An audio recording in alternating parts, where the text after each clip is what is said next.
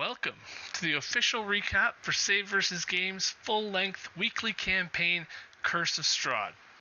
I'm Greg, DM at Save vs. Games, and before we jump into our recap, I want to thank you, not only our Discord community for all their support, but my players as well. Stephanie, Lee, Jesse, Peter, and Jen. You've all worked with me over the last year to create and evolve this official module for our friends and viewers on Twitch into something that I'm truly proud of, and I'm very glad that we've had the chance to share. A random group of strangers on the internet have become cornerstone members of our community and very close friends, and you guys can watch our story unfold live on Mondays on Twitch at twitch.tv slash save versus games where you can influence the story by earning points while you watch and spending those points to help our players try to get out of Barovia alive. Come hang out with us on Discord, stay in touch with the latest news. The link will be in the description below, and please like and subscribe and comment below what your favorite parts are with timestamps without further ado, let's get into our first recap video that brings us into Barovia and explores the infamous Death House on Save vs. Games presents The Curse of Strahd.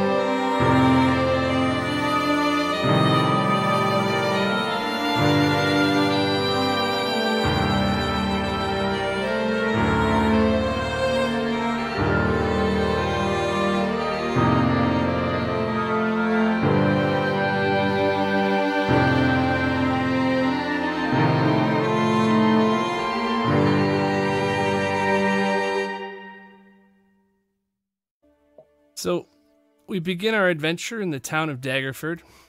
It's a relatively small town when compared to Waterdeep to its north and Baldur's Gate to its south.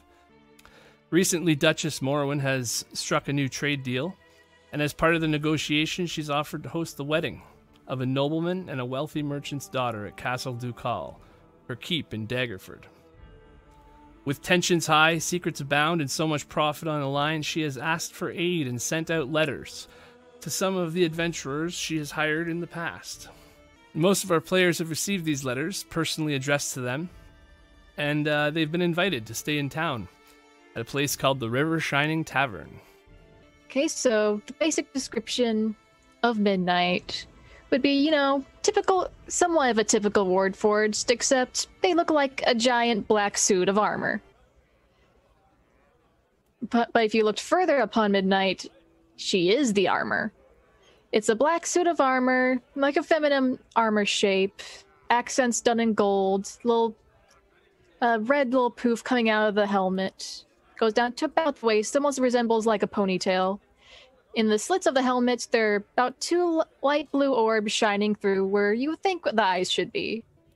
She carries a long black sword and a black and gold kite shield with accents on the front of a long sword and a sprig of belladonna. Awesome. All right, so this guy, uh, this bartender comes over. Hi, lass. How are you today? Hello, barkeep. I'm doing fine on this nice evening. Hi. Can I get you something to drink? What do you have? What's the best that you offer here? Oh, uh, well, as you know, uh, got some of that Red Dragon Ale here. Um, kind of short on stock lately, but that's pretty much all we got for ale. Um, you want something a little stronger? This may be an odd question for you, but do you by chance have any oil? Uh, well, what kind of? This is a well, actually, come to think of it, and he starts walking down around, and he points down at the fire pit down here. He's like, "If you'd like, we can uh, grab you some of these grease drippings. Pig drippings be good grease." That'll do fine. I need to oil up my armor just a little bit. Well, help yourself, Miss. Uh, I assume, Miss, that uh, uh, it's hard to. Uh, sorry if I offend. The uh, the the ponytail there is uh, quite nice. Um, he here's a ladle. All right. She'll As like you- take a ladle and like a mug off the bar and just kind of walk up and start filling a mug. Does he come back later expecting a tip? Cole steps into the doorway and he stops there for a moment, looks around at each of the tables just to see a little glimpse of the faces there. And then he makes his way over to the bar as well and takes the second stool. He did glance at that pig on his way by and he looks at the bartender and says, Hello, my friend. Hi, sir. How are you tonight? I am doing well. I hope that you have salty water as my throat is parched. Salty water. Um. Hey, uh, Helen. You you got any salt water here? We left. Uh, no. We got soapy water. No, sir, I am a Triton, a priest of Persana. I cannot partake in alcohol, and obviously, soapy water won't clean the insides the way salty water will. Oh, oh, I got an idea. And he goes over to the counter and grabs a glass of water and a sausage and pops the sausage into the water. Salty water. I'm sorry, sir. I said salty water, not sausage water. Oh, it's a pretty salty sausage. Okay, so Grim walks in to the tavern, looks around um, for any open table. The first thing any of the tavern keeper or any of the tavern patrons see is a bird-like creature. Um, since Kenkus are what do you call this? Um, are less rare. I forgot the term. Are less rare than Aarakocra. At first, they would probably think that it's a kenku, but seeing as how Grim is definitely not black, um, they would think otherwise. Um, upon looking at him, um, his wings are out. Aside from the few pieces of clothing that he wears, he's hooded. His wings is uh, his wings are mostly red or dark reddish, um, and a bit of blue on top. He looks around, goes to the uh, tavern keep or to the bar, wherever it is. So there you go. Sits by the stool, asks for it, and addresses the tavern keeper. Hey, um, do you have some grub? Oh, yeah. How's it going there, lad? Um, Oh, you're nice and colourful. We don't get his wings. It, it's not as colorful as they used to be. Anyway, grub, please. Oh, what do you have? Sausage, uh, pork, uh, fresh seafood. Oh, um, do you have anything made of plants? I, I don't eat meat. Uh, blueberry pie, raspberry Blueberry pie pie. sounds good. All right. Uh, you want to help yourself, or uh, here, got, got your plate. It looks nice. There's a big Then- knife there. Guest seat free if you're uh, guests of the place, but if you're not taking a room, then uh, it's going to be five silver.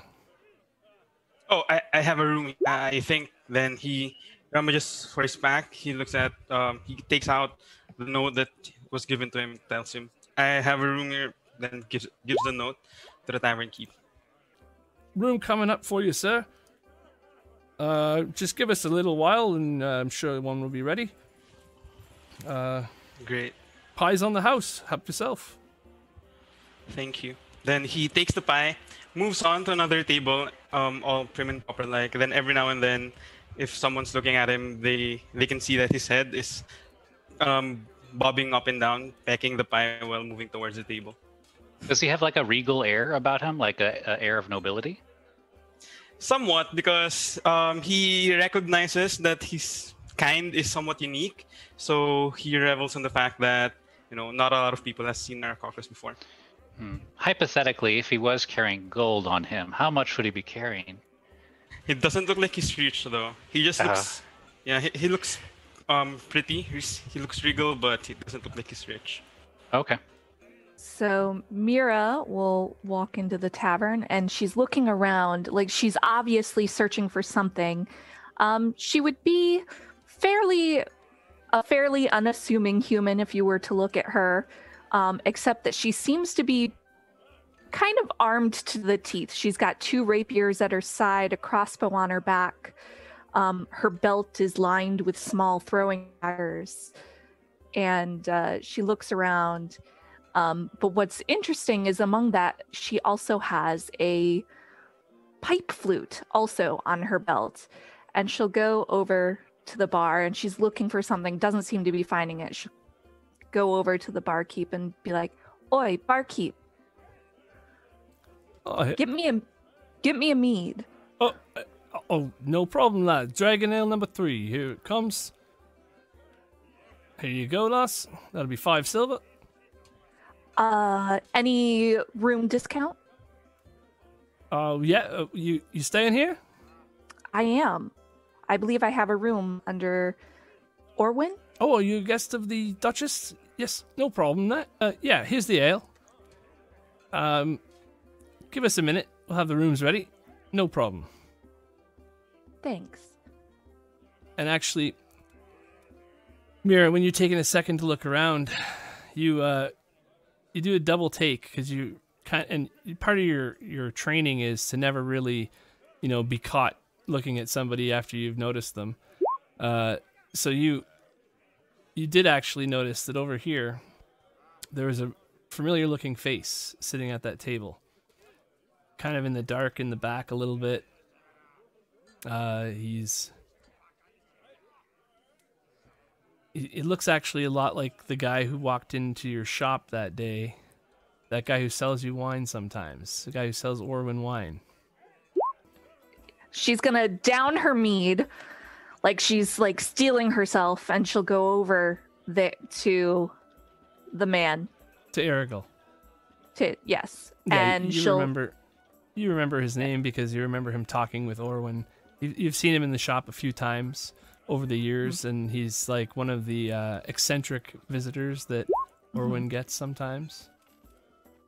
um and then she'll take out her dagger um kind of incognito she doesn't want anybody to see her do it and smile and kind of lean over towards Arrigal and put her dagger to his side not stabbing him but just put her dagger to his side and be like where is Orwin Ah, Or-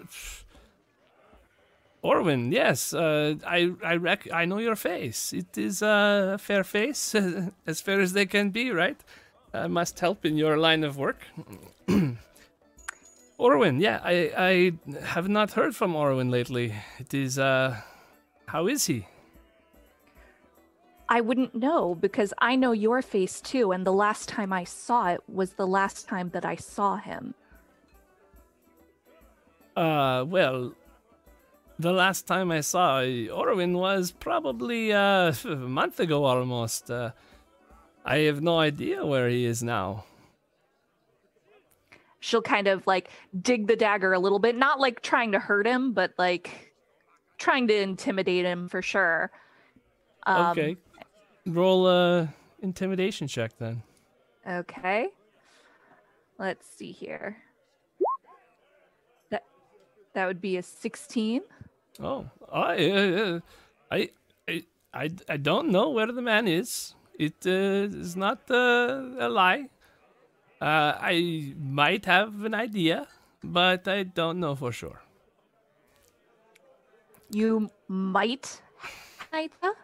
He looks over at his buddy at the table, and he's like, "Well, it is troubling news that Orwin is gone. Uh, he was a good man despite his uh, flaws. Yes, this is troubling news.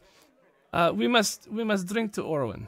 And he he trying to call for a drink, and uh, one of the servers sees him and starts you know getting some drinks together. He's like, "I have an idea." Where your friend might be. Um, if he wandered out to find us one day, it's possible. Um, you're welcome to come to our camp uh, later, see if anyone has seen him. I am, uh, you know, you can join us after the wedding tomorrow, possibly. All right, I would like to do an. This is going to go terribly, but I would like to do an insight check if I should be worried for my safety should I follow him to his camp. Oh no, we are uh, peaceful people. You will love the camp. I, uh, my family is actually um, the reason I come talk to Orwin was to uh, help him uh, or have him help me uh, build the winery. We are uh, having problems making things happen quickly enough, and uh, he may have been able to help. Hmm. We have uh, fun and singing and drinking at the caravan, caravan to do tonight and tomorrow. And it will be a wonderful celebration. And then we will go look. We will visit the in, inner lands and find out if your friend is there. If you are lying to there will be a price to pay.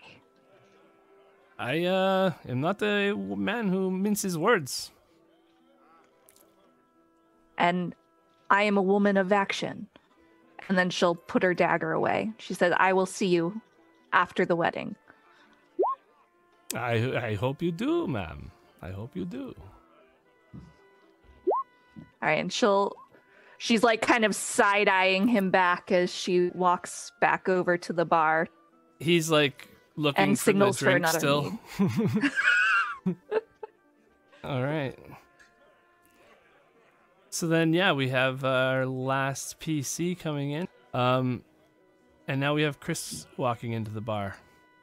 Okay, uh, Chris strides in uh, with a sense of purpose and uh, business. He's wearing uh, simple but uh, well-maintained town clothes. They uh, are uh, grays and navy blues. Um, the folds and creases of them uh, have been um, pressed many times, um, but uh, he has taken uh, remarkably good care, kind of preserving this one good suit that he has.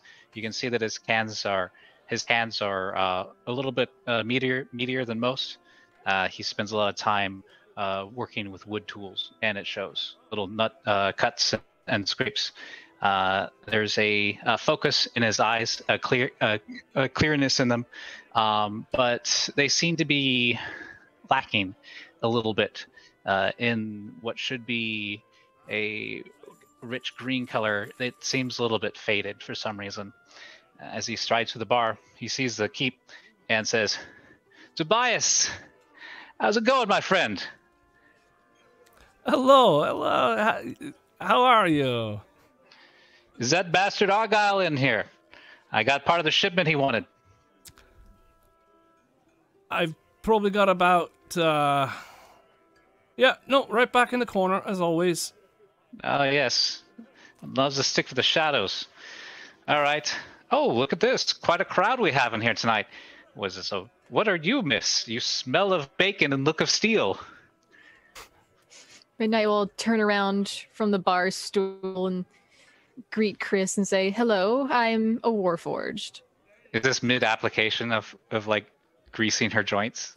No, that she's already greased her drink. She's done. currently drinking the rest of it. Drinking? Oh my! You have uh, quite the appetite.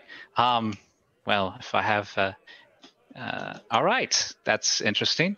Uh, and he sees uh, uh, the Triton.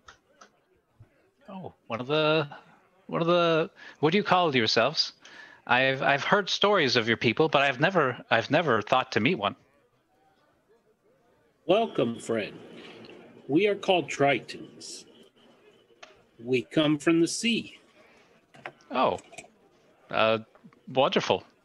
Um, well, I won't make. Uh, I always thought you were called spearmans or something like. I I heard that you could uh, speak with with fish. Is that true?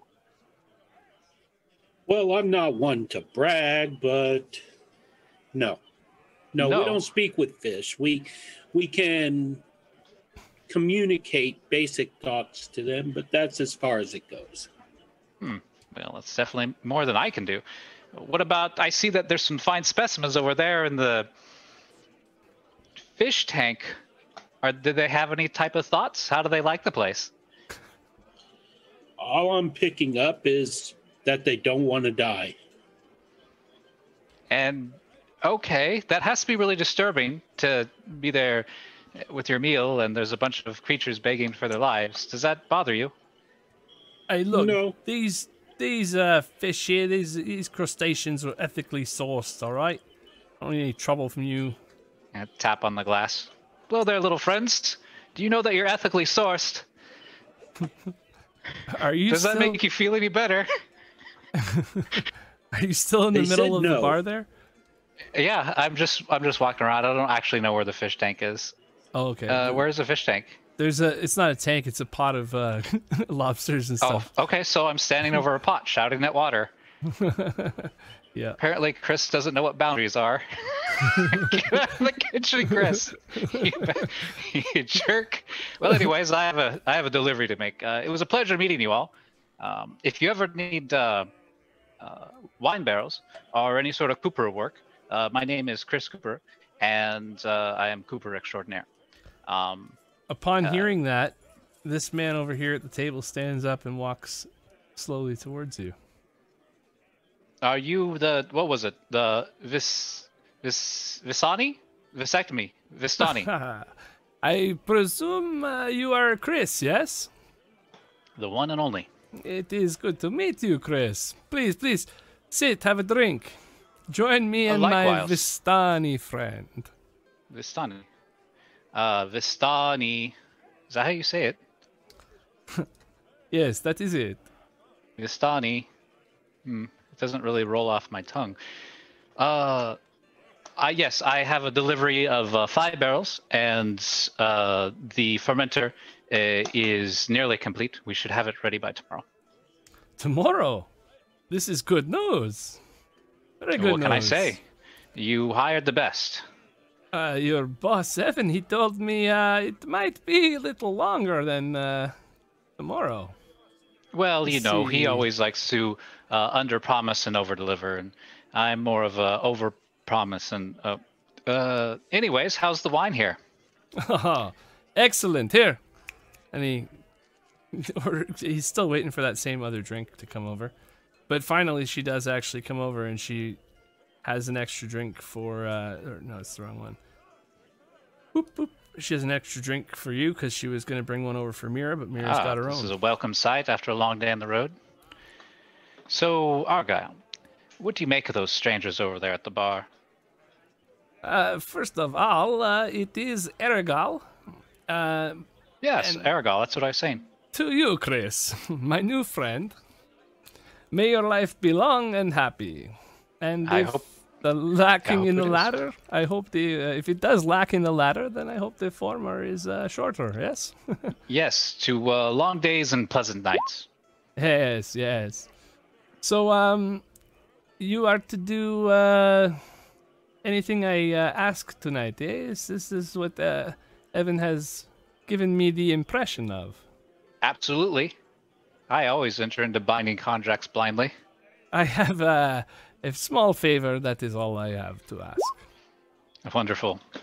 You know, the last small favor a person asked me for, I, I ended up in uh, the uh, sober tank for a little while. Well, this favor is um, not that complex, I don't think. I have a bottle of wine here in my bag that I uh, wish to give to the Duchess. It is a very special wine, yes, and I know that she has a very special uh, celebration coming up. So this is the reason that I hire you, yes? Yes, uh, if anybody is to be entrusted with a bottle of wine, it should be me. Good, good. This wine is very expensive, and your boss has assured me that uh, you will uh, come through on this. It is very important that the Duchess does receive this. Oh, what were you saying? It is very important that Duchess. Oh yes, the Duchess, of course. Yes, uh, yeah, sure. And so he was just like distracted by some young woman that just came through the door. Is there a let- letter, some uh, formal um, correspondence you'd like to leave with me to deliver to her? Yes, yes, and he pulls out uh, from the bag. He puts the letter on the table and puts the bottle on top of the letter. And he says, uh, You will give her this wine, yes? You have my word. I just would like to know why don't you attend in person? It seems to be quite valuable to you that she receives this, and Uh, this uh, celebration would uh, be tainted by my presence, I believe. Uh, that is a very foreboding and ominous thing to say. these these people uh, do not understand our culture all the time, and uh, some of That's them true. Might not wish to do business with us. If they do not know they are doing business with us, no one is the wiser. What? Uh, I regret asking questions. Ah, they only lead to more questions. Uh, okay. All right. Uh, I'm just going to pretend that I didn't hear that and uh, pretend that I am not uh, running contraband. Okay. Uh, well, uh, this bottle of wine I will deliver. Okay, very nice. Uh, you you will see on the letter there. Uh, you will have a room here. It is my room, but uh, you can take it. And um, yes, we must drink. We must drink and celebrate. I will uh, be leaving tonight to back to my camp, but you can come meet me tomorrow after the wedding. All right, buddy, I'm getting some mixed here. You give me a bottle of wine. You give me the keys to your room. No, Uh, the camp. You can come tell me of the success of your journey to the Duchess tomorrow. I will be at my Oh. camp after the wedding. Y- yes. All right. Um. Well, I mean, you know, having the room key isn't all bad. You know, a few bottles of wine. Who knows what'll happen? I am leaving the tavern tonight, friend. No worries. the room is yours. No, you can stay if you want. You know, it's no problem on my part. Uh, well, I will be at my camp. You uh, can stay here if you like. All right. Well, when you decide you want to learn how to party, come back. Okay, so he ends up. Uh, All right, let's uh, depart, eh? And Anton and Arrigal walk out of the bar, elbow in elbow, laughing. Ha ha ha ha! Great times, yes. I see why he didn't want to stay. He already had somebody. Investigation check on the bottle. Is it indeed wine? Oh yeah, no, it's uh, it's actually a very nice looking bottle. It's a protective wooden cage. Like a sleeve? It's a sleeve, yeah, but it's even Like a wine More- koozie? it, it, it's an ancient wine koozie made of like some type of bamboo t- style wood Yeah. Okay. and uh, you can actually read the label which is faded it's old It's very faded, but it says Champagne de la Stomp. Looks like Wow, such a a, lot of a care. classy and refined name. Looks- Stomp. E- Must have Exactly. a proud heritage. It looks like a lot of care went into making the holder even, so the bottle must be pretty expensive. It's finely crafted. It's not like a. It's not a. Is this a bomb that I'm holding? Could this be used to kill the queen? I'm. I, I'm. s- He's seriously concerned that he is going to deliver some sort of weapon. Uh, it doesn't. It's not a weapon, is it? Well, make me an investigation check on it, Okay. And if or if you like, you could do um, I am super good at use your investigation. insight, if you like, your wisdom type thing. Okay. Yeah, to you, it's like just a really expensive looking dusty bottle of wine. It has not. One thing you can tell is that nobody's tried to open this thing. Okay. I'm gonna go over to the three people at the bar uh, that had walked in earlier, and now that I've had a few drinks, which I would like to take that three on the roll since I've had a few drinks. Um, uh, I rolled so low that I believe Chris would believe that this is some sort of uh, device of ill intent, uh, and he needs somebody to help it look it over. So I guess he'll go. Uh, let's just roll. Roll one d three. One. Uh, the woman with the lute on her back. She seems worldly enough to understand uh, what is good and what is bad. Um, excuse me, uh, Miss. I usually wouldn't. I, I usually wouldn't ask this of a of a person, but I've had a few too many drinks, and I just got this uh, amazing bottle of wine. Little I'm not ago. interested. No, I think it might be a weapon. Wait, what? Yeah, like I looked at it and it's got this elaborate case on it, and I I've never seen something like this. It doesn't even look like it's from this land. And uh, what is is this? Is this just wine or is this something more?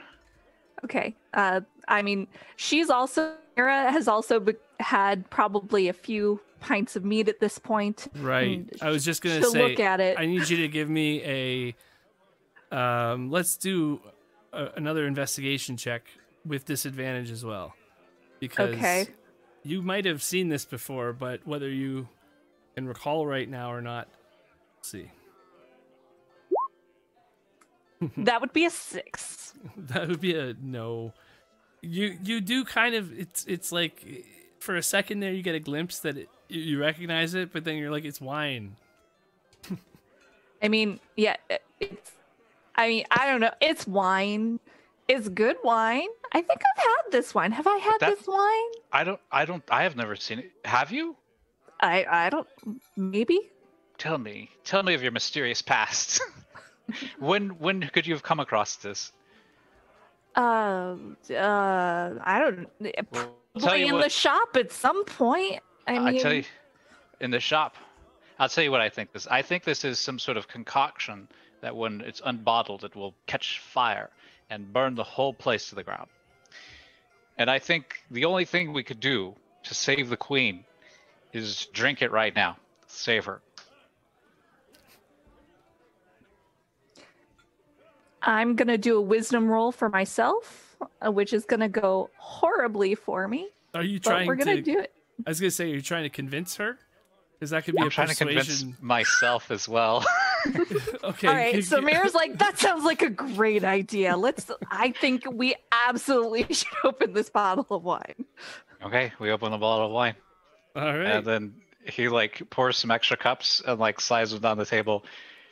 It's uh, it's po- it's it's it's uh, t- this is uh, it's poison or I don't know. And then it didn't catch fire. It's have you drink it? Did you drink some? It's absolutely delicious. You've What do you think? your your your drunk brain is telling you that you wish you weren't drunk right now because you think this would actually be really good. I think it's delicious, and there's something I can't. I can't quite put my finger on it. There's something. I don't know. There's something. Otherworldly about it, yes. Mira, give me another investigation check. It has certain misty notes to it.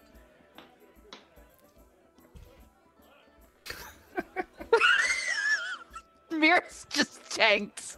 That Level was a five. One rolls. Level one rolls. that was a five. Well, and yeah. Yeah, it's no idea. You do not no. recognize it.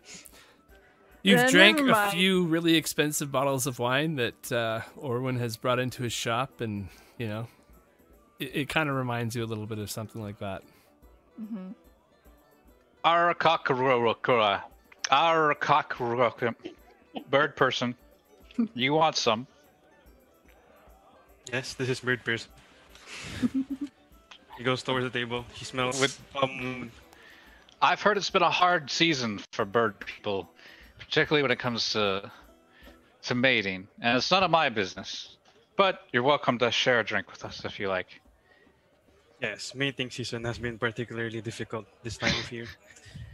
Uh, he smells whatever it is you're giving him. Can I roll an investigation as well to find out what it is? If it's actually explosive, or if it's just really good. Yeah, no, please do. You you you try to check out Who's the that? bottle. Uh, okay, so you can tell that this wine is probably something that came out of like uh maybe a mummy's tomb or something. It's probably hundreds of years old. And you you you don't see this kind of a bottle of wine being opened in a tavern ever. Hmm. Yeah, this seems really old. And from my time with your with other humans, they told me that old wine is a good wine. He um, moves his beak closer to it, then. It's wine. Thank you. Then he sits up and looks around. Then he, he's just a really blank face. You can't get a read on him. It's like he's a robot. Grim, give me a Constitution save. Uh-huh. nice. Grim handles his first taste of alcohol with uh, no problem at all. So, uh, what what's your name, stranger? Where you come from? I haven't seen many of your your kin around here. My name is Grim. Well, people call me Grim. Uh, the name I actually have is difficult to pronounce for your kind, I've learned. So you can call me Grim. Oh, go go ahead and say it. I, I love to indulge other cultures. It's actually. I see. Uh, all right. Well, uh, Grim it is. Uh, Grim de la Grim. All right. Uh, I've heard rumors about uh, someone matching your description along the coast, getting into various brawls, making people wish. Uh, I, I don't actually. I don't remember the rumors very well. What what were they again? Oh, um, if you've heard of rumors about a bird beating up people, getting his feathers blood, his previously blue feathers, looks at his feathers. That's not me. See. I've learned that killing isn't something that's not frowned upon in your society, so that's not me. What? Who told you that? As he's like slinks away a little bit. We mean we killing. How many people you killed? I I don't kill people. Okay, that is what a killer would say. This Uh, guy's uh, over it- it. These guys over at the table take a take an ear to what you've just been saying. They stop playing cards for a minute. Um, anyways, well, uh, I'm gonna I'm gonna head out. Uh, there's a girl I know in town. Figure I'll check in on her, make sure she's doing okay. Use my rustic hospitality. Uh, boop. The one time I think it will be used. Uh, and let's see if she has a boyfriend. Rolled a seven. What does that mean? So, are, are you talking to this girl here, Helen, or Uh, sure. is it somebody? Just some girl, girl at the bar, girl that he knew knew from a previous visit. Oh, uh, okay, He was gonna go touch bases with her, but he hasn't seen her in like six months. okay. Well, I'm gonna roll a D10, and as long as your seven is higher, things go well for you. I rolled a seven for my insight. Well, there you go. Okay, so I am sleeping in the wagon tonight. Uh, right out front the tavern. and I reject the room in the tavern because, as uh, Chris puts it, I'm not going to be part of sedition or or deception. All right, then he takes a wine bottle and then throws it on the ground, uh, but it's so well built that it just goes ding ding ding ding ding ding, and rolls uh, along the ground. Y- Okay, so you still have the bottle. Okay. Yeah, yeah. I'm gonna do that. I got a crink in my neck because I slept in a wagon uh, while drunk. You did actually find a wagon, but it's not the right wagon. No, I'm just, I'm just, you're just wagging me around. You don't, you don't really notice it's the wrong wagon until the next morning when you hear hooves on the cobblestone road and a, a wagon approaches the, the the tavern and it's actually uh, more of a like a carriage Uh, it's got really nicely made or ornate wood carvings and everything all around it a driver in a tuxedo looking thing but you know a little more medieval medieval tuxedo that could be a name um it sounds like Medieval tuxedo. Sounds like an anime name. Um, so yeah, like uh, Formal if tunic. everybody's is everybody outside kind of thing waiting for the carriage and Uh, I picked up the bottle and I realize that it's empty. Uh, Chris looks around in panic. Goes, "Oh no! Uh, ooh, somebody drank all my wine! Oh shit!" Uh, and then he's gonna run back into the tavern and go, uh, uh, "Oh, William, is is it William or is it his brother Tobias? Walter. Walter. oh Walter, That Yeah. one. Walter's there. Yep. You've been up all night, Walter? Wow, you sure? He- uh, do love working. Yeah, he woke up. Somebody He's- drank all my wine last night. Oh, that happens to me all the time. Yeah, but people pay you for that. This is different. I was supposed to deliver this. This is very important. I need something to put in this right now. The my ride is right outside. Whatever you have, Um, and I mean anything. Well, all right. And he looks back and he's like, "There's still a cup of water with a sausage in it." he puts that on the table. Boom! Slams it in the bottle. All right. Uh, thanks, Walter. Uh, and he kind of like blinks a little bit. Walter, right? you betcha, son. All right. I owe you, man. I owe you so much. Thanks. And then he's gonna run out the door, catches his ride. the driver pulls you guys up to the to the doors there and uh you know you guys notice the castle is actually like really well built it's dwarven engineering that at its finest uh if I any of shall you have that. attempt. I do not attempt. Oh, this is a Neither lo- do I. I'm This is still a- feeling that alcohol. This is a lovely elven building. My, look at the heavy stone work, the uh, art, uh, the the brutalist uh, art style, definitely elven. Uh, okay so as you come into this uh corridor in this room here uh you you can you can proceed forward. And there you're being ferried down the hallway towards the banquet hall. And there's a bunch of other guests arriving as well. You guys you know you can choose your seats because the other guests are kind of a lot of them are actually behind you and you notice that there's uh, a good assortment of tables still available You're, do I see any open like flames, candles, like large candles?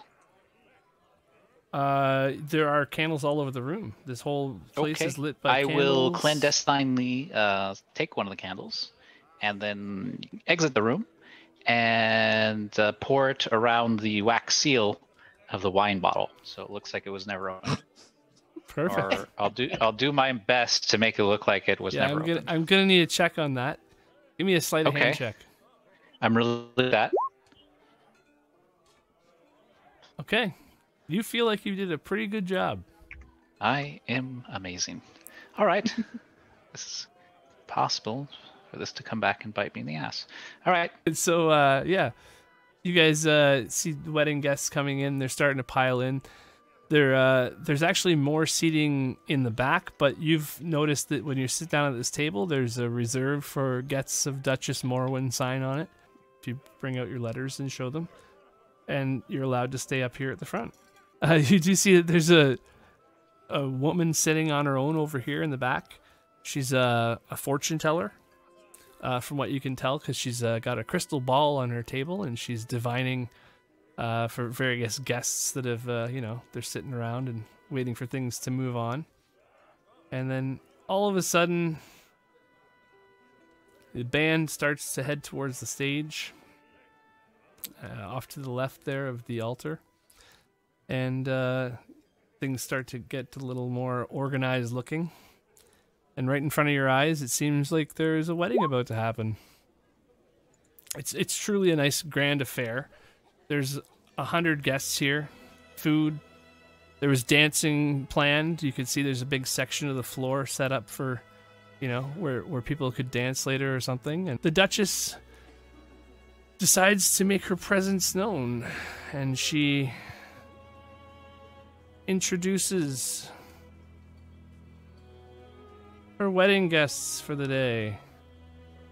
And you you see her address the crowd and then sort of stand off to the side and allow the the priest to continue his sermons and such. And uh, he says, "Lady Dun, or Lord Dunbo and Lady Tam," and they stand opposite sides of the stage and or the altar there, and then they take turns taking steps forward, and with each step they make a new promise to to one another, uh, a new oath to one another, and when they meet in the middle, they embrace So and beautiful. they they share a kiss and you know. Uh, that uh, uh, the priest uh, says married they are married in Daggerford on this day in the eyes of all men and gods. And then the crowd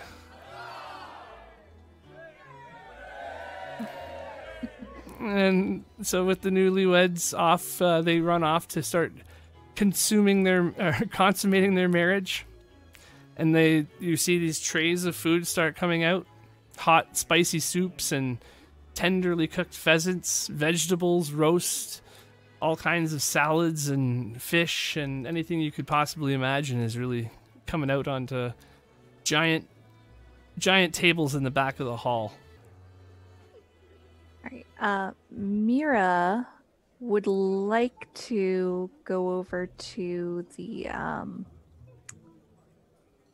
teller and say, "Hello, sister."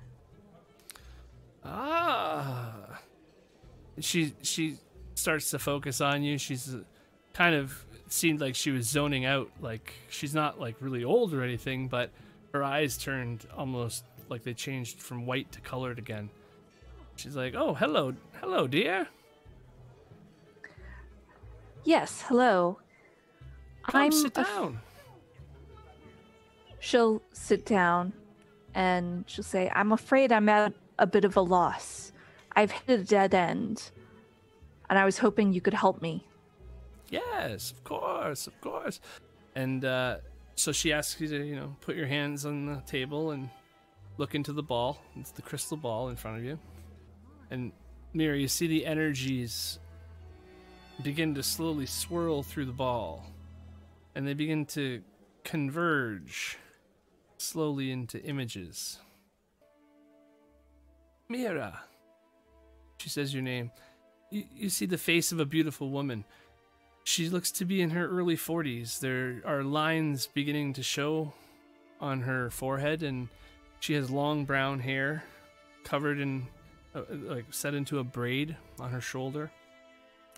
She's playing a, a beautifully crafted lute with a strange symbol carved into it. And the lady says, Your mother is, in fact, alive and well enough. And that's kind of news to you. Yeah, insight check.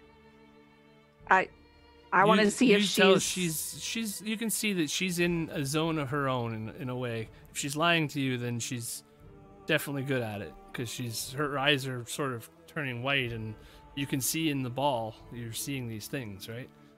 So it's up to you if you want to believe them or not, but that's what you see. would I I mean, I don't have many memories of my mother, so w- would I recognize this woman, do you think? You could do um, a history check. Okay. Finally, You- a decent roll. You may you you recognize this from a sketch that you've seen as a child, uh, or not as a child child, but as a young person growing up with Orwin. You recognize this as a woman that was sketched. There was a picture of her in the shop. Just seemed like a random woman being painted, hmm. but now you're seeing her in this glass. And then the image dissolves all of a sudden and forms into new patterns and you get a view as if looking down on a deserted cobblestone street in the night. You see a man in tattered Vistani clothing running with a basket. In that basket is an infant and it's bundled up. It's only its face is visible. The man he runs up and knocks on a door and you recognize that house. It's the house of your patron Orwin, the house that you came to recognize as a home. And another man answers the door and walks out into the light, and there's no mistaking him as he steps forward and takes the basket from the man in tattered clothing. It's the face of Orwin, your patron, the man who became the man you know as a father. And then the woman's voice again. Your father, dear, is gone. Sorry to say, but not at rest. He was killed in an attempt to save you. It's, uh, save me from from what? It seems he's succeeded in doing so, doesn't it? Even if he did pay a terrible price. Worse than death it is, but still you are safe. You're asking d- yourself, like, what are you talking? How could this? How, you, you didn't know Orwin until you were what? How old? Probably like I like five or six. Yeah, so how is you're you're seeing him being handed a baby? So it just doesn't make any sense really. But the vision But- continues. Uh, just as you're asking these questions of yourself, Orwin walks back into the house with the basket in his hand, and the man in tattered clothing slumps to his hands and knees and appears to cry. This lasts for a little while, and then he's startled by something. He gets back up and continues running down the street looking back as if something was chasing him all of a sudden. Then the illusion starts to fade away again, and then you're back sitting in the castle ballroom, but you're all alone. The whole wedding party is gone, and it's just you and the fortune teller. The crystal ball on the table between you guys is looking lifeless and still, diseased almost. Suddenly, the What? ball begins to glow, bright green.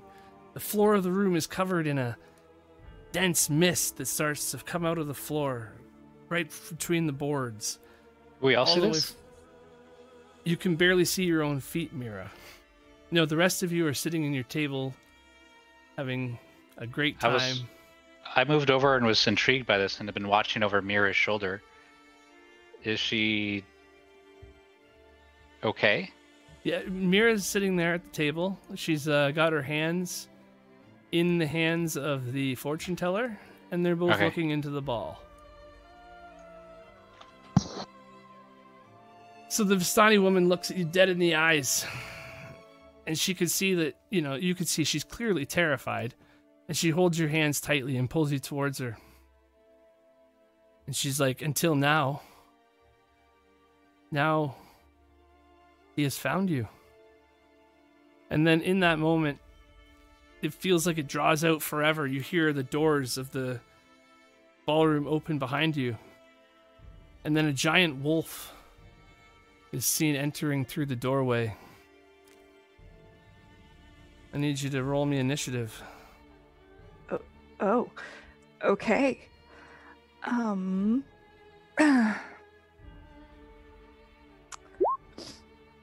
Oh, I cleared this one up. Oh,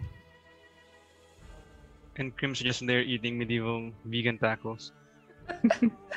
Vegan tacos. That would be a 10. Okay, so the wolf is up first.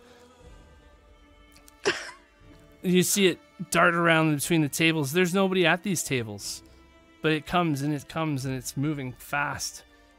In a moment, it's it's it's upon you. You have barely time to hold your hand up and stop it from biting you. But you, you as you scramble, you feel its teeth sinking into your skin. You look over at the fortune teller. She's sitting in her chair still looking down at you. Her face is instead of full instead of fear, you see pity in her face in her eyes and just as you're feeling this wolf tear through your arm, the illusion just ends and you hear a shattering sound like glass breaking. And then there was no wolf. There's no more mist. You're standing there, you're sitting there still. You're not even on the ground. The young Vistani woman is standing above you. The, gla- the, the her crystal is shattered and she says, "I'm sorry, dear. I'm sorry, dear." She comes forward and grabs your hand, tries to pick you up and help you up. What what the fuck was that? He knows he knows where you are. I Who- I would normally I don't know what to do in this scenario. Um I would normally never never tell anyone to seek him out, but no. You must see Madame Eva. She Madame she can help you. She is she is like me. Vistani we are prescient. We can reach within and find the blood, find the future. Do I She still is- feel any like pain from where the wolf bit me or anything like that? No, you actually like it, it just feels like uh, goosebumps more than anything else. You, you you don't there's no mark there, there's no scarring or anything like that. You must see Madame Eva. You must see her as Well- soon as possible. She will be able to tell you more than me. It is troubling what I have seen. Where can I find her? Well, we we will be going back there soon. Uh, we we we come in for the wedding. We will leave after the wedding. Tonight we are uh, at our camp outside of town. You are welcome to uh, to come tonight or tomorrow before we leave. Madame Eva will definitely be able to illuminate you in ways that I have not been able to. I apologize that I have scared you, dear. It's not my intention. I am uh, an amateur. Uh, do not do not look too deeply into this. How how can I she she's just like her her whole world has essentially just been shattered with this fortune teller's ball. So she just like she kind of just starts to walk away. And Uh, all right. Uh. Chris Chris was watching this and clueless. He asked, uh, "So, uh, what did you see? The winner of the next big race?"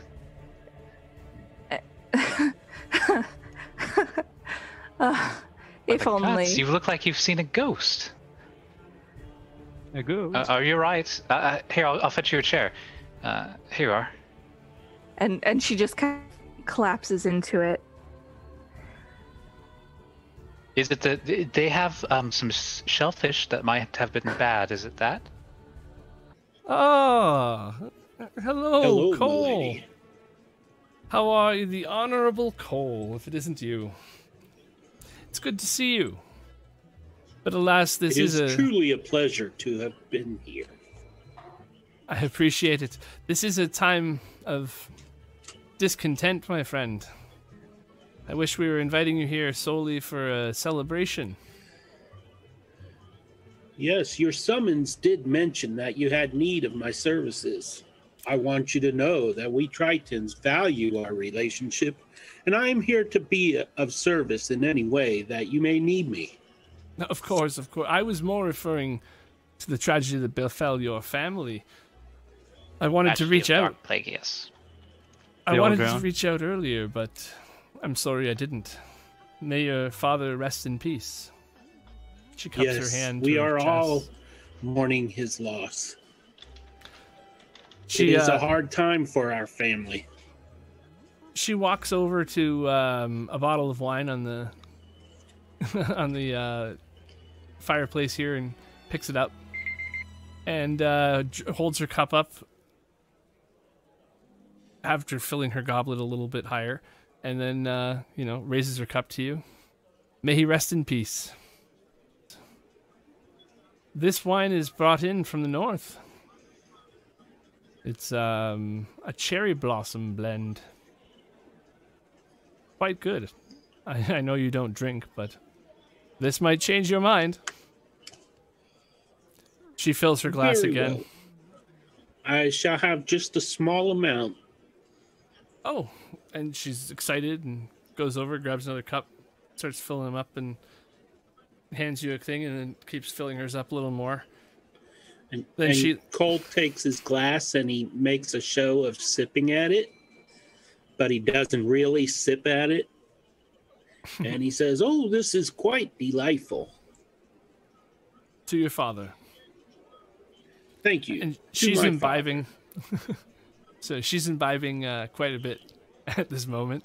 Uh, happy to be done with her duties, it looks like, and uh, she she looks concerned and stares at you for a second and says, "To business, I suppose." We have reports Yes. that your brother has been spotted leaving Daggerford, heading towards the valley. The valley? Yes, I, my informants assured me that it was him. I've since learned that he spent three nights at that River Shining Tavern that I sent you to. Um, he left with a group of those Vistani. That's all we really know. Um, it seems he's left a few of my men dead as well. So I I haven't known my loyal guards to stab each other, but when they shortly after reporting him in town, two of them did just that. So You have my regrets, Duchess. My my brother has made such horrible choices. How many days hence was he last seen? that was at least three or four days back that he was the last day he was here. I don't know what where he's headed. There's nothing nothing good out there. I I don't know what to tell you. If you if you know what's good for you, you will stay away. Alas, I wish that I had that option, but I have been called upon by the priest of Persana to hunt down my brother and bring him to justice. Well, if your brother has gone there, he is lost. Many of our mages from town have gone looking for these magical artifacts and such. None have come back, none have returned. They go seeking power and vanish. Alas, I fear my brother was lost long before he murdered my father. Yes, well. She stops being so regal and slumps and sits down in her chair. Ah, I'm under attack from every border, my friend, from within, from beyond. This uh, evil that your brother has been into might be what's responsible for some of my people's strife here. If I'm to retain the authorities I have, I must figure out what's been happening to these farmlands south of town. These merchants are thinking my farmers are responsible for trying to ruin their sales, and the farmers think it's the merchants trying to mess with their crops, and uh, none of it's real. It's all rumors. I don't know what to say. I believe it to be something much worse. Well, I've sent. This is disturbing. I've sent patrols of guards out to the farmlands south of town, and none have returned. I, I don't want to alarm anyone, I know that if I alarm people, then panic will set in, and all these contracts that we've been working so hard over the last few years to obtain will vanish like smoke. So, I've invited a few other people that I've employed in the past, and I'm hoping that you can work with them, solve these dilemmas for me, and ensure that this town is safe. If you have some trusted people that you feel you can send to investigate, I would be very pleased to be of service.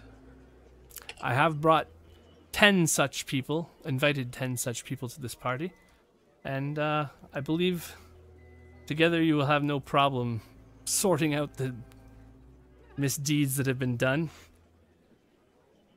putting an end to these rumors, dispelling these myths. So I must uh I must I will go and show my face back in the wedding hall because if I don't people will get suspicious. And she uh she's like I will return shortly and uh hopefully with some friends for you to work with. You might have already met some of them. Paul stands up from the table as they enter. Paul, uh, are you done polishing your armor? I wish that was all I was doing. Don't we all? Don't we all? One of the envoys sees you standing with the bottle there, Chris, and I, I presume that wine is for the Duchess? I'm told one of those is Oh. worth its weight in diamonds.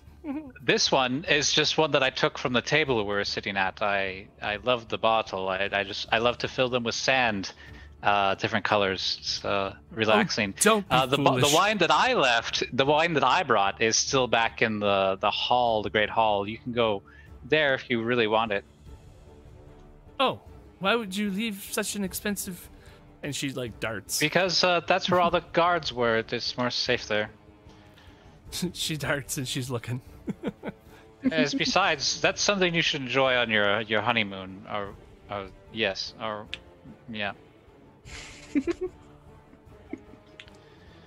I'll just find the wine and everything will be fine. And Right. she's. she's How like, long do you think that will take? Just uh, Well, you you hit it or what? Where is it? I well, I'm I, I don't want to uh, detract any more than what's necessary, and you seem awfully busy. You, you know, if you if you have something that you'd like to tell us before you get the wine, um, that would be we could just get on that. Uh, Duchess, shall I? And she's like, "Go, go, dear." And so she oh, takes great. off. Uh, all right. The Duchess's envoy comes back into the room with a bottle of wine. She holds it up, Chris, and she's like, "Hey, look, I found it. It's good. We're good." She gives you the thumbs up. Hands it to the Duchess. She's like, "Ah." Please tell Arrigal uh, his gift is accepted. I wish his family. Uh, I wish to accept their offer. Have him come by to the keep at his earliest convenience. Yes, we can work out the details sometime in the next few days when things settle down a bit. Do I recognize it as the same wine bottle from last night? Yeah, she's she's asking. She's telling Chris like you know make sure that um you know Arrigal knows that he's that she's happy with it. Uh, yes, uh, but of course with full uh, gratuities. I will be sure to inform him. Thank you so much. You you you do know that Arrigal and I plan to make a fortune on this. it's uh it's a Yes, vintage that hasn't been seen in quite some time. Right. Uh, well, uh, I'm sure you will uh, love the unique flavor. Um, anyways, uh, there's a murder we need She- to take care of. She hands the bottle to her envoy again, and she's like giving up numbers, and she's like, "Yes, yes." Sorry, go ahead. Uh, yes, uh, I wouldn't want to interrupt your celebration, so uh, the sooner we can depart, uh, the better. Do all of us recognize the bottle? Uh, from last night, yes. You, you you all noticed that you know this is this looks like a lot like the stuff that you guys were drinking at the bar, like That got stuffed with a sausage and this is It, this it's is like sausage. it's like tequila, but with uh, sausage. Luckily, with how hungover you were today, when you tried to get the sausage into the wine bottle, it wouldn't go. Oh wait, I don't need that part. I made Yeah. it. I made it go. he just shoved it in the bottle. Yeah. He just forced it in there with Yeah. a fork. Yeah. I'm good at that. okay. So these um these uh wine glasses that have been sitting on top of the mantle, the uh envoys bringing them out to the table and she's like Duchess Morwen says you know, in times of tragedy in times of strife is when true heroes and true adventurers are made. Do you consider yourselves to be true? To be just? Midnight just kind of just leave, just does an empty stare at Chris. And she's she the envoy is now hanging handing out all the cups around the table. She's like, This wine has been probably sold for I could probably buy a ship instead of open this bottle. But opportunity knocks once in a while only. And those who are bold enough will answer its call. Am I right? And she holds up her glass. Okay. Mira's All right. gonna Chris will hold up a glass as well and uh, begin to toast. Paul Uh, waves his glass off because it would be breaking his vows to partake. Midnight just kind of stares at Chris, then back at the Duchess, then stares at Chris again, giving him the "Are you gonna tell her? or Do I have to?" kind of look. er, er, Uh, er. in, in brightest day through blackest night, no other group shall spread its light. Let those who try to stop what's right burn like my wine. Uh, friends, light unite. Uh, a finer toast I've never heard. And then she holds up her glass and drinks. For my Mira's gonna pretend to drink. Midnight would try to interject, but before she can, the Duchess already takes this up. She's just like, just kind of brings her hand back slowly. Kim's gonna drink and is gonna go. Hmm, this tastes this tastes different from last night. Weird. Duchess is gonna decide, or like, let's see what happens here. Yeah, the Duchess gets a few sips in, expecting the sweet, savory flavors that she remembers that she got into this deal for. She's actually been waiting to try this for probably at least six months, and uh, upon ingesting uh, slightly sausage flavored hot toggy water. She uh she spits water. it. She spits it out and then starts dry heaving and running out of the room. I'm sorry. I I, I, I, I, I- Uh, yeah. I was Mira's going gonna be warn like, I her. think it turned. I was going to warn her that that wasn't the wine. I'm just gonna go. What do you mean? It it still tastes good. Then he drinks again. It's different, but it's good. It's his first time tasting sausage. She kind of just like stares intently at Chris and just says, Mira, you and Chris drank the wine last night. Chris filled it with something this morning, I believe. I can smell it. It definitely does not smell like wine. Well, whatever that thing is, give me more. Then text more. I more. more. believe it was with whatever the barkeep tried to get our friend Cole here to drink.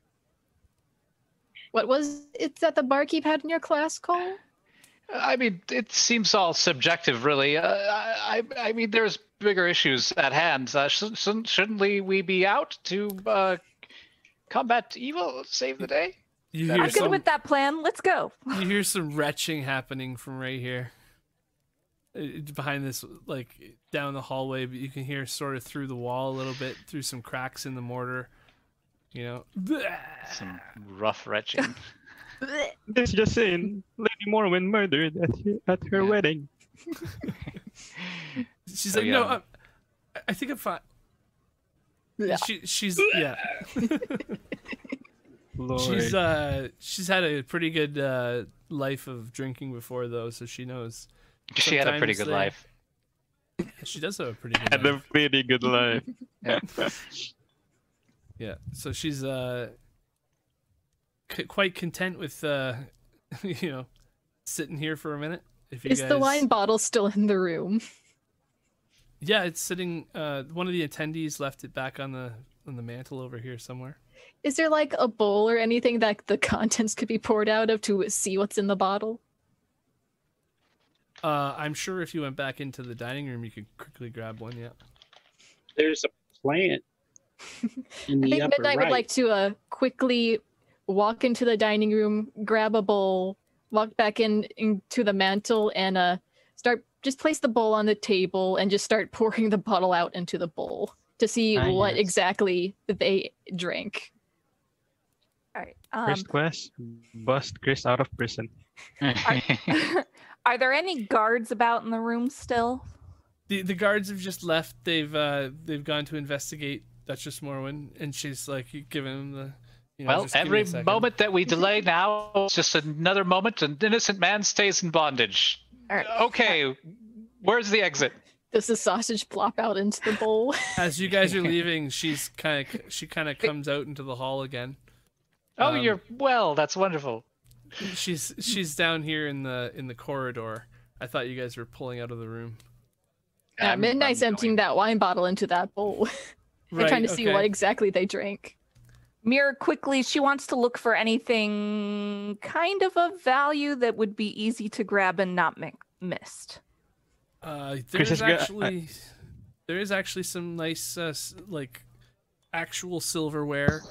There's um, some beautiful looking glasses and like little tiny th- decorative things everywhere, bits and baubles, but they're all nice kind of thing you might see in a palace. All right, she's gonna try and swipe one of the smaller. Uh, give me a sleight of hand check. See if anybody notices. That is exactly what I was gonna say. DC thirteen. Because nobody here is really watching for Midnight's the- highly distracted in pouring that bottle out. the reserve. Out of character. guests Out of character. You're welcome for the distraction. You're welcome. You're welcome for that. So, uh, what what did she take? Any?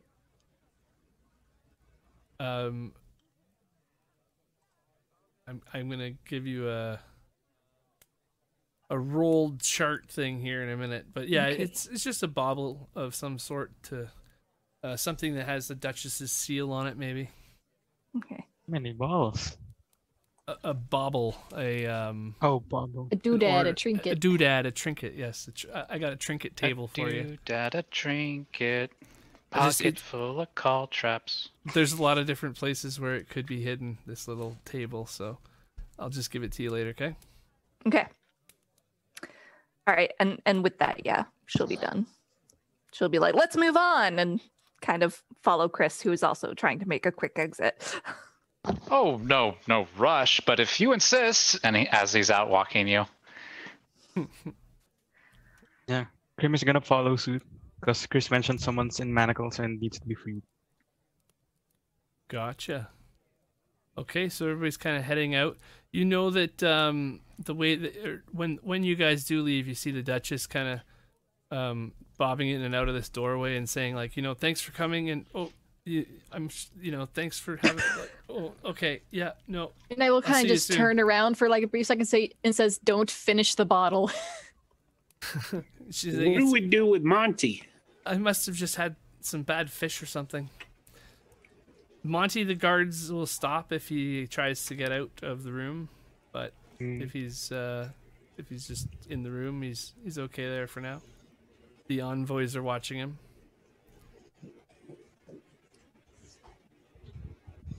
I'll say to Monty, I'll turn to him as I leave the room and I'll say, We will try to find the truth so that you can be freed. I, I never I never meant to upset people here. I, I apologize. I, I I really let everybody down. I oh, mama.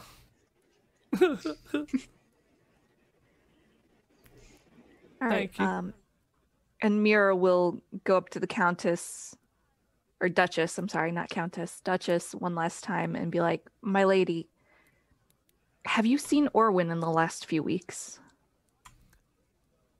Well, but no, I. Uh, no, he's he and I are. hopefully, he's gonna get me better wine than this. And then, yeah, back to feeling like throwing up, and she's got a bucket going. And she keeps kicking. And uh, like, actually, if you're talking to her, then you're down, uh, in this room now. And. Know what's going on down here? Um, yeah, she's she's got a bucket where this fruit is. She's locked this door and has an attendant outside here, and uh, she's uh, sort of like just kicking a bucket of, you know, this hot what she's been throwing up? yeah, under the table and pretending she's not throwing up, and then like Hot leaning on- water. she's leaning on the table, very regally looking, and then all of a sudden she'll pull the bucket out and turn away, away from you. But yeah, she's um, she's like, I, I haven't seen him. I oh, oh he's well, he's he, he's supposed to be working on this contract for me though. Hopefully, if you guys head uh, to the farms south of town, uh, to the east, get that job done for me, and then by then I'll have some word maybe. I'm expecting to have more travelers come through after the wedding is over, so they might tell me more. All right. Well, the next time you're at the shop, I'll make sure you get a much better glass or bottle of wine that did not turn to vinegar. I'm not sure who to blame here, but At time. well, I've had that before, but I've never reacted that way. I hope it's uh, not going to happen again. this is quite a bit of money invested in this already. She'll kind of salute and be like, "To your health, my lady." she Then she leave. kind of yeah. She start the room is starting to smell a little bit too. Ugh. yeah. And I wants to, you know, turn to Grim and say, "You mentioned not eating meat, right?" Yes, I do not eat meat. It's against my vows. How does that translate to water that has meat been soaking in it? I believe the word you're looking for is soup. Yeah, Is I, I don't drink those too. It would be against my vows. I mean, I was just kind of gonna put a he- heavily, heavy hand on his shoulder and say, "I think you broke that vow when you drunk from that bottle. No, that bottle was wine. I poured it out as everyone was leaving. That was not wine." Then he, he looks he slowly looks down on the floor, contemplating on his life decisions and what brought him here. Been a hard year for Bird Person. Right. Poor bird person. And now two people have ex- had existential crises. See, I'm working on everybody's dark backstory. Oh, that is so cruel. He'll just pat his shoulder and says, "It'll be fine. You can restart that vow." He's just gonna shake his head. I hope the person who, that, who did that will never find his one true mate.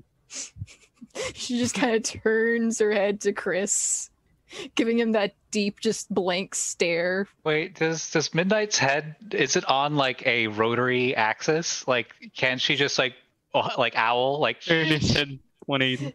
Now she had to turn her body a bit to, you know, get Okay. the full look, just to, Okay. like the dead stare at Chris, and she'll just turn back to Grim and say, I- "I'm sure.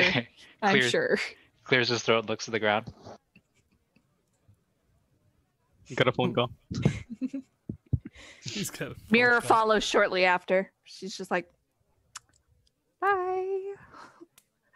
This uh, seal just uh, burning a hole in her pocket. Can't believe my first character development is sausage related.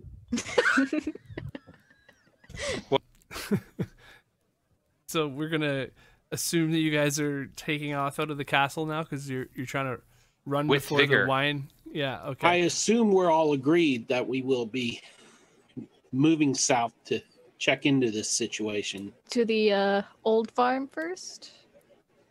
That makes sense. Away. Chris, are you with us? Uh, I'm actually ahead of you. I don't blame you. So you start heading out of town and uh, working your way down. Did the Duchess give us a horse? Or at least There aren't some very sort of many transport? horses today, but um, But tomorrow there up will be? Yeah, Is- if you end is up she back, just out of Few stock? they're right now ferrying all of her guests in and out of to the ports and all that. Apparently, we're But- not just investigating a murder. I don't really guess we don't deserve an actual amount. I mean, nothing bad. It's about that. only a couple of miles down the road to Yeah. the farms, and So then it's from walkable. there. Anyways, yeah. I'm glad she's poisoned. But Actually. it does sound like Gonna give us a horse. This is all sound like Chris mumbling some- under his breath. Just gonna do the scene change thing. Up. Farm time. Old farm image switch. old farm time.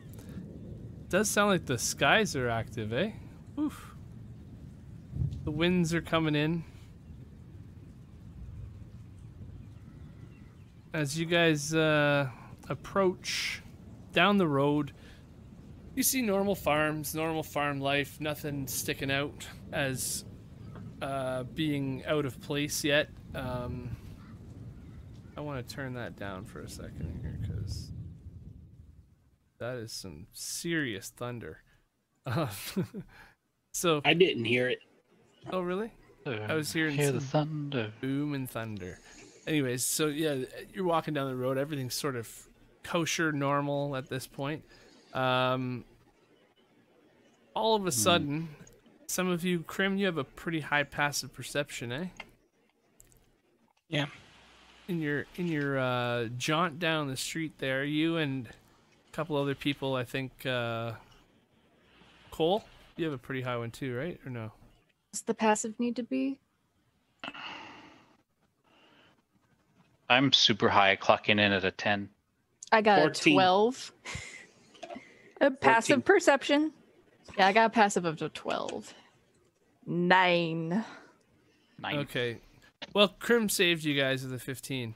So, yeah, he he notices um just to the north of the road here, there's some motion going on in one of the buildings. So, let's uh you guys were walking down the road, set the stage again. As you Okay. uh passed this uh farmhouse here as you come upon these uh, honest people's homes, uh, all of a sudden something stands out as being slightly awry to your north here. Um, you guys are walking um, on a southbound road, but the road sort of curves and bends as it goes. And uh, right now, you're these houses are to your northeast. And uh, yeah, so right. you Along the journey, Chris will be. You'll start off kind of frustrated that uh, she didn't provide any horses, but then it kind of actually segues into a paranoid rant about how um, people just can't be trusted, and that it's like you know she's just setting us up for failure. It's you know a bunch of strangers out here in the field. uh, She's already got the man arrested. I just don't. I I don't. I don't think. You know. She can be trusted. She she's obviously doesn't she doesn't want us to succeed.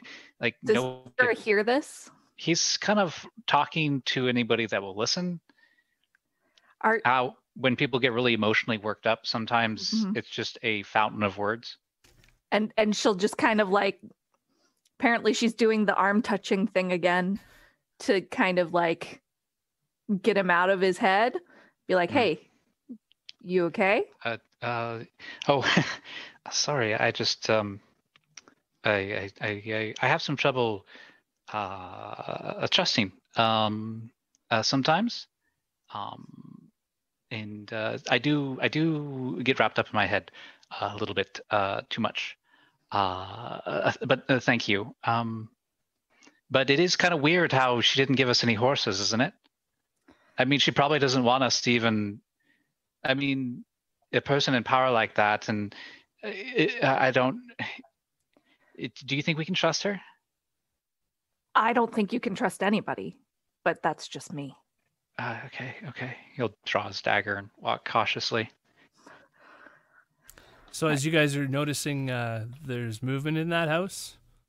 hmm Um, give me a perception check now, everybody.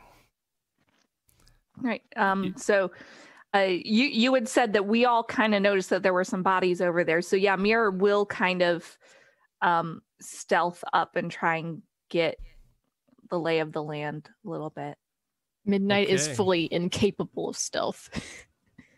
so Grim and Midnight and Chris, you guys all spot what's been moving in that house there.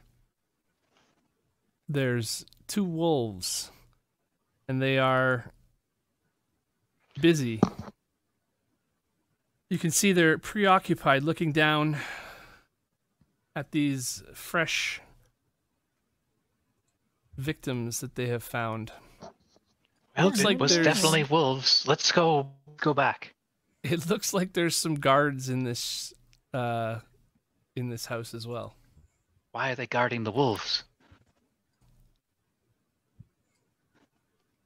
Oh, I see. They're- dun, they're- dun. they're- are, are the guards? I can't see. Are the guards dead? You said something about guards. There's guards in this uh in this barn and they look like yes, they are dead. there's some bodies that the wolves are making a meal out of right now. And uh Well, I think this is all the evidence we need.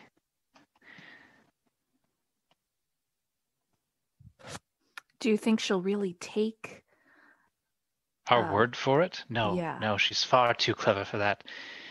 If We she's should- out to get us, then we'll we need should definite bring proof. wolf with us. I think the guards carry insignias. If we take get one of the insignias from the and bring it back to her, then she won't have any room to pin it on us. Which I'm pretty sure that's what she's trying to do. Midnight. Do your thing. They're eating their You're meal. like made of metal. They won't want to eat you. Go up there and like get the insignia from the guard. I mean, I don't why are think you they. back there? Why are you all the way in the back? Because it's dangerous. I don't want to get bitten by a dog. You don't know what kind of diseases they have. But you do see they are wearing full suits of armor. It could just assume I'm another armored figure. I don't know what dogs think. All right. Y- y- You know much more about them, obviously. You you you go talk to them. I know what dogfish think. I I can't talk to wolves. Oh, Okay. okay. One of the There wolves looks up I'm gonna shoot one. One of the wolves looks up and howls. And you don't expect it because you've been thinking that Okay. they're sitting there just having a good Midnight, howl back, meal. quick. It's trying to communicate.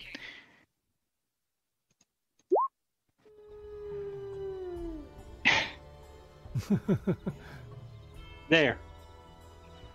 Combat has been initiated. Have fun. we have Mira up. And All right. Mira is going to shoot with her crossbow. the one that howled is now howling in pain as well. Okay. All right, and then um, I'll end my turn. I don't want to move closer right now. Grim, it looks like you're up. Yeah, I'm gonna fly guess. and I'm gonna perch on top of the room. Then as soon as they go out, I'm gonna throw a dart at one of them. Okay. Holding your action to throw a dart. Nice. So yeah, this wolf snarls and decides to start running straight at you. Here we go. He goes charging out. Grim goes. Grim's sitting up on top of the roof there, just watching it. Before it can even make an attack at Cole, the thing's body falls limp on the ground. Midnight, you're up. Should have the womp womp sound effect. Kind of go just try to boink. Okay. Long sword. Wink. So it took a, a nice chunk out of this wolf's shoulder, and this thing is uh, like it was just having dinner. Now it's missing body parts almost, and it's not happy. Just after you slash at it with your sword, it returns the favor. Ouch. Hey, look at that! Oh wow. Does- oh, I'm downed already. Look at that! Level one combat. Level one combat, joy. everyone. After you've Yeah. uh, fallen, it um, decides it's going to start moving, and it goes to here, and then pauses and looks back. Chris, you're up. Uh, all right, so he will um, just say, "I knew it. I knew she was sending us to our deaths," and he's gonna take the dash action. Oh, 30 feet. Guess he has to. He'll take the dash action and then end his turn right there. Okay. There's a little button if you want to hit it, or I can end your turn. Oh, I can. All right, boop. That way I don't accidentally end people's turns if I get in the habit of, you know. All right. So the another wolf starts pounding the pavement out from this direction and charging at you full speed. And it, that's right there. And Cole, you are up. I'm gonna cast Healing Word on Midnight. What what kind of a word do you give her?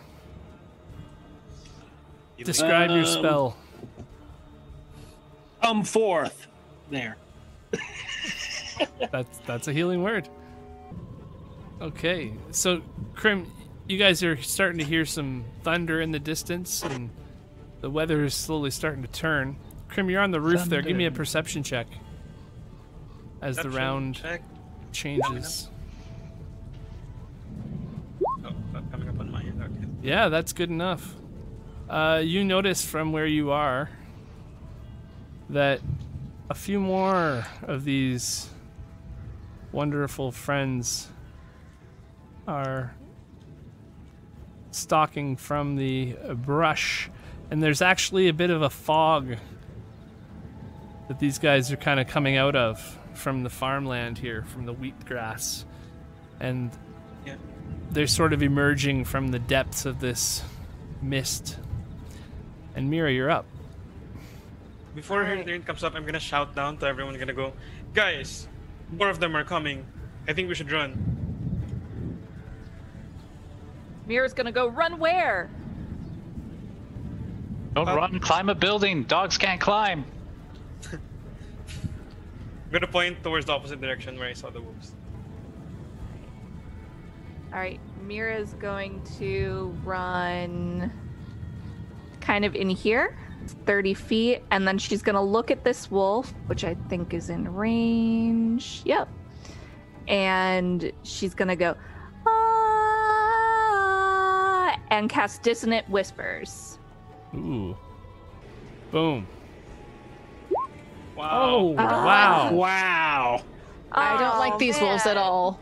I don't like these These- wolves. They're OP. These wolves are deadly. These these are level five wolves. No. So, Grim, looks like you're up, bud. So yeah, I'm gonna go to. I'm gonna fl- fly 20 feet above the wolf that, um, that saved the dissonant whispers, and I'm gonna throw darts at him. Okay. That is a hit. And the dart does its work. So, yeah, this guy, finally, the one who did the damage, is fallen. And you hear a howl coming from back here, and that happens. A vicious howl. Midnight. As you get back up and you feel the healing word kicking in, you're up. Midnight still feeling not entirely their best is just gonna raise their hand a bit, starts glowing a white light, and kind of just touch their shoulder as they heal themselves for five more using the lay on hands. Chris, looks like you're up.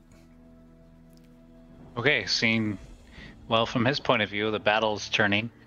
Uh, he will then, uh, I guess, move over here and uh, ready his dagger at his uh, side and say to Cole, "This is it. This is how we die. I know it. She betrayed us." Be stout of heart. Are you throwing a dagger or are you just holding it? Nope, I am holding it. I only have one, and I'm holding my action to stab a dog if it gets close. Okay. Let me now do this. Uh, Be thou not afraid. I don't think I can do these all at the same time. I got to do them one at a time. Unfortunately, at this stage, unless I just do this. This is just a little test to see if this works. Hopefully, it does. Trying to add these guys to the initiative. Did a thing. Did a thing. Nice. Okay. Oh. So it was just Chris's turn, and uh, so yeah, he's gonna charge in, and yeah, he might as well go for there. It's gonna go for you there, Chris, because you're taunting him. There we go. Cool. Okay, I'm gonna drop my crossbow at my feet. And am going to lift my shield and my whalebone mace. And I'm Ooh. gonna smack this thing upside the head, I hope. Maybe not with that roll. The wolf deftly dodges the mace just in time. Barely, but it does. However, these wolves from the tree line are now rolling in on you. Mira, you are up. All right, Mira is going to regret this, like she does many things. Um, she is going to, yep, run up to this wolf here, pull out her rapier. She's still got her hand crossbow. She's gonna swipe with her rapier, and I get advantage because I'm flanking. So It's a 24 to hit, Yeah, eight piercing damage. the wolf falls limp at your blade. All right, and then because I attacked with a one handed weapon, I can use a bonus action to attack with my hand crossbow. So I'm going to turn and attack this guy with my hand crossbow. Okay. Are they the Sometimes. monsters or are we- Monster. That's awesome. Are they the monsters or are we? Oh, there you go. Yeah, that guy can make it. Hey guys! it's been fun! They can both make it. I'm so squishy. Bum ba bum. I All need right, to this refresh wolf- the page. Charges up towards you, and that's all he does. yes, okay. He didn't have enough movement. Somebody help me! Grim, you're up. Um, I'm gonna throw a dart at the one close to me first to thin the herd. Nope, doesn't thin the herd. Doesn't thin the herd. All right, so you're 20 feet above it. You toss the dart. You missed. Then I'm gonna move here. I'm gonna fly down 10, 10 feet lower just to taunt the other two dogs so that they won't go towards me right away. Let's see. Time to run back into the fight. Wee. So as you guys are as time's passing in this battle and the wolves are coming out, the the uh, the fog that was concealing these wolves in the in the farm there is sort of creeping along with them, and you guys are sort of noticing this uh, the feeling of claustro claustrophobic feeling coming on you as the fog wall moves toward you and sort of it's actually starting to block off the road that you came down a little bit too as it uh, forms behind this farm a little bit I've got a bad feeling about this. I get advantage, I get 12. it hurts my soul. yeah that's that's not gonna work chris you're up Okay. Do better. Uh, sword being a tactical genius, he will quickly skirt the wolves. All this time, and the woodshop was really just hiding his true agenda. He's the great assassin, soul ripper. No, actually, he's in a panic, and uh, he's just gonna stab the one right next to him. oh that is Nice a, roll. Nice stab. in the Didn't want to Good come here. I told you. I told you she'd kill us all. You stab with your dagger. Can Can you hear that? No. yeah I can, yeah. I can hear the birds. I just imagine while these these wolves are nipping uh, at uh, uh, At his At a- feet. at um our, um at her uh he'll take the, the take the dagger and just come in uh, right behind the neck uh, above the shoulder and just like get a lucky blow uh cutting deep into the wolf's hide I am going to cast Sacred Flame on one of the wolves Okay. and do almost no Uh, damage. Burn in holy fire. And the wolf does not But burn not in holy fire. he's, he's he's dancing. He's dancing. Hey, so as this round finishes, the fog creeps farther towards you. And you see another shape of a wolf. And even a larger wolf than before. Mira Okay, we need to run. you're starting Yeah. to re- you start to recognize that one wolf from your diner experience with the uh with the fortune teller earlier that evening. All right, can I see it? I'm kind of. It's kind of Uh, a building, unless Grim like tells us more coming. Oh yeah. Yeah, I don't want to move them We too get to cut much to rip you off from thing, but you guys see them from there, right? If that ends, uh, that's ten feet of their movement. Okay, that way I'm not being unfair. Um, but yeah, I did want you to know that you, you can see them from there, so you're not being surprised. That's all. Um, so the wolf that is standing right here, well, yeah, he's going to join his friend and attack Midnight because then he gets advantage as pack tactics go. Oh no, 16. that doesn't hit. he tried. He failed. Mira, you're up. Do I take two opportunity attacks? Disengage action. There's always that. Yeah. Because this is looking like it might end up a tactical retreat. I don't know. All right. Um, and you're saying the fog's closing in from over where we came in, right? As well as where the wolves are coming out. This whole This area is- is starting to become foggy. Can you see that shape I drew? Yep. Yeah. And uh, it's kind of creeping in around that house, and now, you know, so the, the road in front of you is fairly Mhm. open still to this side. But uh, behind you, where you came from, is now pretty foggy. I mean, it's just, it might just be fog.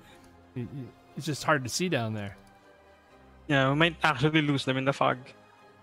Dun, dun, dun. I'm scared. Lady Yeah. Ezra shall protect us from the mists.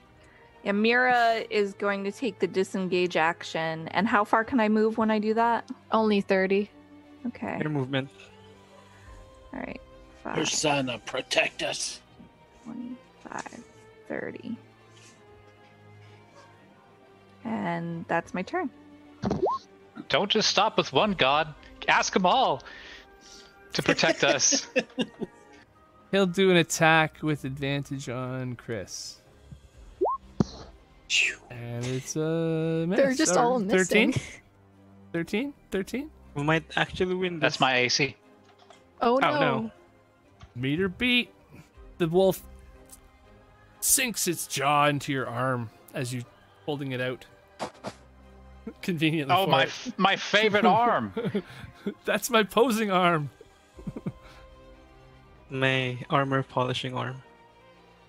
It smells that sausage Why- on your fingers. Why it's so sturdy. Smells the sausage. Fools, you've bit my polishing arm. Tis merely a Okay. flesh wound. I'm gonna fly over here. Then I'm gonna throw a dart. Yep, I'm looking down at them like. then I'm gonna Pew pew. throw another dart. The one who bit him. Oh, There you go. There you go. Like my vision, 2020. And now it's this one's turn. Um, it's also going to take a bite out of the well-dressed man. Oh, There goes the well-dressed man. that's a big bite. Oh, that's Peeler. gotta hurt. The well-dressed Hey, man is not feeling so good right now. The well-dressed man is unconscious. Thoroughly. One has already crit me in bonk. Oh. Yeah. I don't want the bonk again. The I'll bonk just is do deadly. a nor. I'll just do a normal one and hope I hit. No. Uh, Oh wait, I got the perfect sound for this. Okay, hold on. Let me see if I can Wah, get this. wah. No, hold. Huh? I I didn't hear anything. It was bonked. There's no bonk. There was. Just a sword. Sounds like you're just hitting a plastic bucket. Yeah, it just sounds like you're hitting a plastic bucket. It's a sword not bonking and not hitting anything. It's the air. Come on, guys. Oh, like a whiff. It just Oh, sounds okay. like a. Whiff? Spent so Sure much time is. to record himself doing It's that. supposed to be a whiff, Okay. but it sounds like a trash can being hit for me. Good job, DM. Good job. Yeah, totally got that. Yeah. Leave the sound bite to me, DM. All right, And we Midnight, see what are you- Tiamat. What are you we doing? die on the very first adventure. I remember did? you, pulled You all it have because we got inspiration. Good. There was some good RP Somebody- earlier there for somebody made a pun, and I thought we were getting pun. I thought we are getting punished. No, no. So you- Chris gets to try to wake up, right? you- No, regardless, A you're death still save. you do have an inspiration as well though. So it is Oh, a can death inspirations save be used to stabilize? Since nobody has brought him back yet, uh, he's doing a, a death save. Mm. As Wait, long as a D- it's Chris a is D20 down? roll. This is our first death save. Let's uh Can his inspiration? Br- Yeah. Oh, bummer.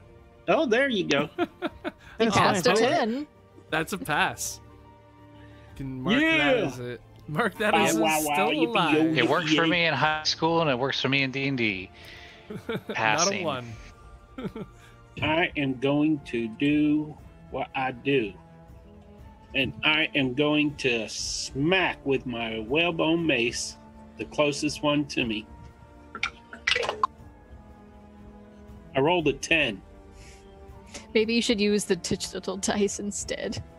I don't see the ten. Oh, you rolled a ten, like with real dice. No, I, I lied. I lied.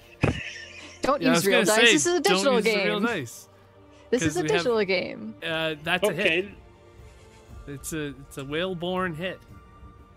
Whalebone. Well, but what? Now you're twisting.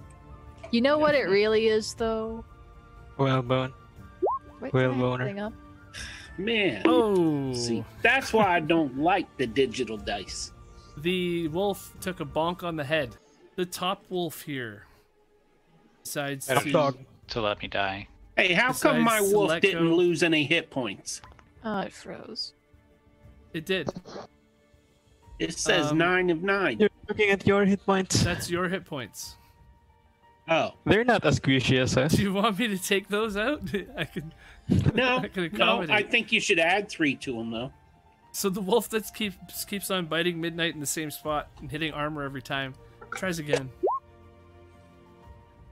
If it's advantage, advantage. it hits.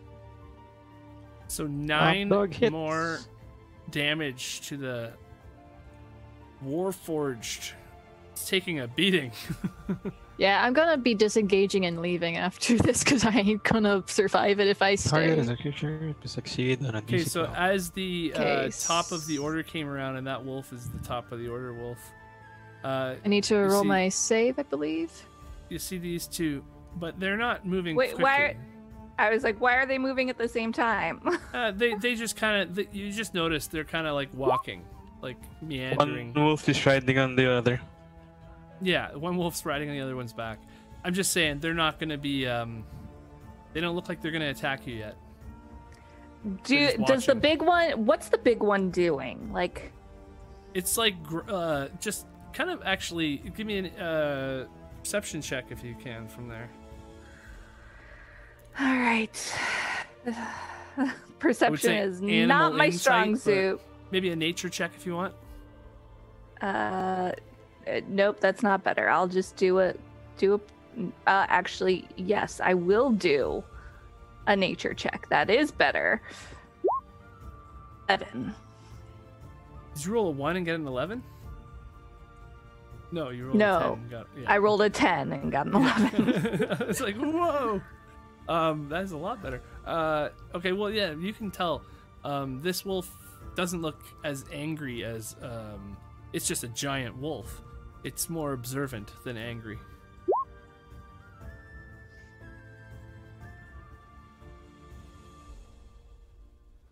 I was just curious. I think that went out of the window when you shot it. Okay, so that wolf had her chance already, and now it's Mira's turn. Okay. Um uh, I'm going to regret doing this, but I'm going to point at the dire wolf. Not that it can do anything. I'm taking total chance and I'm going to Yep, I'm going to point at the dire wolf and I'm going to cast message. Oh. Oh, Okay. And Who's a I- good boy? Who's a good boy? I'm confused a little bit, but I'm I'm listening. Well, you said that I recognized it when you it first came out. recognize it as a person. Uh, you just mean I, I just mean that you. Oh, I. It's the same type of wolf that you saw in the thing. But Doesn't not the a- same Doesn't wolf. have an NPC name if that's what you're going for. okay. But if Okay. you want to, you can message it. I'm just I'm just confused see if it as to why understands you- common. I wanted to get All to where your brain was. That's yeah. That's where my brain was. My Okay. Yeah, I, no. so- uh, I was going for the story, okay? But if I that's think if I, I it just looks at you confused. uh-huh. Hmm. Kind of gives you a uh, okay. Doesn't understand. You don't think? Okay. Um and I can't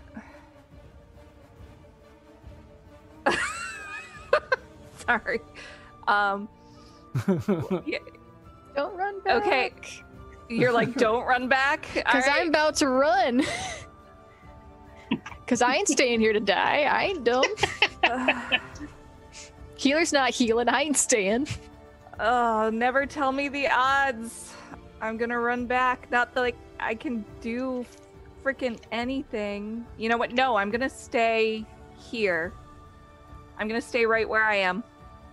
So he can jump six feet and bite your ass.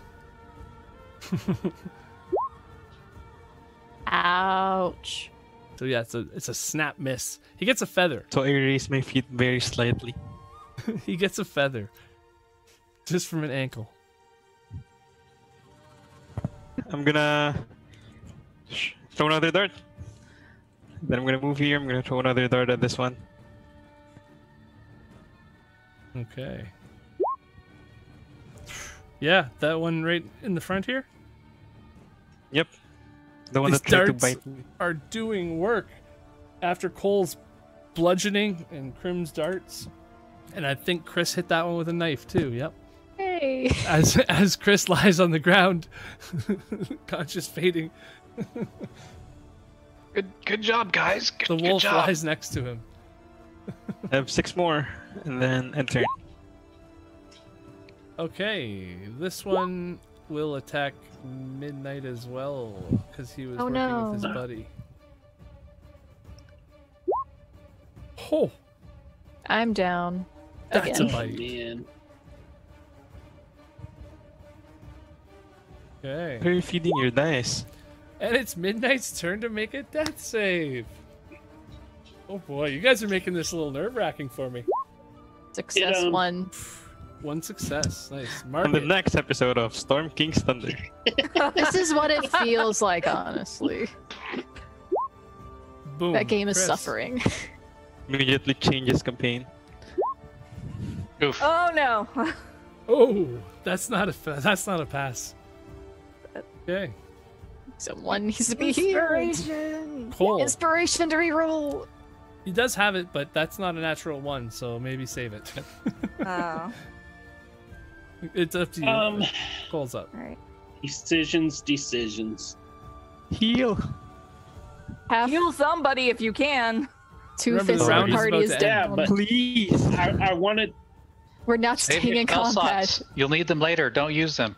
I'm not staying in combat if I get Is- healed. Is Grim injured? No. No, Grim's not me. flying Them. Heal Grim. and enjoying the, the view. Grim's at full HP, I think. He's loving this wolf attack. Well, if I heal Chris, he ain't gonna do as much damage as I can do. But Midnight's not gonna stay and fight when they've been down twice. They're not stupid. Well, neither is Chris. Yeah. Because I'm, I'm, sensing that. Chris is a little bit of a coward. Because I'm voting on like picking Chris up and running as a tactical retreat. Hmm. You're you're gonna do that? Like what if I get if I get like my HP back, I'm going to pick him up and start like walking away as a tactical retreat. You're both down, and you're like, I'm gonna take you. I promise. I'm Like- gonna-" like if I get back up is the thing. That's what I'm saying. If I get back up. Oh, I gotta. That's gotta on do something. Chris. Oh, All right. nice. Ten healing on Chris. Ten Okay. healing. That Nice. puts him at six, right? It puts him no, at it's supposed to be ten. ten. no, he just. Well, he doesn't was keep his minus negatives. four. Yeah, Because there's he no was negatives counting in- it all. Uh, years. There's- yeah, Coral, I never has no thought I'd ever want to hear your sweet dulcet tones any more than I just did. Thank you. Now, help midnight.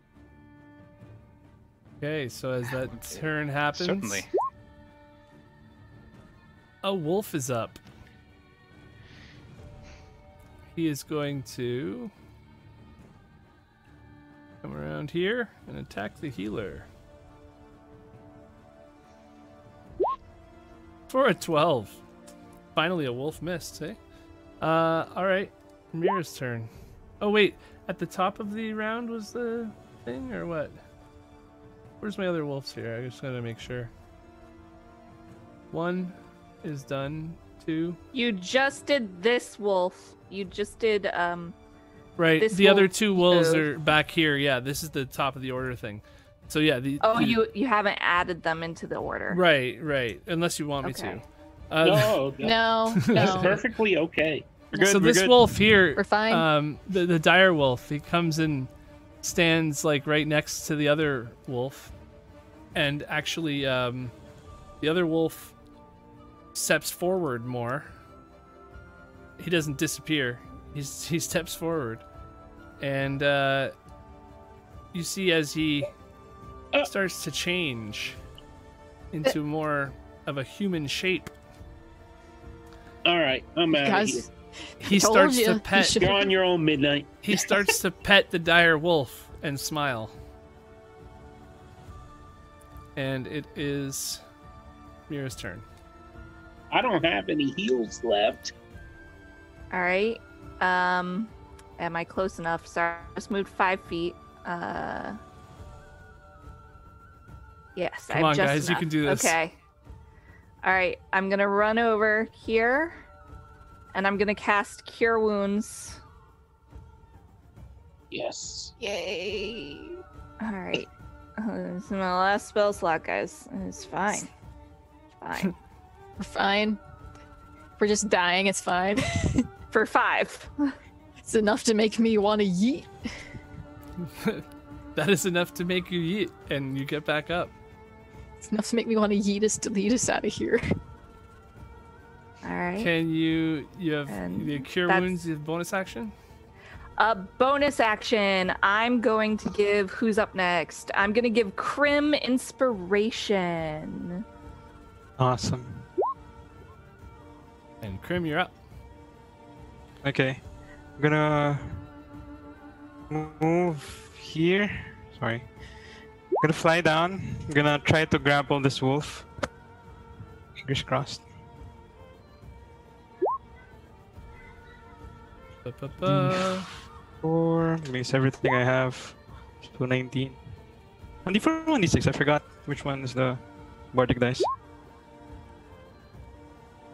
Is it? Which one's the bardic Uh, dice? eh, 1d4. sorry, 1d6? uh, 1d6. Okay. D6. That matters. Oh man. Yeah. Not this time though.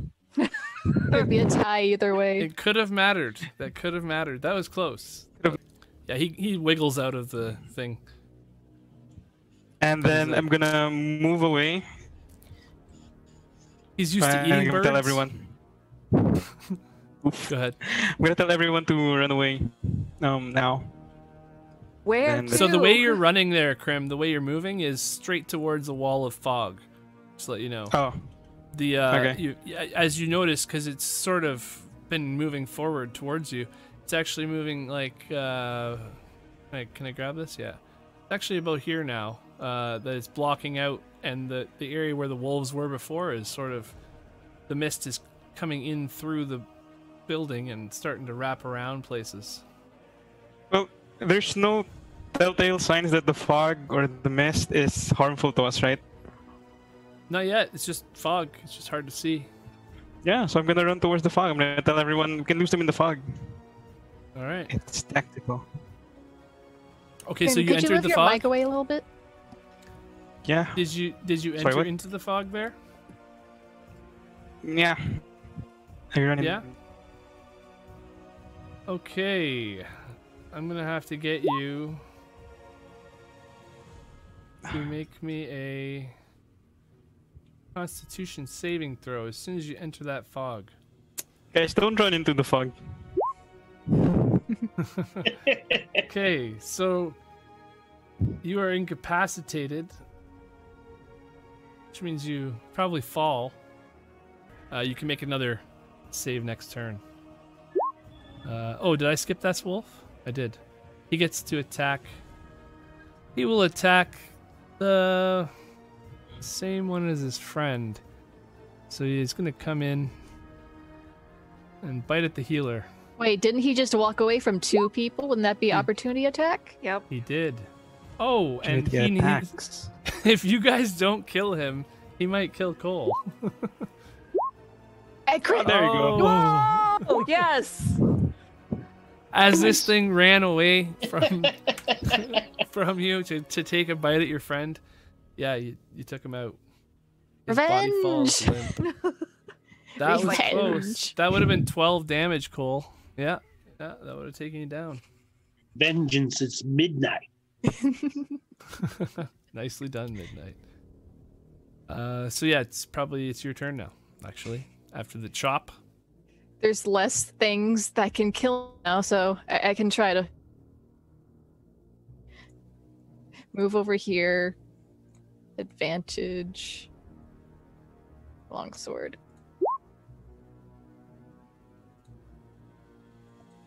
Uh, yeah.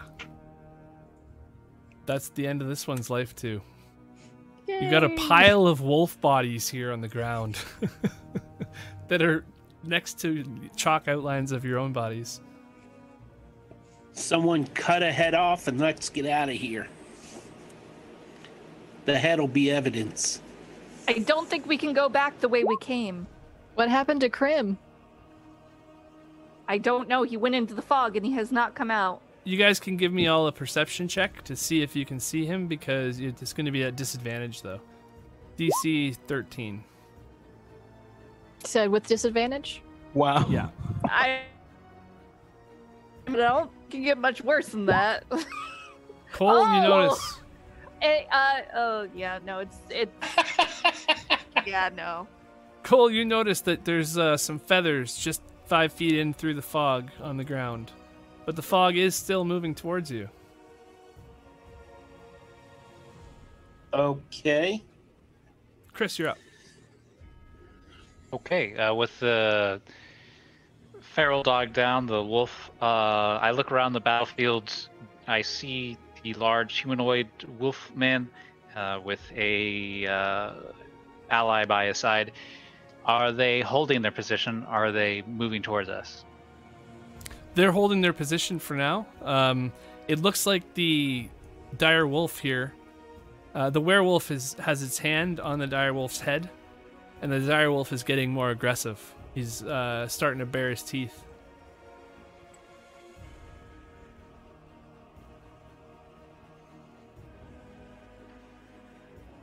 Bare his teeth. It's not good. Uh, okay. Uh, I'm gonna point uh, the knife at him and say, What is it you want, fiend? You've killed the guards, you try to kill us? What? Why? Uh, he doesn't really respond to you with words. Just a, you hear a snarl, and uh, he looks down at his dire wolf. Okay, then I held my action to stab a dog if it gets close. Okay. And uh, oh, Chris does not see the advancing wa- fog wall uh, as his back has been to it the entire time. And nobody seemed to care about it, so yeah, that makes sense. Cool. you're up, sir. Okay. I'm going to come up to right there. I'm going to pull out my rope and my grappling hook, tie the rope to the grappling hook, toss it over there, and Just so- drag. Just so you know, the the smoke starts right here, like where Grim is, pretty much, and he's just like one. Actually, let me try to move that smoke for you, so it's a little easier to. There. So that's where the smoke starts, and there's where Grim is. You've saw, you've seen his wings there. You don't need to stand that far back, but the smoke has been moving towards you. So if you do stay and finish your turn here, you can assume that the smoke will intake overtake you soon. And it's not Okay, really well, smoke; it's uh, it's a billowing cloud. Now that you're closer to it, you can see it. Sort of looks like like a fire pit that you just threw water on, and all of that steam comes up. It's sort of doing that constantly, just flowing with with uh, new fog coming out of seemingly nowhere. Okay. I'm up to where I'm at right now. I'm to throw my grappling hook attached to a rope over there to hook him. It's going to hurt him a little bit, Okay. probably 1d4 damage. And then I'm going to drag him back. Well, you have to roll the hit because you aren't necessarily uh, going to grab him with this. Why not?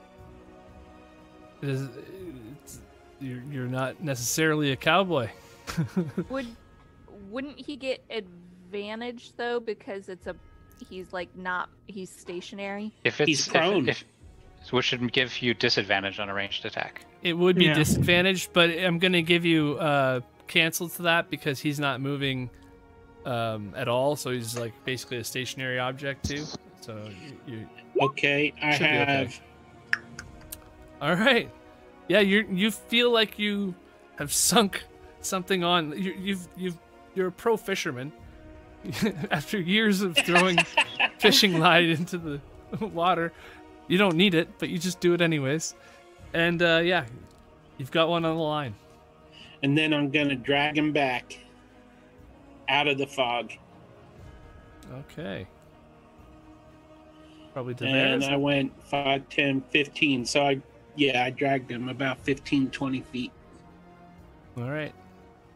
It, what condition is he in? He's uh coughing, not really um moving very much. Will I get So- damage from being dragged along the ground, where pebbles and rocks and other hard stuff are probably on? Uh Well, no, he- but you you did get a a stake or something. What was it? A, a grappling hook? Um so roll that 1d4. yeah, roll I that rolled a 1. piercing damage. So you get uh, you feel a sharp prick. Hey, don't call me that.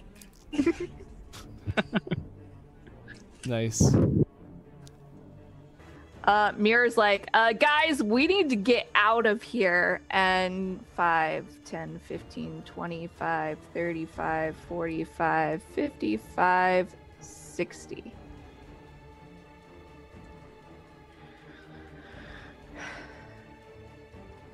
And that's my turn. Wow. And the dire wolf is up. Okay, just so I don't mess up his movement. Yeah, I thought it was higher. All right. Oh. Yep. Directly eats the grease. He's a running. Oh So- no. And I believe that Chris was you were holding an action. to shank, I believe. he tried. Just disengage, guys. Just run. Oh, there goes Chris. Looks like I'm picking him up. My turn. All right. The dire wolf comes in and just takes a huge chunk out of Chris's shoulder. He does not look good as he falls to the ground.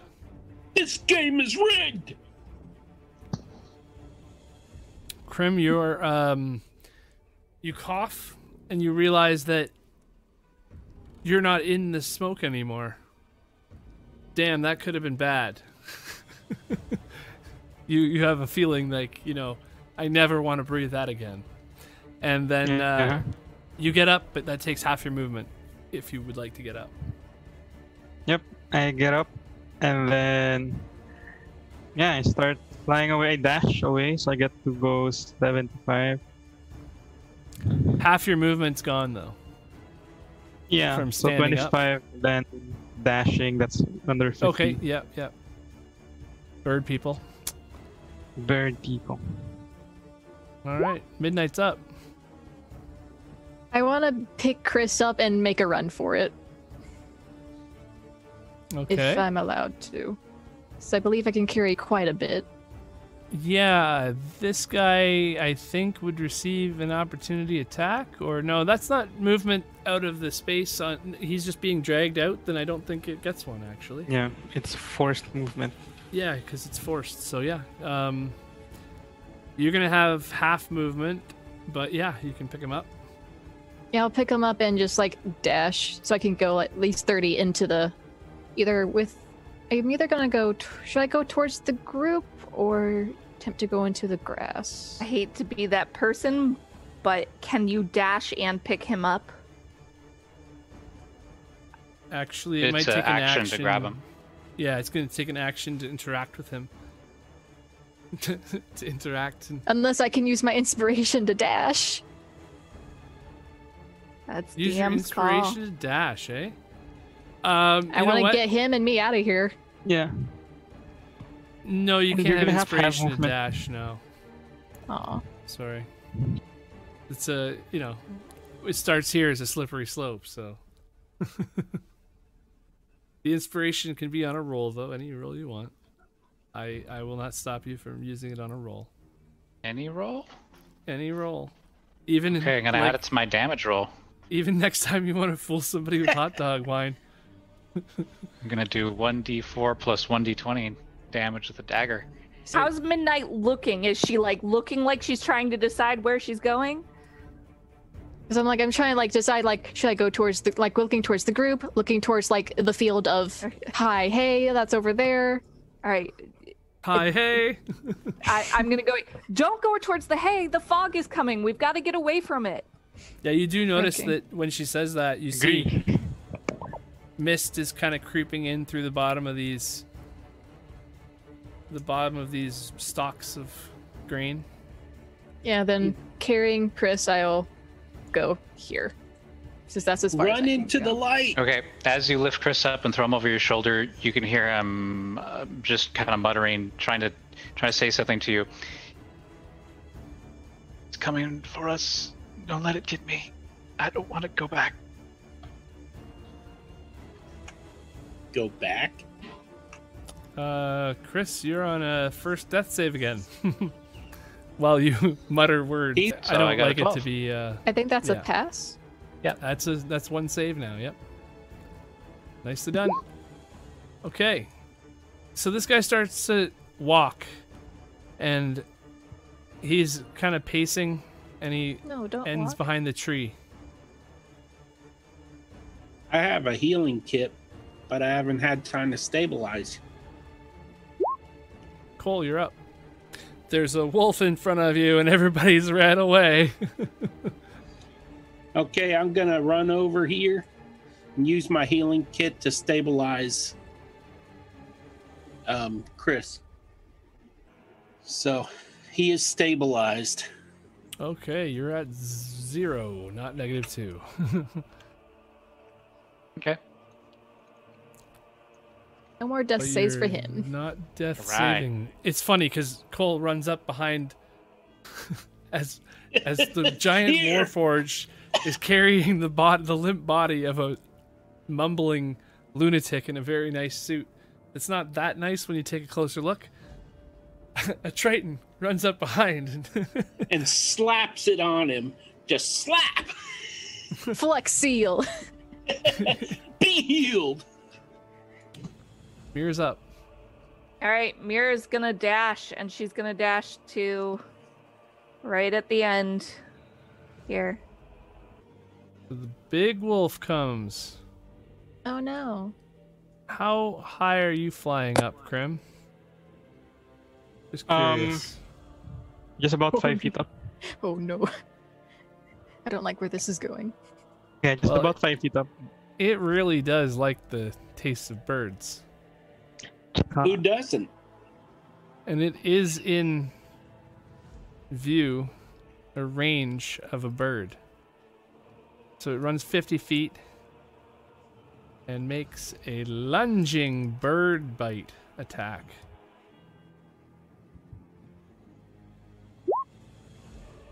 Oh no. Oh, Is that Yep. what? Is it?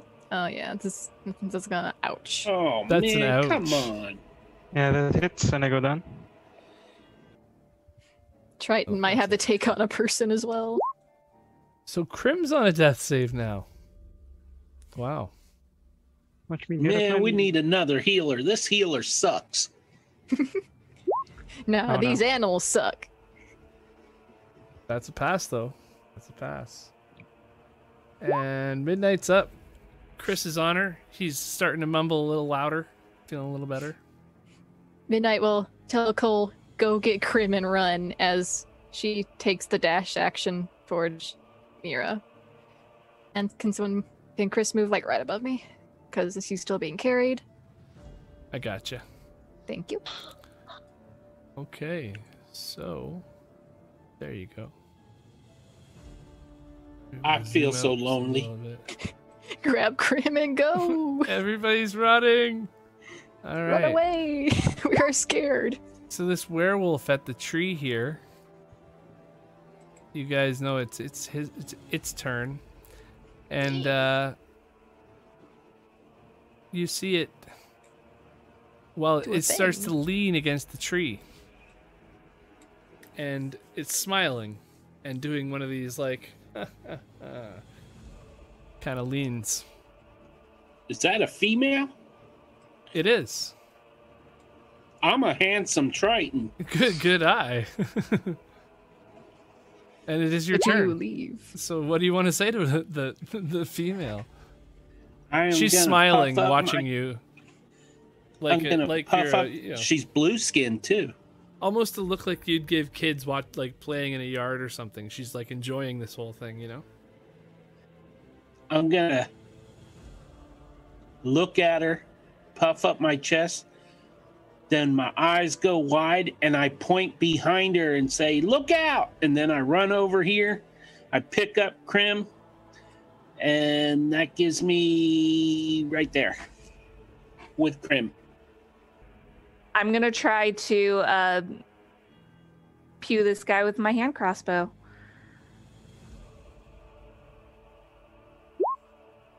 Oh, The pew does in fact pew. the pew worked.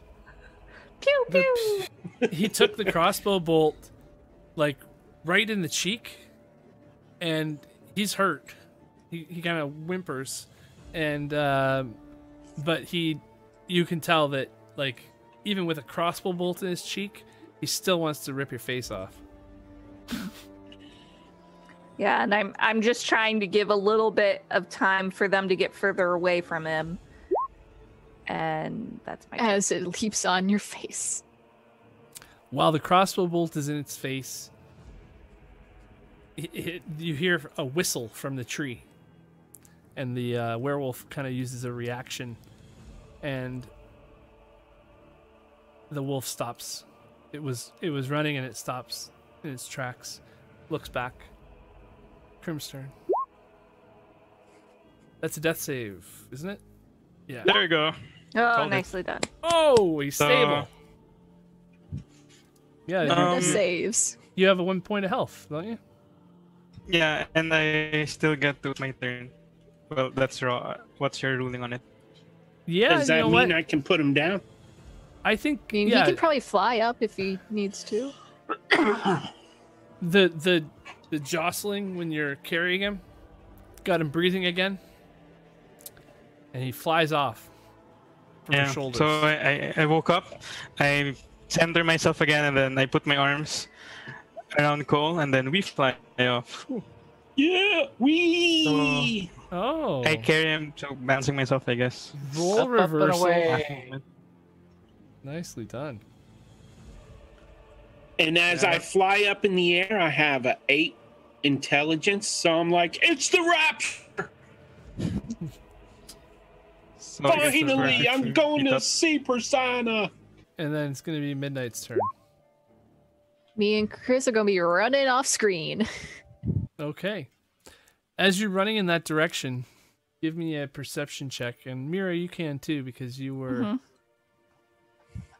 you were Oh, no. hanging out down there. Not the perception checks ever do me any good. Hey, Oh, case in point. what do I see? I see nothing. what do I see with my glowy eyes? I was Yeah, too you see- focused on the wolf. Mira sees fog in front of her, but uh, Midnight, shit. with her um, eyes on escape. No, because you, Mira, you're looking towards the wolf, right? Oh, So you see right, the fog. Right, right. You see the fog coming in, and actually, it's sort of like uh, passing over where this werewolf was standing on the tree, and now the the edge of the fog is sort of where this dire wolf is now, and it's really following in. And uh, Midnight, with your passive per- or with your perception check, there, you notice that there's a fire in the distance on down the road. She'll just point while dashing. She'll just point out this way. There's a camp. So with a Yes. 22, you would Yeah. notice that this fog is sort of now reaching up all the way to the sky and sort of encompassing you like a bit of a canopy about 200 feet up. It almost looks like the clouds have dropped, but they're connected to the ground, and that's not normal. I'll say And- bye, beautiful. They are. You get the feeling that they've enjoyed this exchange. He was just Well- pissed because he Well, was the down. woman reminds me of this dogfish I used to date. You can't see her anymore. The fog has uh, blocked her vi- your vision of her. out. Okay, I cast Sacred Flame on the direwolf. Ju- I, I just missed the save throw. It's two damage though, right? Yeah. Mm-hmm. Too So- radiant. You, you see, just as the wolf is smothered by the fog, a f- the the holy fire lights upon its back like a little light show, and then it disappears because you cannot see him anymore. If Mira can't see them anymore, she's just gonna turn and run because she can't shoot to distract it. So she's self-preservation kicks in Yeah. at that point. Right. I say we run. Grim Yeah. is injured. All right. So as I'm this not injured, but hey. I'm injured. as The the, other wall of man's fog injured. approaches, and you you get the feeling that these wolves are still sort of creeping on the edge of it, um, not really chasing you anymore, as the fog has begun to do that for them.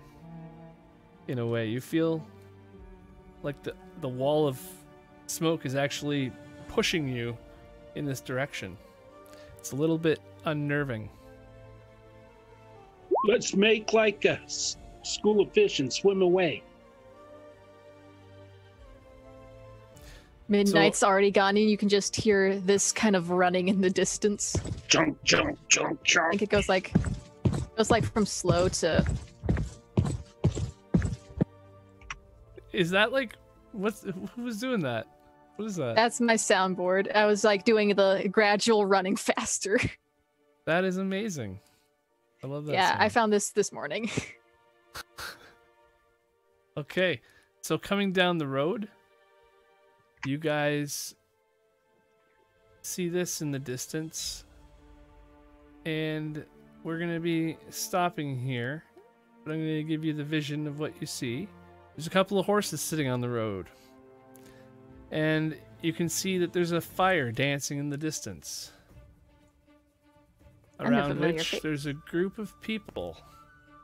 Which that uh, looks- I guess like the yeah, if you want to give me a perception check from where you are, then you can maybe see if you recognize these shadowy figures because it's not not the middle of the day anymore. All right, we got a few good enough here, a few not so good, but a few good enough that yeah, you, you've seen these you've seen these guys in the bar. You recognize these as maybe the people you were supposed to meet even and uh, they're you can hear sound of like dancing and music and laughter. We'll call it a night for there, and uh, for now tonight, and I think that's a, a good start, guys. Uh, Good start. you're being chased Almost by died. mist. We survived the wolves barely. Lady of the Mist, save us. So this is our like uh, session zero, I guess, or, or session one because we ended up. Uh, well, I'm Greg, and I'll be your dungeon master Hi, for this Greg. evening. Greg. As we follow Hi, the Greg. story. Hi, Hello, Greg. everybody. I'll be your player. We're going to follow the story of this uh, wonderful group of adventurers who have unknowingly volunteered for a job that they are Generous. highly unqualified for. What? The dire wolf and werewolf did not pursue them, but rather faded into the mist as the party moved down the road and spotted the dancing lights of a large campfire in the distance. It seems they have found this Vistani camp that Arrigal had invited Chris to, and Mira was told may hold more clues to the whereabouts of her patron. So we pick up there with a group of Vistani people, a hundred feet away, gathered around a campfire, playing music, dancing. They seem oblivious to the dangers of the woods around them as the party wearily and haggardly approaches. Tired and beaten from this fight, but adrenaline still pumping. What do you guys want to do?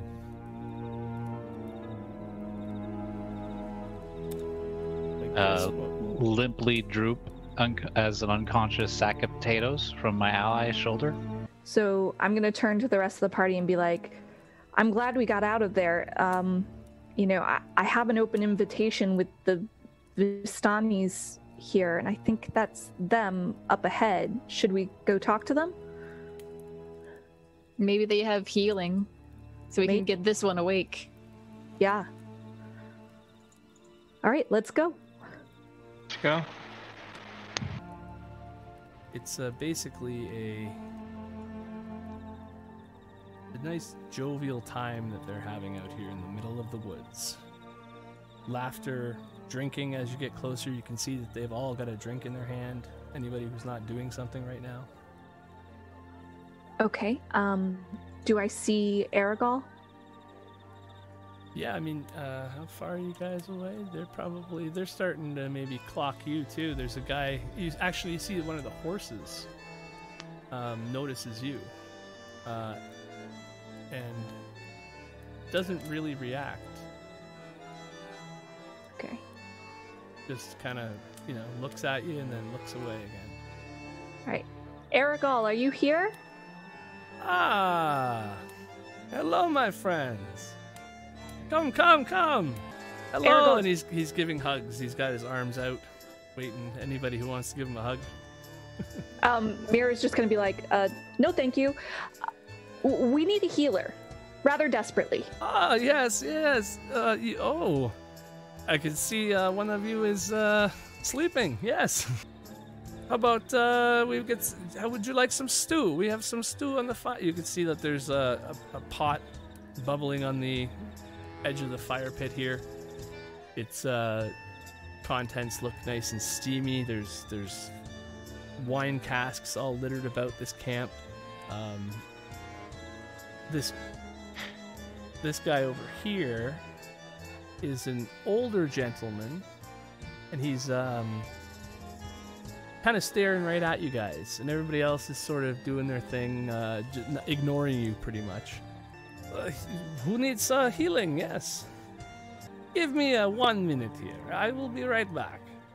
And he goes into the tent and comes out again in a minute later. He's got a uh, he's got his hands full. He's got five healing potions in his hands. Uh, have a seat at the fire. Enjoy this uh, wonderful time. We are we are celebrating, my friends. We are celebrating. We are heading back to Madame Eva in the morning. Madam Eva. Yes, Madame Eva. She is uh, she's our spiritual leader. You say yes. Ah, hello, colorful bird man. You don't look so good.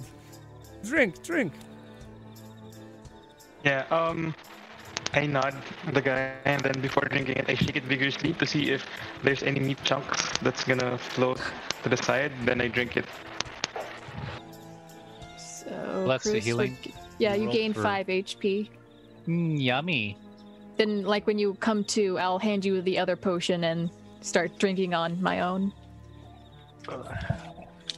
But where are we? Uh, oh, is this wine? What is this? It's a healing potion. Hello, Chris. How are you? Uh, I've been better. yes, I see that. Ah, yes. good times, good times. Come sit around is the it, fire. is it really? Because I've just been used as a chew toy for wolves. Uh, wh- wh- How long have I been out for? What year is it?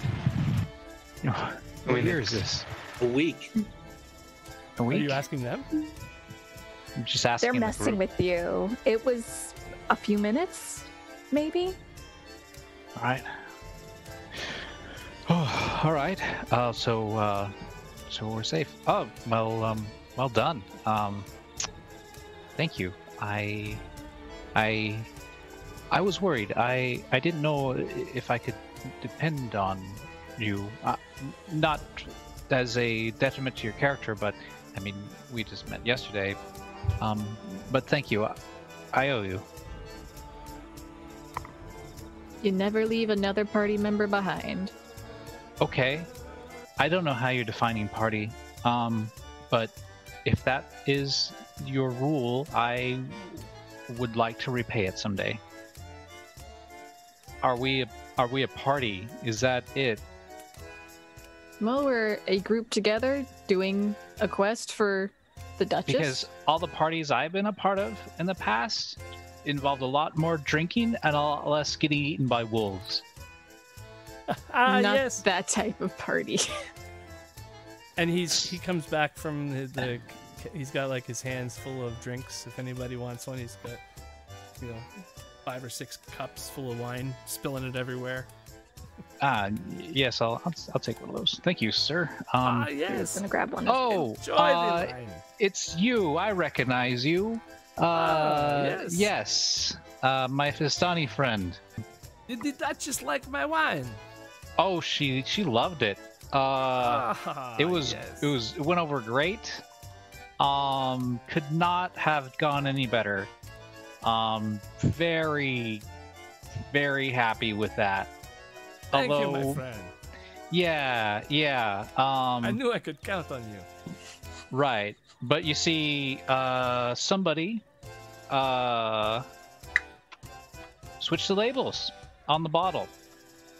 So she thinks that your wine is swill.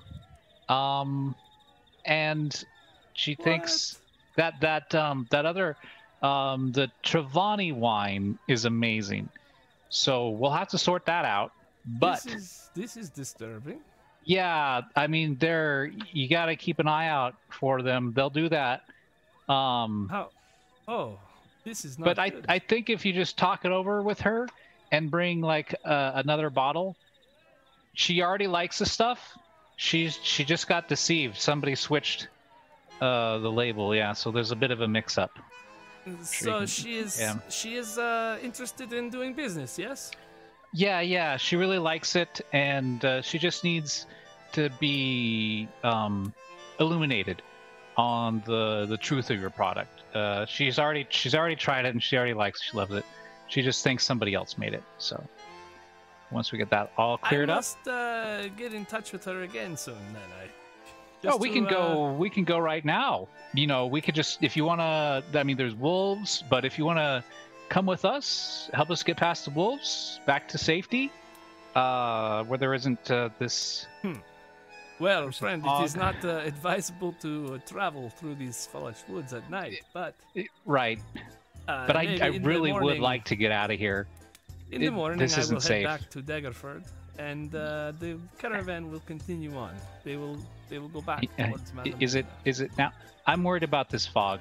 All right, there's something there is there's not right about this mist. We need to get away from here as Ah. fast as possible. Yes, the fog is um, it is a tricky one. Yes, Yeah, it's Yeah. uh, disappointing to see you here actually, this far out. Your campfire. First light, we will head to the Barovia.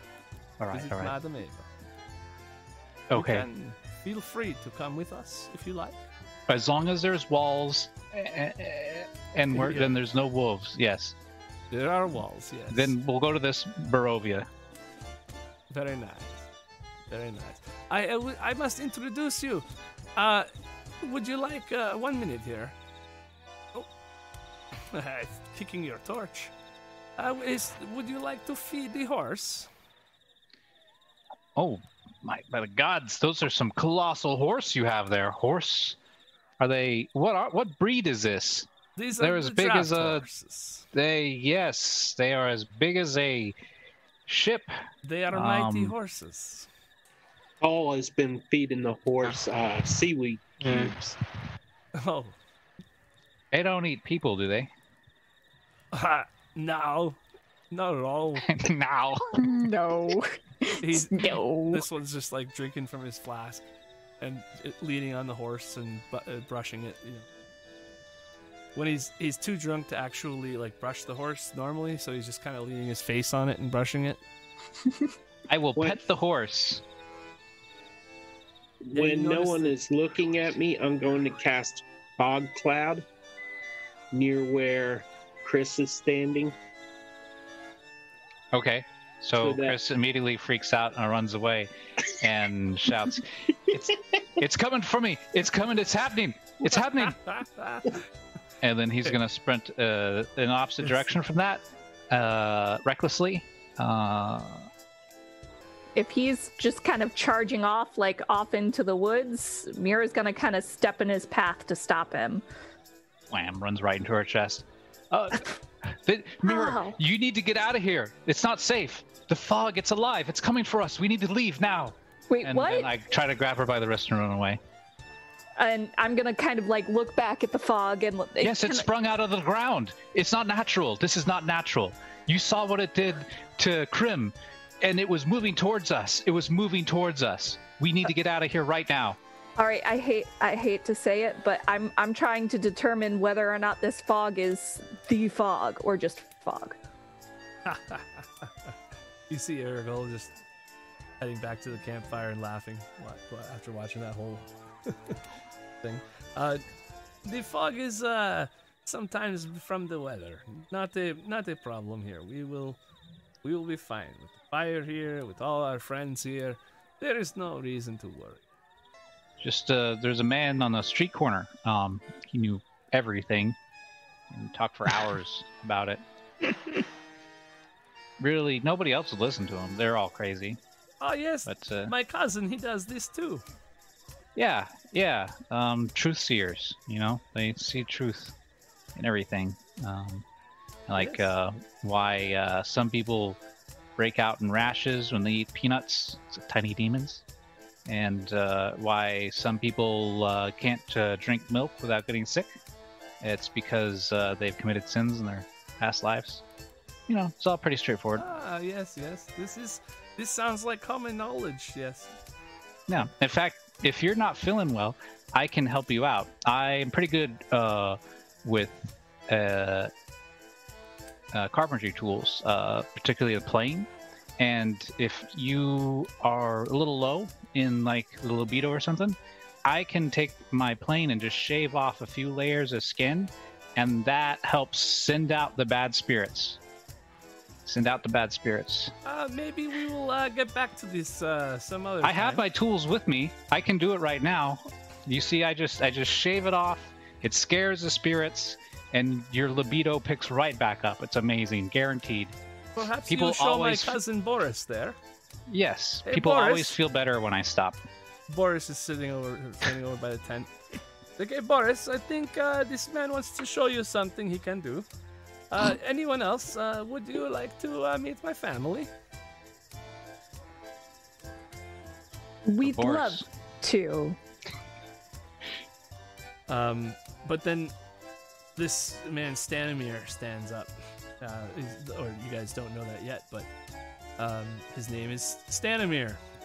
Oh, hello, hello, everyone. Nice to meet you all.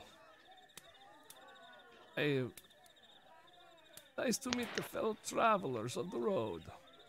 Uh, would you care to uh, eat some, have some soup? And uh, my family has prepared some wonderful meal and ale. Smells great. You have seat around fire with me, and we tell stories. Yes. That sounds lovely. However, I don't require food or drink. I don't require sustenance like the rest of the humanoids. Just a little bit of oil usually does the trick. Crazy world we have here. Walking armor. Aye. He's like, gather, gather round the fire, everyone. Gather round the fire. It is time to uh, tell our tales. And you see them all kind of like, okay, story time. Story, time! like, yay, story time! Yay! I is keeping his distance a little bit because the fire dries out his skin. Nice. That's awesome. Sounds like he needs a fresh coat of oil. No, I you have need any a extra bacon grease? As you're all gathered around here, this old man, he's drinking from his mug of ale, and he finishes it and puts it down. And then he's got a bottle around his uh, waist. It's on like a rope. He's got a few of them actually. They're kind of dangling around. Pops the lid off, and you hear a bonk. And then he fills his mouth with this wine substance or whatever. And then he spits it into the fire. And you see how the flames turn from an orange color to a green. And everyone around the fire just kind of gets quiet. Music stops. And he and he looks at you all and we come from an ancient land whose name is long forgotten. A land of kings. Our enemies forced us from our homes, and now we wander the lost roads. The dark shape in the fire takes the form of a man being knocked from his horse, a spear piercing his side. Stanimir continues. One night, a wounded soldier staggered into our camp and collapsed. We heard his cries and nursed his terrible injuries and quenched his thirst with wine. He survived. When we asked him who he was, he would not say. All he wanted was to return to his home. But we were deep in the land of his enemies. We took him in as one of our own and followed this man toward his homeland. His enemies hunted him. They said he was a prince. Yet we did not give him up, even when their assassins fell upon us like wolves. And then he kind of sits back again on the log. Deep in the bonfire, you see the dark, shadowy figure standing with a sword drawn, fighting off a host of shadowy shapes. This man of royal blood, he fought to protect us, as we protected him. We bore him safely to his home, and he thanked us. He said, I owe you my life. Stay as long as you wish, and leave when you choose. And now that you are on my side, you will always be safe. The figure in the dancing fire van- uh, vanquishes its final foe and then disperses in a cloud of smoke and embers. And Stanimir's face becomes a somber mask. A curse has befallen this noble prince of ours, turning him into a tyrant. We alone have the power to leave this domain. We have traveled far and wide to find such heroes, perhaps as yourselves, to end the curse of our dread lord and put his troubled soul to rest. Our leader, Madam Eva, knows all. Will you return to Barovia? Speak with her.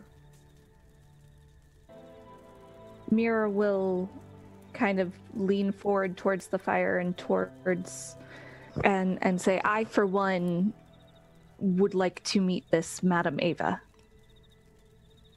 I know that she would want to meet you as well. So Mira's gonna kind of like scooch over and scooch in between this guy and Arrigal and kind of whisper to Arrigal and and she's like I I don't want to say it in front of the group, but what was so important about the stone? Ah. Yes, well, my family, we are. We are picking up where the pieces have been uh, dropped, yes? There are lots of folks in Barovia who are struggling, and the wine seems to be a good way to lift the spirits of the people in such dark times. Times of change and times of struggle. But without the gems, it can be difficult to grow the grapes for the wines. So they have become rather important to us. to We do not have hope of continuing this business without reacquiring this gem. We are hoping that you are our ally in this. Orwin certainly is. She'll go, Well, I can't promise you anything. The safe was empty. I get the feeling uh, Stanimir is not a fan of this venture. I never introduce my uh, whole family to you. Uh, this is my daughter. Her name is Damia. She's a seer as well, um, much like the one you met at this uh, wedding I have heard about. And uh, my son over here, his name is Ratka. And he's and he's like, "Hello, my name is Ratka," and he's you know he's wasted. And uh, Ratka. Does it. He does a cheers with the guy next to him, and uh, he's like, "Hey, uh, what's the other name?" Uh, Hello, my friend. hello, how are you? I am well. Cheers. Cole is a drink." basically trying to hide from the fact that he was scoping out the backside of the of his sister. Well, she didn't notice, so you're good. Green hair does something to him. I just. You're still looking at her? like, I uh, met my sister, Damia. It's like, Oh, why? hello, No, I have not. hello, hello, my dear. blue man. Hello. I hope thou art doing well. Oh yes, very nice. Wait, that's your girl voice? She's a girl Vistani fortune teller. They all sound the same. What's that, Hmm. Chris? I'm sorry, my friend Chris needs me. Do you like women with chest hair? Mira will uh, pull out her lute and start playing an actual like tune for them while they're dancing. Ah, then this guy will join in too.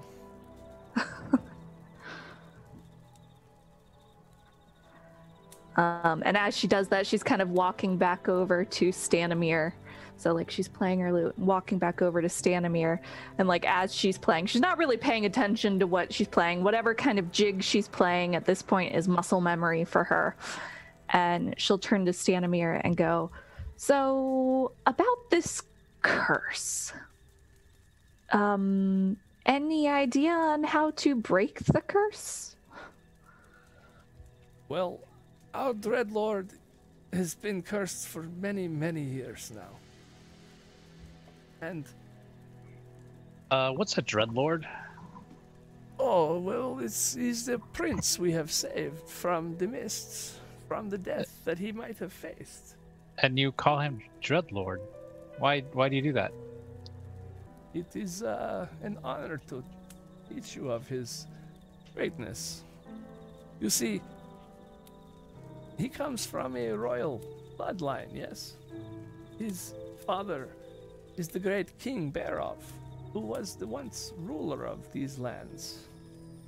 Before many years, many years before Strahd was ever born, these these lands were taken over and the people moved, displaced from their homes, some even killed.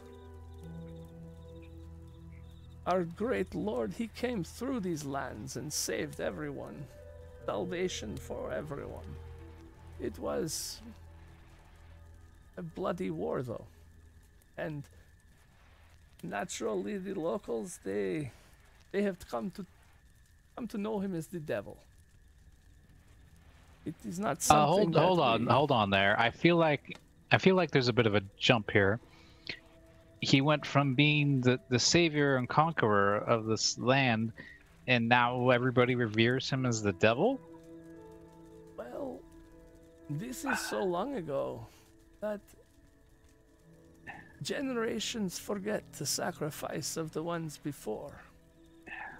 Just like my struggles when I was your age are long forgotten now by everyone around so me. they're they're just ungrateful, and they they don't give him they don't give him the respect that he deserves.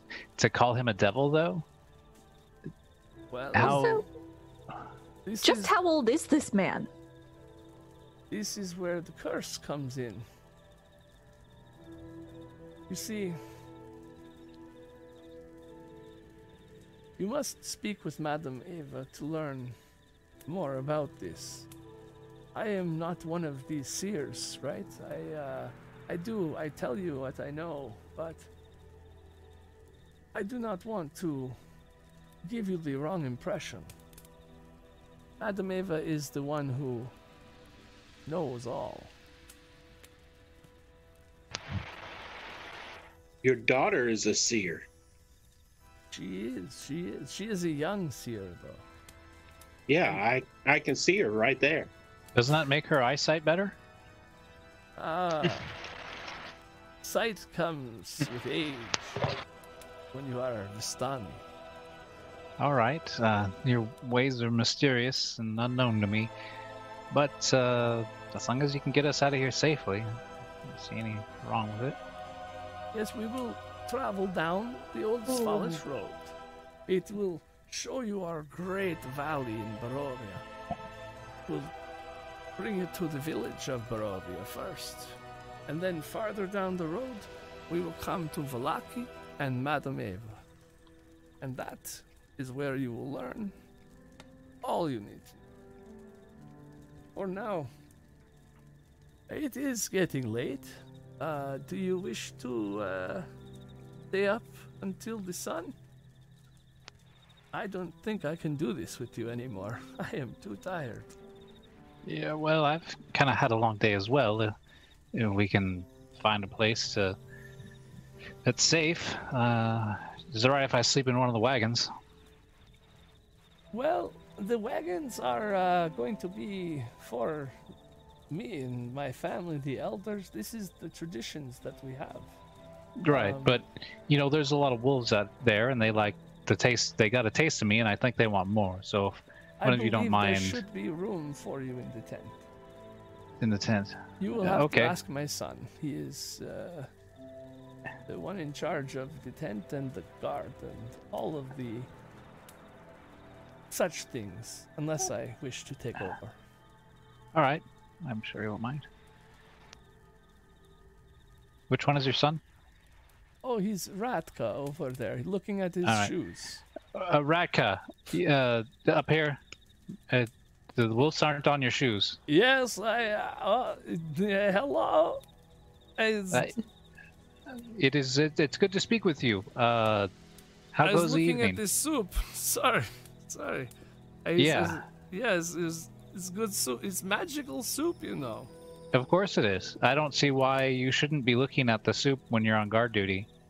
Not like there's packs of hungry wolves out there ready to rip our he's throats like out. taking two steps forward and one step back, and he's got his soup bowl and he's going for the. for soup. So, I was wondering, uh, could I stay in the tent? I've had kind of a rough day, and uh, would like to not get eaten. In the tent, yes, yes. You want to? All right. uh, yes, there is. All right, that was a good talk. Uh, thank you. Yes, of course it is. Yes. Good, good job guarding. You keep doing that. Thanks. Do you Good night. know why they call these uh, uh, the magicals frying pans magical? Why is that?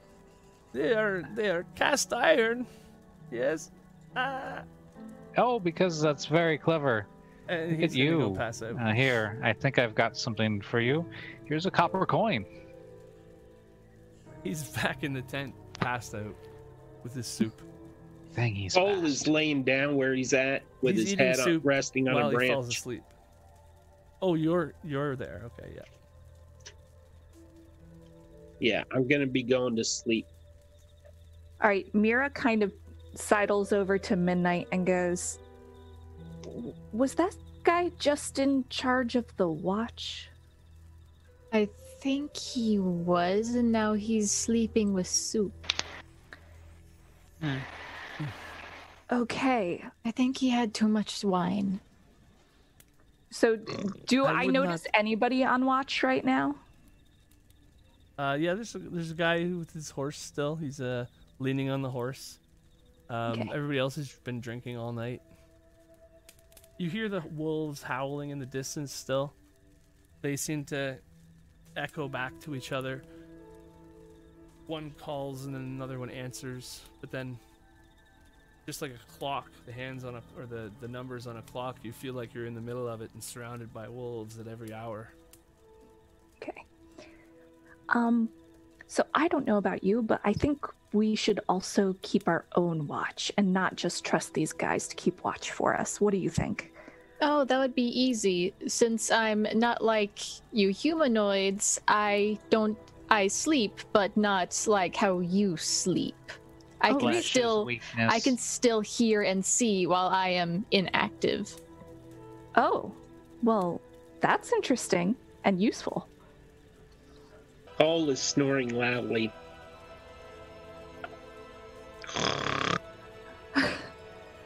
I'm just gonna perch on one of the trees. Midnight's just kind of kind of stay sitting and entered like her sentry mode. Well, as, as she like enters sentry mode, you see the bright blue orbs kind of dim a little bit. All right, Okay. and and as mode. the night kind of winds down, you know, Mira goes from playing this jig on her lute to kind of, you know, gently slowing the music down, more of a quiet, peaceful sound. And when she thinks that nobody can really hear, she'll start kind of humming to herself. And you'll hear something that goes a little bit like this.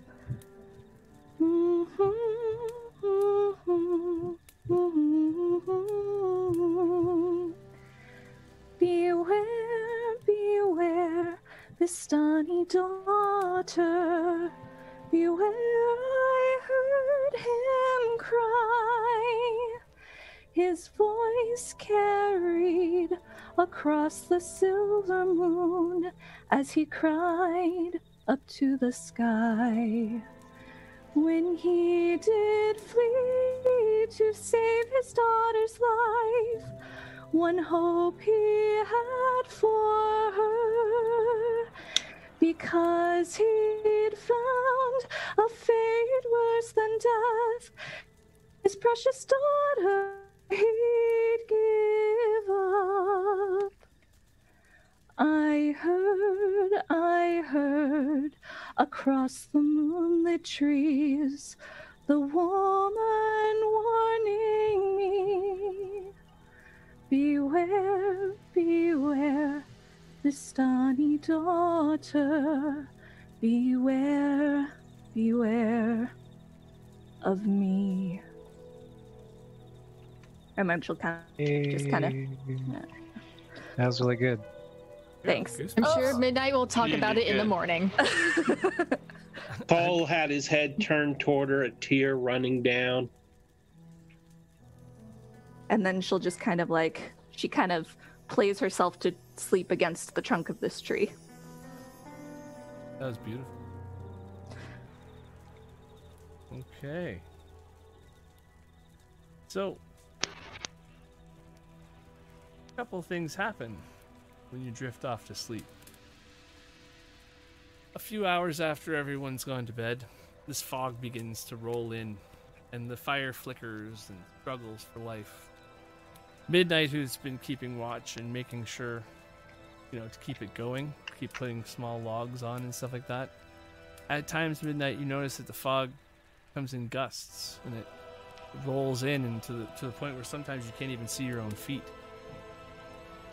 Midnight did not, however, see in her time when she was monitoring everything these Vistani even leave. They must have pushed off at some point when the fog was at its thickest. You're not quite sure. Uh, perhaps the fog scared those horses away. Perhaps you didn't even. you- you- You're trying to put all this together. You didn't hear the horses moving. You didn't hear a wagon. You didn't hear any voices. The only thing you have heard all night is the sound of wolves howling.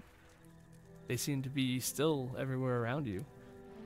And then, as the sky starts to brighten up and the night sort of becomes day again, you can see how, you know, the shift of the hue of the sky and everything. You can you can tell the fog around you is still thick, but it seems to be more lightly obscuring now rather than heavily obscured. And, and Midnight, with her sensor abilities, has uh, determined visibility to be about 60 feet. And so the rest of you all sort of wake up in the morning. You got this chill in your bones. The fog in the air, you can switch out your, your backgrounds as well. Uh, but the fog in the air begins to run backwards towards the trees where like no light from the rising sun has hit them yet. As it does, you begin to see the details on the trees that are nearest to the road again. They look like gray ghosts that are starting to form as the mists reveal their whole uh, the trunks of all these trees throughout the forests. And Grim, you have a moment of sudden realization as you take in the look of everything. You're, you've been sitting on a tree all night, right?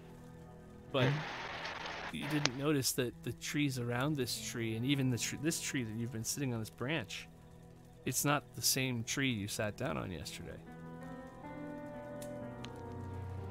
All the Vistani seem to be gone. There is no sign of them. You notice that the trees above you come in like a canopy now, whereas before they were just on the other side, opposite sides of the road.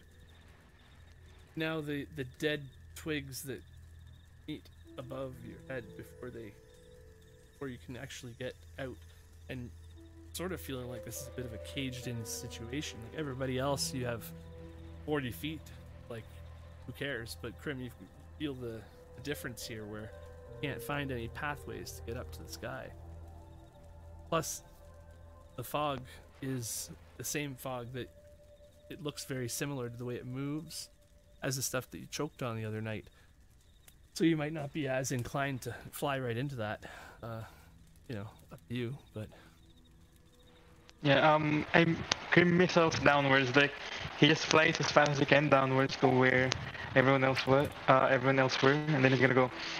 We need to go now. What? What's wrong? Um,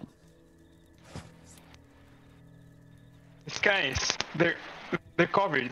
Uh, it can't get out. We need to go. Well, well, This isn't what, good. what, what is going on, Grim? We need to Wait, go. where- Which, where's the Vistani? We're traveling with them. We'll just stay with them. Where'd they go? They had to have left sometime in the night, but I didn't hear or see them leave. i- is that possible? Oh man, There's I need so to much really fog. stop drinking as much as I need. Uh, well, they're probably not too far ahead of us. Is, is there any sort of tr- tracks? Like we can follow wagon tracks. Are there any wagon tracks around here? yeah, you can tell, Cole, these are not very fresh. Like, it's not like the Vistani just took off from this exact location last night. These look like maybe, if it, like, there's no tracks here where you would expect to see, because that's where the horses just were. You don't even see any horse hooves from horses sitting here all night. Like, There's something wrong here. Something very wrong. Uh, do you have anything beyond that? I mean, Can you not sense it? There's an evil permitted in this place. I can feel it in my bones. Grim looks around for any exit or any part, any path that there that's not covered by fog. this end of this road seems to be you know when you're in one of those situations where you have a left turn and a right turn to make? Mm-hmm. and one of them it seems to close in and the other one seems to open up more. But you're getting that feeling from this and on this side everything seems to close and all the branches seem tighter all the trees seem closer together and over on this side feeling it like it's more open there's more light that way I mean, I don't, I don't know. It doesn't seem that strange. It seems rather familiar. I mean, What do you mean? well, I mean, familiar? I mean, uh, the forest is still here, and I mean, the fog is kind of keeping its distance. I guess that's good. And and what about that? Or and he shoots an eldritch blast uh, across the canyon. Ah, Could do that the whole time? no. Okay, That so describe is- what just happened as far as visually. Oh, it's like a, a twisting uh, rope of uh, fog with uh, several like fangs protruding at the very tip of it, and it just slams into a rock and it blows a, a chunk off of it, leaving just a smoldering uh, tendrils of wisps uh, of mist. Uh, that's new. Um, I mean, what was in that wine, right? yeah. Uh, what? uh, You could I- do that all this time? no, I couldn't. I could not do that. I mean, I was literally eaten by wolves th- yesterday. If I could do stuff like that, I would have been doing it, all right? Stabbing it with my dagger. She is going to kind of like grab him by like the collar of his shirt and like What? put one of her her daggers up to his throat. Cole is pulling out his uh, trident of doing Persana and holding his shield up. What kind of magic is that? It's not right. If this is about the other night, I'm sorry. I mean, I just didn't think it was a good idea. You know, you were drunk and I didn't want to, you know, take advantage. I'm sorry. What? No, I'm talking Oh. about that magic that you Oh, just shot yes. from your Oh, hand. of course. Yes, that's what I meant to say. Uh, I have no idea. I'm sorry. I, if I knew, I... it's just this. I, I don't know. I I just woke up and it, I just kind of felt like all this was familiar. I felt invigorated. I don't know. I don't what know. What do you mean familiar? Insight check. Mm, It's familiar. In in a there's a there's a seeping nostalgia to it. Uh, Oh, Is this well as if like deja vu? So Mira's like looking him in the face, and she's really like, she gives it a moment to just kind of like be like, "You mess with me, like I- I'm gonna end you," and then she'll put her dagger away. She's like, "Guys, I don't, I don't like this at all. I feel like we're being corralled." Well, we're off to a good start. good morning to you, by the way, Mira. Yeah, You mean like how the mist could be pushing us to have gone to the camp? There's no mist in that direction. I mean, it seems like rational after we had that bad run in the other night, and I'm no fan of it myself. Uh, I think we should just go where it isn't. So you, you think we should go that way? The way that every fiber of me being is telling me not to go. I don't know your body. I don't know what your intuition is telling you, but what I can see is a path with no mist and a and and mist, and I want to go not in the mist, away from danger is the prerogative. We are being forced along that path. We are being led. Can you not sense this? No, I. It's ridiculous. Some sort of powerful wizard taking time out of his day of ruling the world to take a bunch of common people and put them in a maze of some sort. What kind of wizard would? You know, oh, that's exactly what a wizard would do. Yeah, Oh shit. I want to see if we can find Madame Ava wherever she may be.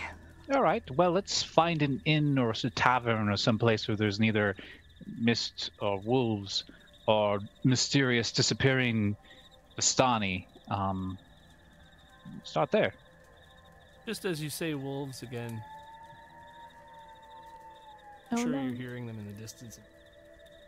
Cole approaches to the spot he's at and he he stares into the opening in the mist and he shakes his head and looks behind the, on the other direction on the road then says i do not believe we have any choice but we should be on our guard. Really as you as you have time on this road you're realizing that you are there's there's nothing natural about this. You are being directed towards this area. And as this happens uh, the mists in front of you slowly begin to clear up it it stops becoming so obscured um, you're, you're able to actually see like a regular day almost for the, in the distance ahead of you. And as you come down the road and around a slow bend in the whole thing, you notice that something's approaching in the distance. Looks like a mountain, maybe? Hard to tell exactly. But then it sort of comes into view this wall, for lack of a better word. It's not a mountain, carved something. And this edifice stands before you as you come out of this tree line. See, that's good news. We're civilization, just right around the corner. If there weren't people here, there would be no walls. and uh-huh. how long have we traveled Um, you've probably been traveling for like an hour this morning, something like that. Uh, anybody else concerned by the fact that they have no heads? It's very old as you get as you as you spend more time looking at it, you realize that like first of all this looks like something that couldn't possibly be man-made. It's gargantuan. It's reaching up to the heavens almost. Grim, you're you're noticing that the tops of that statue is where the air starts to thin a bit. Any higher than that, and you start to be, you know, a little woozy. And um, yeah, I mean, it's just very, it's an ancient gate, but it seems to, um, seems to be magically preserved, possibly even, and be older than it would be if it was man-made in this state.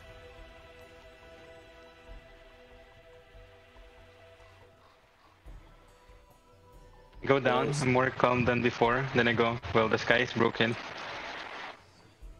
Guy is broken? Broken how? So many ways. The sky is broken. I, I wouldn't fly up there if I were you guys. Well, I can't fly, so I think we're covered there. I look at my wings, I look at your signs, and I go, oh. Oh. Uh, shall we continue forward then? I mean, a warm bed and uh, cool ale is uh, waiting for us somewhere out there. We can find out where we are once we go through those gates. Yes. All right. Mira will pull out her hand crossbow and her rapier and kind of go through the gate. Paul still has his trident and his shield up, but he's very hesitant to go in that place. And as he looks upward at the statues and the walls, he kind of shivers a little bit, shaking his head, and then he steps through the gates. Um, After So we you're all- enter, I'm going to turn around and shout at the doors. Do, do you want us to close it, mighty wizard? And just as Don't you say that, Draw more attention. just as you say that, the gates Hmm. See, they look at begin that. to close on their own, Hospitality. They want us here.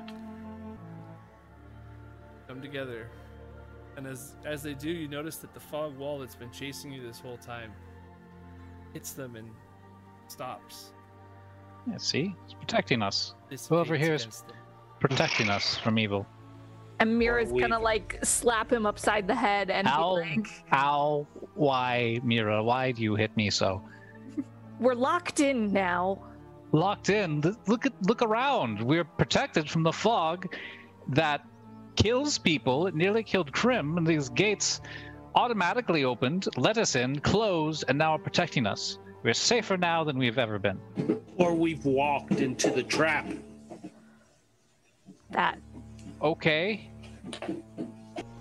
I mean, I for one am excited to meet whatever is going on here. I mean, if if somebody this powerful wanted us dead, they they could have killed us while we slept. Are you all still suspicious of Chris? to be fair, I'm kind of suspicious of everybody. Except for maybe you. I'm very suspicious of Chris right now. Well, I'm suspicious of Blue. As you're all looking at each other He right swipe- now, you got this sort of uh, you know, this eyeball circle going on while you're walking down the road, and while you're doing that, um, give me a perception checks with advantage. There's up ahead on the road, just just off the road, a few like a like a foot off the road, you see a leg hanging out into the road. Just a leg. It's a, a, a well, it's got a boot, leg and a boot. Is the leg attached to anything, or is it just a leg by itself? oh, Thunder! Is that is that leg attached to anything, or is it just a leg? It's a boot. I'm gonna pick up a stick, and I'm going to poke the leg. I, well, I'm poking it with a stick. Is he dead or not? Uh, It's well, it's half buried in the ground. He's definitely dead. Well, Cola this is walks, Cola this is walks disgusting. forward and grab the foot, get a good grip, and just pull. And as you Cole, do this, why? you get this terrible, terrible feeling, Cole. You grab the boot and you pull as hard as you can, or relatively hard, hard enough you feel. And as you do so, you you see the skin tone of this corpse as it comes out of the soil, and you you'd recognize this Cole, man why? It's your father, Holy oh, shit. His father? your father, spitting image. He's there right in front of you, like even younger than he was when he died.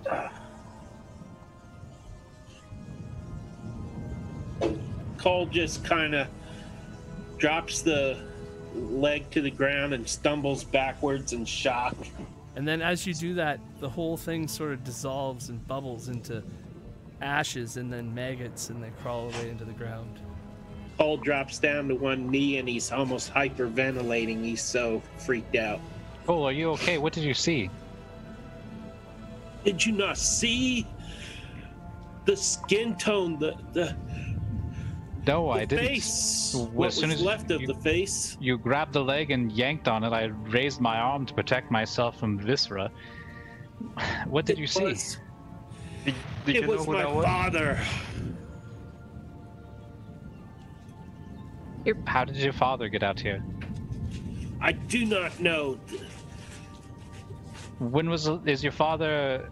Uh, is was it up until this point? Was your father still alive? Is this new? My father was murdered by my brother. That is why I'm here. I am seeking my brother. My brother, he was he was not like me. He studied necromancy in secret. And when my father came upon him practicing his evil art, they enough. they they argued and fought, and my brother killed my father. That's, that's that's horrible. I'm sorry to hear that. But I- I wish I wish that on no man. Did a proper burial happen?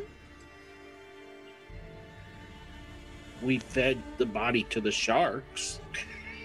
All right. well, Then Triton this obviously could not be your me. father, since your father has been fed to fishes. This could just be an illusion. I, I, he's obviously so shaken he can barely speak. He's trembling. He he starts praying under his breath to Persana, asking for strength, and he just doesn't know what to say. Cole lifts his head, stands up from one knee, from being on one knee. He stands straight, and anger is on his face now. And he says, "My brother, he must have done this somehow. His dark arts. I must find him and deliver justice upon him." Hmm. That's the spirit. A little revenge helps you stay Hey, lad. focused. in Persana's name. I add real quickly, even though you know it's really for me. Cole stops walking for a moment, lifts his arm wide, and yells out, Reef, I'm coming for you! And then he continues walking. Right. Certainly found his purpose in life. Mira, as she's walking, she's going to actually kind of take a little bit of a page from Chris's book and she's just kind of mumbling to herself, like, great. You know, hell people, necromancers, evil wizards guiding us. Parents I never knew about. This is turning up to be a great day. Right now, even Mira's mumbling to herself. Chris mumbles to himself. yes, he mumbles. And as you guys are all mumbling and bowing and, and Grim's just Midnight, you want to get in on this mumbling, mumblecore? No, the only thing, it, the only thing Midnight could mumble would be like maybe a, a ch- small prayer from her church, but there's not that many prayers. Do gods get angry when you mumble prayers to them? I, I would, I, I would think they'd want clear alliteration, like pronunciation. Like you don't They're want to. happy to hear from us at any time. Are they though? I mean, are they yes. though? sometimes they don't want to just go and smite a fool. It's my job. Yeah. All right. Okay, so we mumble our way to town. You see that the mists are cleared enough to reveal a small village ahead. Three or four, right now you can see three or four houses or something, the distance there. Three or four buildings. The first two are looking like they're a little smaller. Um, actually, one of them looks maybe like it's burned, burned out. Maybe this larger house that's standing all. It looks from here. It looks like maybe there's a, a large signpost in front of it or something. But you notice how to the south of this road, all of the, the soil seems like it's been freshly tilled. These seem it seems like a giant farm area. All this land, as far as until the way in the distance, the forest begins to take over, and the land tilts down into the distance. And to the north, see how the, the, the land sort of rises up, and again, mists become creeping out from the forests. And so this sort of looks like well maintained farm areas like where, you know, somebody's dug the weeds out at least of this area and there's as you get closer you're seeing fresh fruit, fresh vegetables growing on these vines. What did I tell you? Is- Civilization. Yeah, you're starting to see how you know, this must be where the people are. You don't see Yeah. any people. But Things are looking up. Uh, all right. I see a house 200 feet off in the distance. Uh, hello, anybody home? Uh, you you see somebody's face. It looks like a little girl's face even. oh, don't, come on, come on, out, the, little girl, the uh, porch. darling. She just pokes her head out, and then pulls back. Hi, uh, we- we're and we're in a spot of trouble. We're a bit lost. Um, do you know where we are? As you get closer, you can see. I'm shouting at her from 200 feet away. Oh, Like I'm standing on the edge of their property, and I'm like right. waving. Well, then you would see that um, the edge of their property is maybe about yeah 100 feet from the road, and when you when you get close enough there, you can see that she's actually standing next to a little boy. And she's like holding him back. Um, Are your parents home? around him. And she, you can see that, that this little boy is crying. And you guys are pretty far away, but she's like, you know, help. Hello? Help. Well, as you get close enough, and everybody's sort of now standing sort of in front of this house, let's say, you can see that these two are are um, there's an age difference between them. Um, the little boy is maybe like three or four four years old, and uh, it looks like this girl protecting him must be his sister. She's probably getting closer to ten. You hear her say like, "Hello, um, is I'm sorry. Just be quiet. Be quiet. They, um, do you? Can you help? Uh, uh, certainly, little dear. But where are your parents? Why are you here all alone? There, and you hear the little boy kind of. They're inside. And she's, uh, she's like, shh, like, they, uh, our parents are inside the house, and th- there's a monster inside. Are your parents okay? I, I don't know. My our mom told us to to go outside and wait for Oh. them to come get us, but maybe That's Walter's all right. We'll, we'll go in there. We'll have a look. We'll make sure it's all safe. No monsters under the bed. And then you hear a little voice say, "Baby Walter's upstairs.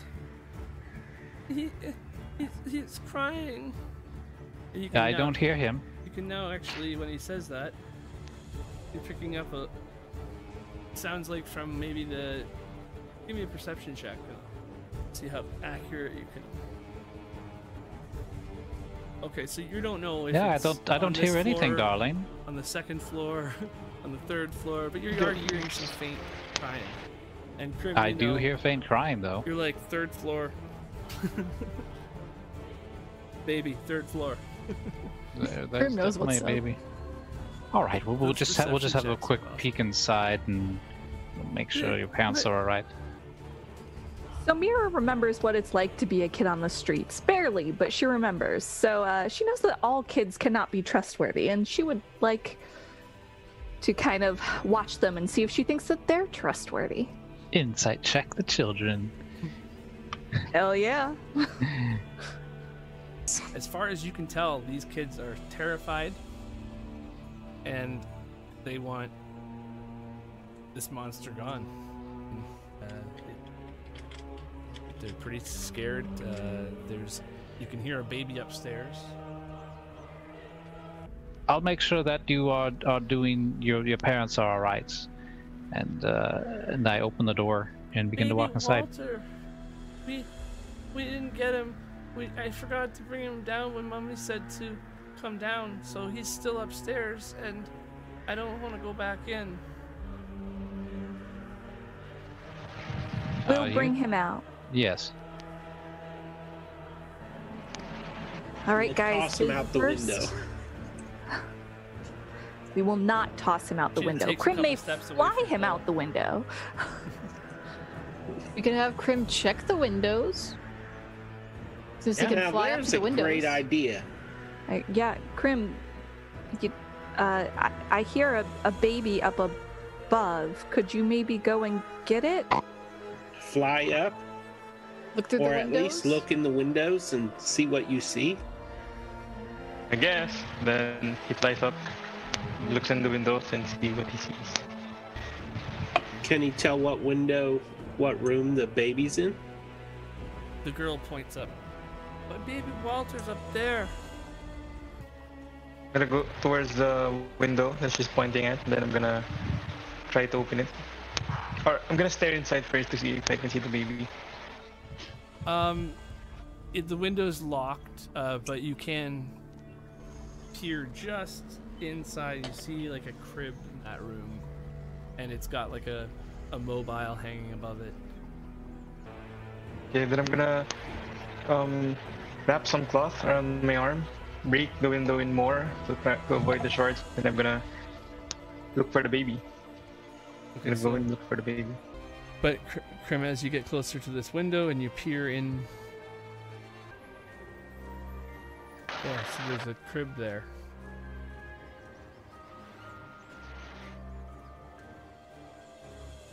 Fancy. When I was young and didn't have cribs, I just had a nest. and I had to share it with like five other birds. The room in here, you can see from the outside, everything looked um, a lot nicer. Um, inside this bedroom, uh, you, you're seeing like cobwebs. Um, you're seeing like weird stuff on the walls and things. It looks like rot and mold and stuff in here. And over top of the nursery crib is a, a black shroud with a mobile hanging above it. It's playing like a creepy little song to you. I slowly approach the crib, being very aware of my surrounding. I'm purposely talking slow because it's creepy. And then I'm gonna move the shroud to the side. As you do that, What do I see? you hear behind you the door to this room fly open. As just the same time you touch the shroud. As the door flings open, you see into the crib there is a shrouded baby looking figure. And right behind you, as the door opens behind you as well, this this room opens up behind you, and it's a larger room. Um, you see standing there the ghostly visage of a woman, and she is looking at you as your hand reaches for this crib that uh, for this thing in uh, the shroud to move the blanket out of the way. Um, you hear her scream um, a, a blood curdling scream, and uh, roll initiative. Back in my tribe, we call that a nope. For So- some reason, my picture showed up as the torch I'm carrying. Oh, you um, I'll just delete that. You're that. the torch now. You selected the torch. I I'm a torch now. Uh, yeah, I think yeah, the torch token selected instead of yours. Yeah, Too late, it's no canon. you are a torch. As this ghost screams at you, Grim, you have one chance to do something before uh, you can see it's gonna be. It's already started to like fly at you. Looks very angry. I throw a dart. Can we fade to black while it's in midair? And it's coming Nice at place. you, and you have 10 feet between the two of you, and a baby in the crib behind you, maybe. Maybe uh, might yeah, be fake. Things are things are looking interesting now. Chris and Cole, you guys both hear a unintelligible scream. Sounds like a lady's voice, and it sounds like it's coming from the house, but it's hard to tell. So Mira's gonna like shout up to the window, Grim, how are you doing? Do I believe the scream came from the house or? Yeah, you would have with that perception check, you would have known it was coming from somewhere in the house, um, but it's hard to tell exactly where. All right. So I'm gonna just drop what I'm holding and turn to Midnight and say, "My Lanather, uh, someone's screaming in the house. We need to get there." Then I'm gonna move to the house. Grim, you are up, sir. Green here, I think. You see this thing coming at you, but it's um, it kind of looks like it's got um, maybe servants' clothing on it. Uh, it's a it's an apparition. Its hair is wild and it's moving at you, um, looking at the crib directly. Okay, then I'm gonna throw a dart at the apparition. Because it's, ins- it's instinctive to Grim, Okay. unfortunately. So a And then I'm gonna grab that. Yeah. Okay, well that hits, and you can see that the thing, its eyes go from the crib to you.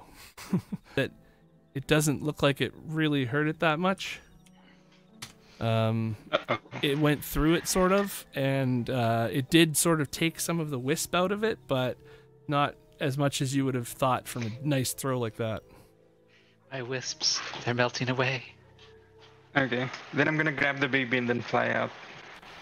Okay, so as you grab the baby, you realize that the shroud is um, just a shroud, and it's a blanket uh, that's coil- curled up to look like there's a baby in it, and it falls like to a blanket in your hands. But as you look towards the window, you realize that the window is boarded up with bricks. Ah, so it's bricked up. Okay, so I'm gonna go inside the room with the ghost and then check out. Is this one a door? And can I open it? yeah, you can open the door. Um, go ahead and move on through if you like. Yep. I'll move on to the door. Okay. So as you do that, you come into a corridor there, and you see in front of you uh, like a suit of armor standing at the top of the stairs, um, and another door at the end, of the far end of the hall. There's a spiral staircase heading down. It looks very nice, uh, ornate spiral staircase, and it looks like it. There's a railing right here in front of you as well. I'm gonna fly down. Yeah. Okay, wait one second. Okay. As you're right here, you notice that something is gr- trying to grab you from behind. And Boy, am I popular this session. Man, it's just like the men's locker room all over again. Oh no. and an animated Oh, suit of armor decides it wants to grab you. It makes uh, two melee attacks. The first one is going to be a grapple instead of a slam. It's going to try to grab you with both of its arms. 12? No. I fly way down. Um, I think birds' wingspan is about their height, so um, he's gonna dive down with his wings furled, and then just before he hits the ground, he's gonna open it up. you land in this room, and it seems to be uh, completely empty. Um, you can see this wide hall area runs the width of the whole house, and it's got. Oh wait, you're still there. So there you go. It's got um, like a black marble fireplace at one end, and the red marble staircase going up. And um, mounted above the fireplace is a longsword with a windmill um, symbol that you can see. It's quite a large windmill symbol on the hilt. And uh, there's wood paneled walls that are ornately sculpted along the outside of this room. It's quite a nice, nice foyer room. Okay, so I am going into the building. Okay, so you pull the giant wrought iron gate to the side and open it up, and the children are watching you guys intently as you enter. Is the door closed? That door is closed in front of you, but it's um it's unlocked as you if you tried it. Well, just for style, I'm gonna kick it open. I'm gonna roll through and come up standing holding my shield before me with my trident in my other hand. You can still move ten more feet into that room, and uh, you see Grim standing there when you do. And I'll say, There you are. Out now! Run! Okay, so gonna walk up to and like stand in between the open doorway right here and think there's a lot of screaming going on here. I think I'll use my divine sense. Yeah, you're vicinity. you're picking up that upstairs there is uh, an undead presence in this house. A feeling of that yes, upstairs somewhere there's some undead, possibly even downstairs as well. On the edge of your senses. hmm So I'll shout out and tell the others there's an undead upstairs where Grim should have been, and there might be something undead or evil downstairs. Where's the baby? Did you get the baby? You guys inside the house don't hear that. Not. Oh. So Grim has not answered me, and I can still see a broken window on the top floor, right? Uh, yes, you can still see that the window to the nursery upstairs on the third floor is broken.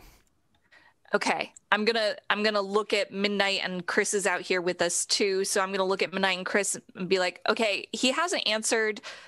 Do either of you have a rope? Rope? I'd be like, yeah. Love the passion for potentially life-threatening situation.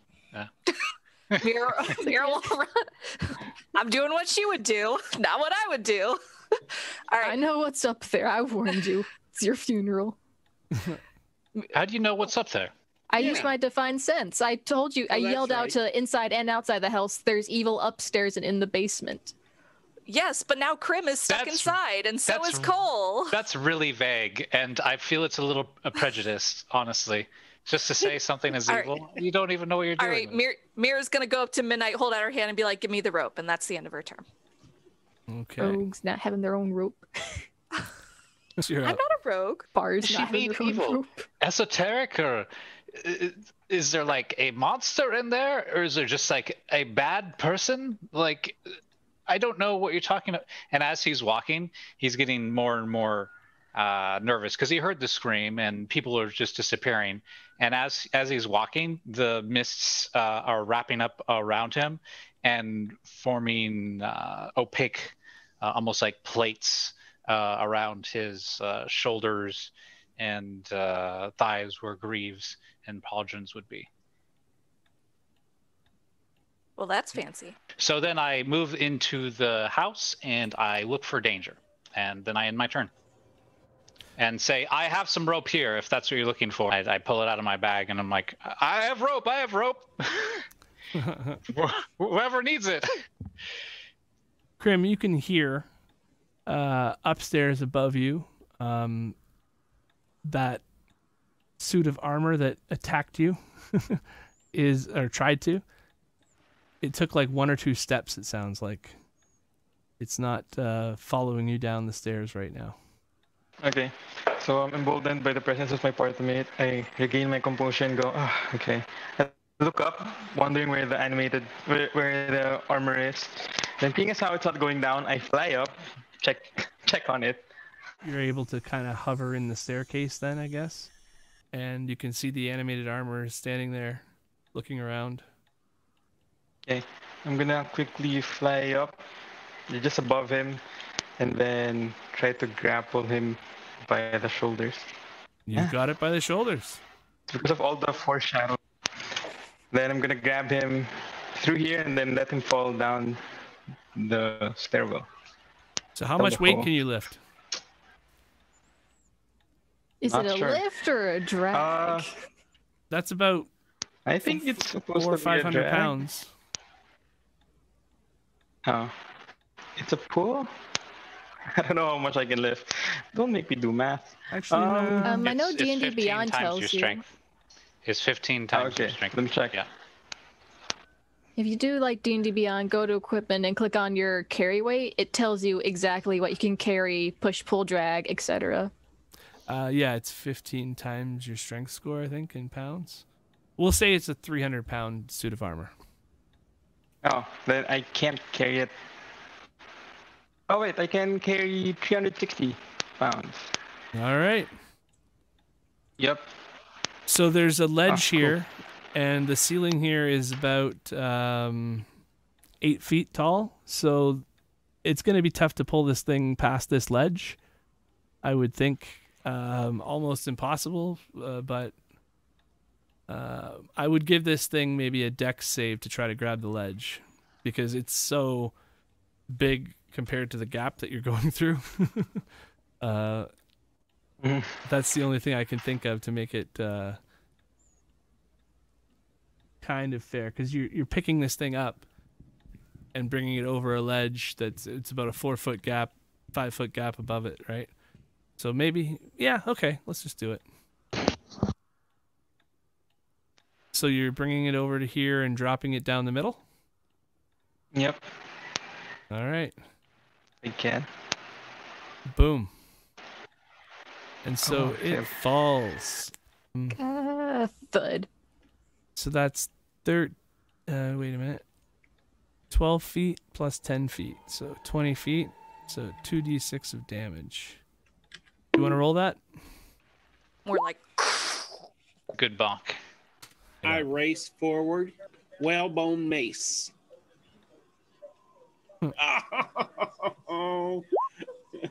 Uh, this thing, Wah, wah. your club goes bonk, and you can give me the sound if you want, but yeah, it goes right off the armor, and the thing hardly even notices it.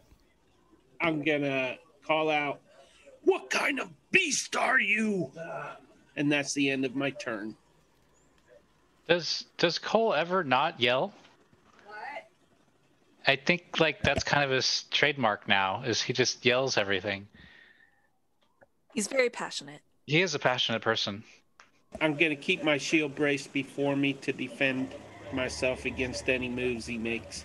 Hmm, Getting worried about the party being possibly injured. She's gonna start walking through the house. My rope. She's holding the rope out and walking in. so come get it. She's gonna go through. These doors are open, right? Or any sign of someone has gone through them?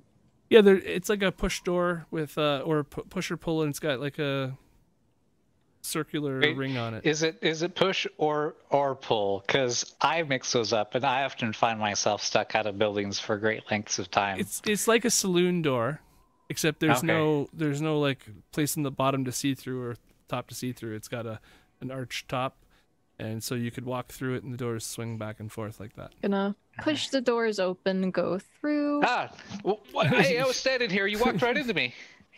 Just like knocks me over.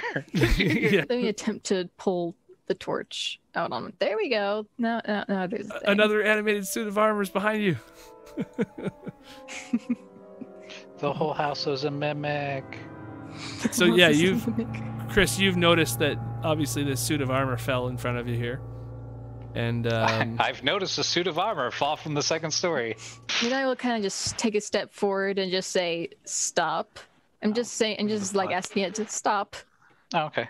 Stop in the name of Lady Ezra I'm- before I have to get to I'm counting to three. Smite.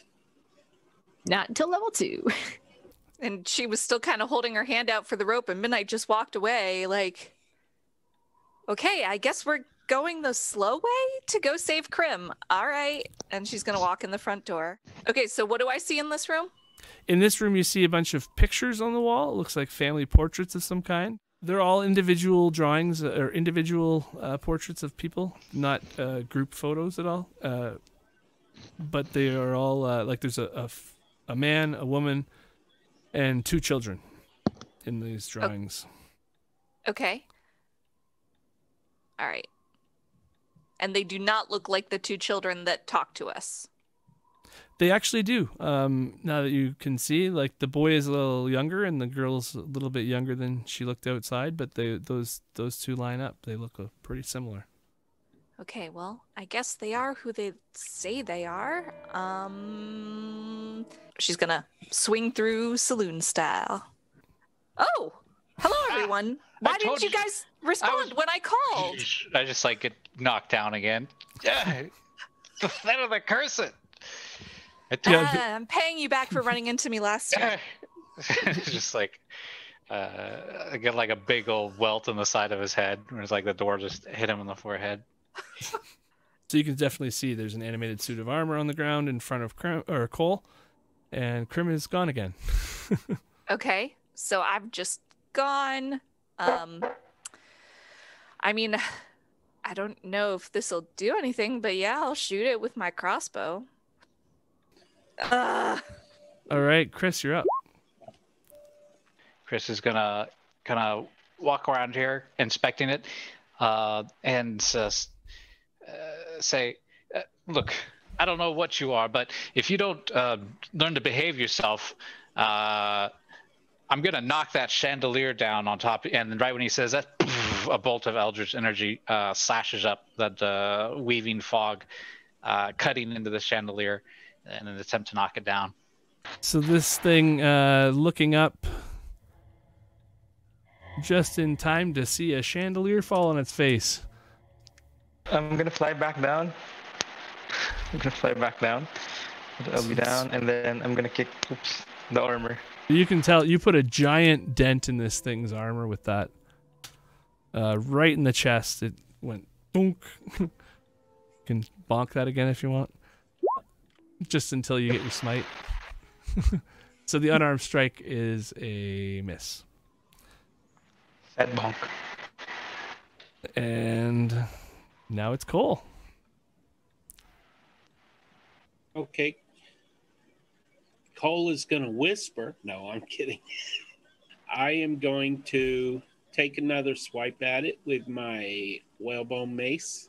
You feel that very, very solid connection. So this thing's not looking very good anymore. I'm going to cast Shield of Faith on. Um, I'm going to cast it on Grim. Now the animated armor gets to go. And so it stands up, gets its feet behind it, and um, it's going to uh, attack the person who just attacked it. So I knew that was coming. Ow. so the spell drops and you lose your little bonus, but that's okay because it's just a bonus. All right. So yeah, it uh, it did all it could, and midnight is up. Okay, just making sure of something real quick. Gonna go walking up to it and I'm gonna try and get a little smack in. Robot fight. Mm, I don't think that hit. so Mira's gonna just sidestep over here, ignoring her advice to not stand in front of the doors, and go ah, and cast dissonant whispers. So that would be 13 damage. psychic damage. You can see I'm how a fan of folk music.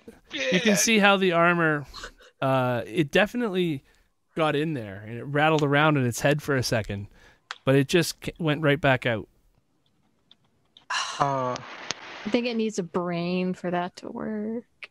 Maybe. Oh. The whispers Okay. echoed around and floated out of his Hmm. head and didn't cause Oh, the c- damage you're used to seeing from that kind of thing. Yeah, Because he's still within range of the other two. and Midnight would get one Let me try and smack, as he smack. went to here. Nice. Yay. Okay, that definitely hit it.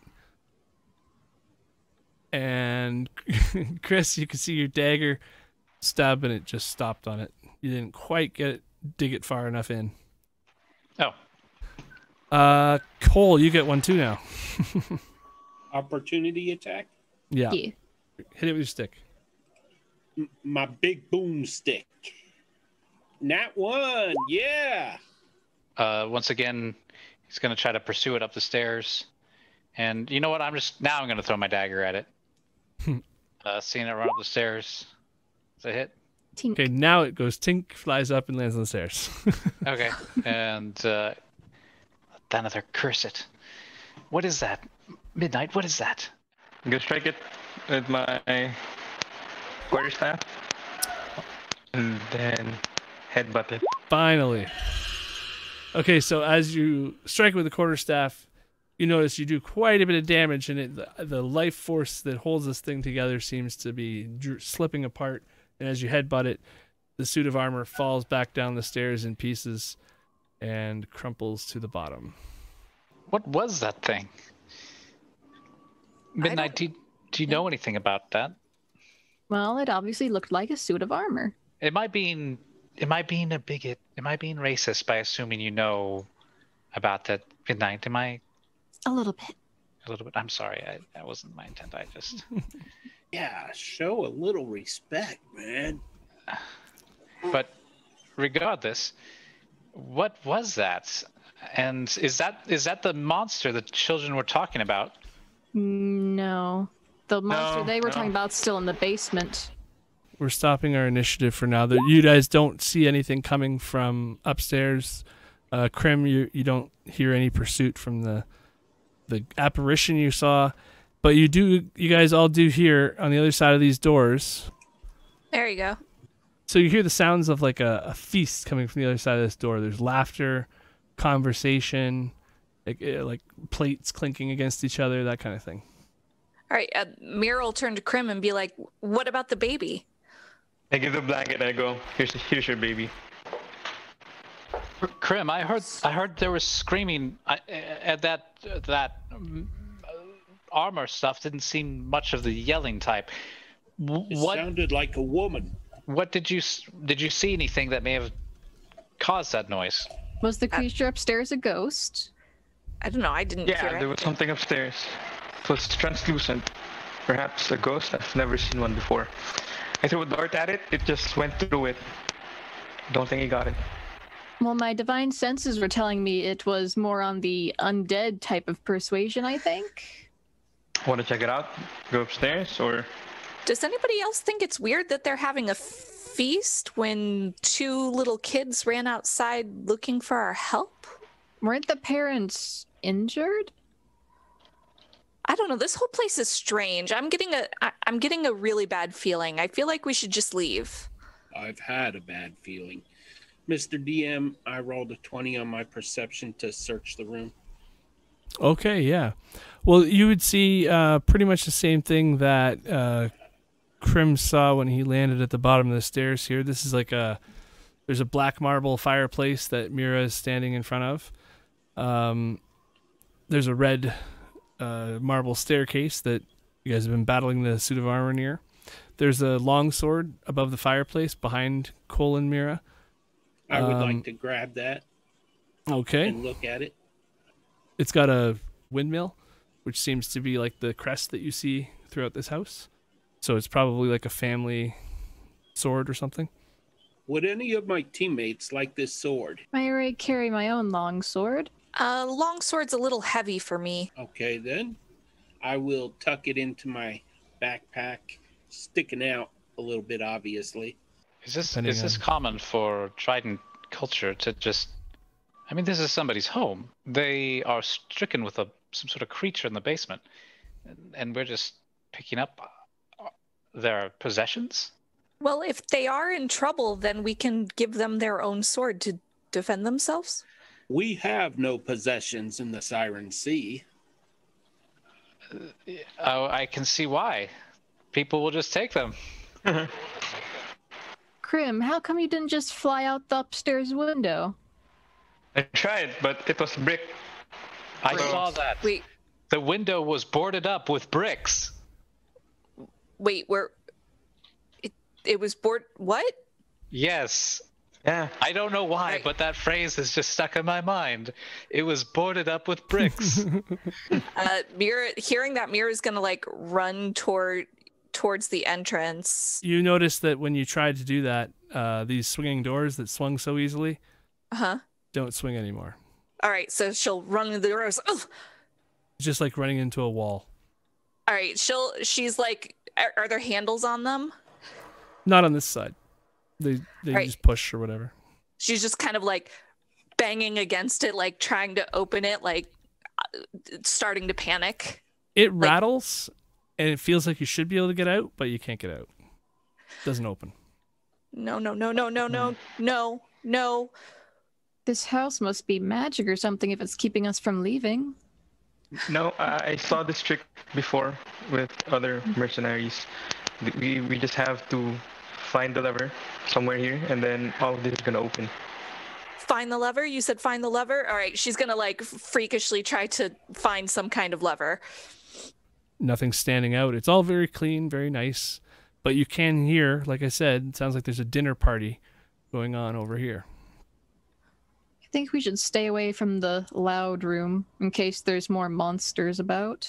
And it's Oh, just a should- trick. It, it could just be the their parents. This could all just be a trick from the, the children, and, and so that the children that- are suddenly bricking up the windows and locking us in. Well, we live in a world of magic, and I don't know how it all works. But the thing is, that could have been just their security guard, and they could be having dinner next door, and we could just be ruining what would otherwise be a marvelous evening for them. All right, Mira's gonna charge in this door because she thinks they'll be able to let her out. As soon as you open the door and enter the room, the sound stops completely. There is um, a, a whole table, though, that is actually full of food and like this. There's a centerpiece in this wood paneled dining room. It is a, is a giant mahogany table.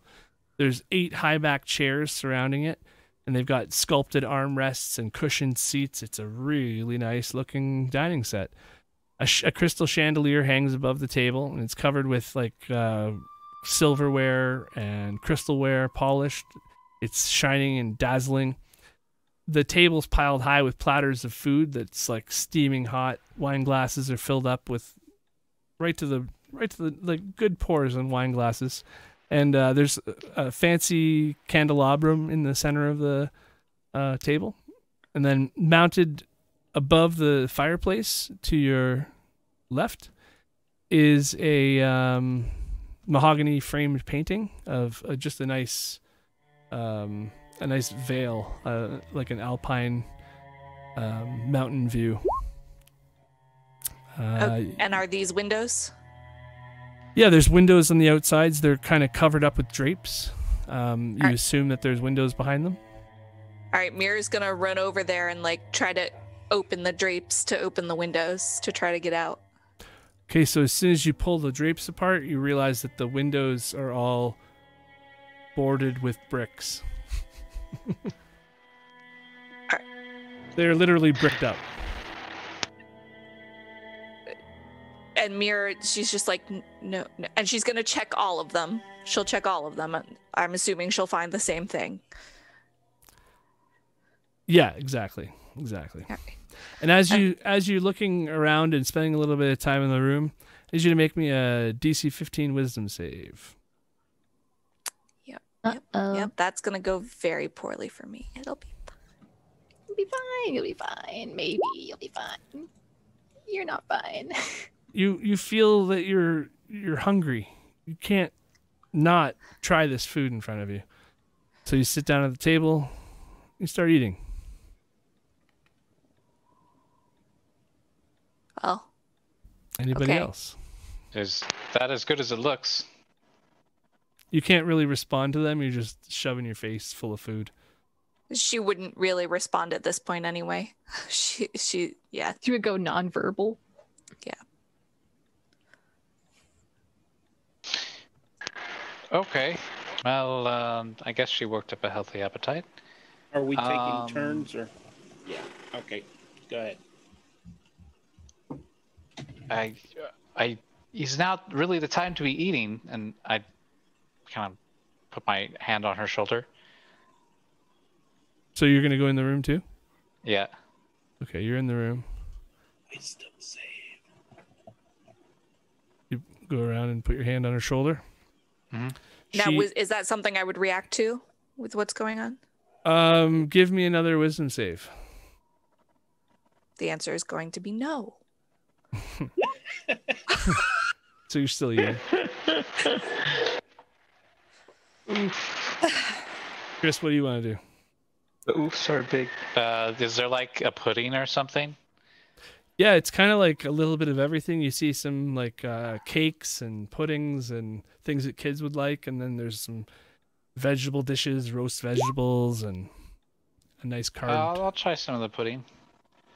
Okay, that's a wisdom save. To try it. Once you start See. eating. Yeah.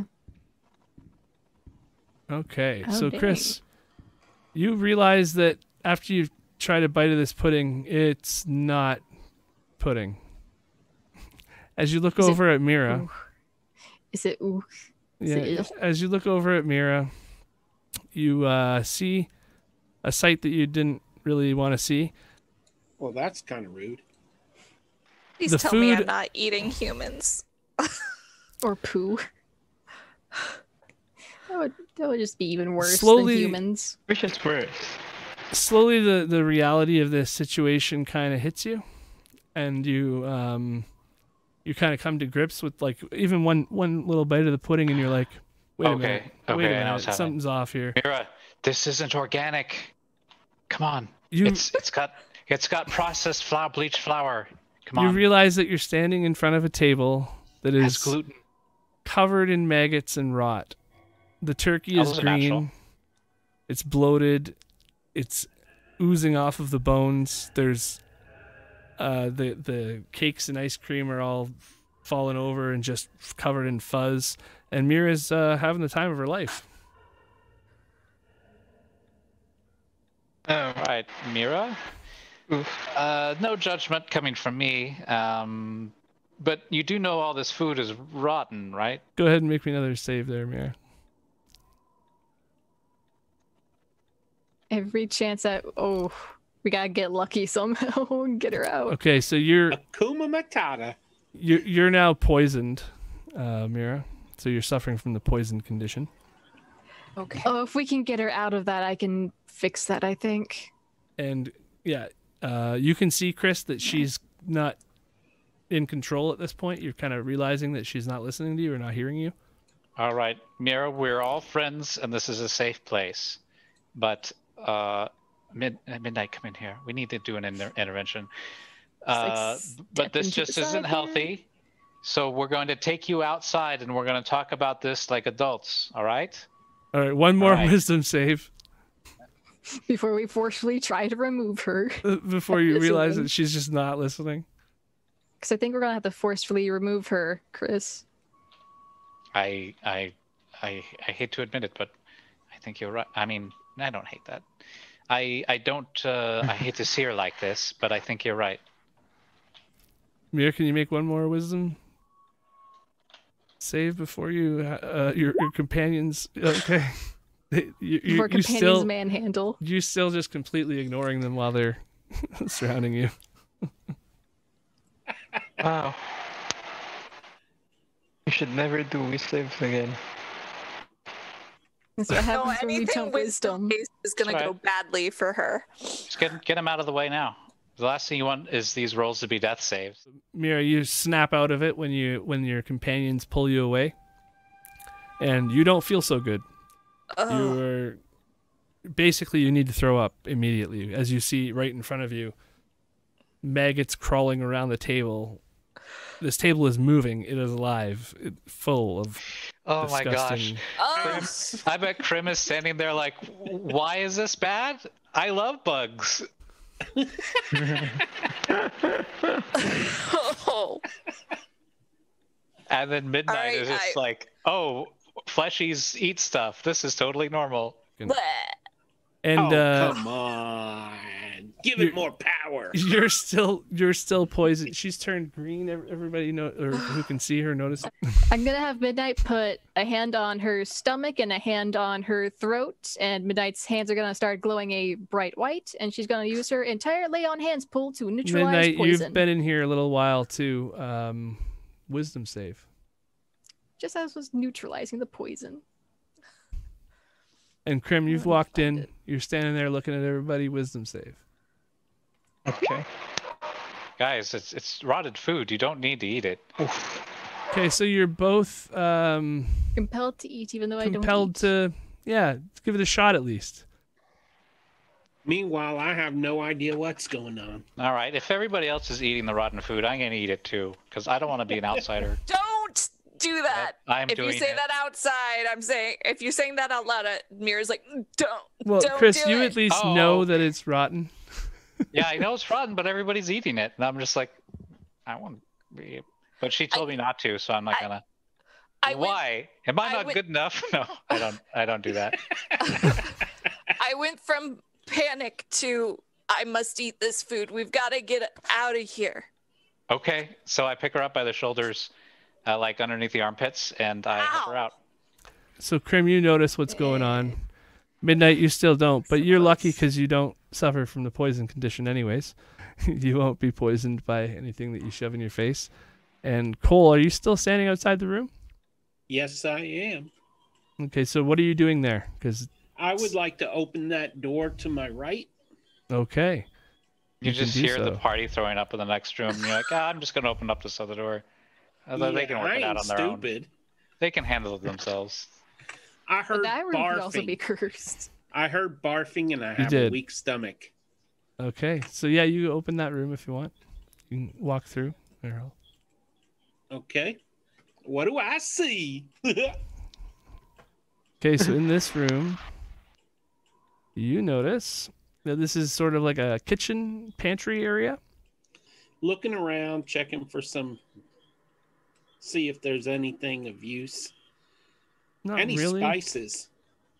There's a knife on the desk, on the or a kitchen knife on the table. Uh, there's some, there are some dried spices. Yep, some little uh, jars of dried spices. They're unlabeled. Any unlabeled. garlic? um, it looks like I some, love garlic. looks like some dried garlic flakes, maybe. But While you you're can't doing tell. this, you hear Yep. in the next room. Yep. I'm gonna take the garlic flakes. So while Midnight is um, trying to stop Mira from puking, she's also shoving food in her mouth. and Can Midnight uh, even be puking? no, Midnight's not puking, but Mira is, and uh, Midnight's still eating, so she can make another wisdom save. Grim, you've started eating Come too, on. um, Yeah. Wisdom. God but you Oh, you, you ended up saving before you uh, took in too much, and Alright.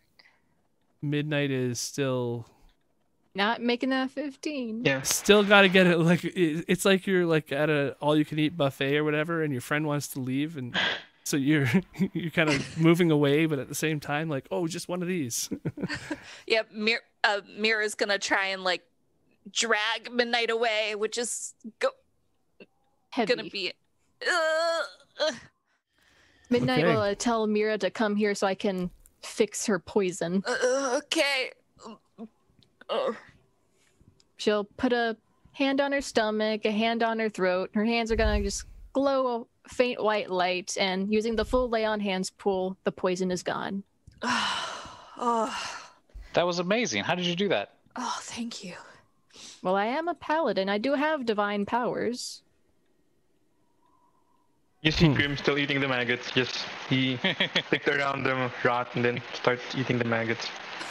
And I'll come out of the kitchenette with a bowl in hand and say, "Did somebody need this?" Was there an exit over there? Uh, no, there wasn't. All right, let's try this door. Let's go.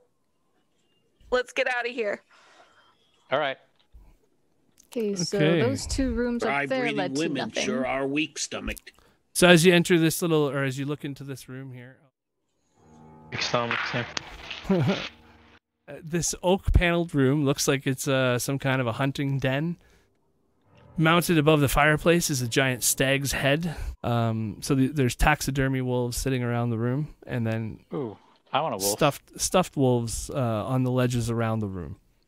So you see two uh, padded chairs draped in like animal furs that are facing the fire, and there's an oak table between those two uh, with a pair of uh, like goblets, wooden goblets, and a cask of wine. And a chandelier hangs above the table in the back. Um, it's basically a little table surrounded by four chairs. It's got like uh, a cloth. It's sort of like what you would maybe send a kid to eat at, kind of thing. It looks like it's stained with a few stains and things. Um, there are two cabinets that stand against the walls, and yeah, I I pick up- already don't trust this room. I pick up one of the wolves. What is what is about the room that you don't trust? The wolves. What about the wine? Is it corked or is it open? I don't know. I've always liked the wolves. the wine is corked. It's a cask of wine. It looks like somebody's probably already had some. Okay, so don't eat anything in this house. Don't drink anything in this house. Trust nothing in this house. So when you said you sensed something evil, you weren't talking about that armor, were you? No. I said it was at the top of the floor and in the basement. So you oh, so it's not just like a general sense; it's a specific. I know where the things are. Oh, I see. I thought it was. I can do it again to check if they moved, but I'm not entirely certain they moved since we last since I last checked. Ah, yes. We don't even know what they is. Um, but the house itself, it doesn't seem. You didn't feel anything from it. I can only detect creatures, and as far as I'm aware, this house isn't a giant mimic. It could be a giant mimic. Is that what you're saying? No, no, no. This house is not a giant mimic. I cannot But you, detect. you said it, it could be a giant mimic. No, I did not. I said Wait All right, well, just armor um, thud. All right, Mira will quickly check check the windows because she's gonna be doing that. And you see the same thing you saw in the other room before you started eating food. Uh, these windows are also bricked up. Cole is checking the cabinet next to him. All Those right, guys. cabinets I- are locked. I pull out the long sword and I use it to pry open a door, stick it down in the be, behind the door there, and kind of pull down to. Okay, you can break make me an attack roll. It, it'll be the same to hit with your club. First off, it is not a club; it is a whalebone mace. A whale It's- gave it's a its bonking stick. this. It's a bonking stick. I rolled a twelve. The bonking bone. Okay, so you've you're trying to get the sword in there. You can't really find a good way to get it in. These are pretty nice wooden cabinets. Um, they've they've stand, stood the test of time. Everything I in here looks my fairly temper. new still.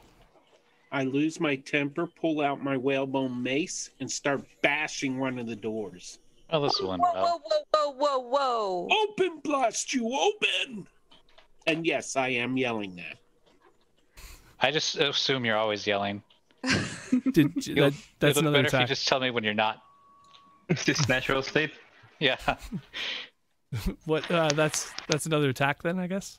Give me an added advantage too, because you are Because it's blinded. cleric raging. Yeah. Oh, Cleric Rage is not the good rage. I. am Okay, so you guys horrible at noticed that- Cole is starting to sweat. He's uh, not having any luck. Okay, I back up, pull out one of the chairs by the table, and sit down. You got down. that, Cole. There You is a small yelling at for it breath. more. there is a small lock on the front of the door still, and it's There's know- a lock. yeah. There's a there's a lock on the front of each of these cabinets. All right, Mira's gonna try and I could try to pick the lock. All right, I could try you- to bash it in with a warhammer. All right. Hope you're better at rolling than me. It's better than my wisdom. Let's put it that way. This whalebone mace is defective. Nope. What's this? Here comes midnight with a steel chair. So Mira Oh, can't quite get in with her. Here comes midnight with a warhammer going bonk. All right, all right, all right, guys. Here's the thing. Uh, Twenty with the warhammer. So the warhammer goes straight through the doors, and Jumps uh, off the top they of shatter. the table. Ah! the, the doors shatter, and uh, inside of the one you find uh, a, cro- a, a heavy crossbow and twenty bolts. And Yep. I'll just assume that you have taken the time to beat the crap out of the other one. Uh, Yeah. Give me a perception check while that's happening. Chris and Cole both notice that the two remaining um, stuffed wolves that are on the shelves aren't in the same spot as they were when you entered the room, Chris. And you Midnight, grabbed- did you pick up one of the wolves? I mean, I thought I I was just picking up one of the stuffed ones, but Oh, don't tell me that they. Did that thing just move over there? Let's get up. Let's out. Out the room. Out. Out. Out. oh, all very right, funny. all right. You know, Which one of you picked no it more up? Wolves. One Oh. of you picked it up, right? Out the room You now that, before they Chris? start moving. Oh, well, I, I didn't see them move. I just assume Mira or, or Midnight picked one up. You know, very interesting. Both the uh, Mira and Midnight uh, start with M. Um, oh Are well. we M- Eminem now? So Yes. does Mutt. And here's Chris saying that to Cole and Grim. And Chris. All right, Oh all right. gosh, we're the CCC. And, and Yeah, Midnight's gonna start uh, trying to exit the room because she doesn't like that m- wolves moved on their own while we weren't looking. Well, and gonna Mira's grab like, the "There's no heavy- exit in here, so I'm gonna go." in the I like front of Mm-hmm. here, you guys do notice that this door here looks different. The one you're standing in front of midnight. It Mhm. looks um, like a smaller door, two by two opening or something.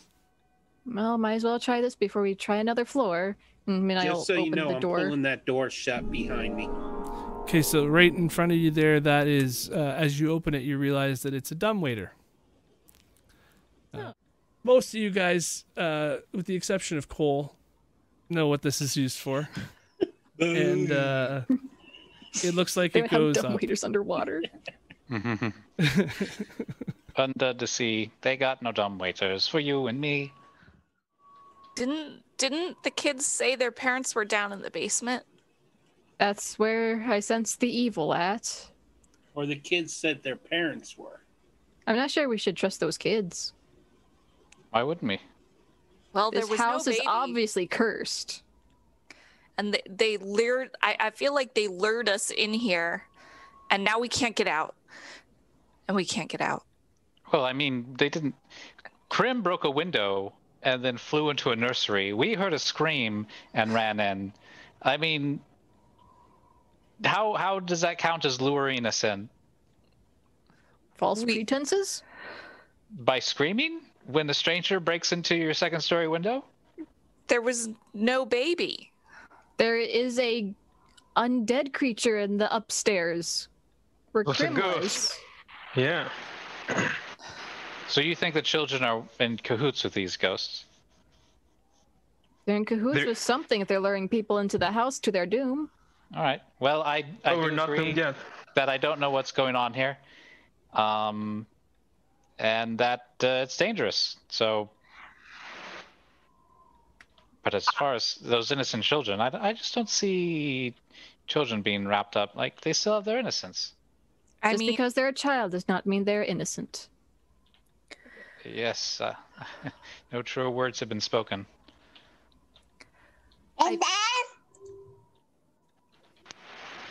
What in the world was that? So what what's going on in my mind? I'm imagining a two or a one year old just slamming on the keyboard, and she just just randomly hit the unmute button, and the mom was like, "No, no, no, no." Mi- midnight. Is it is it possible that if we took care of this evil, we might be able to get out? That I could hmm. not tell you. I don't know what the specifics are to leaving this house. We do know where we've been doesn't lead out, so the only place to go is where we haven't. which is down. Which I'm not even sure if this dumbwaiter will hold me. Midnight, I have an so idea. we cannot we, fit. we're Got not. it. We're not gonna fit. Let's let's fit get in there, let's guys. get the armor pieces from that thing that we fought earlier, and we'll put it in there. If it holds it, then we'll know we're good. But we But can't. we can't fit. it in there. I mean, I, I'm probably the smallest of us, and I couldn't fit in there. So we have to find another way down. All right. Well, that's just absolutely not going to work. Okay. All right, So then I guess we go up. Like Cole, you didn't see any way to go down over here. Okay. I'm afraid I did not. All right. Well, then I guess that leaves up, right? And yeah, wasn't there a? the ghost. I race Oh, up prepare those to. stairs. Well, what ghost? We did tell you like several times. There's a ghost upstairs. Zoink! Telling you guys, there's a ghost. I and I went mentioned it like five times. All right. She's going okay, upstairs. so as everybody goes up the stairs, I'm gonna try to grab everything at once so you get your torches too. But... Grim, you did not mention that there were more suits of armor up here. I feel like that would have been good to know. There are four suits of armor here, and uh, you it it looks they look very similar to the one that fell. Um, there's unlit oil lamps um, on the walls here, so if somebody wanted to light those, then there'd be permanent light here too. Uh, hanging above, um, there's a, like a mantelpiece here too, like where the the fireplace from downstairs continues up, you know and there's a portrait of a whole family there. And it's um, actually got five people in the portrait. It's got um, a mother and her two children are in front of her. And the daughter is in one uh, like her her hands are on their shoulders. And her fa- her her husband is standing next to her uh, which you assume Miss, mrs and mr durst and their two children. And the chil- the two children are the ones that you recognize from outside. But the father is also holding a baby, which you would assume to be baby Walter at this point. And you can see that the mother is looking at the baby in the photo, and she doesn't look very happy. She's got her children on her hands, but she's also scouring towards the baby while the photo is being painted, I suppose. I'm going to reach and- up and cast light on one of the lamps. Sure. That should be light for everybody, too. that's a handy trick, uh, Cole. But can you carry a shield while you do that? Why, yes, I can. I touched it with my nose. You can feel that uh, as you stand in the staircase foyer a little bit longer, you can feel a cold chill um, rolling down the stairs from upstairs. Uh, Grim, you you recognize that from before, but it's colder than when you found it originally. seems a little colder than when you were up there before. Okay. Do we do we go up further, or do we investigate this floor? What do you guys think? as you guys are debating that, um, you do hear it's a faint bit of music. Um, How does it go? kind of like that. Like- so yeah, the to your north there's the fireplace uh, with the painting, and to the east up here there's the double doors that look like um, they're a little nicer. Um, they've got the nicer than doors that you've seen around the house before. They've got glass, but they've got paintings on the glass, and it's dark in behind. You can't really see. Okay. And where do we hear the music coming from? The music is coming from the west side of the house, where towards the entrance end. Okay. Well, Mira's intrigued by the music, so she'll kind of sneak through. And she wants to go over and open the doors and see what happens. 'Cause- So in this room here, you see it's a very nice, elegant uh, hall. It's got uh, the the ceilings here are a little bit higher. There's uh, 12 foot ceilings in this room and in the area here, so it's a little bit more fancy looking than the first floor was. And Oh, this is lovely. a harpsichord sits over here. By a and, werewolf? Uh, yes. So you see crouched in the corner, uh, sleeping, is uh, the form of a what appears to be a werewolf. Okay. Um, Mira's Mira's gonna like immediately turn around and be like to everybody. Vatican's Day. And right now, I would like to um, invite our guest to join us. When she joins us, might be just after the. We might just go to break now, but um, yeah, we're basically you guys see a werewolf in the corner.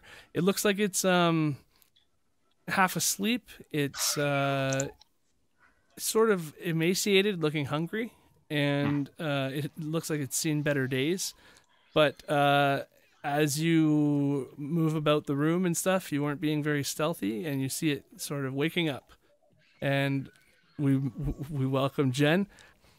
Uh, we'll do a 15 minute break, and sorry to bring you in right away, and then you know go out again. But um, Nope, it's okay. I was folding laundry and I was like, oh shit. Is Jen here to kill us? no. When would I ever do that to you, Peter? Now I'm really suspicious. Well, you have to roll your own insight check. Welcome back, everybody. We are now uh, on the second floor, and the party has come into this room that looks to be a musical conservatory of some sort. And they see a harp and a piano and a wolf, a werewolf, sleeping on the ground in front of them, and it's coming to uh, sentience now, and you can see that uh, as it starts to wake up, it is shifting back into a humanoid form. Looks to be uh, some sort of an elven lady. All right, Mira kind of had already turned to the party to be like shh, and Yeah, then she's gonna try to sneak out of the room. I would have done. I was on the same page as her. I was going to do the exact same thing. Uh, as she's waking up, she'll see you guys and go, no, wait, wait, wait. Chris is just going to freeze in place and then slowly turn his head. Uh, I, I, I'm sorry. You were taking a nap. We were just going to leave you be. You know, No. let, let sleeping dogs lie and all. I'm, I'm, I'm not a dog. That's very rude. No, it's just an expression. You know, like if you see a, a uh, somebody that is asleep, then it's best not to wake them. Getting mad, run. But uh, you were clearly a something of of canine in nature just a few moments ago, and it uh, seems to have And. I, I don't know what madness you're talking. As you can tell, and she's gonna like throw her hands up. My name is Everett. I've been stuck in this house for who knows how long. Walls move, doors come and go, children are laughing, food is not what it appears. I've been here for days, and I finally found this wonderful music, and I'm so very tired. And are you guys are you guys even real? And she's gonna go up and try to like who's whoever this is in front. She's gonna go up and, and she's gonna look at at midnight, but she's gonna be very confused. She's gonna look at everyone else. Is is this suit of armor with you? Uh, I don't very know. much. I don't know if you've noticed, but things are not what they appear here. No. Yes, we've already been attacked by one suit of armor. And this one's with you. You Mhm. say it's safe. Unlike Well- the rest, I can actually talk. I I do apologize. Things I hear there have been voices. I don't know how long you, you guys have been in this house. There are voices coming and going. Not, pictures are moving and talking. I don't know. I apologize. I mean, no offense. I would never as- dare to assume on a normal basis that that you are something that you're not. And she's gonna look over at Chris, who called her a dog of some sort. Can Mira tell that she seems a little like emaciated, like underfed? Yeah, she can definitely see she's uh, not looking like she's her strongest right now. Have you been wormed? Wormed. I've. Are you referring to to the table downstairs? Yes, yes, of course. Yes. Uh, we The- had a bad run-in with that ourselves. Well, lucky, lucky for you guys.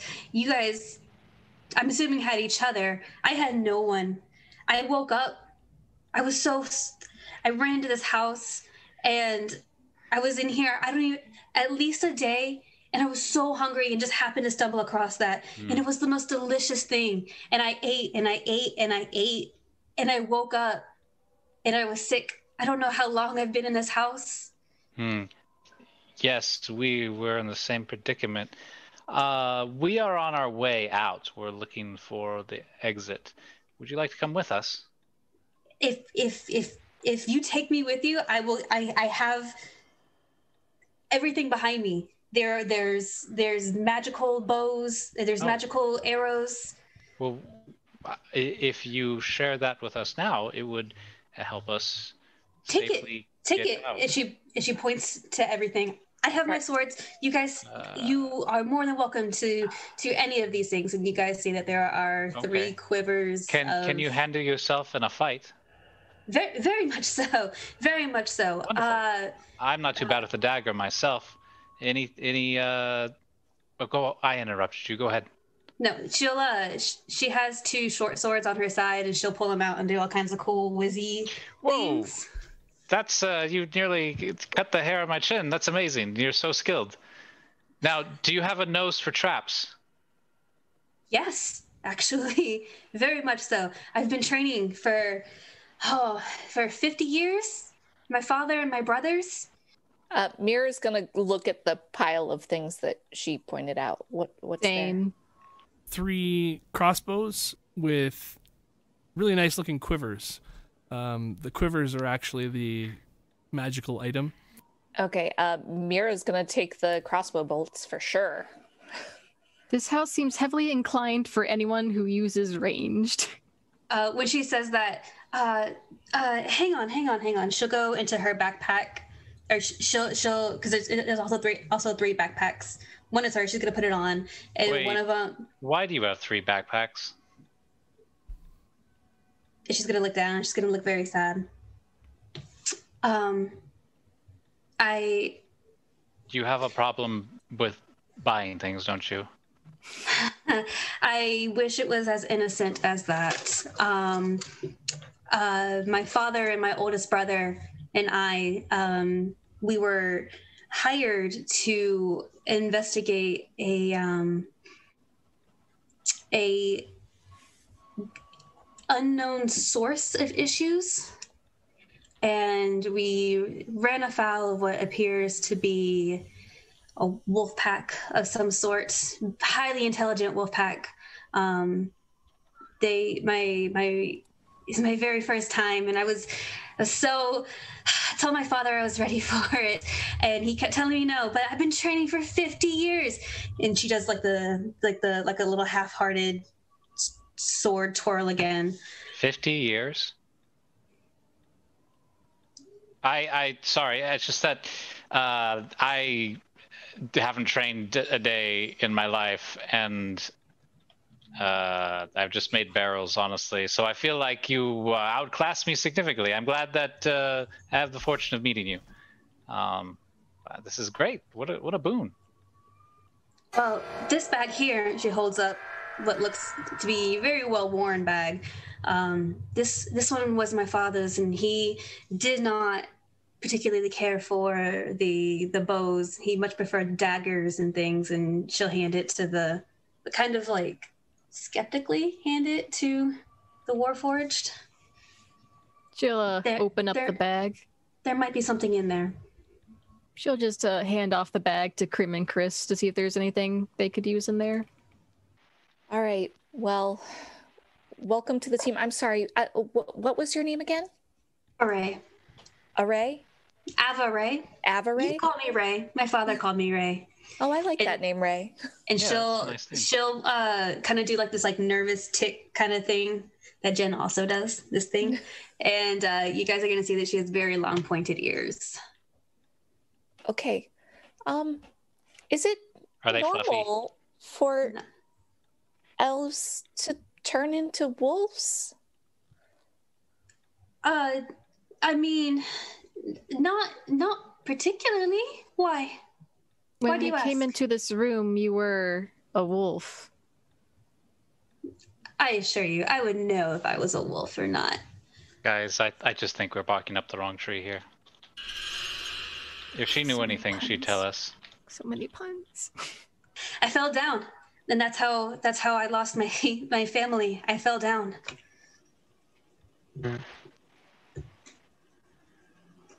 Okay. You well, fell down where? We were attacked we were ambushed on out outside by by a great uh somewhere between a forest around a forest.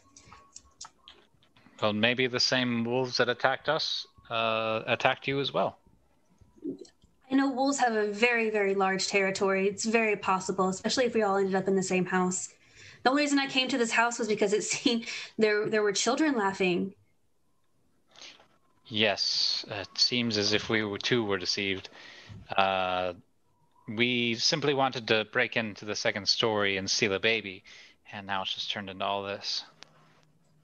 i've also we heard weren't baby trying to steal a baby. We were trying Yeah. to save a baby. Oh, right, yes. I've heard I've heard phantom children laughing, phantom children crying, screams, music, uh, the smells of delicious food. This place is not is not. It's the most unholy of places. I you'll get no argument from me about that. Well, I say we move on and try to get out of here as fast as possible. Hmm, Have we actually? You know how all the windows we see are bricked up. Have Where we the brick tried bricks? actually? Have we actually tried breaking down the bricks, or just seeing it and going, "Oh no, bricks"? I've thrown myself against bricks and walls for days. And you've had magical weapons to spare to break them down if you chose. Uh, I mean, they're magical silver piercing things, not necessarily. When you did do that, though, you've noticed that when you knocked a brick away, before you even pull your weapon away again, the whole brick repairs itself. whatever it is, it can rebuild itself. As I've said, walls move, doors disappear. Did you try to help any of the screaming children or I've I've ran. I've tried to find anybody. You are the only ones I've found that are real that aren't trying to attack. Well, I believe her. Let's go. Would you like something to eat? Some real food? I I would love some. Thank you. I'll pull out one of my rations and give it to her. All right. Uh, Mira will kind of go up to the group that's back here and like whisper just so they can hear. Be like, I, I don't think she's lying. I think we just take her with us and get out of here as quickly as possible. Just so you know, uh, Jen, you have been in this floor more than the top floor because the top Mhm. floor is where the spider web started, Mhm. and uh, you. Have they? Sorry, have you guys seen the spider webs? No. Grim Grim sort of noticed them, but he hasn't really had uh, time to spend up there that much. He he, he noticed when he was in the in the crib room that the, the whole room was covered in cobwebs and Where all have you guys guys been in this house?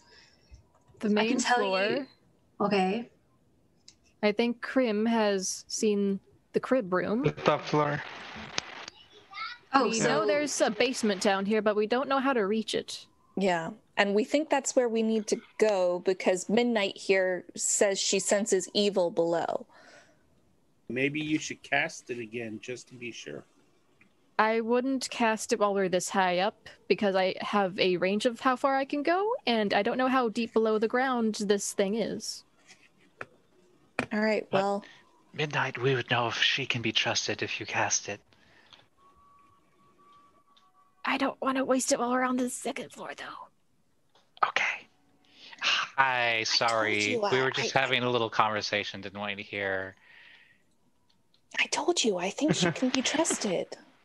Okay. I have a good feeling about her. All right. Well, whatever I can do to help. Uh, I I'll tell you, I haven't I haven't spent much time up, upstairs. Um, uh, uh, she'll look at, at at who you've indicated as Grim. Um, if he was upstairs, and I'm sure he saw the the massive amount of spider webs, and honestly, I'm a little scared of spiders, so I stayed away. But I do know that across from here that there is, is an office.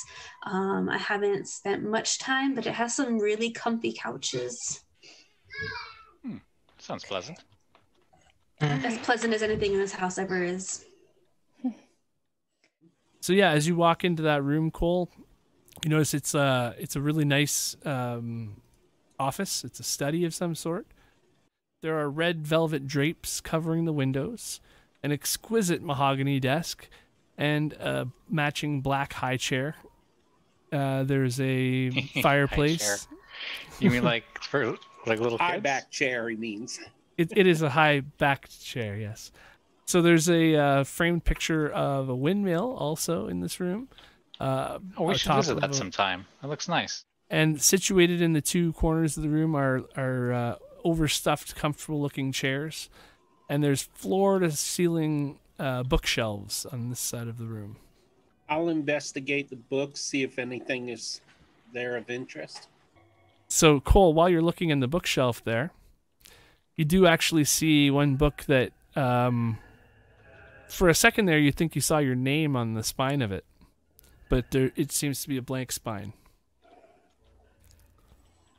I'll pick up the. I'll pull out the book and turn it over in my hands and look at it. Do I feel anything like haunting about it or anything like that? No, you're not getting a feeling out of it, but as you flip through it, you see that your name is appearing in the book a few times, actually. And as you start to read it, you're going to take a few minutes if you want to read it, but it's um it seems like as the more you read it's actually documenting your life. And it shows how your father and the uh the council of Um, don't tell me. Don't yeah, tell me. it shows all about all I that. have. I- I don't know how to read. You don't know how to read? I have an intelligence of eight. You You can do know how to read. read, Paper though. and- You know how to read with an intelligence of eight. Seven or lower, you can't. Yeah, you need an int of seven or lower But to you be are- unable to read. Yeah, I I'll was start like, sounding out words like so you're gonna take a few mi- a Eh. few extra minutes there to understand what's going on with the book, but you see that it's documenting your life. So then, uh, Mira, we'll go back to you for a minute. Uh, as you're in that room, it is basically uh, what you were guessing before. Um, it seems to be like some servants' quarters. Yeah, I want to attempt to investigate the desk, see if there's any papers or anything of importance. Okay, so give me a roll. It's gonna go terribly. Okay, that's average. So the desk has um, several items resting like on top of it. There's an oil lamp. There's a jar of ink, a quill pen, a little tinder box for lighting, and uh, a letter uh, containing a red wax, a letter kit, sorry, containing like a red wax seal that has a windmill on it. Um, there's some sheets of blank parchment, and um, inside the desk, the drawer is uh, open. You see the journal, and it's got a, a page um, holder in it, and the journal is actually uh, it says Durst Antiquities on the first page, and it looks like an inventory tracking system for a store that appears to be in Barovia. There's a journal entry. Just like we all huddled together and like open the journal and read together. the The photo, uh, the the painting, is of um, it looks like uh, the nursemaid, um, or like a server in the house. Uh, she's dressed up as in servant's clothing, and um, she's holding a baby. I mean, I'll read the journal entry if somebody wants me to, if we're in there now. Yeah, go ahead. Okay. Woe these times, for down in the very depths of my imagination, I would not one year ago have thought that hence I would be sitting here, telling with pen to journal what I dare not say to any man or woman. I fear their reaction when they learn the truth of what our great family has become. I imagine the faces of dread and horror at the telling of my tale. I must venture to tell this story, though, as my f- mind is so full of despair that I cannot for the life of me settle myself, and it is my hope that recounting these events will at least give me some further comprehension of the matters. As my store is now closed, I shall not need this log for inventory of my goods, and if it can be of some higher use, then I shall at least attempt to give it such a second purpose and honestly tell what has happened to us all. I had all the things a man could want before the war began, and that devil Strahd poisoned our lands. Before my affair and the events which have led my dear family here. I remember one sunny day, standing in the portico and watching the children play in the road. A coach approached r- rapidly while they were laughing, and their attention was off. Then, in a flash, my sweet Rose, she sprang to action and pulled her brother out of the road and away from danger. She scolded her sibling as I once scolded her, and I was filled with a pride that is hard to explain, especially now, as the sun is gone, and any example I set henceforth for my beautiful children tonight would be one of a such nervous nature that if they should even glimpse me in this state, I would wish I had done this tomorrow in any regard. I am so low. For a time, I felt I was leaking, all of what made me who I was, just falling out of me slowly. Then Margaret, the slave girl, came along, and I felt the sun again. I felt it fill me up. It wasn't the sun, it was hope. Oh, I loved Margaret so. If there were a- way to supplant me with her and let her raise our bastard, who we have named Walter after my father, I would take that Mm. road. Would there be a way to reserve such things? I would let you hold him when he cries, as you held baby Thorn before him. My dear Margaret, you were always their mother. They just had not realized it yet. Elizabeth, bless her lost soul, was never cut out to be a mother. She lacks the empathy required to care for the children above all else. Oh, Margaret, take me, gods, and let her come back to them. Yesterday, I rose early to the sounds of a struggle to find Elizabeth stuffing her trunk with a dress. My eyes were blurry, but I swore I saw blood and skin moving about with a flowery dress staining its beau- beauty. I stood awake to see direct into the chest at the foot of the bed, and my eyes betrayed my heart, for they showed me the worst sight I could have seen. My lover's body, stuffed at odd angles into the trunk, my wife Elizabeth standing over her, blood streaked across her cheek. Margaret's neck slit open with a line of red from ear to ear, presumably by a knife or blade of some sort. She stared up at the ceiling. The rest of her looked worse, as she was clearly not designed by God to fit into the chest, but there she was, in the chest nonetheless. Elizabeth slammed the lid shut on Margaret's head a few times before the latch clicked and the chest stayed closed. I stood in horror as she must have seen me process it all. She said nothing for a minute, then something about how I should have done it a long time ago. What have I done? My love, Margaret, I am so sorry, my love. If only I had been strong enough to do my husbandly duty and never lay my lips upon hers. I will confront my wife tonight and leave tomorrow. First, I must account in part at least the events which led us here, for the sake of my own conscience, before I go. The writing of this journal has already made my will stronger to depart this wretched place at first light, but this account can be a reminder to me next I read it that the choices I have made, at least of late, have been just. When I first began taking a liking to Margaret, I should have stopped it, but I could not. No. Like a flower to a bumblebee, Margaret's me by instinct and I came to her. Elizabeth, upon learning of my new relationship, did not take the news well.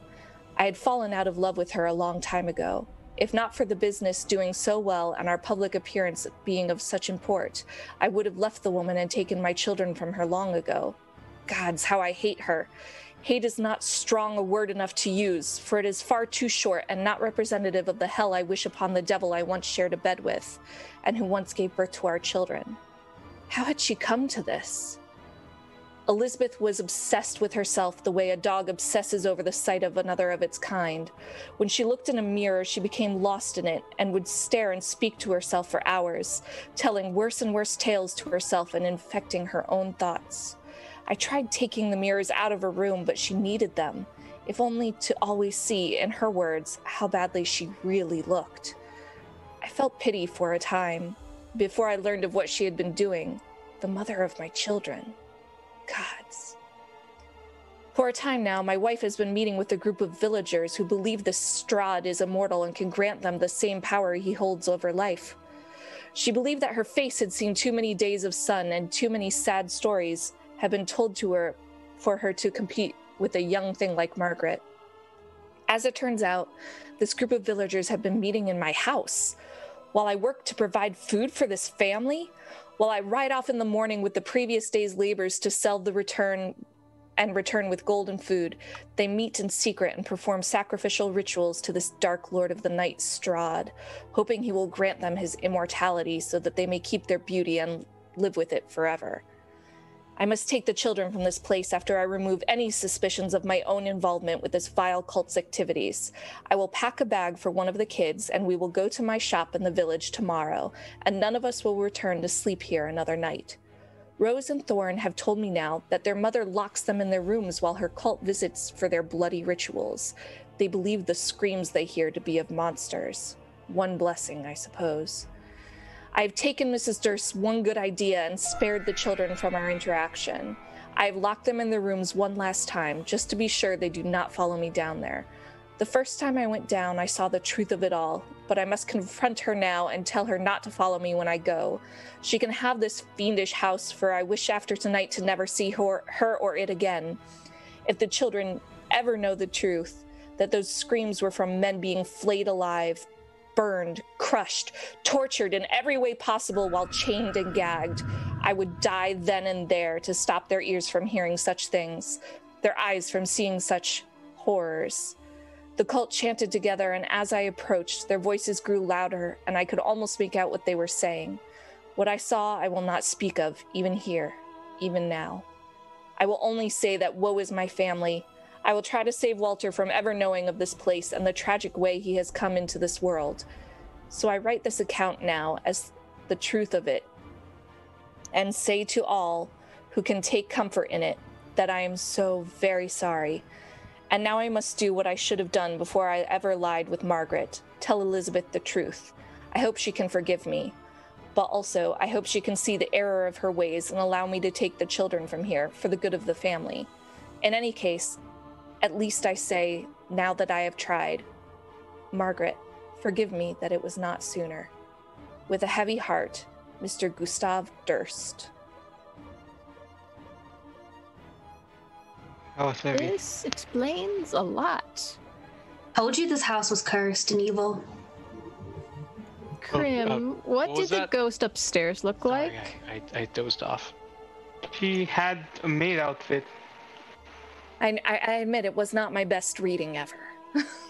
No, no, no. It was actually uh, that was a very much. it was uh, it was like uh, I don't know. It kind of reminded me of uh, of growing up a little bit. I don't know. I, I just felt really comfortable. Do you think that ghost could have been the ghost of the lady Mr. Durst liked? Or one of her sacrifices. Wait, he if he locked the children's children in their rooms, how did they get out? Where did he go? What if the children are Is there Not- a date?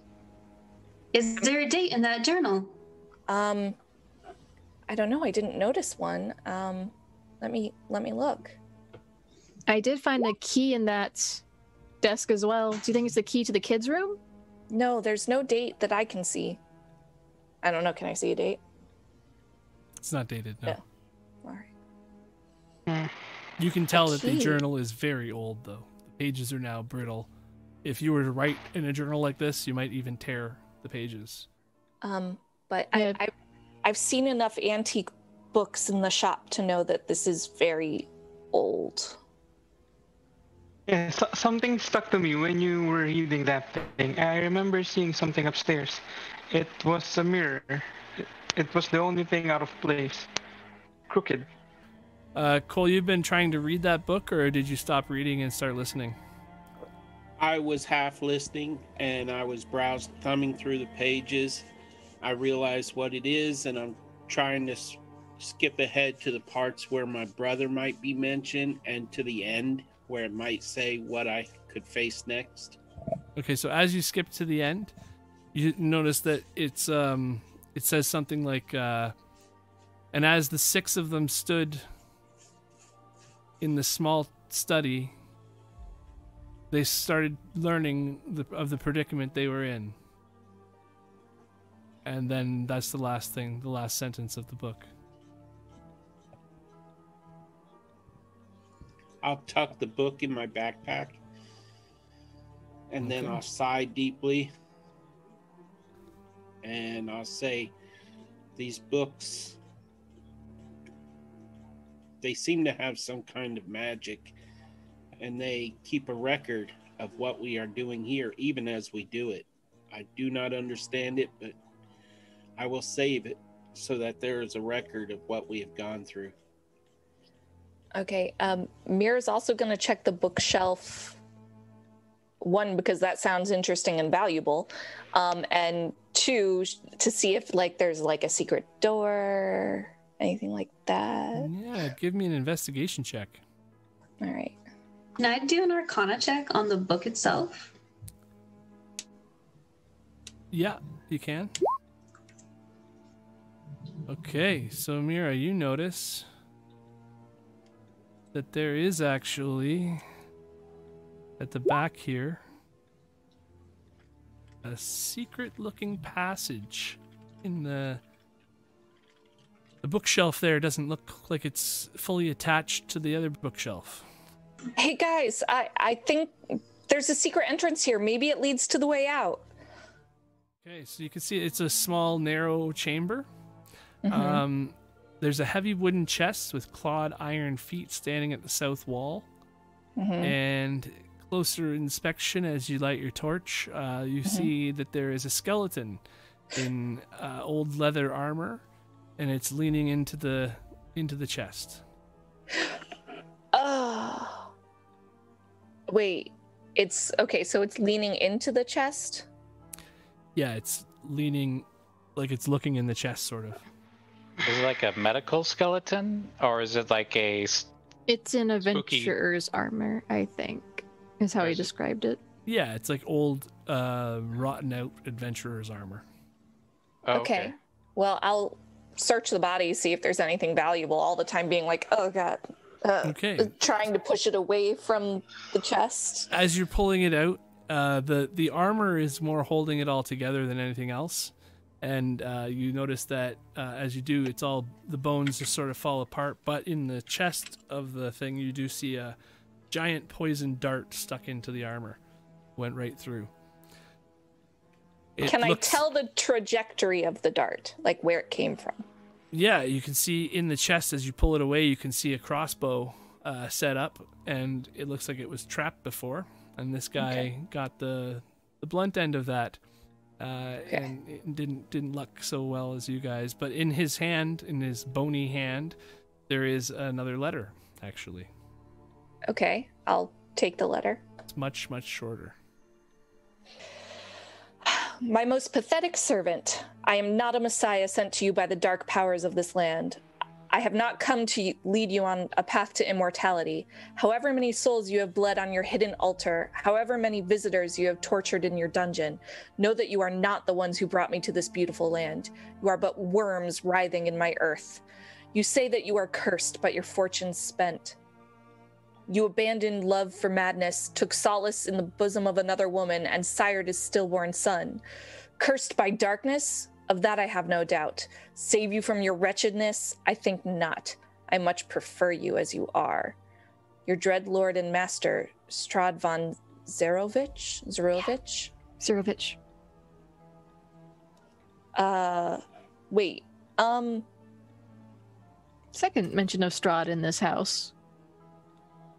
Well, and sired a bastard son. I'm sorry, bastard son, not stillborn son. Which was also mentioned in the journal. Yes. Okay. You also notice in this room here, there are um, a couple of tomes that look um, more ominous looking than the rest of the books. One of them says um, Necromantic Rituals, is, is what it's called, and one of them says uh, Priests of Osybus. Anybody know anything about the priests of Osybus? Cole's ears perk up. I have not heard of them, but I would like to read it if it's possible. As you moved the dead body, you saw the crossbow. Uh, it pops out open with the lid, but you didn't look in the chest yet. If you did, um, then you would see that there's also uh, some leather-bound blank books. There are some spell scrolls. Uh, there's a bless scroll. There is a protection from poison scroll, That would have been useful. and there is a spiritual weapon scroll. There is a deed to this house. There is a deed to a windmill. You've seen this picture of a windmill a bunch of times, so you assume that's the, what they're talking about. And there's a signed will. And in the will, it's uh, signed by Gustav and Elizabeth Durst. And it bequeaths the entire house, the windmill, and all of their earthly property to their two children, Rosavalda and Thornbolt, in the event of their deaths. Not Walter? Walter is not in the deed, no. Okay. Um, I, I am going to grab the book of the necromancy and the priest's book and stuff them in my backpack. Mira will take a journal because she likes to write things down, like songs. Well, that wasn't a way out. Shall we move on? Uh, Just keep going up, I guess. I'll actually um, go over to the fireplace and I'll stick the necromancy book in there and I'll set it on fire. Cole, what are you doing? That's not Uh, how you read a book. This is an evil book. I cannot allow this blasphemy to survive, to Yes. go on. Well, And as I- I- the I- pages as the pages begin to burn, you hear a slight sound of screaming. Shall we keep going up in search of the children's room? Ah, yes. And Grim, you would know that this is the door that you ran from, obviously. Mira will be towards the back with her crossbow pulled out. I would like to be towards the front. I, I'm I'll be last to behind leave the midnight. Room. What'd you say, Quinn? Uh, I'll be right behind you. And I'm going to be safely in the middle. So is this the order we want? Like I was saying before, the temperature as you get closer to the top of the stairs is dropping. And you start to notice that this floor um that there's dust on the stairs now. There's um everything is looking older. All of the the beauty of this house is now showing its age and how it like the truth is sort of coming out as you climb higher. They're Grim, which room did you flee from? The bottom one or the top one? The bottom one. Definitely this one. Um, Which room to go in? Because it looks like we have three options. Top one, the one right over here, or the one Grim came out of, which has the ghost lady in it. Grim, did the ghost lady look like the lady in the portraits? Did the ghost lady look like the lady in the portrait? Yeah. You said No. she was in servant's clothes. She did not. The lady in the portraits looked um, a little older than Okay. this ghost lady did. The ghost lady looked um, like she might have died when she was younger compared to um, the portrait lady. Would you guys like to go in this room? The one that doesn't look like Grim came out of. All right, yeah, Uh, let's try. Because I'd like to try this door to this way and not the one directly down. So you see a storage closet type thing. Um, there's a cobweb covered broom in the back of the closet. Hmm. Well, that doesn't seem very interesting, and Knight will step away from that door to look into this top room next. I'm gonna grab the broom. Oh, there's a door down there too. Okay, so Grim, uh, Cole, sorry. As soon as you grab the broom, or before you grab the broom, right before you grab the broom, boop. It does a thing. Holy shit. You're fighting a broom. That is your own downfall if you die to a broom. And there is a broom, broom. standing in front of you, and it comes to life. Standing? And well, Don't it's see it's the now broom it's yet. like now the it's Mickey standing. Yeah. Mouse. Yeah, it's like Is the broom Sorcerer's supposed to be the? Is the broom I'll- supposed to be the specter on the list? Oh, there it is. I'll stumble backward a step or so, and I'll say, Before you do that, persona." before you do that, because you were surprised, the broom is going to do a little bit of its brooming to you. Oh, So the okay. broom dusts off your armor Would it have advantage? Try not to get hit. vigorously. Look, I'm shiny again. This is like the fight scene from Beauty and the Beast, and I'm here for it. Okay, I see the broom attacking him. I try to throw a dart, even though it's it will probably be too difficult. yeah, that's plus two AC as well. So uh, anytime you're going through more than one of your players in a straight line, I'm just giving it half cover, just to let you guys know. Um, Okay. so that yeah, that definitely missed. The the broom actually swatted it back and tried to return your dart, like a using its monk skills, but it, it missed. Wow. Monk broom. The broom is a monk. Uh oh. It sees you again, Grim, because it can see and move through walls. And as it does so, it Is it dust? flies around to here. And you see this approaching out from behind this wall here. Well, that's not good. You see this thing, and it screams again. It does its thing. Oof. Ouch. 16 to hit. Because your hit point maximum is reduced by 14. And 14? I'm 14? dead. Yeah, he's just dead, dead. Yeah, that Yeah, would I missed insta that then. kill him. That would insta kill anyone. Yeah. I mean, it does say hit point maximum is reduced by an amount equal to the damage taken. and you see Grim's body go limp. Oh man. He Nice. got you anyways, Grim. I was like, he got away. After all that. So yeah, you guys all see Grim's body drop limp on the floor behind this ghostly visage. And it's Mira's turn. This appears to be the master bedroom that you're in. Uh, there's double doors that you went through to get in. They the double doors sort of do have a, a windmill uh, design on them as well, but the whole the whole room is covered in cobwebs. Um, there is a chest at the foot of the bed uh, that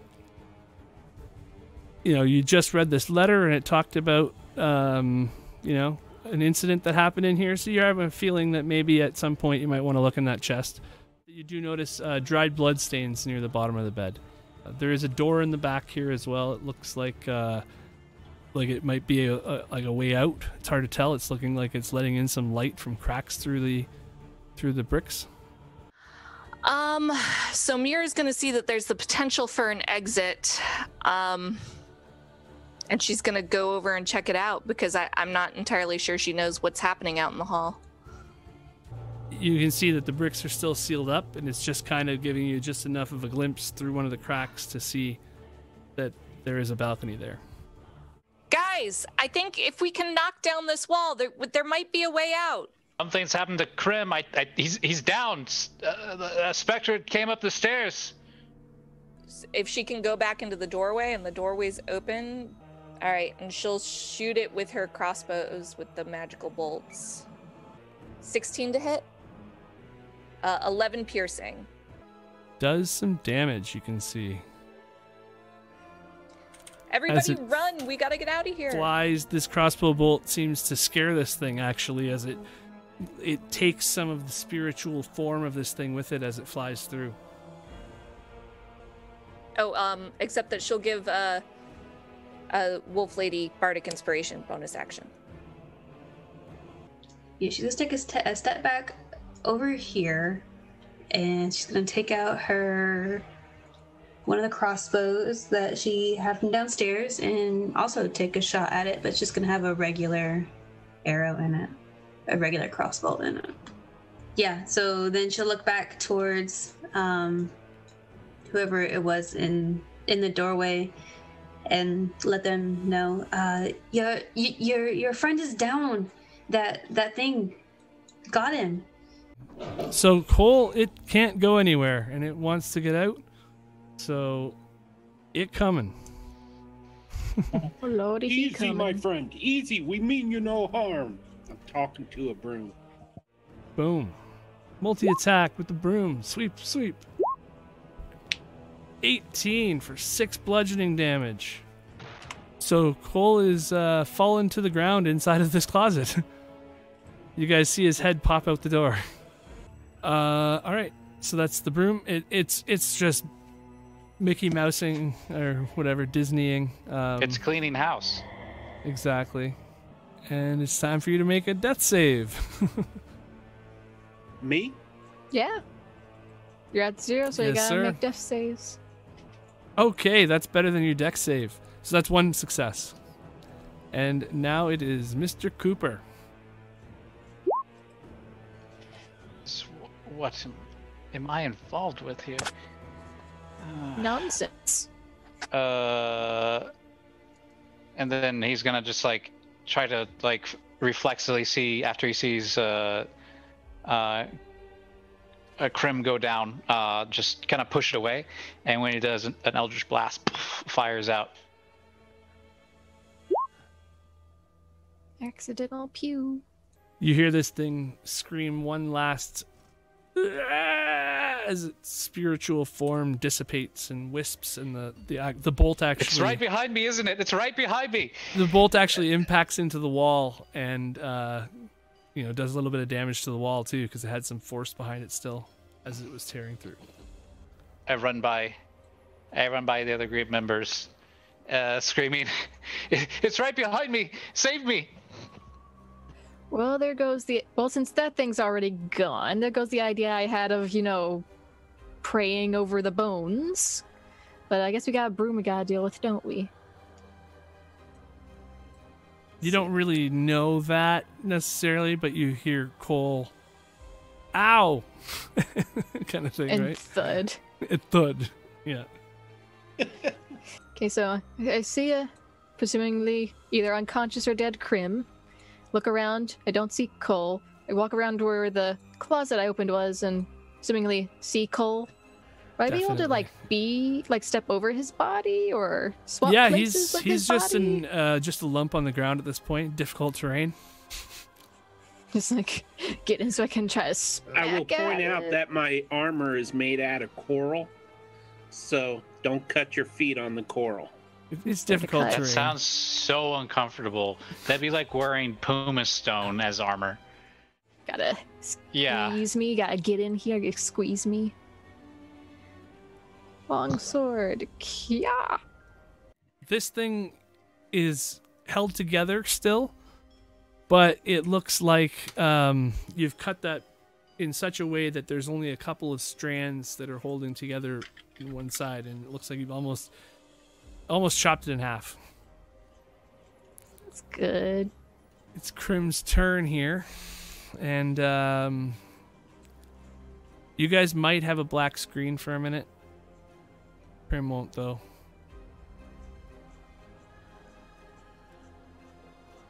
Do you see that, Grim? Okay. Yeah. Let me just get my torch. Or wait, I can't. Okay, so you guys noticed that um, where Grim was, uh, the ground is engulfed with mist, and then his body disappears. So He trusts me not to metagame. So, Grim, as you look around, you hear whispers in every direction. The ground Shut all around I you. you. The ground all around you is is uh, like a cobblestone floor, and um, it looks like it's ancient, ancient, ancient. There, you you kind of take a sniff, and the air is really stale, and then you realize that you don't even need to breathe. You're not breathing right now. Um, yeah, you're seeing these uh, amber statues or amber.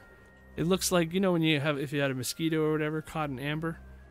These things look like uh, moving wisps of blackness inside of amber um, that are quite large. Actually, they're bigger than you. Large mosquitoes. Okay. So, if there's something you want to do, then we can do that, and if not, we're going back to turn order. Um, I can investigate. I'm gonna investigate one of them. Okay, This so as you walk towards that one, as you walk towards that one, you hear it laughing at you, and uh, it's a really, really creepy laugh. You hear like a, "You are not useful to me. Begone." Okay. Chillax. You hear you hear whispers saying I'm go- "Come, come" from all around the room, though, except for the largest amber blocks. Okay.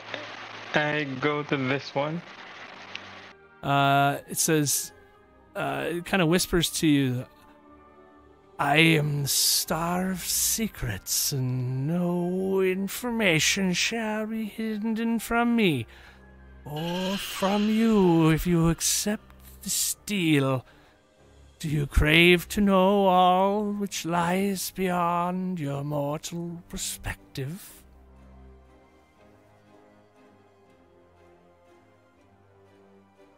If it's How can I? I'm dead. it's waiting for you to be it's waiting for you to get uh, basically it wants you to touch it you can feel like it's asking you to touch it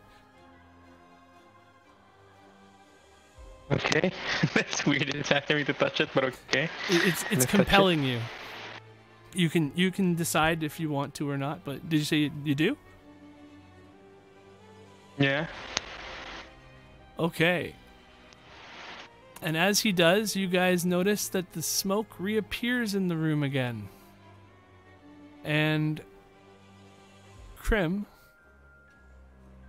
reappears beside you as well Does he still look bleh? You are waking up, but you are very dazed Oh. right now, Grim. oh, he not dead. Well, you see him reappear in front of you on the floor. So, Grim, you are no longer with a dead symbol, but you are prone and opening your eyes, and that's the end of your turn. Grim, you're alive. All right. Um, Hey. she's gonna run over to him. How how is he looking? As far as like, is he? Grim actually has full HP again. Wow. Fresher than yo. What? What The Grim just smiles. Grim, I, I saw you. I saw you die. You withered like a, like a flower. Uh, the, the feathers dropped from you, and you you shriveled. Go ahead. Grim just looks at Silence and go, uh, I don't know. I, I don't know what happened. One minute I, I was pawing with something and then then I'm here. One minute you were what? I was talking with something. I can't remember his name or exactly what he said. What did I it look forgot like? what he said. What did it look like? It was, it was just a voice in my head. I I remember the color amber though. Like a sap from a tree. Then And what did you converse about?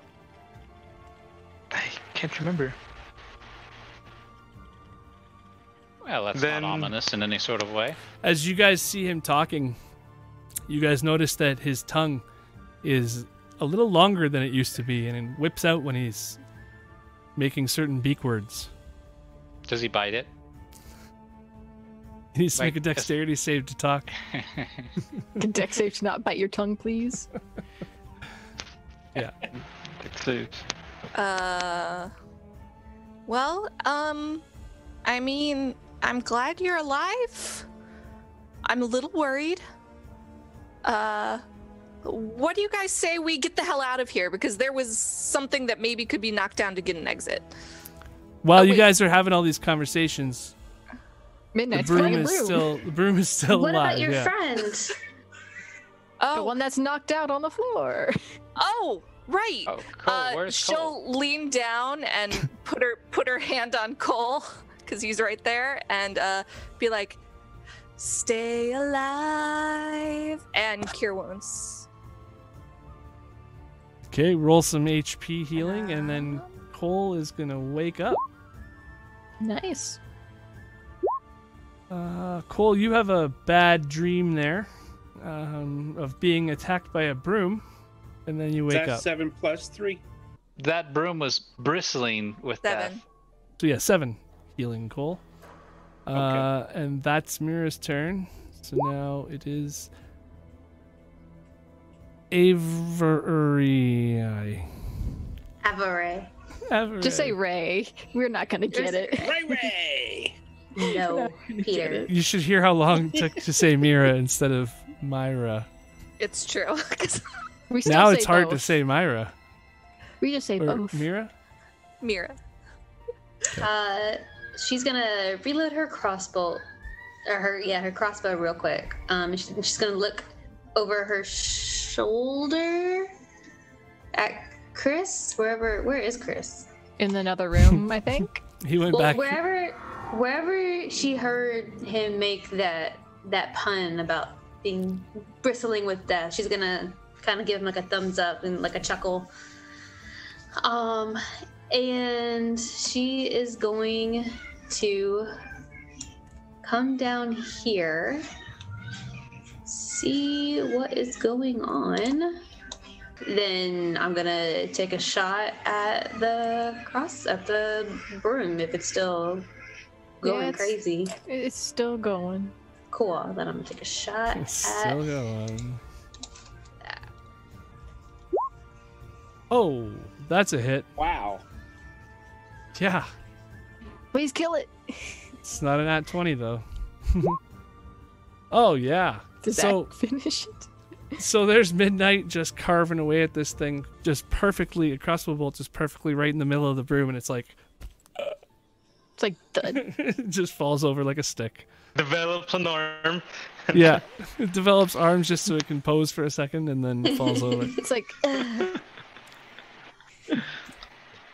Perfect. It's yeah, it's a splintery broom on the floor now. and then I'll reach down and help Grim up. Cole is turning purple in embarrassment. you got It's knocked red- out red by a broom. yeah. red, red and blue make purple. Cole is up now. Um, Grim is starting to stand and being helped up. So yeah, Can It's you like there's remove nothing that else. skull from my head? You should You- be able to do it yourself. you can do too, it I if you think. wanted to. Yeah, uh, I'll do it this time. Just click your token and hit the uh, circle icon at the bottom of the little menu that pops up, and just re-click the thing. Like boop boop. Did we do it? Are we safe? Is that is that specter thing gone? Ugh. It's been gone.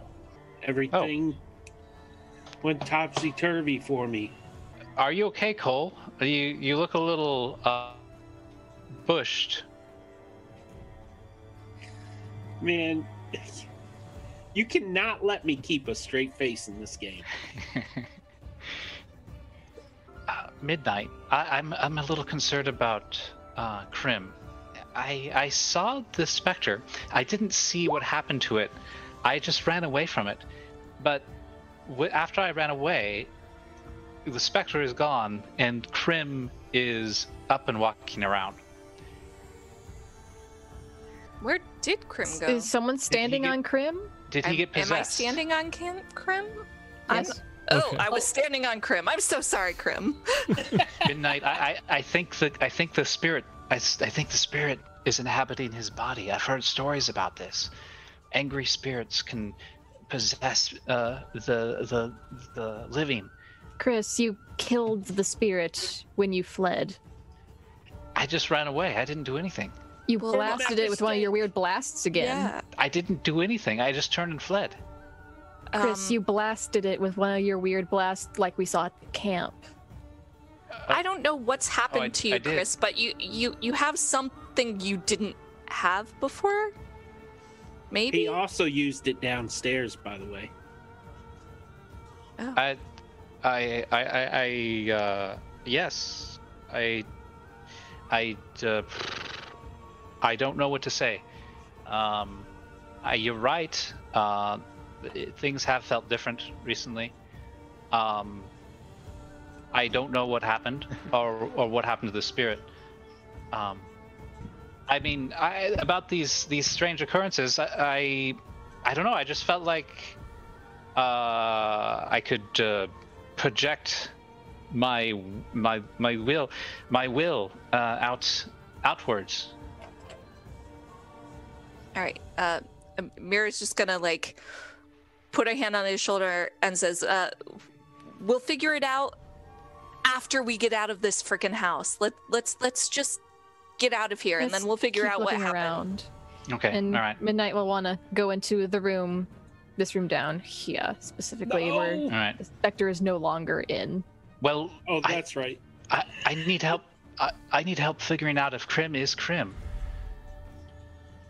It seemed Grim, like Grim when I you talked to him. Well, what could we ask him that would prove that he is who he is? I am Grim. Do we really know him well enough to be able to know if he's Grim? Hey, Grim, how do you feel about some meat? Oh, thanks. He's Grim. Grim, I have some more of that special wine. Do you want any? Wayne? Uh, That Sure. special stuff that I had the other day, you know? That we took to the wedding. Yes, that we the took to Duchess the wedding. drank. Yeah, that great wine. Yes. The one that Don't I you told you had the mm in it. oh. You, Chris, brought that? You Yes. brought that? And I look at you, Chris. Ah, he, he, okay, that familiar look of contempt and anger, that, that's definitely him. But I guess we could just put that in a little box and put it on a shelf and, get and back deal to with it later. Yes. Yes. yes. Time to compartmentalize for sure. You said that there was a way out? So, Grim, now Um, that you're there, standing, there might be if we smash down the brick wall to the balcony. All right, I'll get to smashing. and while you What's, guys go to the top there to investigate that uh, cracked wall that's over here, and you can see a couple of cracks where the light's coming through, and you, so you can see there's a balcony out there. Okay, I stand uh, uh, where she, in front of where she says there's a way out, a crack, or uh, is that what it is? And I, I uh, Chris uh, outstretches one of his hands and palm forward, and he says, "I, I uh, uh, what do I say? Do I just, I need, I mean, I you, uh, know, you know some magic, right? smash. Smash! So- Blast! As this mist, Go, go, gadget No, blast. nothing happens. Go go get as, as it, oh, Ah. nothing happens. Hmm. Nothing happens at all. Uh, Uh, zzz, pew. Uh, oh, what is it? Uh, lightning bolt, Um, well, what's fireball. what's something that you said the last few times you did it? Uh, I was, I was. Uh, oh my God, the ghost is coming for me. It's killed, and then it shoots off. Okay, so as it shoots off, the, the, the mist that comes out of your hand at incredible speeds just destroys this door, this whole window. It all starts shattering out. And before it even moves five feet away, it all sucks right back in and reheals itself. I don't know how much of that was me or how much of that was the house. I hate this house. Um, I'm gonna investigate the mirror. Yeah, I'm with Grim here, wanting to see more about that mirror. So you can see that the uh, there's little berries and ivory or ivy around the whole mirror there, but the the ivy isn't actually ivy; it's more like thorns, as you can see closer. And the berries aren't actually berries; they're eyeballs. I break the mirror. Nope, that's seven years bad luck. As the mirror shatters, you can see the hole behind you or behind it, and uh, it. You also realize that you could have just slid it out of the way and behind the uh, armoire there to the side. But only you realize that and nobody else. So You're cool. yeah, you're good. While they're all doing that, I only got a nine on my investigation check for the broom. So I'm going to as- just assume that it's safe to pick up. I don't really know. Yeah, I'm, I'm you're- gonna, you're gonna take good. my I'm gonna take my arrow out and I'm gonna go hand the broom to Cole. And I'm gonna tell and she's gonna tell him, uh, my father always said whatever doesn't kill you makes you stronger. So here, let this be a token. And she Oh, hands you failure. the broom. The the broom The broom that Yeah. killed you. is it broken half?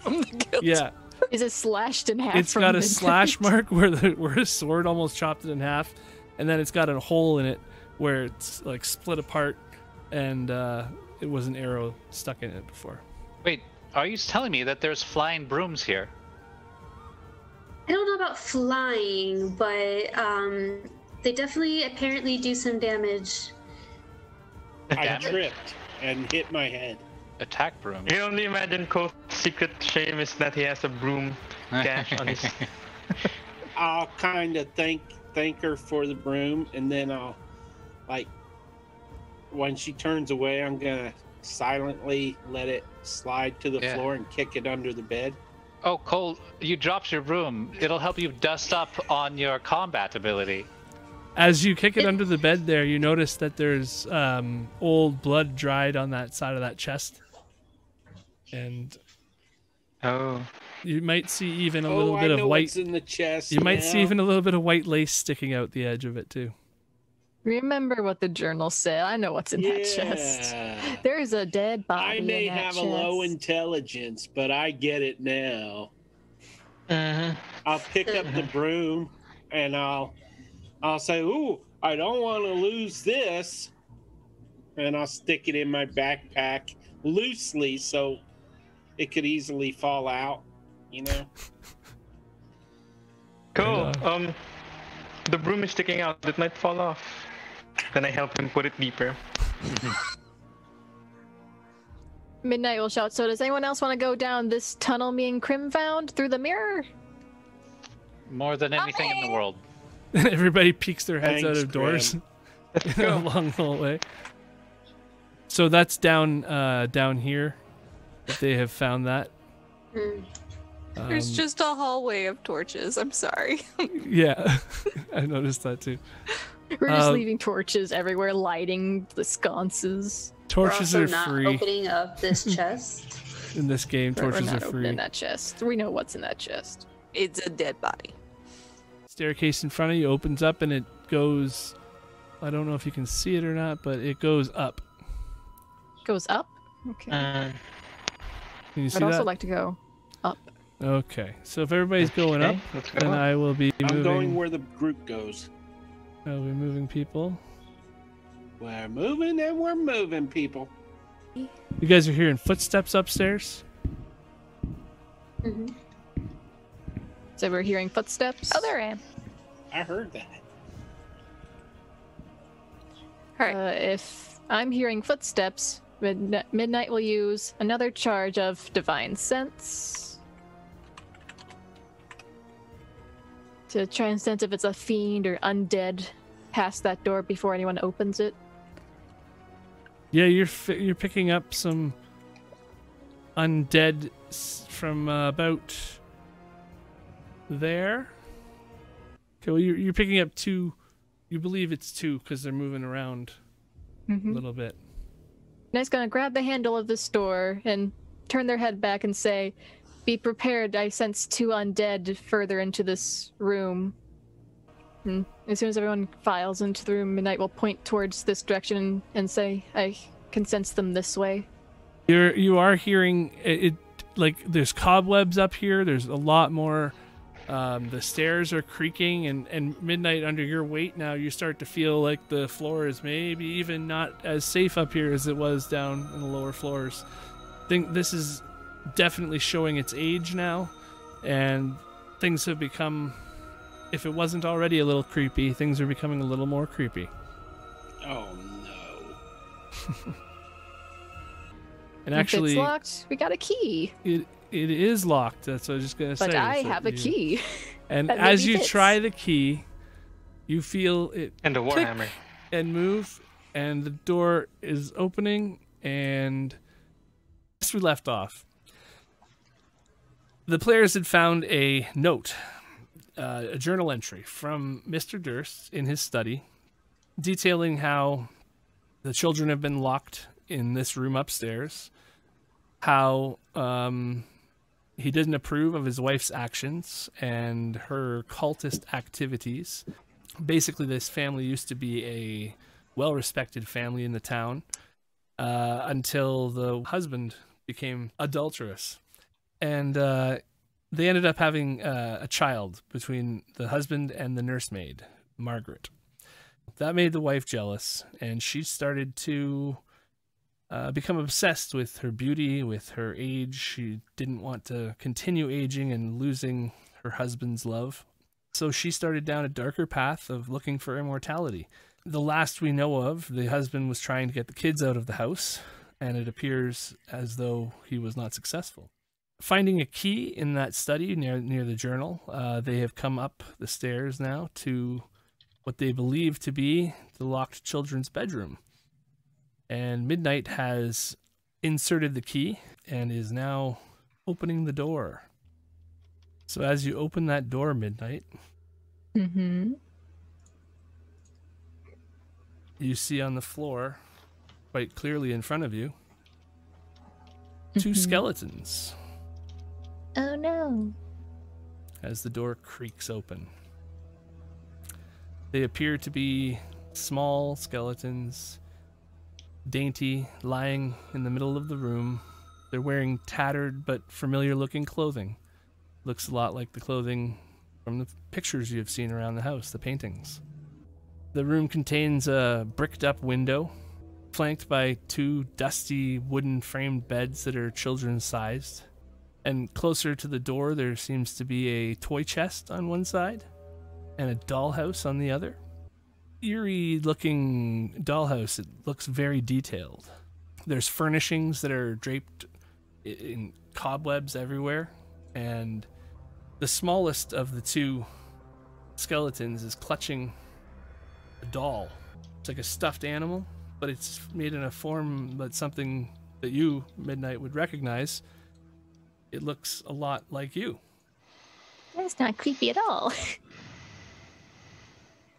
She's gonna, you know, step into the room and say, "Guys, I think I found the actual children." Wh- What do you oh. mean you found the, the children? Are they okay? Remember how? Remember how in the journal it said the children were locked in their room? The children are not locked in the room. We saw them outside when we came in here. They're fine. I don't think they are fine. These are two child-sized skeletons. Are they indeed childlike skeletons? I guess it'd be medical. Uh, Oh, these are just illusions. You've been deceived. Look, look, we've seen the children outside. They're fine. Look, I'll just put my hand through the bones, and you'll know it's an illusion. It, it's a okay. It's the um, skeleton tumbles off to the side slightly, and you start to hear whispering sounds in the background. Light I'm this light. hungry, Rose. Uh, Was Rose the name of the daughter? I know, yeah, Thorn. it was Rose and Thorn. I know, me too. It's okay. I'm really cold. Here, come sit here with me. Tell tell me about your doll. Oh, she's really cool. She's a paladin. Oh wow, that is cool. What what what's her name? really Her- talkative for being her dead. Her name is Ezra. Yeah. I, children, can can can spirits of the house? Can you hear us?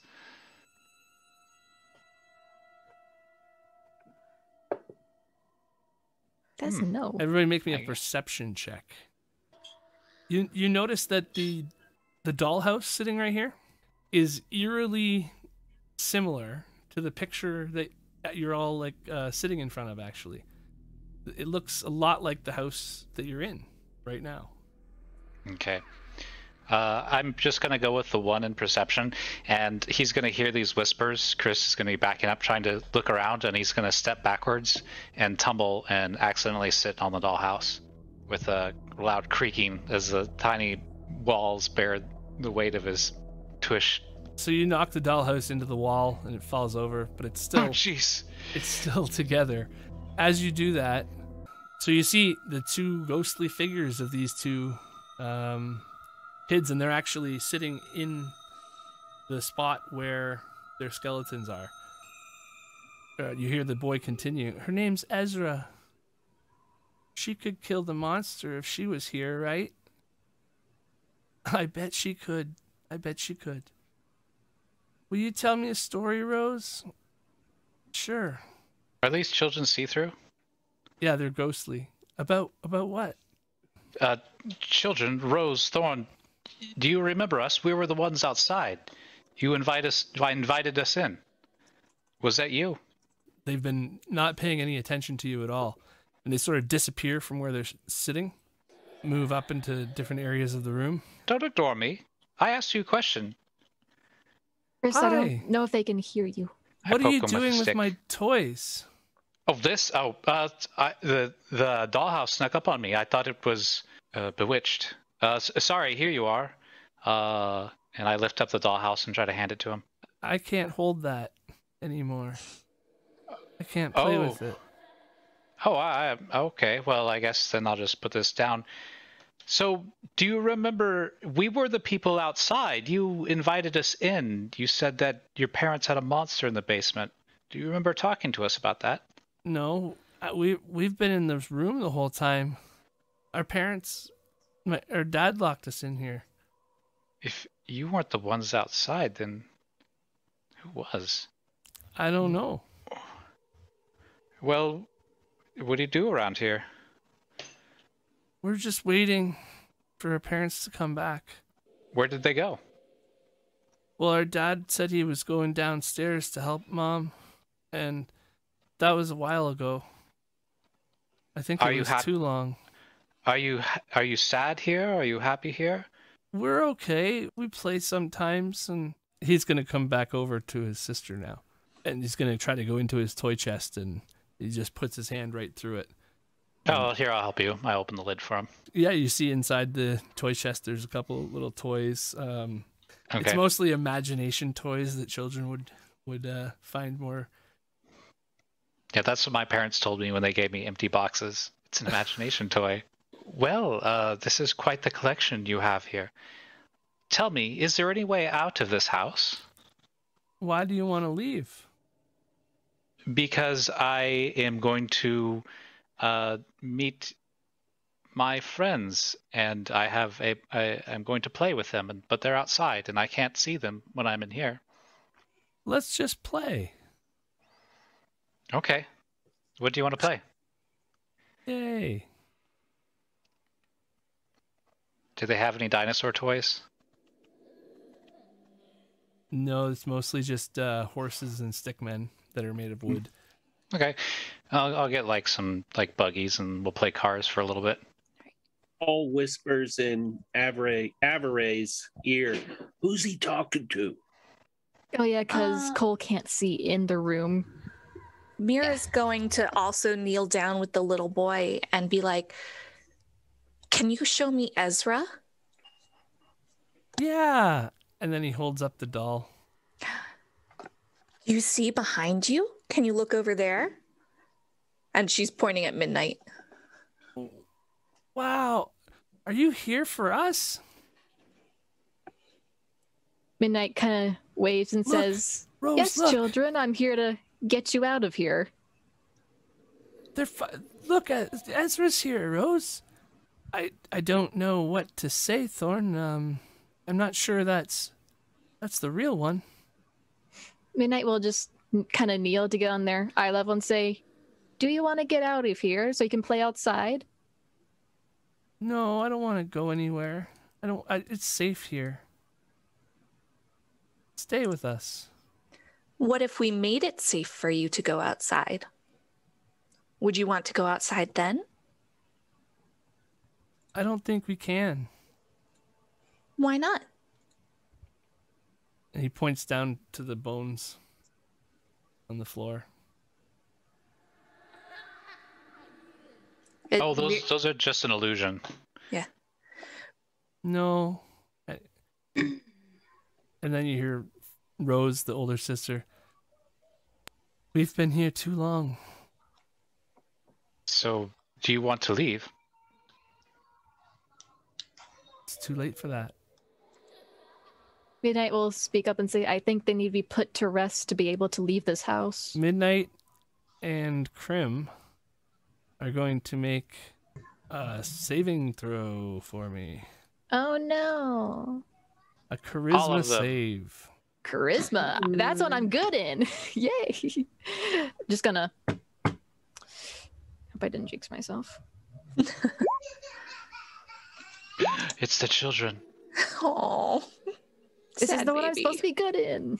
So uh Grim just you see him shake his beak for a minute. And then um Midnight actually here I'm gonna send you something there. Um Mhm. So you guys notice that the boy just disappears. Uh, but I thought we are playing horses and carriage. So you see um yeah, the girl tries to move towards Grim a little bit and then moves back. Stay with us. Midnight, could you maybe uh, I mean, this isn't my expertise. Could you maybe pray over the bones?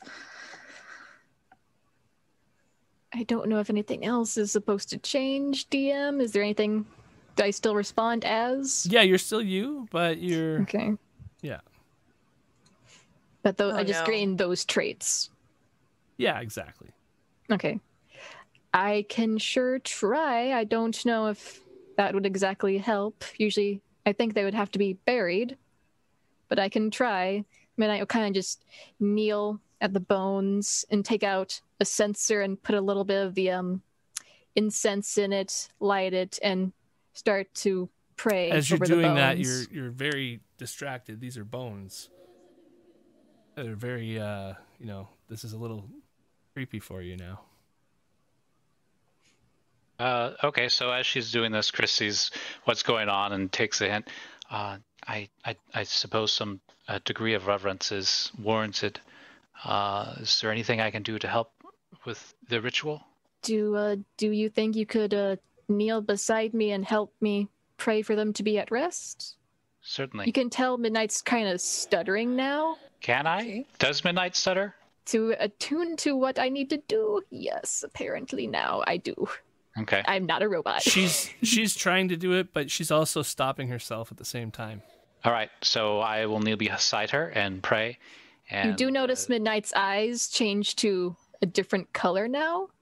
They are now green instead of blue. So Chris thinks of her as some sort of robot mood ring now. Okay, so he clasps his hands together and begins uh, to whisper a prayer to Lathander. Uh, God of light, God of wisdom, God of birth, please guide these souls back to your embrace. Please take them to your land and from this uh, realm of shadow and mist. You hear loud whispering sounds echoing your own words. Ah, well, that's probably normal. Actually, it is not normal. That's never happened before. Midnight. Well, what does that mean? I've I'm hearing things echoed back to me. Continue Um, with the stutter. That's seems quite unusual for Midnight. She'll say it, it may be working. Do you need more bacon grease, Midnight? No, I just feel s- strange. All right, Mira Uh, will turn to the little girl who's still in the room, I'm assuming, and go, Where did your brother go? Where did Thorn go? And make me a charisma saving throw. Well, at least I have a shot there. Um, Knock on wood, please. I said the same thing. oh, damn it. I said the same thing. Okay. Plus five modifier. Same, and it's still sa- because level one is terrible. That's why. Mm-hmm, The dice are evil. Level one is evil. and you can check the Discord. You are both compelled to either stay in this room or travel downstairs. Well, uh, midnight. I'd say we, um, s- I guess, swaddle these remains, and if we can find a place to lay, lay them to rest, we do so. Um, I thought that I said that we needed to stay here. Did you? Yeah. Why are you second guessing yourself? I'm not second guessing myself. Then we stay here.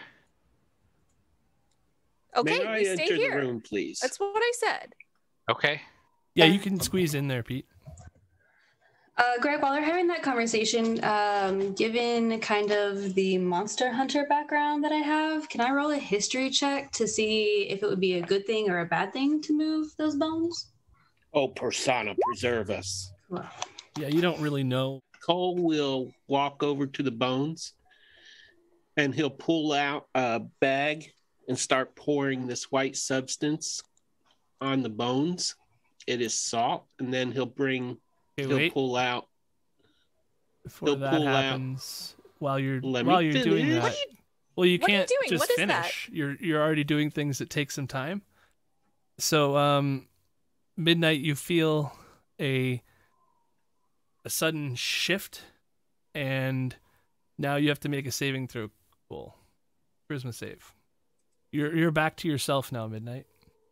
Okay, let me change the eyes. 17. Okay, so you shake it off. You see the uh, child come back. All right. This is a little too crowded for me. I'm just going to step out, and you guys have fun playing with the children. Midnight's eyes Hey, I suddenly. said to stay here. What are you doing? I'm still here.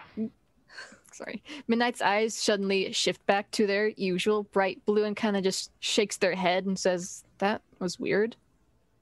What do you mean weird? I mean, this whole thing has been weird. There's ghost children popping up. Apparently, they're happy here, but they don't want to be here. You're stuttering for some reason. I You was say- stuttering? Yes. What's going on? What That's weird. what have what have you been feeling?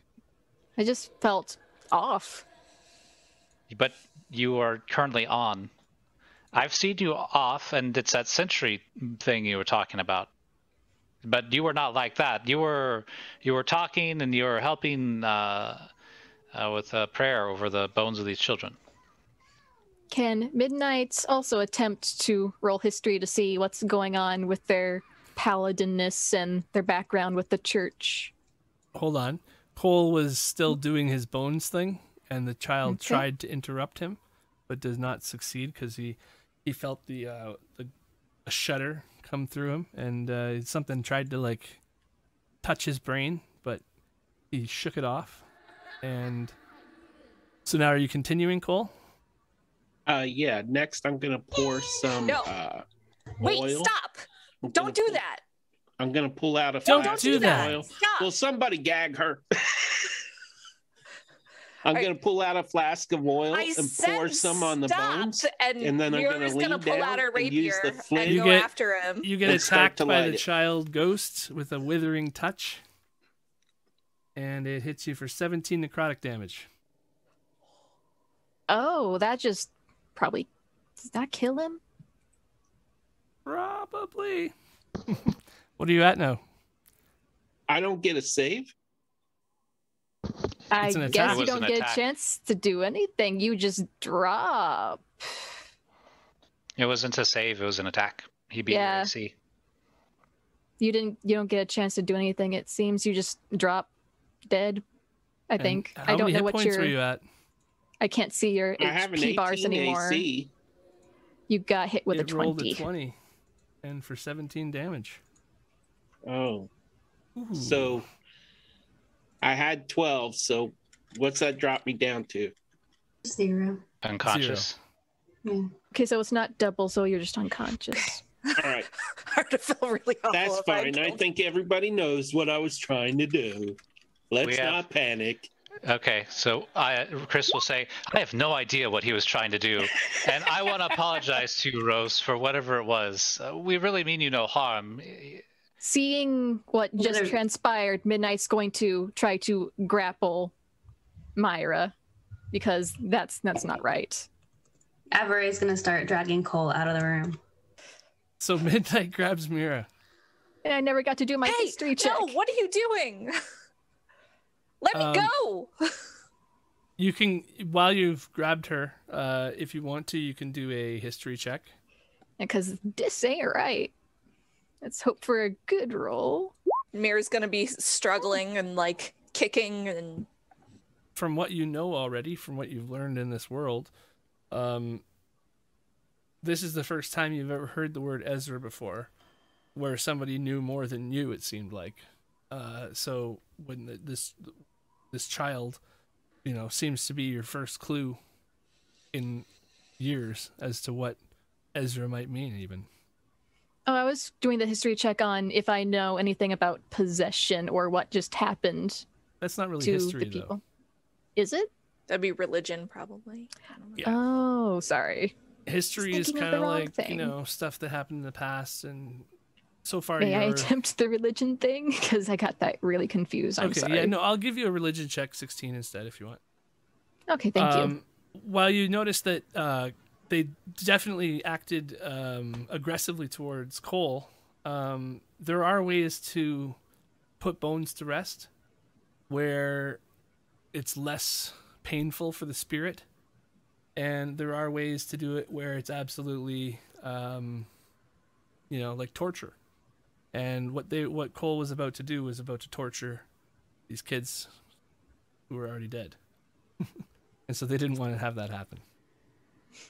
Midnight will uh, look to Cole and say, "Don't do that again." You'll see that Avery is like dragging him out. Maybe we should tell him Uh, that when he wakes up. Uh, Midnight, why is it important that he not do that again? I don't know as much about there religion as you do. are there are several ways to put a spirit to rest, and what he just did was an equation to torture. So I he was see. He was hurting their spirits, and it I was see. very painful to them. That's Well, why he's pretty thoroughly unconscious right now. I can still see that uh, necrotic wound burning into his flesh. I think once he wakes up, we should have a talk with him about that. Yeah. Do we have any way to? Oh wait, is he going to wake up? Uh, You nobody did a, nobody's nobody stabilized him. Uh, he's he, he should be making death saves. Yeah, that's about the first time uh, you're I on. What's failed. a death save? Why are you at seven out of nine, Cole? It should be flat You're 0 you're changing your um, perception again. Your health bar is green. Okay, I'm mixed up on what the Your passive are. perception is twelve, right? Yeah. So you actually had seven hit points. DM is Cole making death saves. No, he's just dead. you guys see a because he had seven hit points and he got hit for seventeen. So you guys but it start to wasn't a see- life drain, was it? No, it was If you do double the HP, they just flat die. instant death. It can't be yeah, Yeah. instant death. Yeah, Yeah, so and, um, see Back with giant ears. Did his his max health is what nine? Yes. So and he was at seven out of nine. Is it like twice the max HP or twice what they had? Twice max HP. If you get So- over your full health in damage after the like you, you can't go negative, but you yeah. can go negative up until it's your, your full max HP. And then if it does hit that max HP level, which it just did, it seventeen. I thought the max HP for him would be 18 because his max HP is nine. You double that, that's 18. Yeah. Well, it was at seven out of that eighteen though. But you're you're only you're only dead dead if you get hit for your max HP in one go. I don't He think it did. matters what the Right. HP He took- bar was. he took- So He he, took- should be at negative 10 hit points. He had Right. 12 hit points as his max. No, that he means had he's still. He has nine, nine as his max. as his max. So yeah, he's dead. the dead. 12 was his perception. I'm Uh, willing to be dead. Uh, so you guys notice how I've never died before. I'm so sorry, Cole. in so the with few a medicine check of three, would I know that he's dead?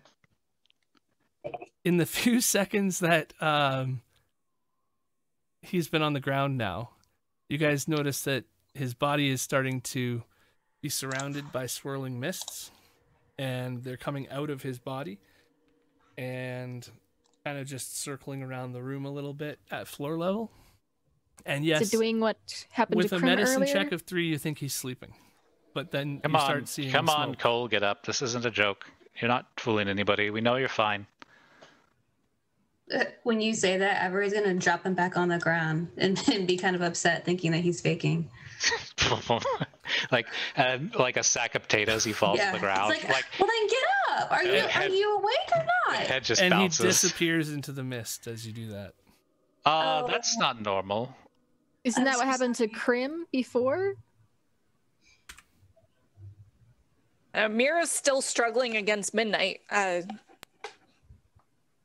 Okay, so Krim's uh, picked up the the children's dollhouse that got knocked over Mm-hmm. and starts looking at it and starts pointing at midnight. Hey, look! Is there something up with the house? He's pointing to the room you guys are standing in, and you see in the room, you know, there's a little little dollhouse even, and uh, a, a little little toy chest. Wait, is there a little dollhouse inside of the little dollhouse? Is it Inside of the little dollhouse. Is it dollception? Maybe, maybe. And there's a bunch of people that look just like us standing inside of the model. There's nobody standing inside of the house. There's just uh, what you do notice though. Midnight when you look at this thing where he's Mhm. pointing, you notice that there is a staircase hidden back there somewhere. Does the dollhouse show an apparent way to get to that staircase? Yeah, it looks like if you go down into the hall here, there should be a, there's another door. Avery can see the, the there's a door down at the end of the hall here, and it looks like um between because you're looking in the room there too, right, Avery? You can see they're pointing at the dollhouse, so you're kind of picking up on that too. That it looks like um Down here, there's a yeah, door. it looks like there's a door down there that leads to that staircase. There's a secret staircase entrance somewhere. I'll tell shout outside for everyone to hear outside the room. There's a hidden staircase outside.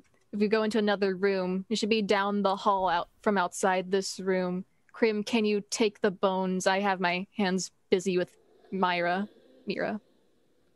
Krim will um, go over to the bed and pick up a backpack that's been tucked under the bed, and it's kind of fallen apart. It looks like it's a, you know, disheveled thing, but it uh, has like moth holes in it and stuff, but still works for the purposes of.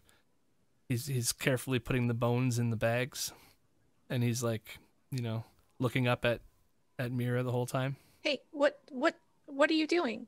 What what are you gonna do with those? Well, Uh, we have to going to go put back downstairs now, right? This is our chance with Ezra can can save us now, right? This Gonna- is what you were telling me about. We're gonna put the bones to rest so the two spirits can be at peace. Right. M- Mira will look back at at midnight, and uh, I'm assuming the little boy said that, or did Krim say that? Well, Krim is Okay. saying All right. that. All right. uh, Krim. okay. Uh, I'm trusting you. Don't like let. Yeah. Okay. Let's try. Mira, are you okay? You're acting different. I'm fine. Then why did you stab Cole? You go first. I don't want to go anywhere yet. I want. I want. I don't want to. I, I, Did, I'm scared. did she Mira stab Cole? I, her- I saw I saw the ghost touch Cole and he simply fell over. I mean, you definitely saw Mira kind of pull her rapier, but then the ghost attacked. Yes, uh, I mean, uh, who? Which one of us haven't hasn't pulled a knife on Cole as of late? I mean, I feel like so many of our conversations kind of at some point end with that. Right. I thought it was just another dialogue. All right, so Mira's going to hold her kinda- hand out to Krim and be like, "Okay, we'll go together." I'll kind of Okay, just let and go right at as they start traveling out the door there, um, you guys are put on hold for a second. Yeah. And we're gonna go over to The Amber Room. I don't know what it's actually called, but it sounds like a good idea to call it the Amber Room. So you wake up on the floor, Cole, and you are a little dazed and confused, and you get a thick stink in the air of death, and you realize that you don't, you're not breathing. You don't have to breathe. Um. Yeah, strange room, very creepy. Mist seems to be floating all throughout the floor. Am I able to talk? You can talk, yeah. You don't need to breathe. I'll call out, "Hello, where you hear am whispers all around you. Here, here, here, here, here. Tons of different like voices calling you from every direction. Do I have my equipment?" Yeah, you have stuff. Okay, I'm gonna cast light on my shield, on the front of my shield.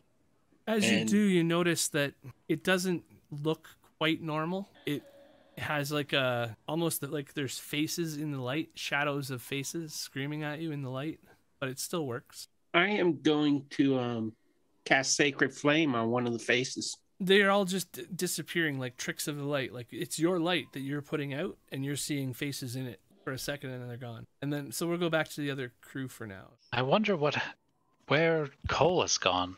He just hit the floor and disappeared. Myra, Krim, did you see where the ghost children went? Maybe Cole is a ghost, like the children. Uh, the ghosts, the children disappeared, and they're ghosts, and now Cole disappeared.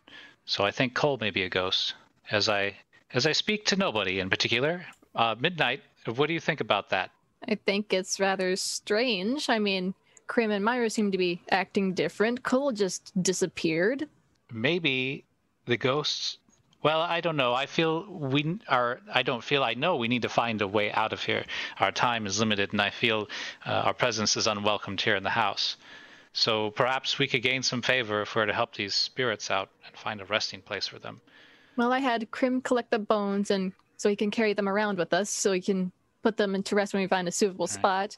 In the dollhouse, I also saw a secret little passage in this room over here in the corner, right outside the children's room. Uh, what uh, excellent excellent. Uh, great find. And uh, chris will put his hand on her shoulder and say uh, midnight are you feeling okay you you you had me worried there for a little bit are you okay Yeah, I feel fine. All right. Well, if you start to feel strange again, uh, let me know. Okay? I'm here for you. Okay, I will. All right. Well, let's go to this passage you were talking about. Maybe those be able to find something of interest there, and maybe our paths with with Cole will cross again. I'm really sorry for dropping him. That was not intentional. Well, not, not sorry for dropping him, but him disappearing. Try I- reloading, Jess. Wait, I'm did you make him disappear? Yeah, I need to reload. Hold on. I don't think so. I was dragging him out, trying to help. You said he was faking. Yeah. I may have gotten a little upset and thrown him and let him I saw fall. that. Yes. And then this mist came and it disappeared. I told Yeah, you so- those yeah, children it were wasn't- no good. It wasn't your fault. Well, I mean, they're nice enough. I mean, I played trucks with him a little bit, and he seemed like a nice boy. I think they're just a little confused and scared.